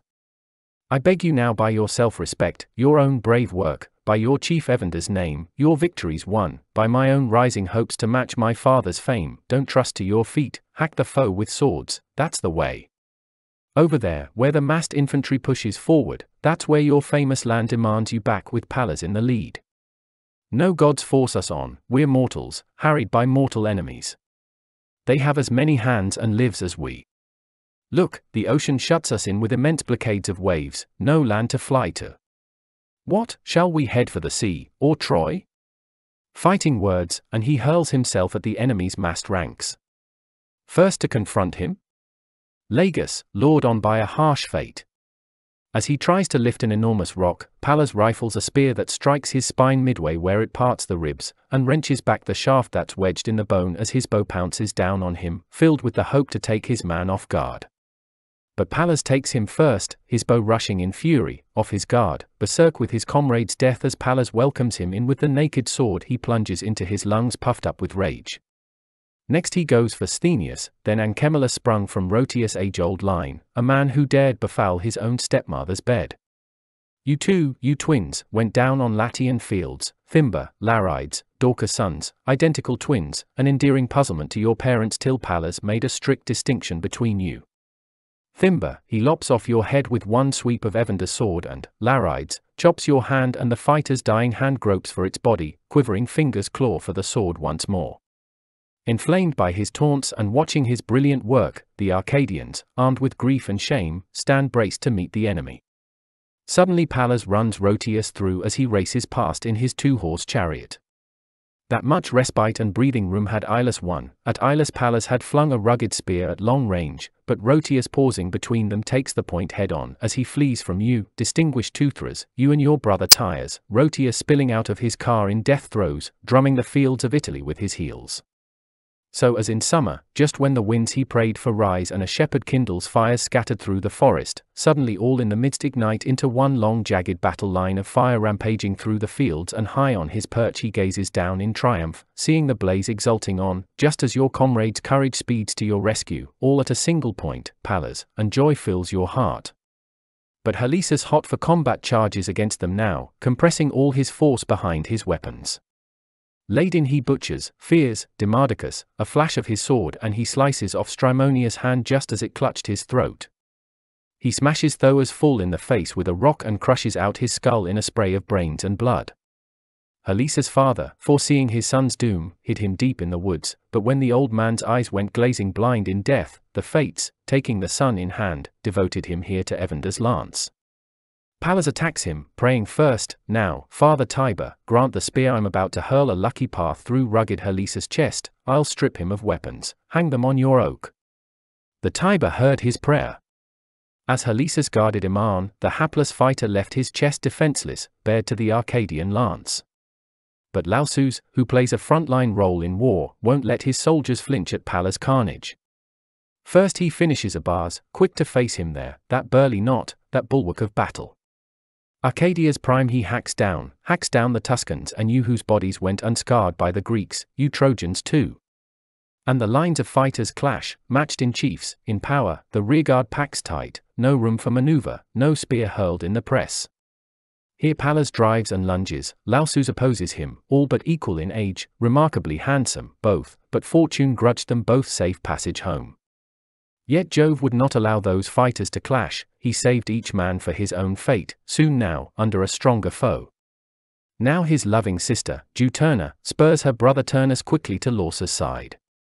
Turnus races his chariot straight through the ranks and shouts as he sees his comrades, Now's the time to halt your fighting. I will go after Pallas, Pallas is mine now, my prize alone. If only his father were here to watch it all in person.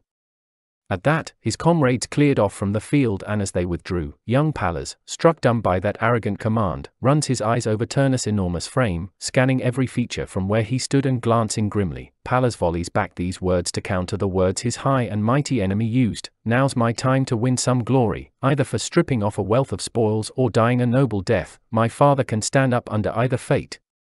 Enough of your threats. Enough said. Pallas marches out to the center of the field and the blood runs cold in each Arcadian heart. Down from his chariot Turnus vaulted, nerved to attack the enemy face to face on foot. Like some lion that spots from his high lookout, far off on the plain and flexing for combat there, an immense bull, and the lion plunges toward his kill, and that is the image of Turnus coming on for battle. When Pallas judged him just in range of his spear, he moved up first, if only fortune would speed his daring, pitting himself against unequal odds, and he cries out to the arching heavens Hercules, by my father's board, the welcome you met as a stranger, I beg you, stand by the great task I'm tackling now. May Turnus see me stripping the bloody armor off his body, bear the sight of his conqueror, eyes dulled in death.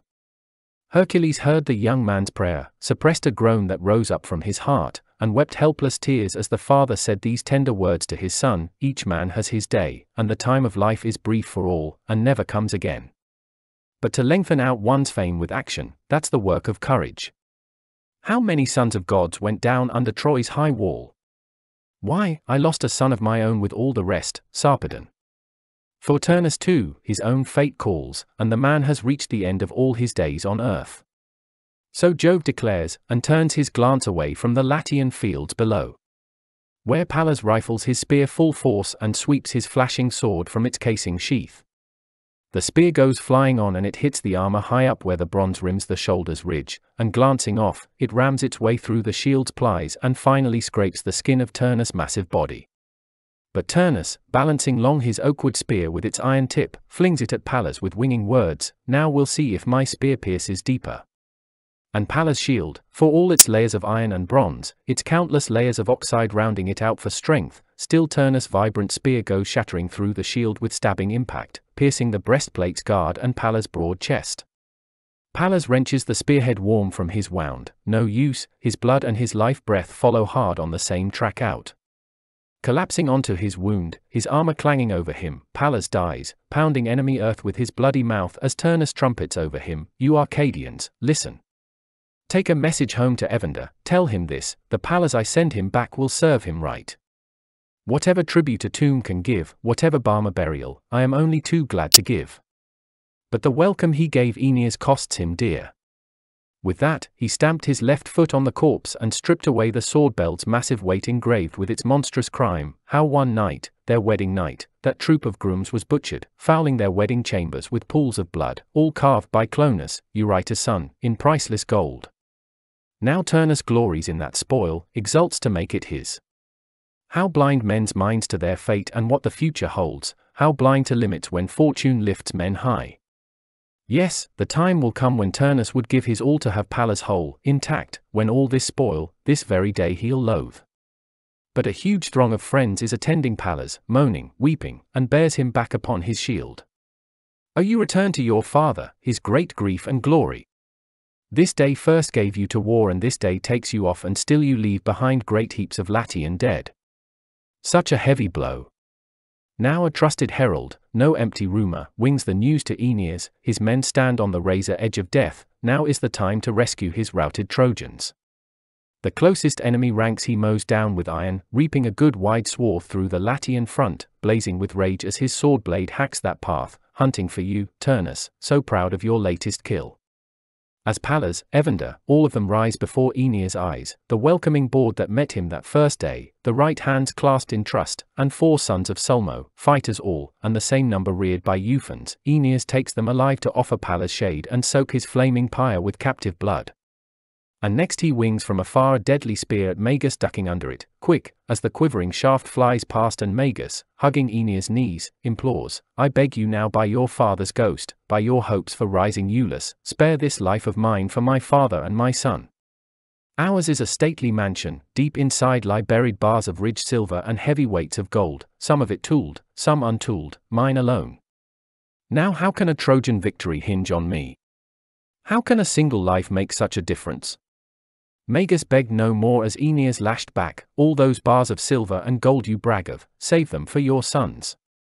Such bargaining in battle, Turnus already cut it short when he cut Pallas down. So the ghost of my father, so my son declares. And seizing Magus' helmet tight in his left hand and wrenching back his neck as the man prays on, he digs his sword blade deep down to the hilt. Hard by, the son of Haemon and priest of Phoebus and Diana, his temples wreathed in the consecrated bands, all white in his robes, brilliant in his array, Aeneas confronts him, coursing him down the field and rearing over him as he stumbles, slaughters him, shrouding his brilliant robes with a mighty shade. Serestus gathers the armor, shoulders it home to you, King Mars, your trophy now. Now Caeculus, Vulcan stock, and Umbro fresh from the Marsian highlands rally their troops as Aeneas rages on against them. His slashing sword had already hacked off Anxur's left arm and his round buckler slammed the ground. He'd shouted some great boast, trusting his strength would match his words, probably lifting his spirit sky high and promising grey hairs for himself and a ripe old age, as Aeneas faced down Tarquitus gloating in burnished gear and born to Faunus, god of the woods, by the wood nymph Dryope. Tarquitus blocked his path as Aeneas blazed on and cocking back his spear he flings it and stakes the breastplate fast to the shield's groaning weight. Then as Tarquitus begs him, struggling to keep on begging, all for nothing, Aeneas dashes his head to the ground and rolling the man's warm trunk along and looming over him vaunts with all the hatred in his heart, Now lie there, you great, frightful man. No loving mother will bury you in the ground or weight your body down with your father's tomb. You'll be abandoned now to carrion birds or plunged in the deep sea and swept away by the waves and ravening fish will dart and lick your wounds. Plunging on he goes, overtaking their finest, Turnus' frontline troops, Antaeus, Lucus and stalwart Numa and Camers with tawny locks, magnanimous Volcens' son, the richest landholder in all Italy once, the lord of Amyclae, quiet town.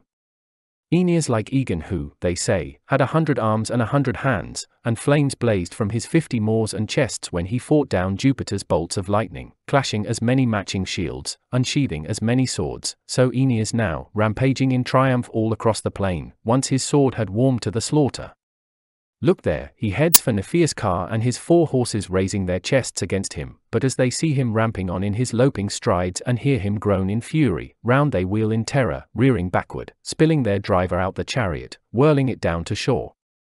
While into the melee hurry Lucagus and his brother Liger, chariot borne by two white steeds, the brother reins man guiding the team as Lucagus flaunts his naked steel. But Aeneas could not suffer their fiery charge, he charged them, looming, huge, his spear poised as Liger shouted out, What you see here are not Diom's team, Achilles' car, or the plains of Troy, now on our own land you see the end of your wars, of your own life too. Such maddened words he hurls, but no words come from Aeneas now. He hurls his spear in reply against his foe, and then, as Lucagus, bending into the stroke, slaps the team with his flat sword, his left foot thrust out, braced for attack, Aeneas' weapon pierces the bottom plies of his gleaming buckler, ripping into his left groin. Flung from the car he rides on the field in death as righteous Aeneas sends some bitter words his way, Lucagus, no panic pair has let your chariot down, no horses shying away from an enemy's empty shade, it's you, tumbling off your chariot, you desert your team.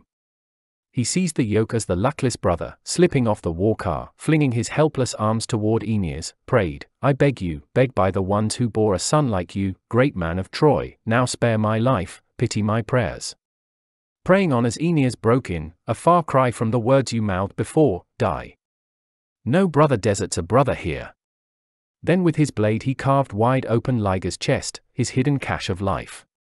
So much slaughter the Trojan commander spreads throughout the plain like a stream in spate or black tornado storming until at last the young Ascanius and his troops break free and put the camp behind. The great blockade is over. At the same moment Jove adept spurs on Juno, my own sister, my sweet wife as well, it's Venus, just as you thought, your judgment never fails. She is the one who supports the Trojan forces, not their own strong hands that clutch for combat, not their unflinching spirits seasoned hard to peril. And Juno replies, her head bent low, My dearest husband, why rake my anxious heart?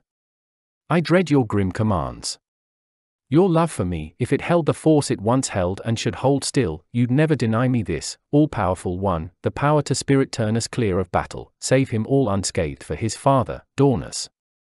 But now, as it is, let him die and pay his debt to the Trojans, pay with his own loyal blood. Still, Turnus takes his birth from our own breed, his name too, Pilumnus was his forebear, four generations back, and his lavish hand has heaped your threshold high with treasure troves of gifts the king of lofty Olympus countered briefly, If what you want is reprieve from instant death, some breathing space for the doomed young man, and you acknowledge the limits I lay down, then whisk your Turnus away, pluck him out of the closing grip of fate. That much room for indulgence I will give you.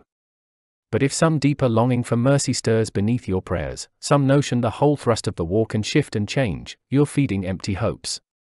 Juno replies in tears, What if your heart should grant what you begrudge in words, and the life of Turnus were firmly set for years to come? For now, a crushing end awaits an innocent man, unless I'm lost to the truth and swept away. Oh, if only my fears were false and I deceived. If only you, you have the power, would bend your will to a better goal. With that appeal, headlong down from the heights of heaven she dove, girt up in clouds, unfurling a whirlwind through the air and winging straight at the Trojan ranks and Latian camp.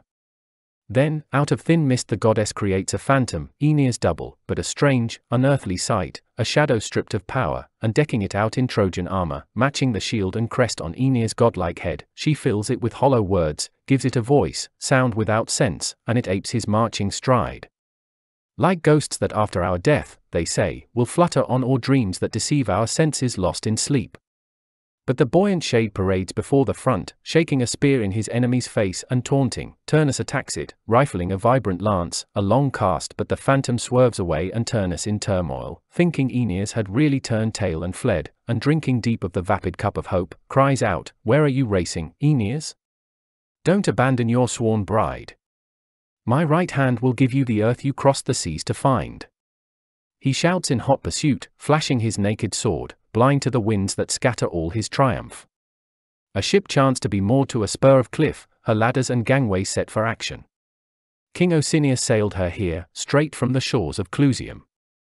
Here Aeneas' frightened shadow throws itself into hiding, Turnus hard on its heels, nothing can keep him back, bounding over the gangways, leaping the high decks. He had barely touched the prow when Juno bursts the cables, rips the ship from her moorings, blows her out to sea on the tide ebbing fast. And now the misty phantom, no longer hunting for cover, flutters up on high, dissolving into a dark cloud. And all the while Aeneas calls on Turnus to fight, but the man is gone, so the many men who block his way he sends to death as Juno's winds are spinning Turnus around in mid-sea and glancing backward, knowing nothing, no thanks for escape, he lifts his hands in prayer, his voice to the stars, Almighty Father, so, you find my guilt so great? You're dead set on my paying such a price? Where have I come from? Where am I racing now?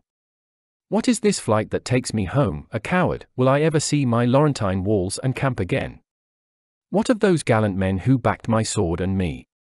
All of them, what disgrace, I deserted them all to die an unspeakable death. Now I see them straggling, lost, I hear them groaning as they go under. What shall I do? If only the earth gaped deep enough to take me down. Better, pity me, winds. Turnus begs you with all his heart, dash this ship on a reef or cliff or run her aground on the Syrtes savage shoals where no Rutulian, no rumour that knows my shame can dog my heels. Praying, his mind at sea, wavering here, there, crazed by his own disgrace, should he fling himself on his sword and thrust the ruthless blade through his ribs? Or plunge in the heavy swells and swim back to the bay and pitch himself at the Trojan spears once more? Three times he probed each way, three times Juno with all her power held the prince's fury down, pitying him in her heart, and kept him hard on course, cutting the deep as favoring tide and current sweep him home to his father Daunus' ancient city. But now Mezentius' turn. That moment at Jove's command he carries on the fight, attacks the victorious Trojans, true, but his own Etruscan troops with all their hate and showering weapons rush to attack him quite alone, their one and only target. He, like a headland jutting into the ocean wastes and bared to the wind's rage, braving the breakers, weathering out all force and fury of sea and sky, stands firm himself. He hacks to ground Dolichaon's son, Hebrus, Latagus with him and Palmus who spins and runs, he smashes Latagus square in the face and mouth with a rock, a crag of a rock, and cuts the knees from under the racing Palmus, leaves him slowly writhing in pain and gives his armor to Lausus, bronze for his shoulders, plumes to crown his crest. The next to die? Euanthes the Phrygian, Mimas too, a comrade of Paris just his age. On the same night that Theano brought into light the son of Amycus, Hecuba, great with the torch, bore Paris. Paris lies dead in the city of his fathers, Mimas lies unsung on the Latian shores. Mezentius. Picture the wild boar that's harried down from a ridge by snapping packs of hounds, some beast Mount Vesulus shielded for long or long the Latian forests fed on the reeds that crowd their marshes, once stampeded into the nets he jolts to a halt, snorts, at bay, the hackles rising up on his neck, no hunter bold enough to approach him, take him on, at a safe remove they attack with spears and shouts. But the boar stands fast, unflinching, where to charge, anywhere, grinding his tusks and shaking spears from his back. So Mezentius now, for all his attackers' rightful fury, none of them has the spine to fight him, swords drawn, they just bait him with missiles, far-flung cries, all at a safe remove. Now Acron, a Greek, had just arrived from Corythus' old frontier, an exile, leaving his marriage in the lurch. As Mezentius spied him rooting the lines far off, crested in purple plumes, the blue of his bride-to-be, like a famished lion stalking the cattle pens for prey, for the hunger will often drive him mad, just let him spot some goat on the run or a stag's antlers branching high, his big jaws gape at the sport, his manner bristles, then a pouncing assault. And he clenches his quarry's flesh as the sopping gore soaks his ruthless maw, just so Mezentius pounces hotly onto the enemy masses. He lays unlucky Acron low, his heels pounding the dark earth as he gasps his life away and dies the weapon splintered off in his body blood red. Orodes darts away but Mezentius would not stoop to killing him on the run with a spear cast from behind, stabbing him, unseen, no, he duelled him man to man, proving himself the better man by force of arms, not stealth, and next, stamping his foot on the corpse and leaning hard on the spear, Mezentius shouts out, Here, men, lies no mean part of their battle strength, Orodes, once so tall. And his comrades shout back, redoubling the victor's cry as Orodes pants his last, You don't have long to crow, whoever you are, my victor. Vengeance waits, the same fate watches over you too, you'll lie here in the same field, very soon. Die now. Mezentius cries, grinning through his rage, As for my own death, the Father of gods and King of men will see to that. Mezentius, vaunting, pries the spear from Orodes' body. Grim repose and an iron sleep press down his eyes and seal their light in a night that never ends. Caedicus chops Alcathous down, Sacrator, Hydaspes, Rapo kills Parthenius, then the indestructible Orses. Messapus levels Clonius, then Lycaon's son, Ericetes, one thrown from a reinless horse and sprawled aground, the other fighting on foot. On foot a Lycian too, one Agis strode up now but Valerus, no poor heir to his father's battle prowess, hurled him down as Thronius fell to Salius, Salius to Nealces, crack marksmen with spears and arrows both, blindsiding in front afar. Ruthless Mars was drawing the battle out, dead even now, equaling out the grief, the mutual slaughter. Victors and victims killing, killed in turn, both sides locked, not a thought of flight, not here. The gods in the halls of Jove are filled with pity, feeling the futile rage of both great armies, mourning the labors borne by mortal men. Here Venus, over against her, Juno gazing down, as Tisiphone seethes amid the milling thousands, that livid, lethal fury. But here Mezentius comes, brandishing high his massive spear and storming on like a whirlwind down the plain, and enormous as Orion marching in mid-sea, ploughing a path through the deep swells, his shoulders rearing over the waves, or hauling down from a ridge the trunk of an age-old mountain ash, as he treads the ground he hides his head in clouds, so vast, Mezentius marching on in gigantic armor. Aeneas, spotting him out in the long front ranks, comes up to cross his path, but he holds firm, unafraid, awaiting his great hearted foe, stands firm in all his mass. his eyes narrow, gauging the length his spear will need, he cries, Let this right arm, my only god, and the spear I hurl be with me now. I dedicate you, Lausus, decked in the spoils I strip from that pirate's corpse, my son, my living trophy over Aeneas. Enough. He hurled his spear and whizzing in from a distance, winging on, it ricocheted off Aeneas' shield to hit that hardy fighter Antores, yards away, between the flank and groin. Antores sent from Argos, Hercules' aid who bound himself to Evander, settling down in the king's Italian city. Laid low by a wound aimed for another, luckless man, he looks up at the heavens, longing for his dear Argos as he dies. Next the grave Aeneas flings a spear at Mezentius, right through the buckler's three round plates of bronze, through the linen plies and bull's hide triply stitched the spear pierced, plunging deep in the man's groin but its force stopped short of home. In a flash Aeneas, overjoyed now at the sight of the Tuscan's blood, sweeps his sword from its sheath and closes fast on his staggered foe. But Lausus, seeing it all, groaned low with the love he bore his father, tears poured down his face and now, Lausus, you're fated, brutal death and your brave deeds, if glorious work long ages old can win belief, neither your record nor yourself will I ever fail to sing, young soldier, you deserve our praise. Now his father was backing off, defenseless, weighed down, dragging his enemy's spears half trailing from his shield, so the son sprang forward, darting into the moil and just as Aeneas rose up, his arm reared for attack, Lausus, ducking under the stroke, parried the sword, holding the Trojan off while shouting comrades harried Aeneas with missiles pelting in from afar till under his son's shield the father could escape. Aeneas keeps down, huddling under his own shield, enraged. Think of a cloudburst bearing down with gusts of hail, and every ploughman, every farmhand quits the fields, and the traveller keeps safe in a welcome refuge under some river's banks or cavern's rocky arch while rain pelts the earth, so when the sun returns they can all get on with the day's work. So Aeneas, overpowered by missiles left and right, braves out the cloudburst of war till its thunder dies away and then he taunts Lausus, threatens Lausus, why hurry your death? Daring beyond your powers. Your love for your father lures you into folly. But Lausus rages on, berserk as the savage fury surges higher now in the Trojan captain's heart. The fates bind up the last threads of Lausus' life as Aeneas drives his tempered sword through the youth, plunging it home hilt deep.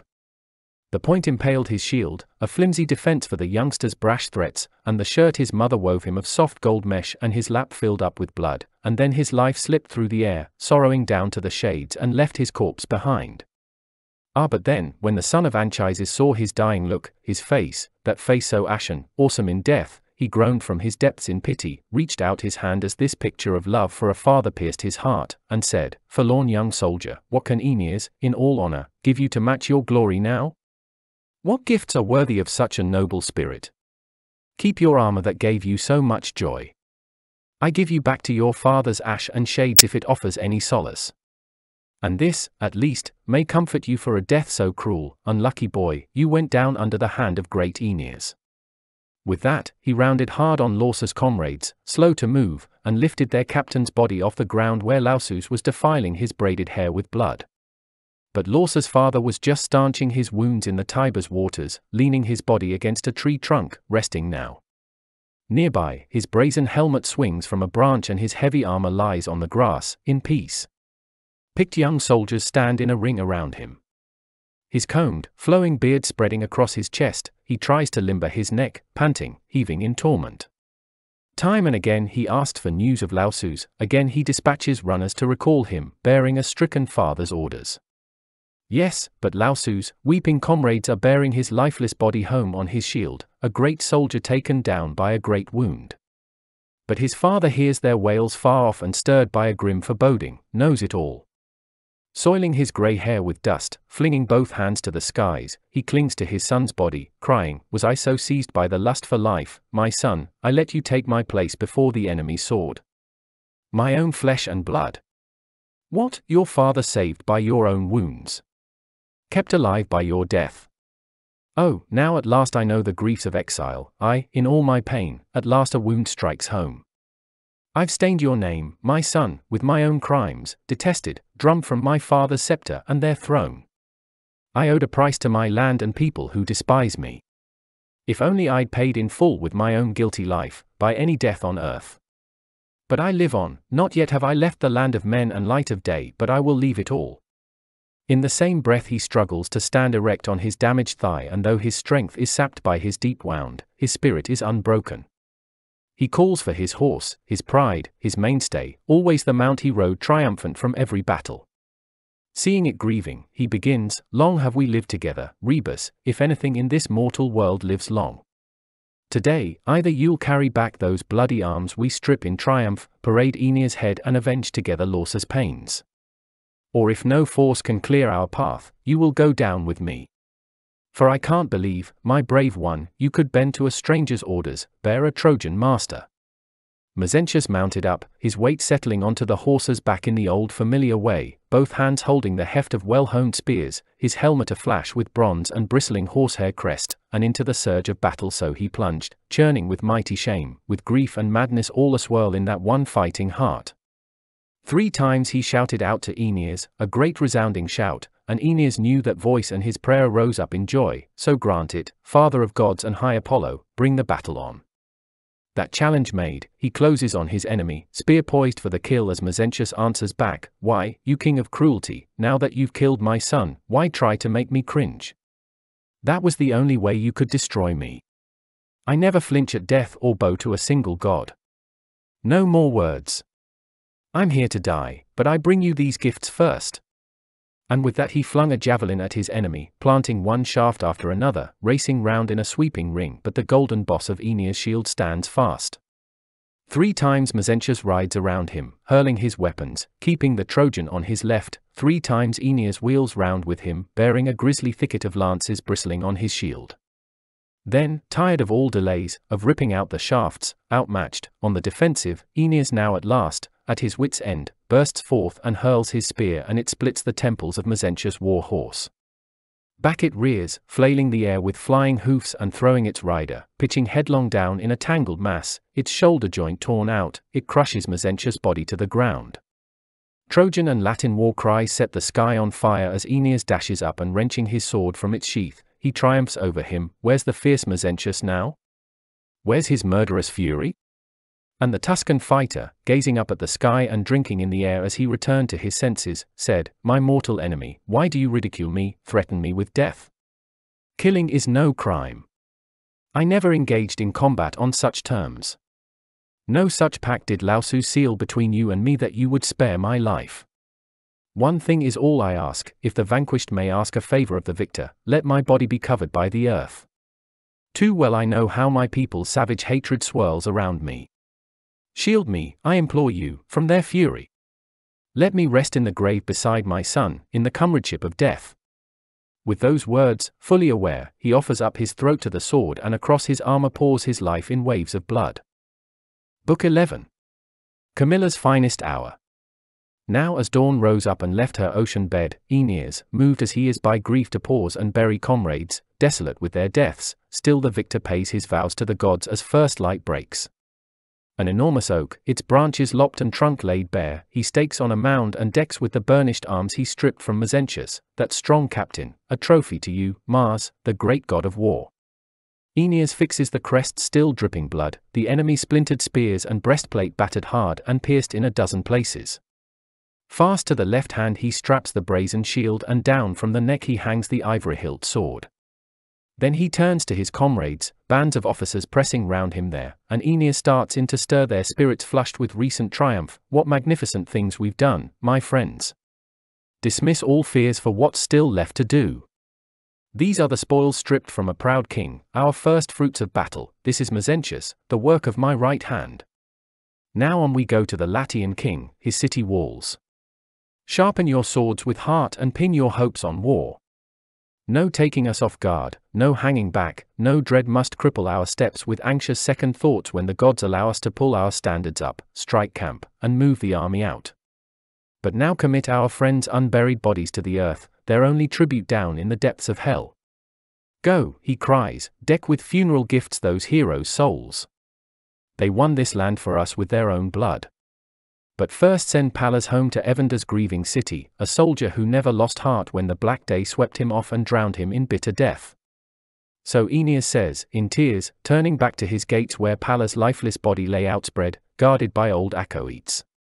He bore Evander's arms in Arcadia once, but the omens were less bright when he marched out with Pallas, beloved foster son. Around them flocked a retinue, crowds of Trojans and Trojan women, their hair unbound in the mourner's way.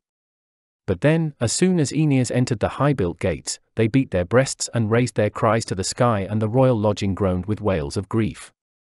Aeneas, gazing at Pallas resting there, his head, his face bled white, and his smooth chest splayed apart by a Latin spear, the tears came welling up with words of sorrow, Child of heartbreak, was it you whom fortune denied me, coming to me all smiles?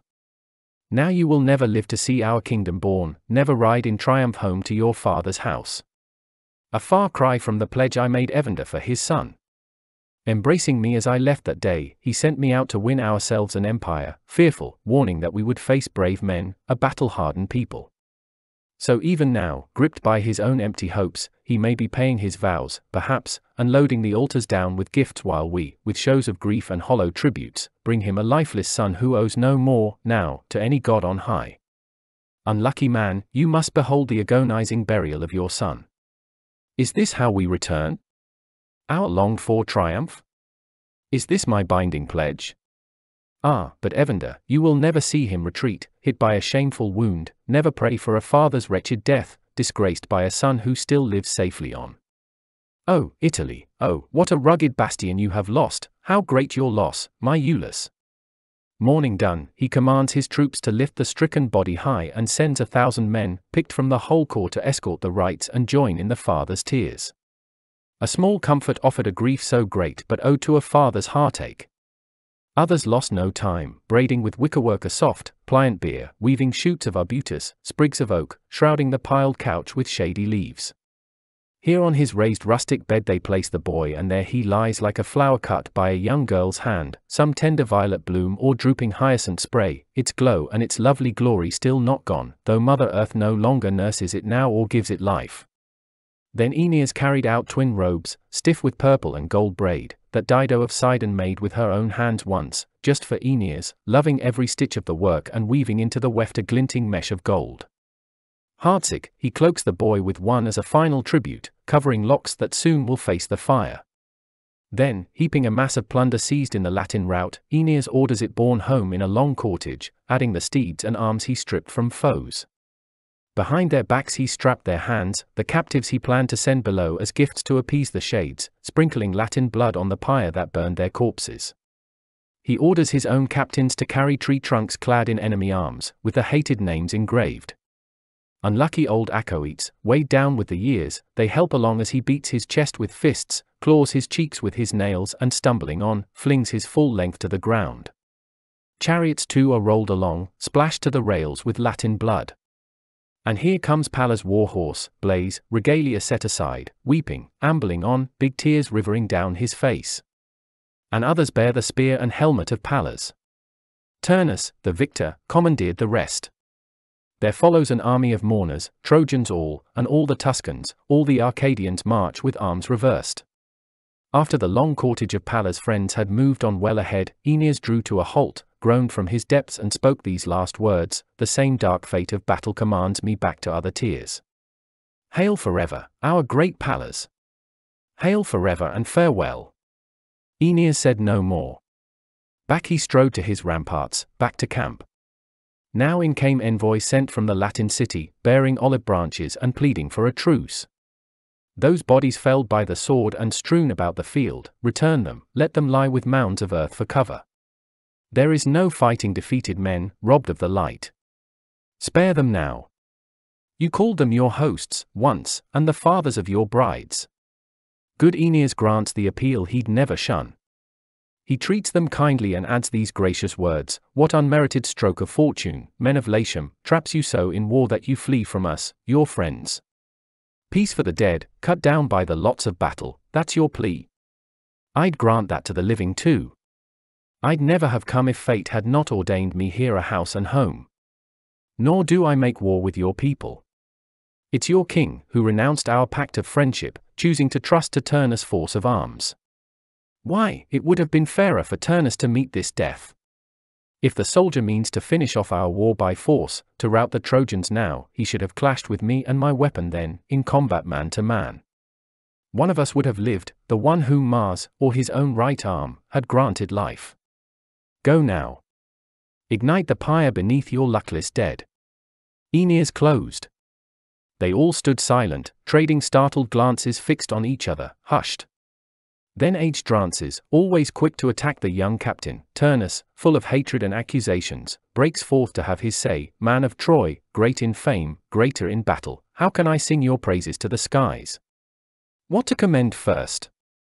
Your sense of justice, your awesome works of war? Surely we'll carry back to our walls these words of yours with grateful hearts, and if fortune points the way, ally you with our king, Latinus. Turnus can find his allies for himself. We'll even be glad to raise your mighty walls ordained by fate, glad to shoulder up the foundation stones of Troy. All as one, his comrades murmured yes to Drances' offer. Now for a dozen days they made their truce and, peace intervening, Trojans and Latins mingled safely, ranging the woods and mountain ridges side by side. And soaring ash trees ring to the two-edged iron axe and they bring down pines that towered toward the skies.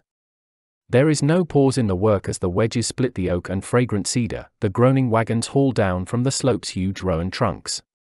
Rumour, already in flight with the first alarms of sorrow, fills Evander's ears, Evander's walls and palace, rumour that just had trumpeted Pallas Latian triumph. Arcadians throng to gateways, grasping funeral brands in the old archaic way. And the torches light the road, searing a long line through flatlands far and wide. Joining forces with them, the Trojan escorts mass to form a growing column of mourners on the march. Once Arcadia's mother saw them nearing their homes, their wailing set the walls on fire with grief. And no force in the world can stop Evander now. Into the crowds he goes and as the bier is lowered, throws himself on Pallas, clinging for dear life, sobbing, groaning, his sorrow all but choking his voice that thrusts a passage through at last, a far cry from the pledge you made your father, Pallas, that you would do nothing rash the day you trusted yourself to the savage god of war. How well I knew the thrill of a boy's first glory in arms, the heady sweetness of one's first fame in battle. But how bitter the first fruits of a man's youth, the hard lessons learned in a war so near at hand, and none of the gods would hear my vows, my prayers. And you, my wife, most blessed woman in all the world, how lucky you were to die, spared this wrenching grief. But I defeated fate, a father doomed to outlive his son. If only I'd joined ranks with our Trojan comrades here and Latin spears had hurled me down. And I had given my own life, and the long last march brought me, not Pallas, home. Not that I blame you, Trojans, nor our pacts, our friendship sealed by a handclasp. No, this fate was assigned to me in my old age. But if my son was doomed to an early death, to know he died after killing Volscian hordes and died as he led the Trojans into Latium, that will be my joy. Nor do I think you merit any other burial rites than good Aeneas grants, and the Trojan heroes, Tuscan chiefs as well and Tuscan armies, bearing your great trophies stripped from the men your right arm killed in war. And you too, Turnus, would now be standing here, a tremendous trunk of oak decked out in armor if Pallas had had your years and strength to match. But why in my torment hold the Trojans back from battle? Go. Take this word to your king. Remember it well. The reason I linger out this life I loathe, Aeneas, now Pallas is dead and gone, is your right arm that owes, as you well know, the life of Turnus to son and father both. That is the only field left free to you now, to prove your worth and fortune. I look for no joy in life, the gods have ruled that out, just to bear the news to my son among the dead. Soon the dawn had raised her light that gives men life, wretched men, calling them back to labor and mortal struggle. Now Captain Aeneas, now Tarchon erected pyres along the sweeping shore. And here they carried the bodies of their dead in the old ancestral way, as the dark funeral fires blazed up from below to shroud the high skies in pitch dark smoke. Three times they ran their ritual rounds about the burning pyres, armed in gleaming bronze, three times they rode on horseback, circling the fires lit in mourning, lifting their wails of sorrow. Tears wet the earth, tears wetting their armor. The shouting of fighters soars, the clashing blare of trumpets. Some heave on the flames the plunder stripped from the Latin ranks they killed, their helmets, burnished swords, bridles, chariot wheels still glowing hot, while others burn the offerings well known to the dead, their shields, their spears that had no luck. And round about they slaughter droves of cattle, carcasses offered up to death, and bristling swine and beasts led in from the fields are butchered over the flames. Then down the entire shore they watch their comrades burn as men stand guard at the pyres now dying out. Nor can they tear themselves away till the dank night comes wheeling round the heaven studded with fiery stars. No less in another zone the grieving Latins raise up countless pyres too. For they had many dead, and some they bury in earth, some they lift and bear off to the nearby fields, and the other dead they carry back to town. All the rest they burn, unnumbered and unsung, an enormous tangled mass of bloody carnage waits, and the wasteland far and wide lights up with fires, with pyre on pyre striving to outblaze the last. The third day rose, driving the night's chill from the sky as the mourners raked the embers, leveling off the ashes mixed with bones, and piled the gravesite high with mounds of earth still warm. Now in the homes, in King Latinus' city that overflowed with wealth, the breaking wails and the long dirges reach their climax. Here the mothers and grief-stricken brides of the dead and their loving sisters, hearts torn with sorrow, and young boys robbed of their fathers, curse this horrendous war and Turnus marriage. He himself, they cry, he should decide it all with his own sword and shield, since he lays claim to the realm of Italy, claims the lion's share of honor for himself. And caustic Drances lends weight to their side. He swears that Turnus alone is summoned, he alone called forth to battle but opposing them at once, a mix of views and voices rises up for Turnus.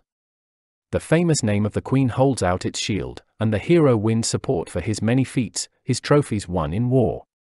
Now amid the din, as the fiery controversy flared, look, to top it off, the grim-set envoys enter, bearing the news from Diomedes' noble city, nothing has been won, for all our attempts. Nothing achieved by all our gifts, our gold, our fervent appeals. We Latins must look elsewhere, hunt for other allies or press for peace at once at the hands of the Trojan king. Crushing news. Even King Latinus is overwhelmed. It's clear, Aeneas comes by the will of fate, the word on high. So the wrath of the gods declares, the fresh dug graves before Latinus' eyes.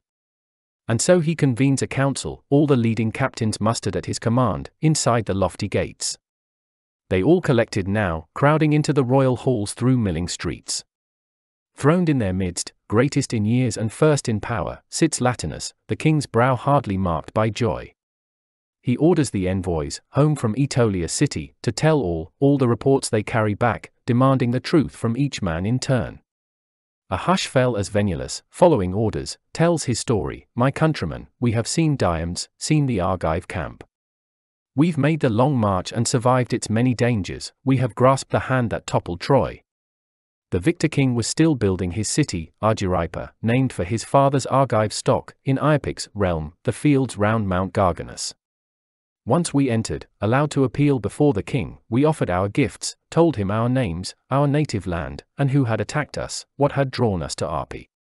He heard our pleas and replied with calming words, You happy, happy people, men of old Ausonia, land where Saturn ruled, what drives you now to shatter your blessed peace? What spurs you to rouse the hells of war you've never known?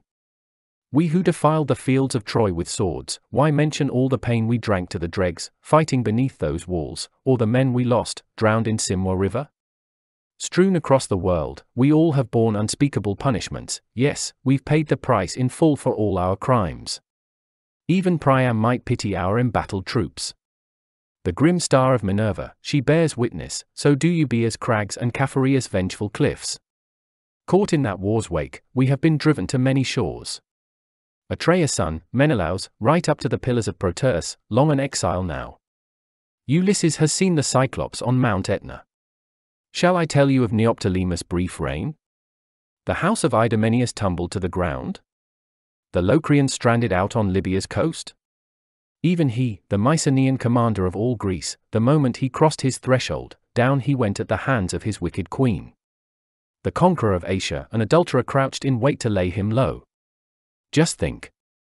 The envious gods denied me my return to my father's altars, or one glimpse of the wife I yearned for so, or the lovely hills of Calydon. I'm still stalked by the sight of terrifying omens.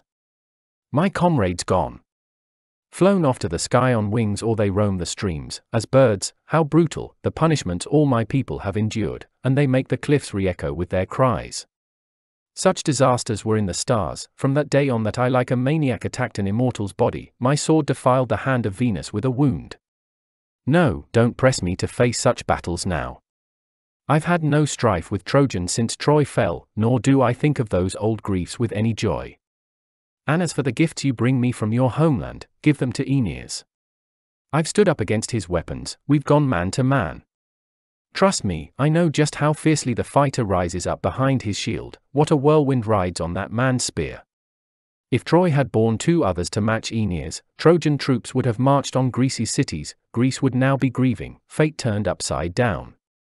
Whatever the standoff round the sturdy walls of Troy, with Greek victory hanging fire until the tenth year came, was all thanks to Aeneas and Hector's strong right arms. Both men shone in courage, both men blazed in combat, Aeneas the more devout. Join hands in pacts of peace while you still have the chance. Don't join battle, sword to sword. Be on your guard. Now then, you have heard, great king, the king's response, the view he takes of this mighty war of ours. The envoys had barely closed when a troubled groan came murmuring from the Italian's anxious lips and mounted as when the rocks resist a stream in spate and the dammed up tide goes churning, sounding out as it beats from bank to bank with water roaring white. Once their spirits calmed and the anxious din died down, first the king salutes the gods from his high throne and then begins, if only before now, men of Latium, we had resolved this dire crisis. How I wish we had called a council then. Far better then, not now, with the enemy camped before our walls. What an ominous war we wage, my countrymen. Fighting people descended from the gods, unbeaten heroes, never wearied in battle, even in defeat they can't put down the sword. If you had any hope of winning Aetolian allies, give it up now. Each man to his own best hope, but now you can see how slim your hopes have been. The rest of your prospects, all lie in shambles, look with your own eyes, feel with your own hands. I blame no one. The most that Valor could do, Valor has done. We have fought the good fight with all our kingdom's power. Now, at this point, torn as I am with doubts, here is what I propose. I will tell it in brief. Come, listen closely. I have an age old tract along the Tiber River, stretching west, beyond the Sicanian border. Here the Auruncans and Rutulians sow their crops, plough the rugged hills and graze the wildest banks. Let this entire spread, plus highlands ringed with pines, be given the Trojans now to win their friendship. And let us draft a treaty, just in every term, and invite the Trojans in to share our kingdom. Let them settle here, if so their hearts desire, and build their city walls. But if they are bent on seizing other countries, other people now, and it's in their power to put our land astern, then we'll build them 20 ships of Italian oak. More, if they have the crews. The timbers stacked ashore. Let them set out the number, the class of ship they need. We can supply the bronze, the shipwrights, docks and tackle. I also propose, to bear the news, confirm the pact, that a hundred envoys be dispatched, elite Latin stock, their arms laden with boughs of peace and bearing gifts, hundred weights of gold and ivory, throne and robe, our royal emblems. Confer among yourselves. Shore up our shattered fortunes. Drances rises, aggressive as always, stung by Turnus' glory, spurred by smarting, barely hidden envy, a lavish spender, his rhetoric even looser, but a frozen hand in battle.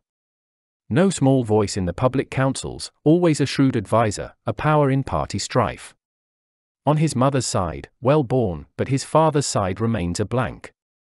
Drances rises now. His urgings fuel their fire, our situation is clear for all to see, and it needs no voice of ours in council now, my noble king.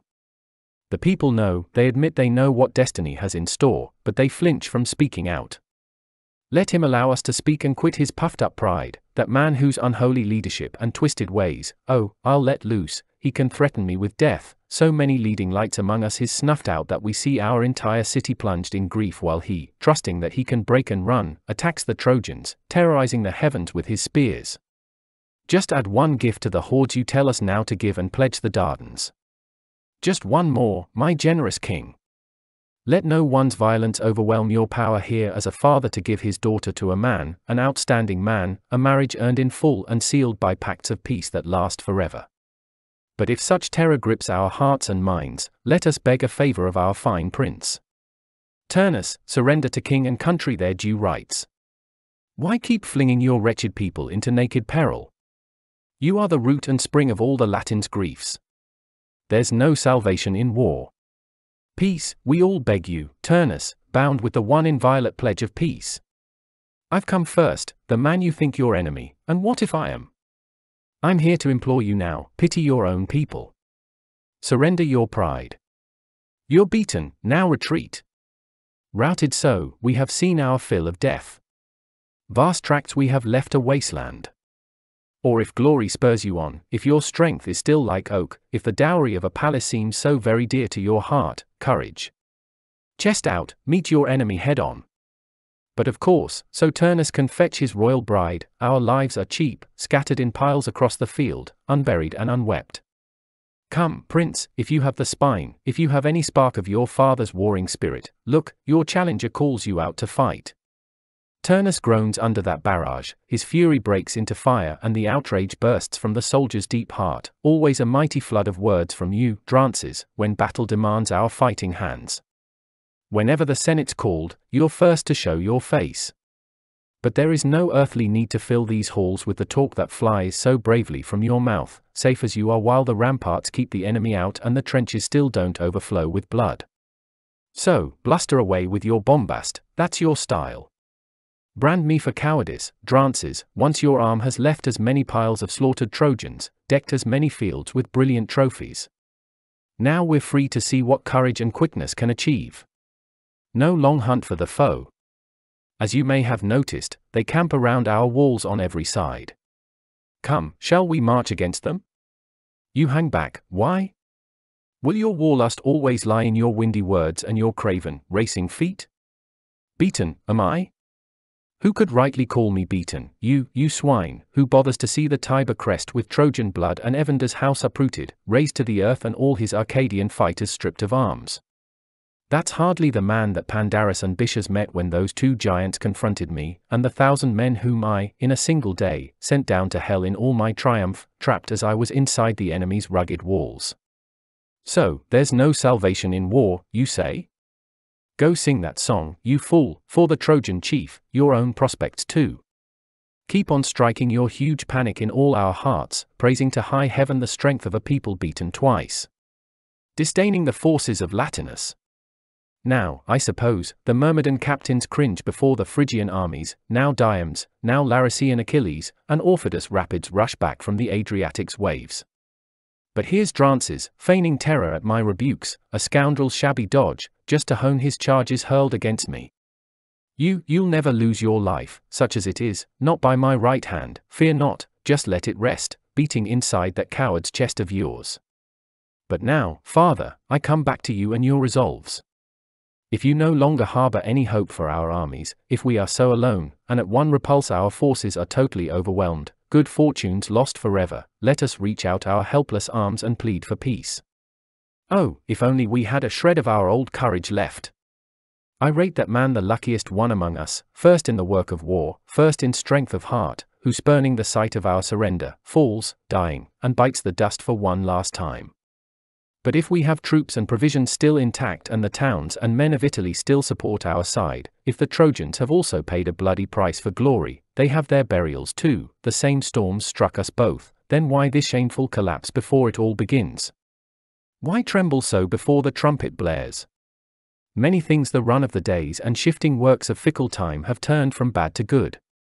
Many men has two-faced fortune cheated, only to come back and set them up on solid ground once more.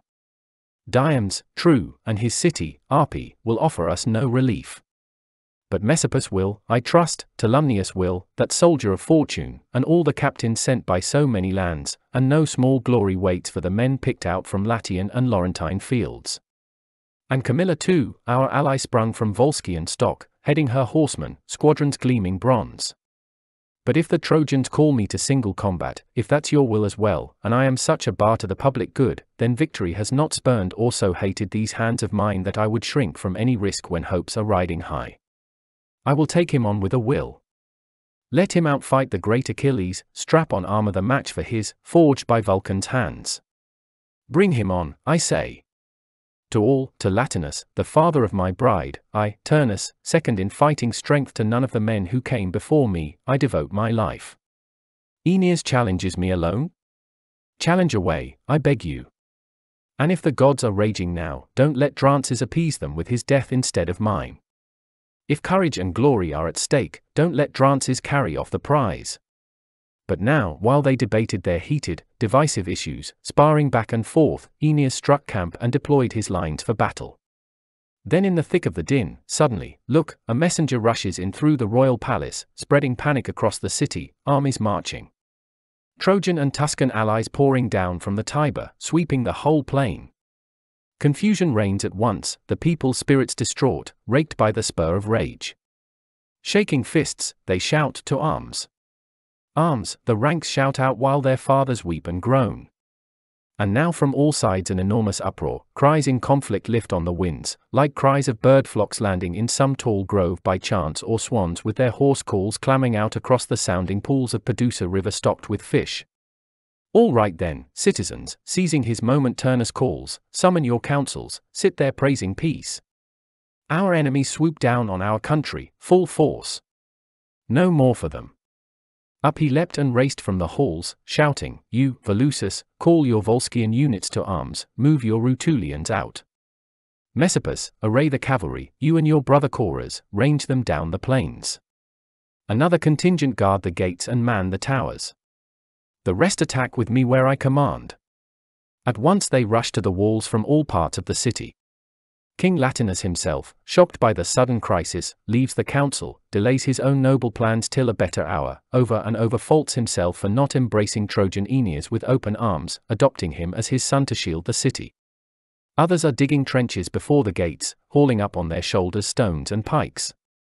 And the raucous trumpet sounds the signal, bloody war.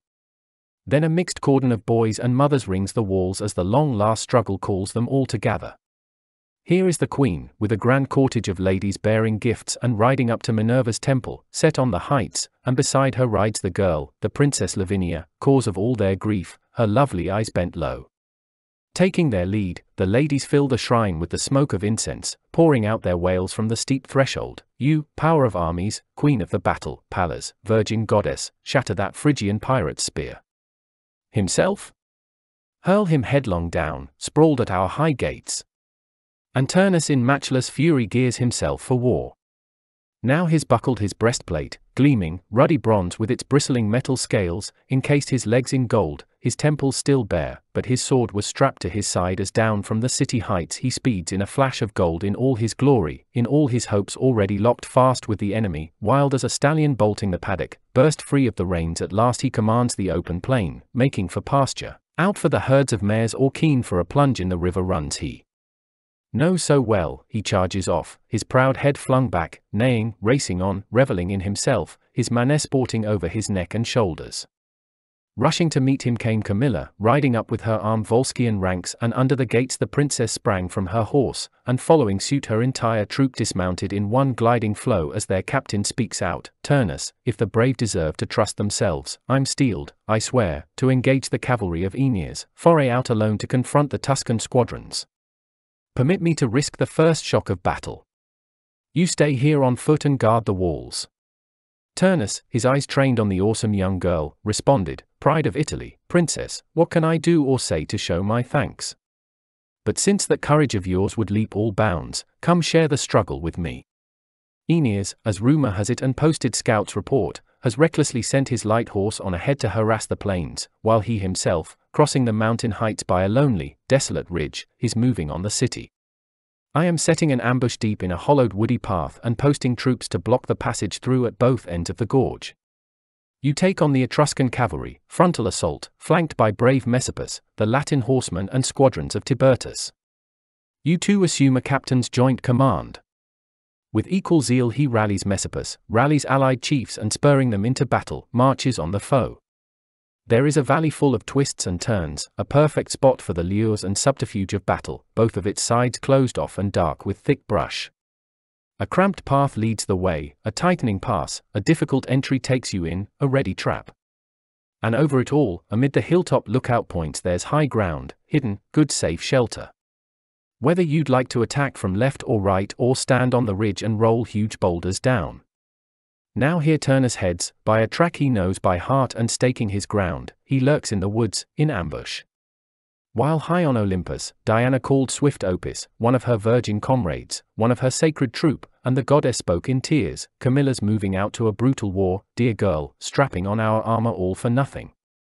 I love her like no one else. And it's no new love, you know, that stirs Diana, no sweet lightning bolt of passion. Once, when that tyrant, Metabus, loathed by people for his abuse of power, was drummed from his kingdom, leaving Privernum's ancient town, he took his daughter, a baby, with him, fleeing the thick and fast of battle, a friend to share his exile. Camilla, he called her, changing her mother's name, Casmilla, just a bit. Holding her in his arms, he made for the ridges, wild, dense with woods, with enemy weapons raining down around them, Volscian forces closing for the kill. And suddenly as they flew, the Amasenus overflowed, look, foaming over its banks, such violent cloudbursts broke. About to swim for it, Metabus stopped short, stayed by love for his child, fear for that dear burden. As he racked his brains, desperate, deeply torn, he lit on a quick decision. His own huge spear, the fighter luckily bore it in his grip, rugged with knots, the oakwood charred hard. Rolling her up in cork bark stripped from trees, he lashed her fast to the weapon, just mid-haft and balancing both in his right hand, he prays to the skies, bountiful one, to you, lover of groves, Latona's daughter, a father devotes his baby girl. Yours is the first spear she grasps as she flees the enemy through the air, pleading for your mercy. Receive her, goddess, your very own, I pray you, now I commit my child to the fickle winds. With that, cocking back his arm, he sends the javelin whirring on, and the river roars out as over the churning rapids poor Camilla flies along on the whizzing shaft. But now, as enemy fighters harry Messapus even more, he flings himself in the stream and, flushed with triumph, pries from the turf his spear and baby girl as one, his gift to you, Diana, goddess of the crossroads. No homes, no city walls would give them shelter, nor would he have consented, fierce man that he was, no, a shepherd's life on the lonely mountains, that's the life he led. There in the brush and the rough lairs of beasts he nursed his child on raw milk from the dugs of a wild broodmare, milking its udders into her tender lips. And then, when the toddler had taken her first hesitant steps, Metabus armed her hand with a well-honed lance and slung from her tiny shoulder bow and arrows. No gold band for her hair, no long flaring cape, a tiger skin that covered her head hung down her back. With a hand uncallous still she flung her baby spears, swirled a slingshot round her head with its supple strap and bagged a crane or snowy swan by the Strymon's banks. Many a mother in Tuscan cities yearned for her as a daughter. Futile. Diana's her only passion. She nurses a lifelong love of chastity and the hunt while she remains untouched. If only she'd never been carried away to serve in such a war, bent on challenging Trojans. She'd still be one of my loyal comrades, still my own dear girl. Action. Watch, a terrible destiny drives her on. Down you die from the high skies, Opis my nymph, light out for the Latin lands where battle flares and the omens all are bad. These weapons, take them, pluck from the quiver an arrow fletched for vengeance. Use it. Whoever defiles her sacred body with a wound, Trojan, Italian, make him pay me an equal price in blood.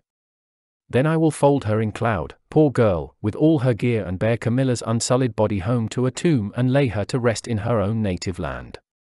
At that, Opis dove down from the sky through a light breeze, her body wrapped in a whirlwind dark as night and whirring on her way. But all the while the Trojan forces are closing on the walls, Etruscan chiefs and a massed army of cavalry squaring off in squadrons rank by rank. Across the entire field the snorting chargers stamping, fighting their tight reins and veering left and right and the plains are bristling a jagged crop of iron spears, everywhere, fields ablaze with weapons brandished high.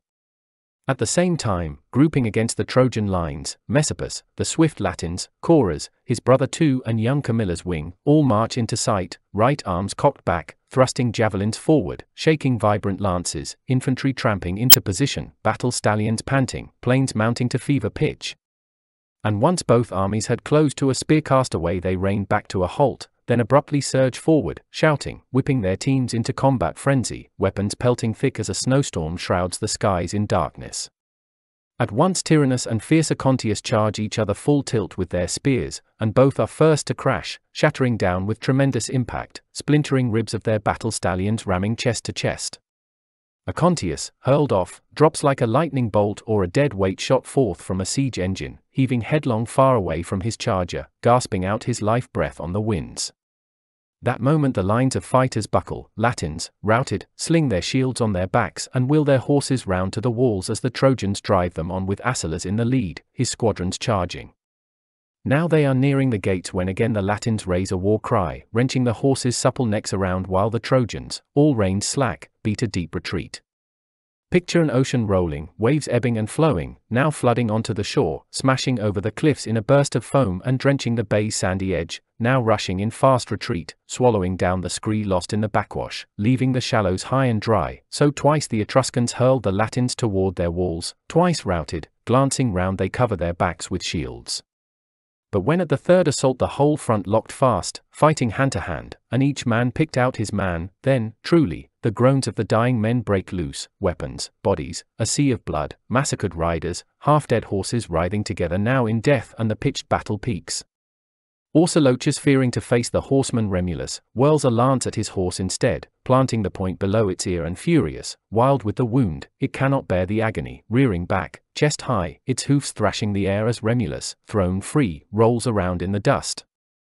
And Catillus brings down Iollas, then Herminius, massive in courage, immense in brawn and armor, his blond locks flowing bare and his shoulders bare, no fear of wounds, so huge his body exposed to spears but Catillus' shaft goes hammering through him, quivering out his broad back and it doubles up the man impaled with pain.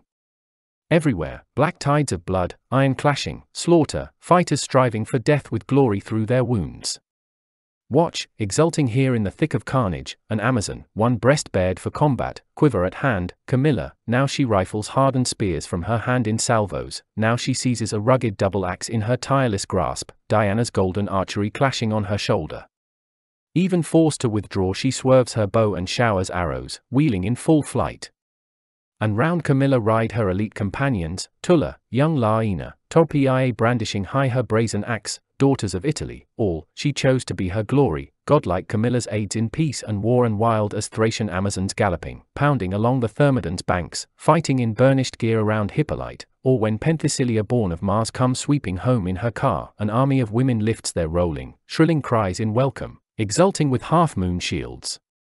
Fierce young girl, who is the first and who the last your spear cuts down? How many dying bodies do you spread out on the earth? Eunaeus, son of Clytius, first. His chest, unshielded, charging Camilla now, who runs her enemy through with her long pine lance and he vomits spurts of blood, gnawing the gory earth, twisting himself around his wound as the Trojan breathes his last. Then Liris, Pegasus over him, Liris struggling to clutch his reins, thrown from his horse as it goes sprawling under him, Pegasus rushes to help his falling comrade, reaches out with an unarmed hand and both of them side by side pitch headlong down.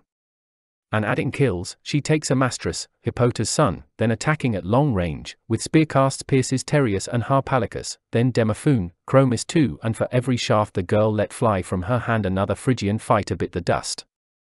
Here's Ornytus riding his Calabrian charger in from a distance, all decked out in exotic armor, the huntsman setting up for a soldier. A bull's hide covers his broad shoulders, the big yawning maw of a wolf with glistening fangs in its jaws protects his head and a hunter's hook-tipped javelin arms his hand as into the press he goes, topping all by a head but Camilla runs him down, easy work with the ranks in full retreat, and spears him through, exulting over his body with all the hatred in her heart, still in the woods, you thought, and flushing game, my fine Etruscan hunter? Well, the day has come when a woman's weapons prove your daydreams wrong. Still, you carry no mean fame to your father's shades, just tell them this, you died by Camilla's spear. Lunging she kills a pair of massive Trojans, Butes and Orsilochus. Butes, his back turned, she stabs between the helmet and breastplate, just where the horseman's neck shines bare and the shield on his left arm dangles down, off guard. And fleeing Orsilochus now as the Trojan drives her round in a huge ring, Camilla tricks him, wheeling inside him, quick, the pursuer now the pursued as she rears above him, praying, begging for mercy, her battle axe smashes down, blow after blow through armor, bone, splitting his skull, warm brains from the wound go splashing down his face. Suddenly right before Camilla, stunned with terror to see her here, stands Aunus fighting son, an Apennine man and not the least of Liguria's liars while the fates allow. Once he sees there is no running away from battle, no turning aside Camilla's attack, he tries to devise a ruse with all his craft and cunning, letting loose. Now where's the glory? Tell me, a woman putting her trust in a powerful horse? No more running away. Meet me on level ground, in combat, hand to hand, gear up to fight on foot. You'll soon see whose windy boasts of glory cheat him blind.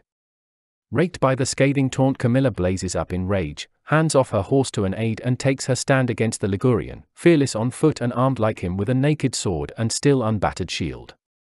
But quick as a flash, the soldier, certain his guile had won the day, runs away himself, yanking his reins around and digging iron spurs in his racing stallion's flanks. Ligurian fool! So bloated with all your empty pride, pulling your slippery inbred tricks for nothing. Fraud will never carry you home, safe and sound, to your lying father Aunus. So young Camilla cries and lightning fast on her feet outruns the charger, snatches the reins and facing her enemy dead on, makes him pay with his own detested blood, quick as Apollo's falcon wheeling down from a crag outraces a dove in flight to a high cloud, seizes it, clutches it, hooked talons ripping its insides out, its blood and plucked feathers drifting down the sky. But the father of men and gods, far from blind, throned on his steep Olympian peak observes it all and stirs Etruscan Tarchon into the savage fighting, lashing the trooper on with the rough spur of rage.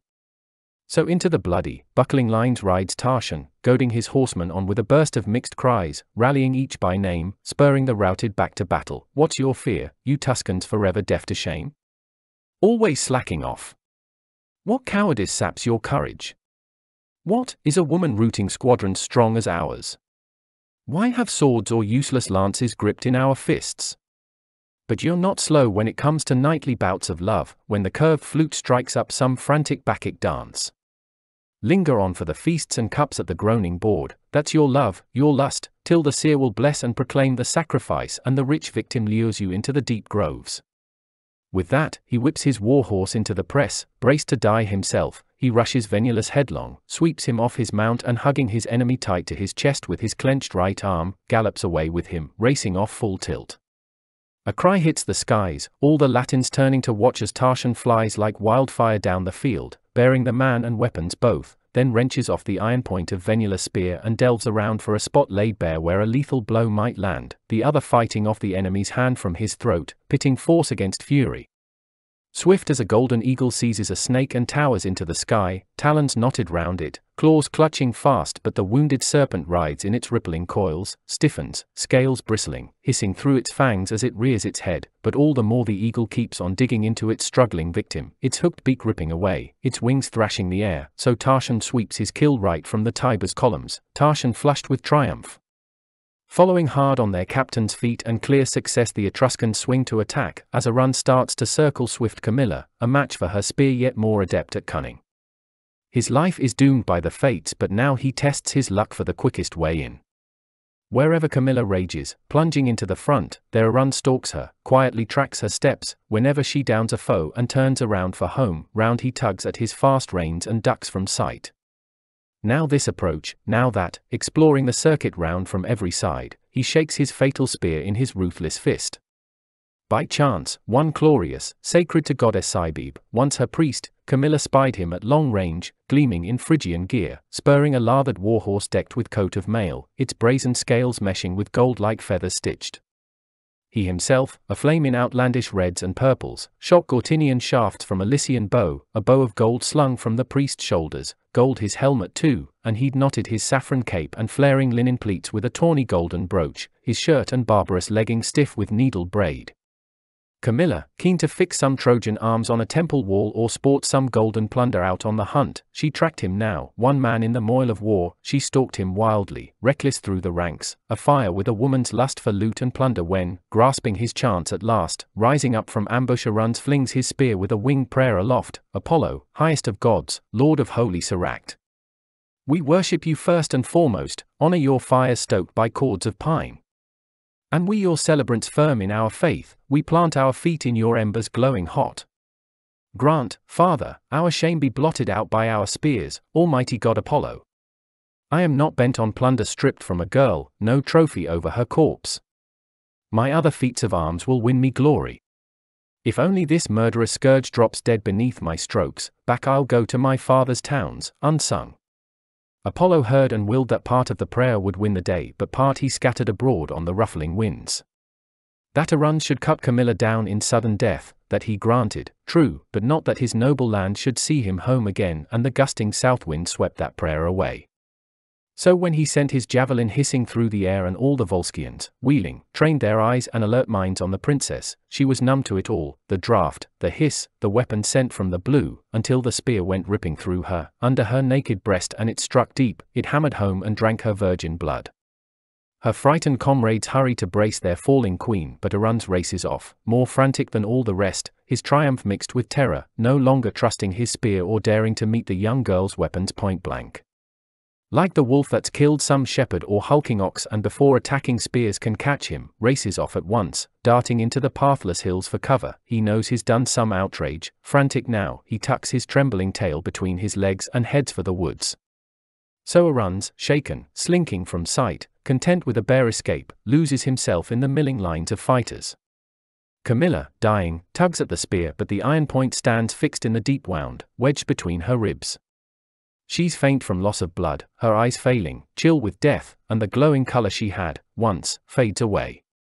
Then, as she breathes her last, she calls to Acca, alone of her young comrades, more than all the others true to Camilla, the only one with whom she shares her cares, and here is what she says This far, Acca, my sister, and I can go no further.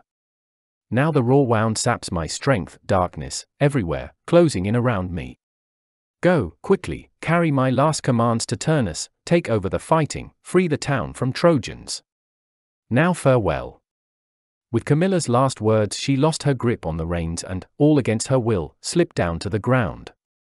Little by little she grew cold, and wholly freed of her body, laid down her head as her neck drooped limp in the clutch of death, and she let her weapons fall. Camilla's life breath fled with a groan of outrage down to the shades below. And then, at that, an immense cry rose up and hit the golden stars. With Camilla down, the melee peaks to a new pitch, the masses surging forward, the whole Trojan army, Etruscan captains, Evander's Arcadian wings. But all the while Diana's sentry, Opis, posted high on a ridge, has scanned the fighting unperturbed. And when at a distance she could see, clear in the thick of battle, war cries, warriors' fury, Camilla beaten down by the brutal stroke of death, she moaned, crying out from the bottom of her heart, Too cruel, dear girl, too cruel the price you pay for trying, begging to challenge the men of Troy in combat. What gain for you, your lonely life in the forest, serving Diana, our quiver round your shoulder? But your queen has not deserted you, shorn of honor, not in your hour of death, nor will your death lack glory among the race of man, nor will you bear the shame of dying unavenged. Whoever defiled your body with that wound will pay with the death that he deserves. Under the mountain ridges stood an immense mound of earth, hedged with shady ilex, the tomb of Dercennus, an old Laurentine king. Here with a swoop the lovely goddess first took up her post, from the high ground looking round for Aruns, and seeing him gleam in armor, puffed with pride, why running away, she shouted. Step right up, just come this way, to die. Collect the reward you've earned for Camilla's death. Just think, you are to die by the arrows of Diana.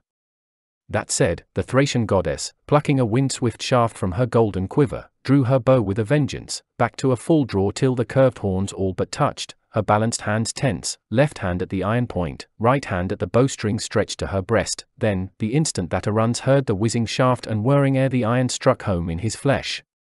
As he gasps out his last, his oblivious comrades leave him sprawled in the nameless dust and Opis flies away to Mount Olympus.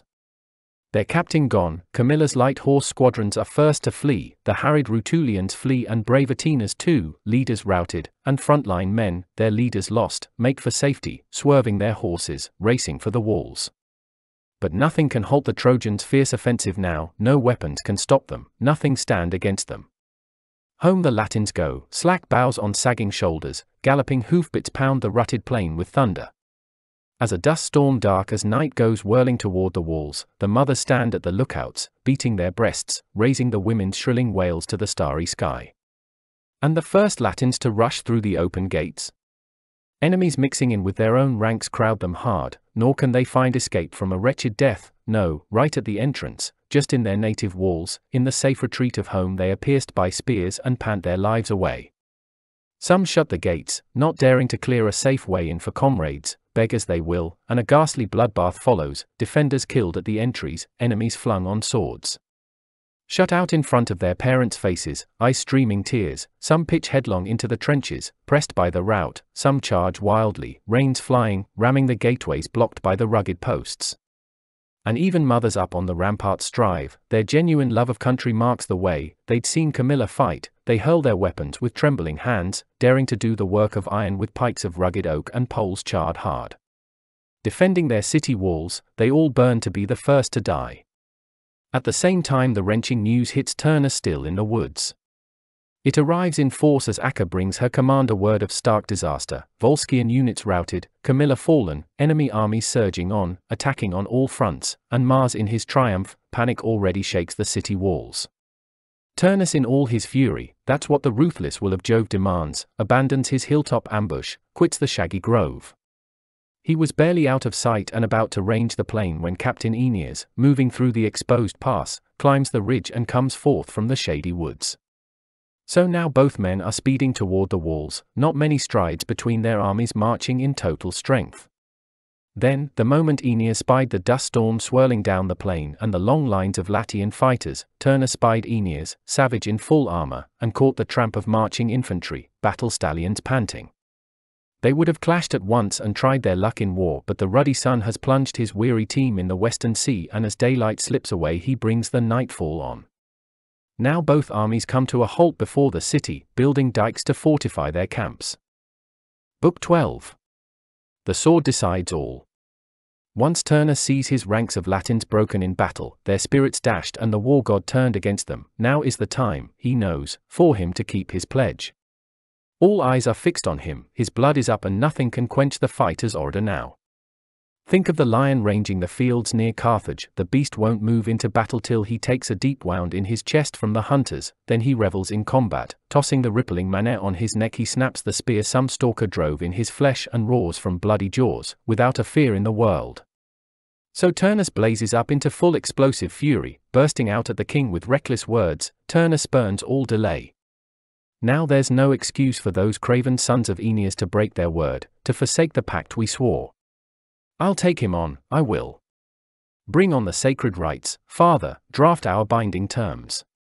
Either my right arm will send that Dardan down to hell, that rank deserter of Asia, my armies can sit back and watch, and Turnus' sword alone will rebut the charge of cowardice trained against them all. Or let him reign over those he's beaten down. Let Lavinia go to him, his bride. Latinus replied in a calming, peaceful way, Brave of the brave, my boy, the more you excel in feats of daring, the more it falls to me to weigh the perils, with all my fears, the lethal risks we run. The realms of your father, Daunus, are yours to manage, so are the many towns your right arm took by force. Latinus, too, has wealth and the will to share it. We've other unwed girls in Latian and Laurentine fields, and no mean stock at that. So let me offer this, hard as it is, yet free and clear of deception. Take it to heart, I urge you. For me to unite my daughter with any one of her former suitors would have been wrong, forbidden, all the gods and prophets made that plain. But I bowed to my love of you, bowed to our kindred blood and my wife's heartrending tears. I broke all bonds, I tore the promised bride from her waiting groom, I brandished a wicked sword. Since then, Turnus, you see what assaults, what crises dog my steps, what labors you have shouldered, you, first of all.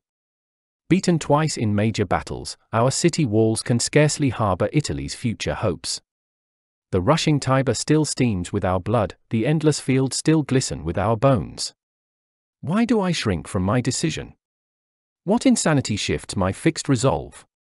If, with Turnus dead, I am ready to take the Trojans on as allies, why not stop the war while he is still alive? What will your Rutulians, all the rest of Italy, say if I betray you to death, may fortune forbid, while you appeal for my daughter's hand in marriage? Oh, think back on the twists and turns of war. Pity your father, bent with years and grief, cut off from you in your native city Ardea far away. Latinus' urgings deflect the fury of Turnus not one bit, it only surges higher the attempts to heal inflame the fever more. Soon as he finds his breath, the prince breaks out The anguish you bear for my sake, generous king, for my sake, I beg you, wipe it from your mind. Let me barter death as the price of fame. I have weapons too, old father, and no weak, and tempered spears go flying from my right hand, from the wounds we deal the blood comes flowing too.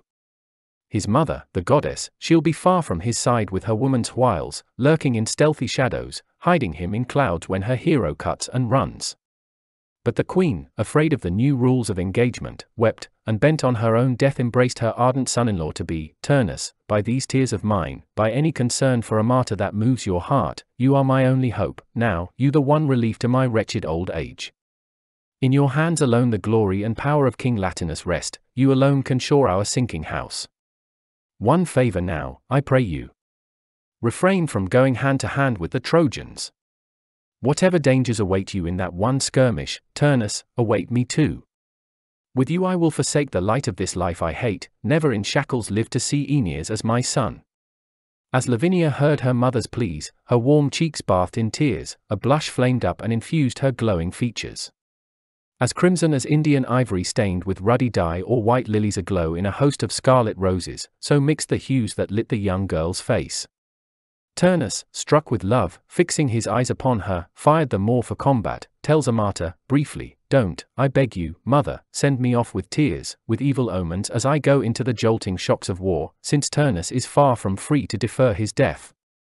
Be my messenger, Idmon. Take my words to Aeneas, hardly words to please that craven Phrygian king. Soon as the sky goes red with tomorrow's dawn, riding Aurora's blood-red chariot wheels, he's not to hurl his Trojans against our Latins, he must let Trojan and Latian armies stand at ease. Our blood will put an end to this war at last, that's the field where Lavinia must be won. No more words. Rushing back to the palace Turnus calls for his team and thrills to see them neighing right before him, gifts from Orithyia herself to glorify Pilumnus, horses whiter than snow, swifter than racing winds. Restless charioteers flank them, patting their chests, slapping with cupped hands, and groom their rippling manes. Next Turnus buckles round his shoulders the breastplate, dense with its golden mesh and livid mountain bronze, and straps on sword, shield, and helmet with horns for its bloody crest, that sword the fire god forged for Father Daunus, plunged red hot in the river Styx. And next with his powerful grip he snatches up a burly spear aslant an enormous central column, plunder seized from an enemy, Actor, shakes it hard till the haft quivers and now, my spear, he cries, you've never failed my call, and now our time has come. Great Actor wielded you once. Now you're in Turnus' hands. Let me spill his corpse on the ground and strip his breastplate, rip it to bits with my bare hands, that Phrygian eunuch, defile his hair in the dust, his tresses crimped with a white hot curling iron dripping myrrh. Frenzy drives him, Turnus' whole face is ablaze, showering sparks, his dazzling glances glinting fire, terrible, bellowing like some bull before the fight begins, trying to pour his fury into his horns, he rams a tree trunk, charges the wind's full force, stamping sprays of sand as he warms up for battle. At the same time, Aeneas, just as fierce in the arms his mother gave him, hones his fighting spirit too and incites his anger, glad the war will end with the pact that Turnus offers. Then he eases his friends and anxious Iülus fears, explaining the ways of fate, commanding envoys now to return his firm reply to King Latinus, state the terms of peace. A new day was just about to dawn, scattering light on the mountain tops, the horses of the sun just rearing up from the ocean's depths, breathing forth the light from their flaring nostrils when the Latins and Trojans were pacing off the dueling ground below the great city's walls, spacing the braziers out between both armies, mounding the grassy altars high to the gods they shared in common. Others, cloaked in their sacred aprons, brows wreathed in verbena, brought out spring water and sacramental fire.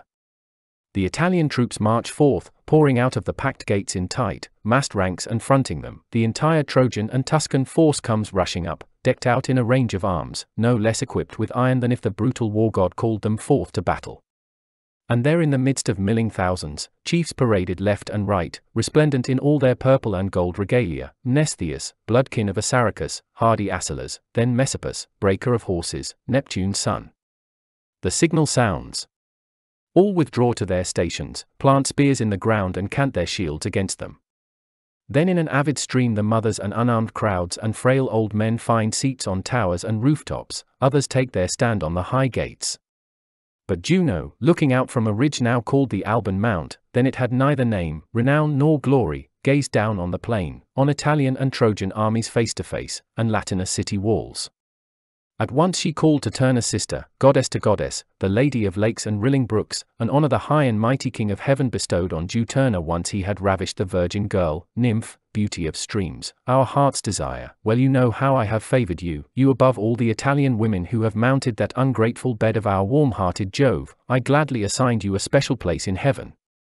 So learn, Juturna, the grief that comes your way and don't blame me. While fortune seemed to allow and fate to suffer the Latian state to thrive, I guarded Turnus, guarded your city walls. But now I see the soldier facing unequal odds, his day of doom, his enemy's blows approaching. That duel, that deadly pact, I cannot bear to watch. But if you dare help your brother at closer range, go and do so, it becomes you. Who knows? Better times may come to those in pain. Juno had barely closed when tears brimmed in Juturna's eyes, and three, four times over she beat her lovely breast. No time for tears, not now, warned Saturn's daughter. Hurry! Pluck your brother from death, if there's a way, or drum up war and abort that treaty they conceived. The design is mine. The daring, yours. Spurring her on, Juno left Juturna torn, distraught with the wound that broke her heart. As the kings come riding in, a massive four horse chariot draws Latinus forth, his glistening temples ringed by a dozen gilded rays, proof he owes his birth to the sun god's line, and a snow white pair brings Turnus' chariot on, two steel tipped javelins balanced in his grip. And coming to meet them, marching from the camp, the great founder, Aeneas, source of the Roman race, with his blazoned starry shield and armor made in heaven and at his side, his son, Ascanius, second hope of Rome's imposing power, while a priest in pure white robes leads on the young of a bristly boar and an unshorn yearling sheep toward the flaming altars. Turning their eyes to face the rising sun, the captains reach out their hands, pouring the salted meal, and mark off the brows of the victims, cutting tufts with iron blades, and tip their cups on the sacred altar fires. Then devoted Aeneas, sword drawn, prays, Now let the sun bear witness here and this, this land of Italy that I call. For your sake I am able to bear such hardships. And Jove Almighty, and you, his queen, Saturnia, goddess, be kinder now, I pray you, now at last. And you, Father, glorious Mars, you who command the revolving world of war beneath your sway. I call on the springs and streams, the gods enthroned in the arching sky and gods of the deep blue sea. If by chance the victory goes to the Latin, Turnus, we agree the defeated will depart to Evander's city, Iulus will leave this land. Nor will Aeneas' Trojans ever revert in times to come, take up arms again, and threaten to put this kingdom to the sword. But if victory grants our force in arms the day, as I think she may, may the gods decree it so, I shall not command Italians to bow to Trojans, nor do I seek the scepter for myself. May both nations, undefeated, under equal laws, march together toward an eternal pact of peace. I shall bestow the gods and their sacred rights. My father in law Latinus will retain his armies, my father in law, his power, his rightful rule. The men of Troy will erect a city for me, Lavinia will give its walls her name. So Aeneas begins, and so Latinus follows, eyes lifted aloft, his right hand raised to the sky. I swear by the same, Aeneas, earth and sea and stars, by Latona's brood of twins, by Janus facing left and right, by the gods who rule below and the shrine of ruthless death, may the Father hear my oath, his lightning seals all pacts, my hand on his altar now, I swear by the gods and fires that rise between us here, the day will never dawn when Italian men will break this pact, this peace, however fortune falls. No power can bend awry my will, not if that power sends the country avalanching into the waves, roiling all in floods and plunging the heavens into the dark pit of hell. Just as surely as this scepter, raising the scepter he chanced to be grasping in his hand, will never sprout new green or scatter shade from its tender leaves, now that it's been cut from its trunk's base in the woods, cleft from its mother, its limbs and crowning foliage lost to the iron axe. A tree, once, that a craftsman's hands have sheathed in hammered bronze and given the chiefs of Latium state to wield. So, on such terms they sealed a pact of peace between both sides, witnessed by all the officers of the armies. Then they slash the throats of the hallowed victims over the flames, and tear their pulsing entrails out and heap the altars high with groaning platters. But in fact the duel had long seemed uneven to all the Rutulians, long their hearts were torn, wavering back and forth, and they only wavered more as they viewed the two contenders at closer range, poorly matched in power. Turnus adds to their anguish, quietly moving toward the altar, eyes downcast, to pray. A suppliant now, his fresh cheeks and his strong young body pallid. Soon as his sister Juturna saw such murmurs rise and the hearts of people slipping into doubt, into the line she goes like Camers to the life, a soldier sprung from a grand ancestral clan, his father a name for valor, brilliant deeds, and he himself renowned for feats of arms.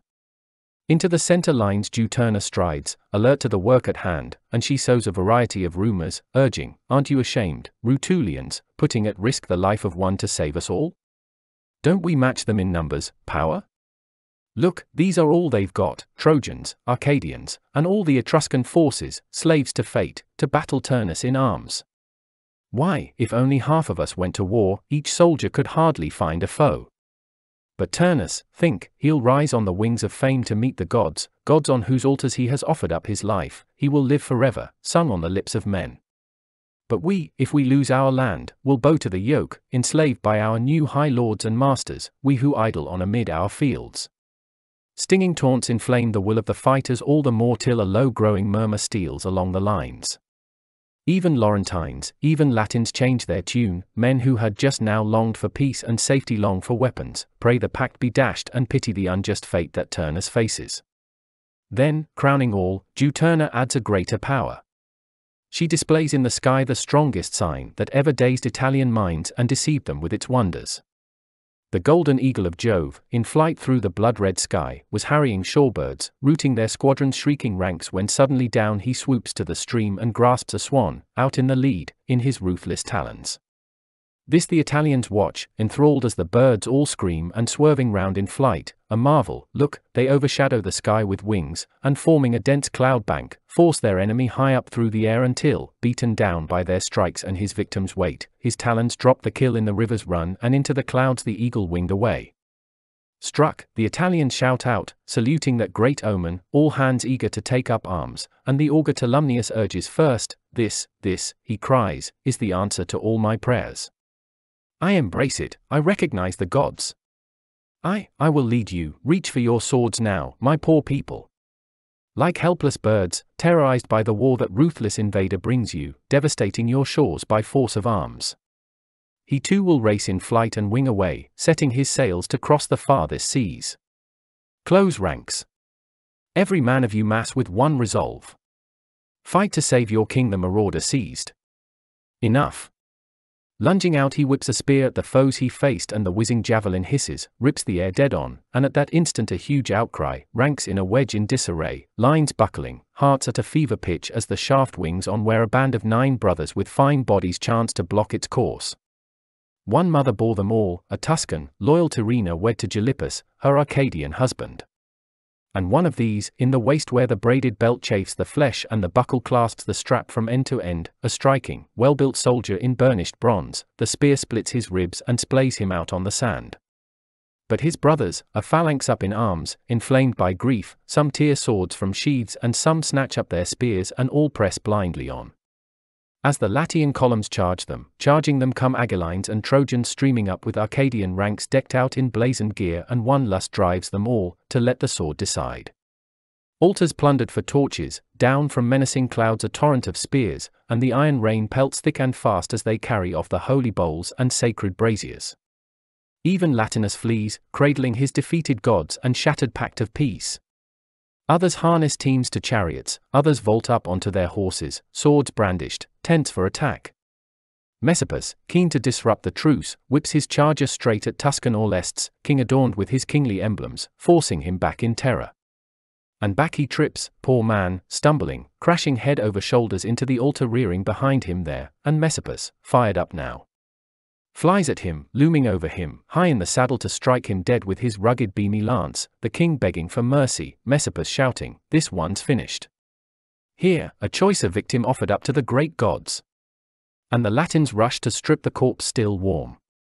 Rushing to block them, Corineus grabs a flaming torch from the altar, just so Ebysus can't strike first, and hurls fire in the Latin's face, and his huge beard flares up, reeking with burnt singe and following on that blow he seizes his dazed foe's locks in his left hand and pins him fast to the ground with a knee full force and digs his rigid blade in Ebysus' flank. Podalirius, tracking the shepherd Alsus, hurtles through the front where the spears shower down, his rearing over him now with his naked sword, but Alsus, swirling his axe head back, strikes him square in the skull, cleaving brow to chin and convulsive sprays of blood imbrue his armor. Grim repose and an iron sleep press down his eyes and shut their light in a night that never ends. But Aeneas, bound to his oath, his head exposed and the hand unarmed he was stretching toward his comrades, shouted out, Where are you running? Why this sudden outbreak, why these clashes? Rein your anger in. The pact's already struck, its terms are set. Now I alone have the right to enter combat. Don't hold me back. Cast your fears to the wind. This strong right arm will put our truce to the proof. Our rights have already made the life of Turnus mine. Just in the midst of these, these outcries, look, a winging arrow whizzes in and it hits Aeneas. Nobody knows who shot it, whirled it on to bring the Rutulian such renown, what luck, what god, the shining fame of the feat is shrouded over now. Nobody boasted he had struck Aeneas. No one. Turnus, soon as he saw Aeneas falling back from the lines, his chiefs in disarray, ignites with a blaze of hope. He demands his team and arms at once, in a flash of pride he leaps up onto his chariot, tugging hard on the reins and races on and droves of the brave he hands to death and tumbles droves of the half-dead down to earth or crushes whole detachments under his wheels or seizing their lances, cuts down all who cut and run. Amok as Mars by the banks of the Hebrus frozen over, splattered with blood, fired to fury, drumming his shield as he whips up war and gives his frenzied team free rein, and over the open fields they outstrip the winds from south and west till the far frontiers of Thrace groan to their pounding hoofs, and round him the shapes of black fear, rage and ambush, aids of the war god gallop on and on. Just so madly Turnus whips his horses into the heart of battle, charges steaming sweat, trampling enemy fighters killed in agony, kicking gusts of bloody spray, their hoofs stamping into the sand the clotted gore. Now he's dealing death to Sthenelus, Thamyris, Pholus, Sthenelus speared at long range, the next two hand to hand, at a distance two both sons of Imbrasus, Glaucus and Lades. Imbrasus had reared them himself in Lycia once and equipped them both with matching weapons either to fight close up or outrace the winds on horseback. Another sector. Eumedes charges into the melee, grandson of old Eumedes, bearing that veteran's name but famed for his father Dolon's heart and hand in war. Dolon, who once dared to ask for Achilles' chariot, his reward for spying out the Achaean camp, but Diomedes paid his daring a different reward, now he no longer dreams of the horses of Achilles. Eumedes spotting him far out on the open meadow, Turnus hits him first with a light spear winged across that empty space, then races up to him, halts his team, and rearing over the dying Trojan, plants a foot on his neck and tears the sword from his grip. A flash of the blade, he stains it red in the man's throat, and to top it off cries out, Look here, Trojan, here are the fields, the great land of the west you fought to win in war. Lie there, take their measure. That's the reward they all will carry off who risk my blade, that's how they build their walls. A whirl of his spear and Turnus sends Asbytes to join him, Chloreus too and Sybaris, Dares, Thersilochus, then Thymoetes, pitched down over the neck of his bucking horse. Like a blast of the Thracian north wind howling over the deep Aegean, whipping the waves toward shore, wherever the winds burst down the clouds take flight through the sky, so Turnus, wherever he hacks his path, the lines buckle in and the ranks turn tail and run as his own drive sweeps him on, his rushing chariot charging the gusts that toss his crest. Phegeus could not face his assault, his deafening cries, he flung himself before the chariot, right hand wrestling the horse's jaws around as they came charging into him, frothing at their bits, then dragged him dangling down from the yoke as Turnus spearhead hit his exposed flank and ripping the double links of his breastplate, there it stuck, just grazing the fighter's skin.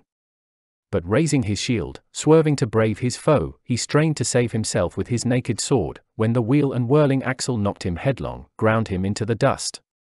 Turnus, finishing up with a stroke between the helmet's base and the breastplate's upper rim, hacked off his head and left his trunk in the sand.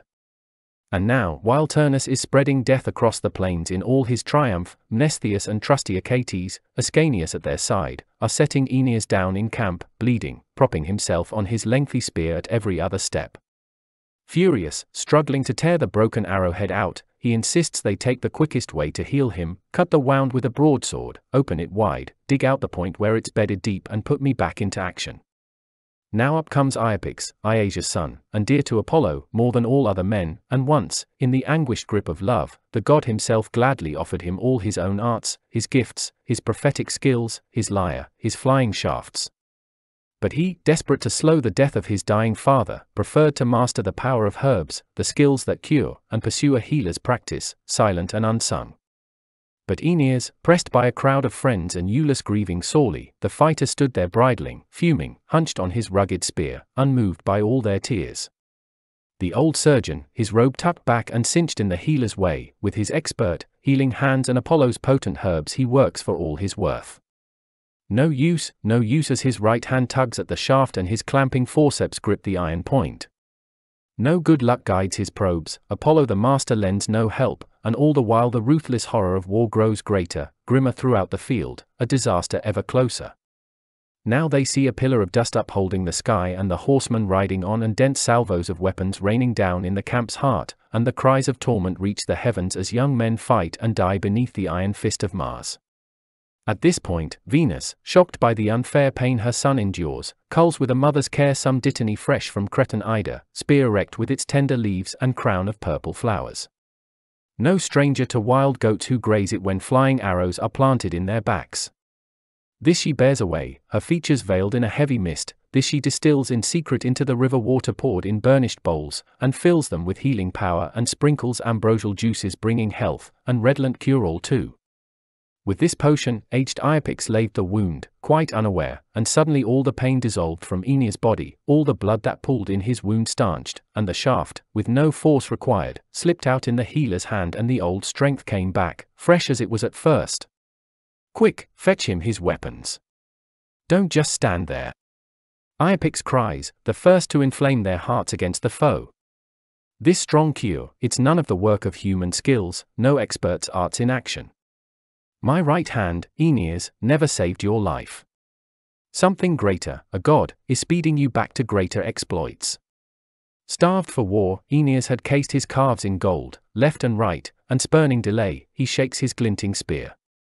Once he has fitted shield to hip and harness to his back, he clasps Ascanius fast in an ironclad embrace and kissing him lightly through his visor, says, Learn courage from me, my son, true hardship too. Learn good luck from others. My hand will shield you in war today and guide you toward the great rewards. But mark my words. Soon as you ripen into manhood, reaching back for the models of your kin, remember, Father Aeneas and Uncle Hector fire your heart. Urgings over, out of the gates he strode, immense in strength, waving his massive spear. Antheus and Mnestheus flank him closely, dashing on and from the deserted camp roll all their swarming ranks. The field is a swirl of blinding dust, the earth quaking under their thundering tread. From the opposing rampart Turnus saw them coming on, his Italians saw them too, and an icy chill of dread ran through their bones. First in the Latin ranks, Juturna caught the sound, she knew what it meant and, seized with trembling, fled. But Aeneas flies ahead, spurring his dark ranks on and storming over the open fields like a cloudburst wiping out the sun, sweeping over the seas toward land, and well in advance the poor unlucky farmers, hearts shuddering, know what it will bring, trees uprooted, crops destroyed, their labor in ruins far and wide, and the winds come first, churning in uproar toward the shore. So the Trojans storm in, their commander heading them toward the foe, their tight ranks packed in a wedge, comrade linked with comrade massing hard. A slash of a sword, Thymbraeus finished giant Osiris, Mnestheus kills Arcetius, Achates hacks Epulo down and Gyas, Ufens. Even the seer Tolumnius falls, the first to wing a lance against the foe. Cries hit the heavens, now it's the Latins' time to turn tail and flee across the fields in a cloud of dust. Aeneas never stoops to leveling men who show their backs or makes for the ones who fight him fairly, toe to toe, or the ones who fling their spears at longer range. No, it's Turnus alone he's tracking, eyes alert through the murky haze of battle, Turnus alone Aeneas demands to fight. Juturna, terror struck at the thought, the woman warrior knocks Metiscus, Turnus charioteer, from between the reins he grasps and leaves him sprawling far from the chariot pole as she herself takes over, shaking the rippling reins like Metiscus to the life, his voice, his build, his gear. Quick as a black swift darts along through the great halls of a wealthy lord, and scavenging morsels, banquet scraps for her chirping nestlings, all her twitterings echo now in the empty colonnades, now round the brimming ponds. So swiftly Juturna drives her team at the Trojan center, darts along in her chariot whirling through the field, now here, there, displaying her brother in his glory, true, but she never lets him come to grips, she swerves far away. But Aeneas, no less bent on meeting up with the enemy, stalks his victim, circling round him, turn by turn and his shrill cries call him through the broken ranks. As often as he caught sight of his prey and strained to outstrip the speed of that team that raced the wind, so often Juturna wheeled the chariot round and swooped away. What should he do? No hope. He seeds on a heaving sea as warring anxieties call him back and forth. Then Messapus, just sprinting along with a pair of steel tipped spears in his left hand, training one on the Trojan, lets it fly, right on target. Aeneas stopped in his tracks and huddled under his shield, crouching down on a knee, but the spear in its onrush swiped the peak of his helmet off and swept away the plumes that crowned his crest. Aeneas erupts in anger, stung by treachery now and seeing Turnus' horses swing his chariot round and speed away, over and over he calls out to Jove, to the altars built for the treaty now a shambles. Then, at last, he hurtles into the thick of battle as Mars drives him on, and terrible, savage, inciting slaughter, sparing none, he gives his rage free rein. Now what god can unfold for me so many terrors? Who can make a song of slaughter in all its forms, the deaths of captains down the entire field, dealt now by Turnus, now by Aeneas, kill for kill? Did it please you so, great Jove, to see the world at war, the peoples clash that would later live in everlasting peace? Aeneas takes on Rutulian Sucro, here was the first duel that ground the Trojan charge to a halt, and meets the man with no long visit, just a quick stab in his flank and the ruthless sword blade splits the ribcage, thrusting into the heart where death comes lightning fast. Turnus, hurling the brothers Amycus and Diores off their mounts, attacks them on foot and one he strikes with a long spear, rushing at Turnus, one he runs through with a sword and severing both their heads, he dangles them from his car as he carts them off in triumph dripping blood. Aeneas packs them off to death, Talos, Tanais, staunch Cethegus, all three at a single charge, then grim Onites too, named for his Theban line, his mother called Peridea. Turnus kills the brothers fresh from Apollo's Lycian fields and next Menoetes who, in his youth, detested war but war would be his fate. An Arcadian angler skilled at working the rivers of Lerna stocked with fish, his lodgings poor, a stranger to all the gifts of the great, and his father farmed his crops on rented land. Like fires loosed from adverse sides into woodlands dry as tinder, thickets of rustling laurel, or foaming rivers hurling down from a mountain ridge and roaring out to sea, each leaves a path of destruction in its wake. Just as furious now those two, Aeneas, Turnus rampaging through the battle, now their fury boils over inside them, now their warring hearts at the breaking point, they don't concede defeat, and now they hack their wounding ways with all their force. Here's Murranus sounding off the names of his forebears, all his father's father's line from the start of time, his entire race come down from the Latin kings. Headlong down Aeneas smashes the braggart with a rock, a whirling boulder's power that splays him on the ground, snarled in the reins and yoke as the wheels roll him on and under their thundering hoofbits both his galloping horses, all thought of their master vanished, trample him to death. Here's Hyllus rushing in with his blood-curdling rage but Turnus rushing to block him whips a spear at his brow that splits his gilded helmet, sticks erect in his brain. And your sword arm, Cretheus, bravest Greek afield, it could not snatch you from Turnus, nor did the gods he worshipped save Cupencus' life when Aeneas came his way, he thrust his chest at the blade but his brazen shield, poor priest, could not put off his death. And Aeolus, you too, the Laurentine field saw you go down and your body spread across the earth. Down you went, whom neither the Greek battalions could demolish, nor could Achilles, who raised the realms of Priam. Here was your finish line, the end of life. Your halls lie under Ida, high halls at Lyrnessus, but here in Laurentine soil lies your tomb. All on attack, the armies wheeling around for combat, all the Latins, all the Trojans, Mnestheus, fierce Serestus, Messapus breaker of horses, brawny Asilas, the Etruscan squadron, Evander's Arcadian wings, each fighter at peak strength, all force put to the test as they soldier on, no rest, no let up, total war. And now his lovely mother impelled Aeneas to storm the ramparts, hurl his troops at the city, fast, frontal assault, and panic the Latins faced with swift collapse. And he, stalking Turnus through the moil of battle, Aeneas glances roving left and right, sights the town untouched by this ruthless war, immune, at peace and an instant vision of fiercer combat fires his soul. He summons Mnestheus, Sergestus, staunch Serestus, chosen captains, takes his stand on a high rise where the rest of the Trojan fighters cluster round, tight ranks that don't throw down their shields and spears as Aeneas, rising amidst them, urges from the earthwork, No delay in obeying my orders, Jove backs us now. No slowing down, I tell you, we must strike at once. That city, the cause of the war, the heart of Latinus' realm, unless they bow to the yoke, brought low this very day, I'll topple their smoking rooftops to the ground. What, wait till Turnus deigns to take me on?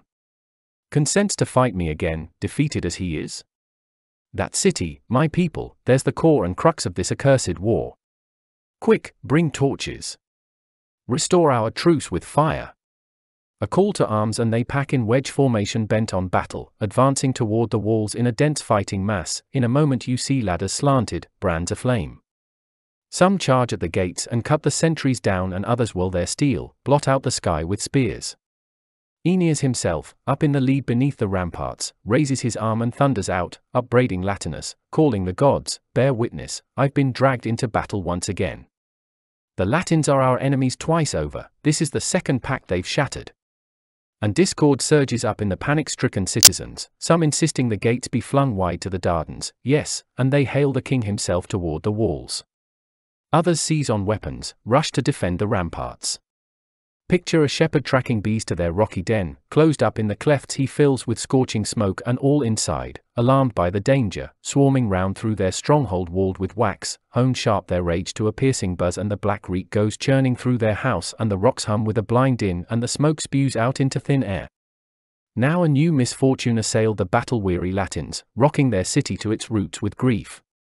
The queen, when from her house she sees the enemy coming strong, walls assaulted, flames surging up to the roofs, and no Rutulian force in sight to block their way, no troops of Turnus, then, poor woman, she thinks him killed in the press of war and suddenly lost in the frenzied grip of sorrow, claims that she's the cause, the criminal, source of disaster, shrilling wild words in her crazed, grieving fit and bent on death, ripping her purple gown for a noose, she knots it high to a rafter, dies. A gruesome death. As soon as the wretched Latin women hear the worst, the queen's daughter Lavinia is the first to tear her golden hair and score her lustrous cheeks, the rest of the women round her mad with grief and the long halls resound with trilling wails of sorrow. From here the terrible news goes racing through the city, spirits plunge, Latinus, rending his robes to tatters, stunned by his wife's death and his city's fall, fouls his white hair with showers of dust.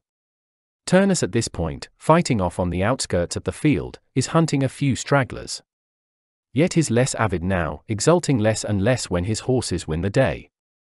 But the winds bring him a hint of hidden terrors, mingled cries drifting out of the town in chaos. A muffled din. He cocks his ears, listening, hardly the sound of joy. What am I hearing? Why this enormous grief that rocks the walls, this clamor echoing from the city far away?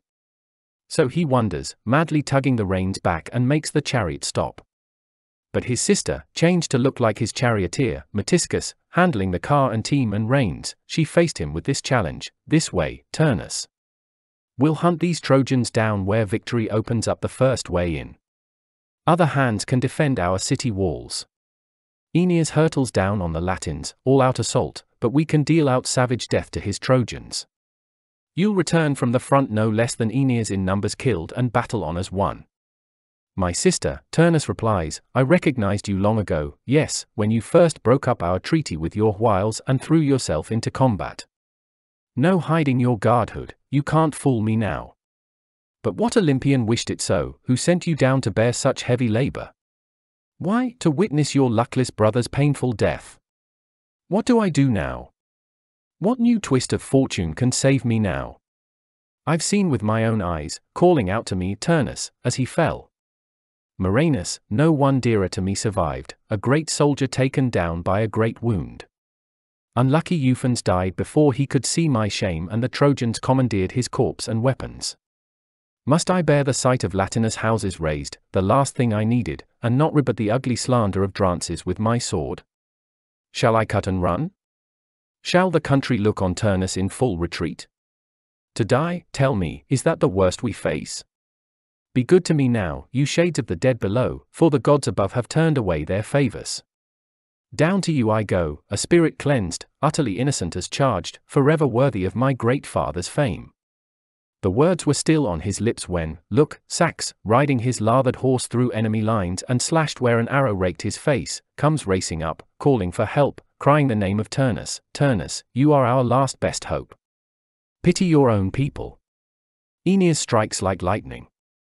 Up in arms he threatens to topple Italy's towers, bring them down in ruins, already the flaming brands go winging toward the roofs. The Latins, their eyes, their looks are trained on you. Latinus, the king himself, moans and groans with doubt, whom to call his sons. Which pact can he embrace? And now the queen, whose trust lay all in you, she's dead by her own hand, terrified, she's fled the light of life. Alone before the gates Messapus and brave Atinas hold our front line steady, ringed by enemy squadrons packed tight, bristling a jagged crop of naked blades. While look at you, wheeling your chariot round the abandoned grassy fields.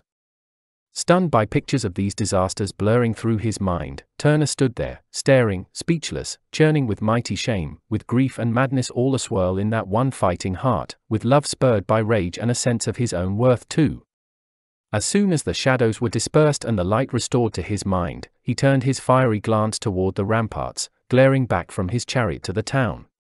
But now, look, a whirlwind of fire goes rolling story to story, billowing up the sky, and clings fast to a mobile tower, a defense he built himself of wedged, rough-hewn beams, fitting the wheels below it, gangways reared above.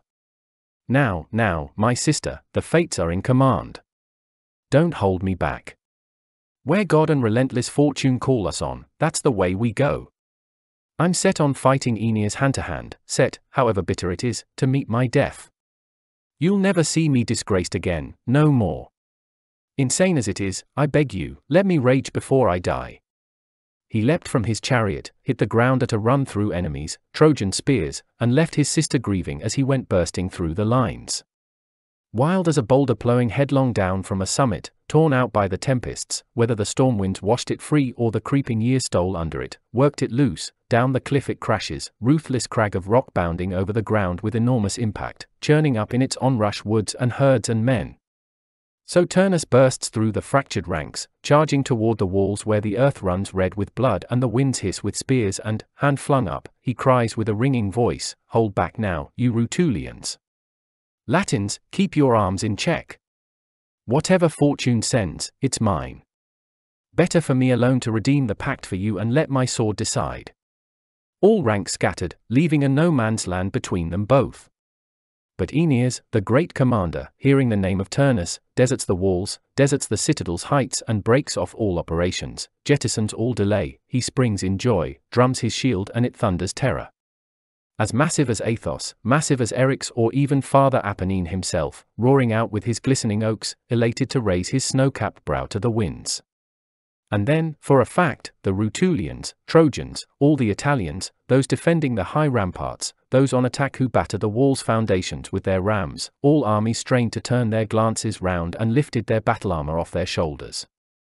Latinus himself is struck that these two giant men, sprung from opposing ends of the earth, have met, face to face, to let their swords decide. But they, as soon as the battlefield lay clear and level, charge at speed, rifling their spears at long range, then rush to battle with shields and clanging bronze. The earth groans as stroke after stroke they land with naked swords, fortune and fortitude mix in one assault. Charging like two hostile bulls fighting up on Scylla's woods or Taburnus ridges, ramping in mortal combat, both brows bent for attack and the herdsmen back away in fear and the whole herd stands by, hushed, afraid, and the heifers wait and wonder, who will lord it over the forest? Who will lead the herd, while the bulls battle it out, horns butting, locking, goring each other, necks and shoulders roped in blood, and the woods resound as they grunt and bellow out. So they charge, Trojan Aeneas and Turnus, son of Daunus, shields clang, and the huge din makes the heavens ring. Jove himself lifts up his scales, balanced, trued, and in them he sets the opposing fates of both. Whom would the labor of battle doom? Whose life would weigh him down to death? Suddenly Turnus flashes forward, certain he's in the clear and raising his sword high, rearing to full stretch strikes, as Trojans and anxious Latins shout out, with the gaze of both armies riveted on the fighters. But his treacherous blade breaks off, it fails Turnus in mid-stroke, enraged, his one recourse, retreat, and swifter than east winds, Turnus flies as soon as he sees that unfamiliar hilt in his hand, no defense at all. they say the captain, rushing headlong on to harness his team and board his car to begin the duel, left his father's sword behind and hastily grabbed his charioteer Metiscus' blade. Long as the Trojan stragglers took to their heels and ran, the weapon did its work, but once it came up against the immortal armor forged by the god of fire, Vulcan, the mortal sword burst at a stroke, brittle as ice, and glinting splinters gleamed on the tawny sand. So raging Turnus runs for it, scours the field, now here, now there, weaving in tangled circles as Trojans crowd him hard, a dense ring of them shutting him in, with a wild swamp to the left and steep walls to the right. Nor does Aeneas flag, though slowed down by his wound, his knees unsteady, cutting his pace at times but his still in full fury, hot on his frantic quarry's tracks, stride for stride.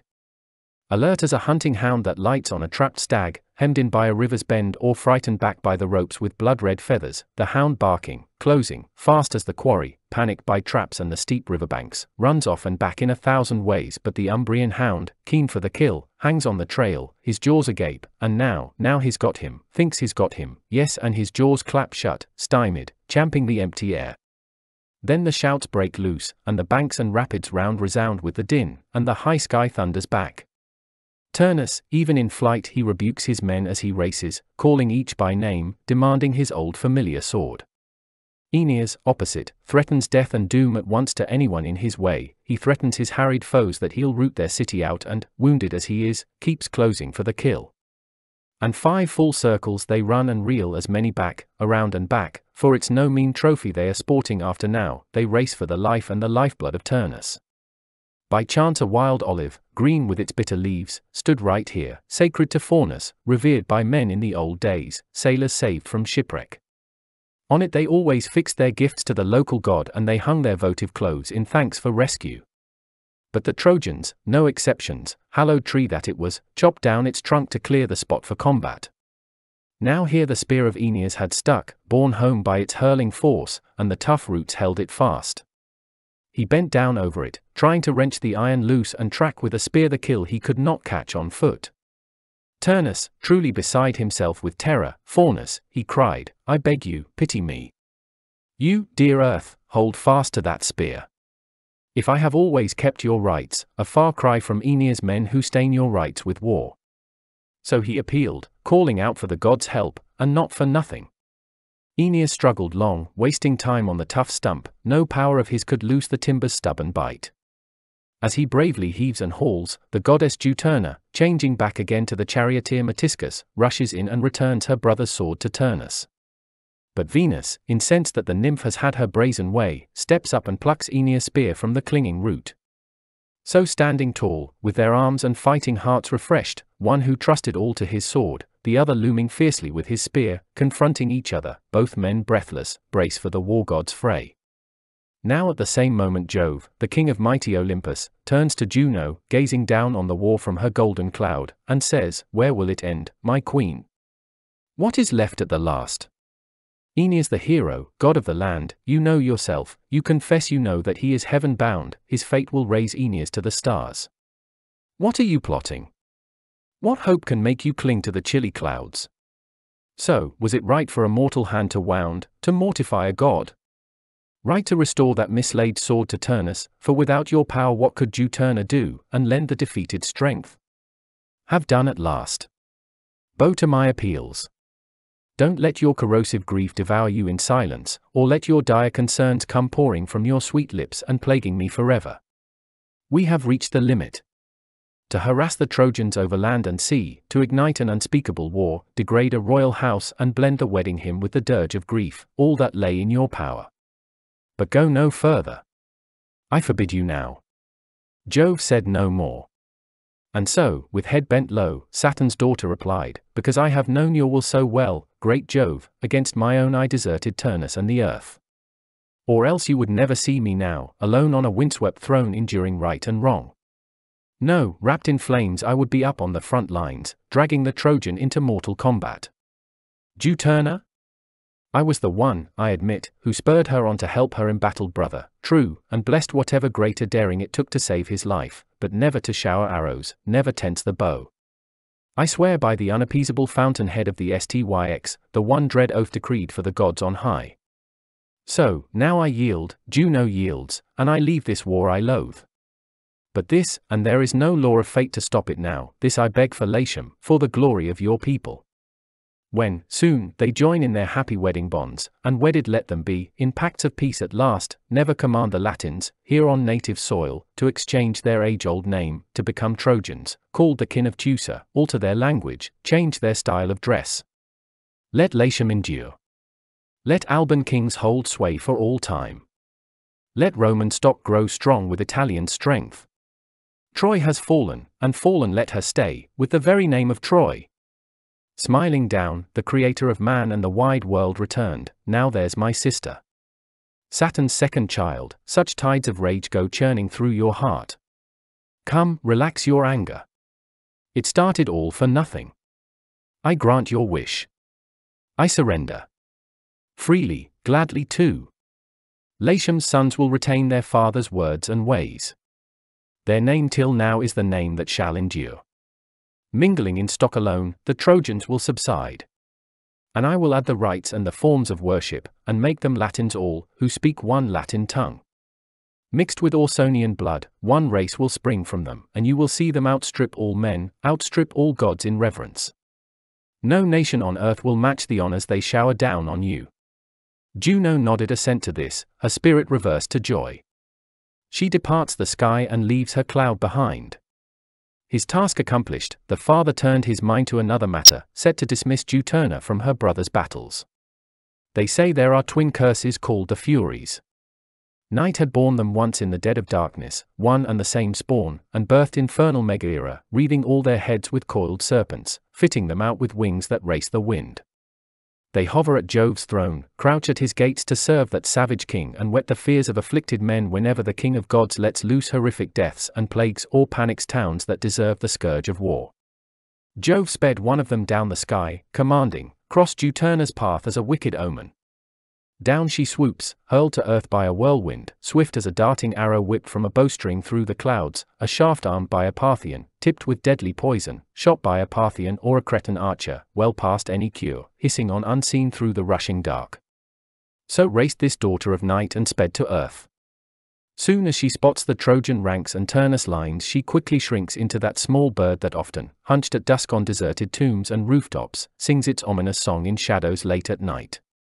Shrunken so, the demon flutters over and over again in Turnus' face, screeching, drumming his shield with its whirring wings. An eerie numbness unnerved him head to toe with dread, his hackles bristled in horror, voice choked in his throat. Recognizing the Fury's ruffling wings at a distance, wretched Juturna tears her hair, nails clawing her face, fists beating her breast, and cries to her brother, How, Turnus, how can your sister help you now? What's left for me now, after all I have endured? What skill do I have to lengthen out your life? How can I fight against this dreadful omen? At last, at last I leave the field of battle. Afraid as I am, now frighten me no more, you obscene birds of night. Too well I know the beat of your wings, the drumbeat of doom. Nor do the proud commands of Jove escape me now, our great, warm hearted Jove. Are these his wages for taking my virginity? Why did he grant me life eternal, rob me of our one privilege, death? Then, for a fact, I now could end this agony, keep my brother company down among the shades. Doomed to live forever? Without you, my brother, what do I have still mine that's sweet to taste? If only the earth gaped deep enough to take me down, to plunge this goddess into the depths of hell. With that, shrouding her head with a grey green veil and moaning low, down to her own stream's bed the goddess sank away. All hot pursuit, Aeneas brandishes high his spear, that tree of a spear, and shouts from a savage heart, more delay. Why now? Still in retreat, Turnus, why? This is no foot race. It's savagery, swordplay cut and thrust. Change yourself into any shape you please, call up whatever courage or skill you still have left. Pray to wing your way to the starry sky or bury yourself in the earth's deep pits. Turnus shakes his head, I don't fear you, you and your blazing threats, my fierce friend. It's the gods that frighten me, Jove, my mortal foe. No more words. Glancing around, he spots a huge rock, huge, ages old, and lying out in the field by chance, placed as a boundary stone to settle border wars. A dozen picked men could barely shoulder it up, men of such physique as the earth brings forth these days, but he wrenched it up, hands trembling, tried to heave it right at Aeneas, Turnus stretching to full height, the hero at speed, at peak strength. Yet is losing touch with himself, racing, hoisting that massive rock in his hands and hurling, true, but his knees buckle, blood's like ice in his veins and the rock he flings through the air, plummeting under its own weight, cannot cover the space between them, cannot strike full force, just as in dreams when the nightly spell of sleep falls heavy on our eyes and we seem entranced by longing to keep on racing on, no use, in the midst of one last burst of speed we sink down, consumed, our tongue won't work, and tried and true, the power that filled our body fails, we strain but the voice and words won't follow. So with Turnus. Wherever he fought to force his way, no luck, the merciless fury blocks his efforts. A swirl of thoughts goes racing through his mind. He glances toward his own Rutulians and their town. He hangs back in dread. He quakes at death. It's here. Where can he run? How can he strike out at the enemy? Where's his chariot? His charioteer, his sister? Vanished. As he hangs back, the fatal spear of Aeneas streaks on, spotting a lucky opening he had flung from a distance, all his might and main. Rocks heaved by a catapult pounding city ramparts never stormed so loudly, never such a shattering bolt of thunder crashing forth. Like a black whirlwind churning on, that spear flies on with its weight of iron death to pierce the breastplate's lower edge and the outmost rim of the round shield with its seven plies, and right at the thick of Turnus' thigh it whizzes through, it strikes home and the blow drops great Turnus down to the ground, battered down on his bent knees. The Rutulians spring up with a groan and the hillsides round groan back and the tall groves far and wide resound with the long-drawn moan. Turnus lowered his eyes and reached with his right hand and begged, a suppliant, I deserve it all. No mercy, please, Turnus pleaded. Seize your moment now. Or if some care for a parent's grief can touch you still, I pray you, you had such a father, in old Anchises, pity Daunus in his old age and send me back to my own people, or if you would prefer, send them my dead body stripped of life. Here, the victor and vanquished, I stretch my hands to you, so the men of Latium have seen me in defeat. Lavinia is your bride. Go no further down the road of hatred. Aeneas, ferocious in armor, stood there, still, shifting his gaze, and held his sword arm back, holding himself back too as Turnus' words began to sway him more and more, when all at once he caught sight of the fateful sword belt of Pallas, swept over Turnus' shoulder, gleaming with shining studs Aeneas knew by heart. Young Pallas, whom Turnus had overpowered, taken down with a wound, and now his shoulder flaunted his enemy's battle emblem like a trophy. Aeneas, soon as his eyes drank in that plunder, keepsake of his own savage grief, flaring up in fury, terrible in his rage, he cries, Decked in the spoils you stripped from one I loved, escape my clutches? Never Pallas strikes this blow, Pallas sacrifices you now, makes you pay the price with your own guilty blood. In the same breath, blazing with wrath, he plants his iron sword hilt deep in his enemy's heart. Turnus' limbs went limp in the chill of death. His life breath fled with a groan of outrage down to the shades below.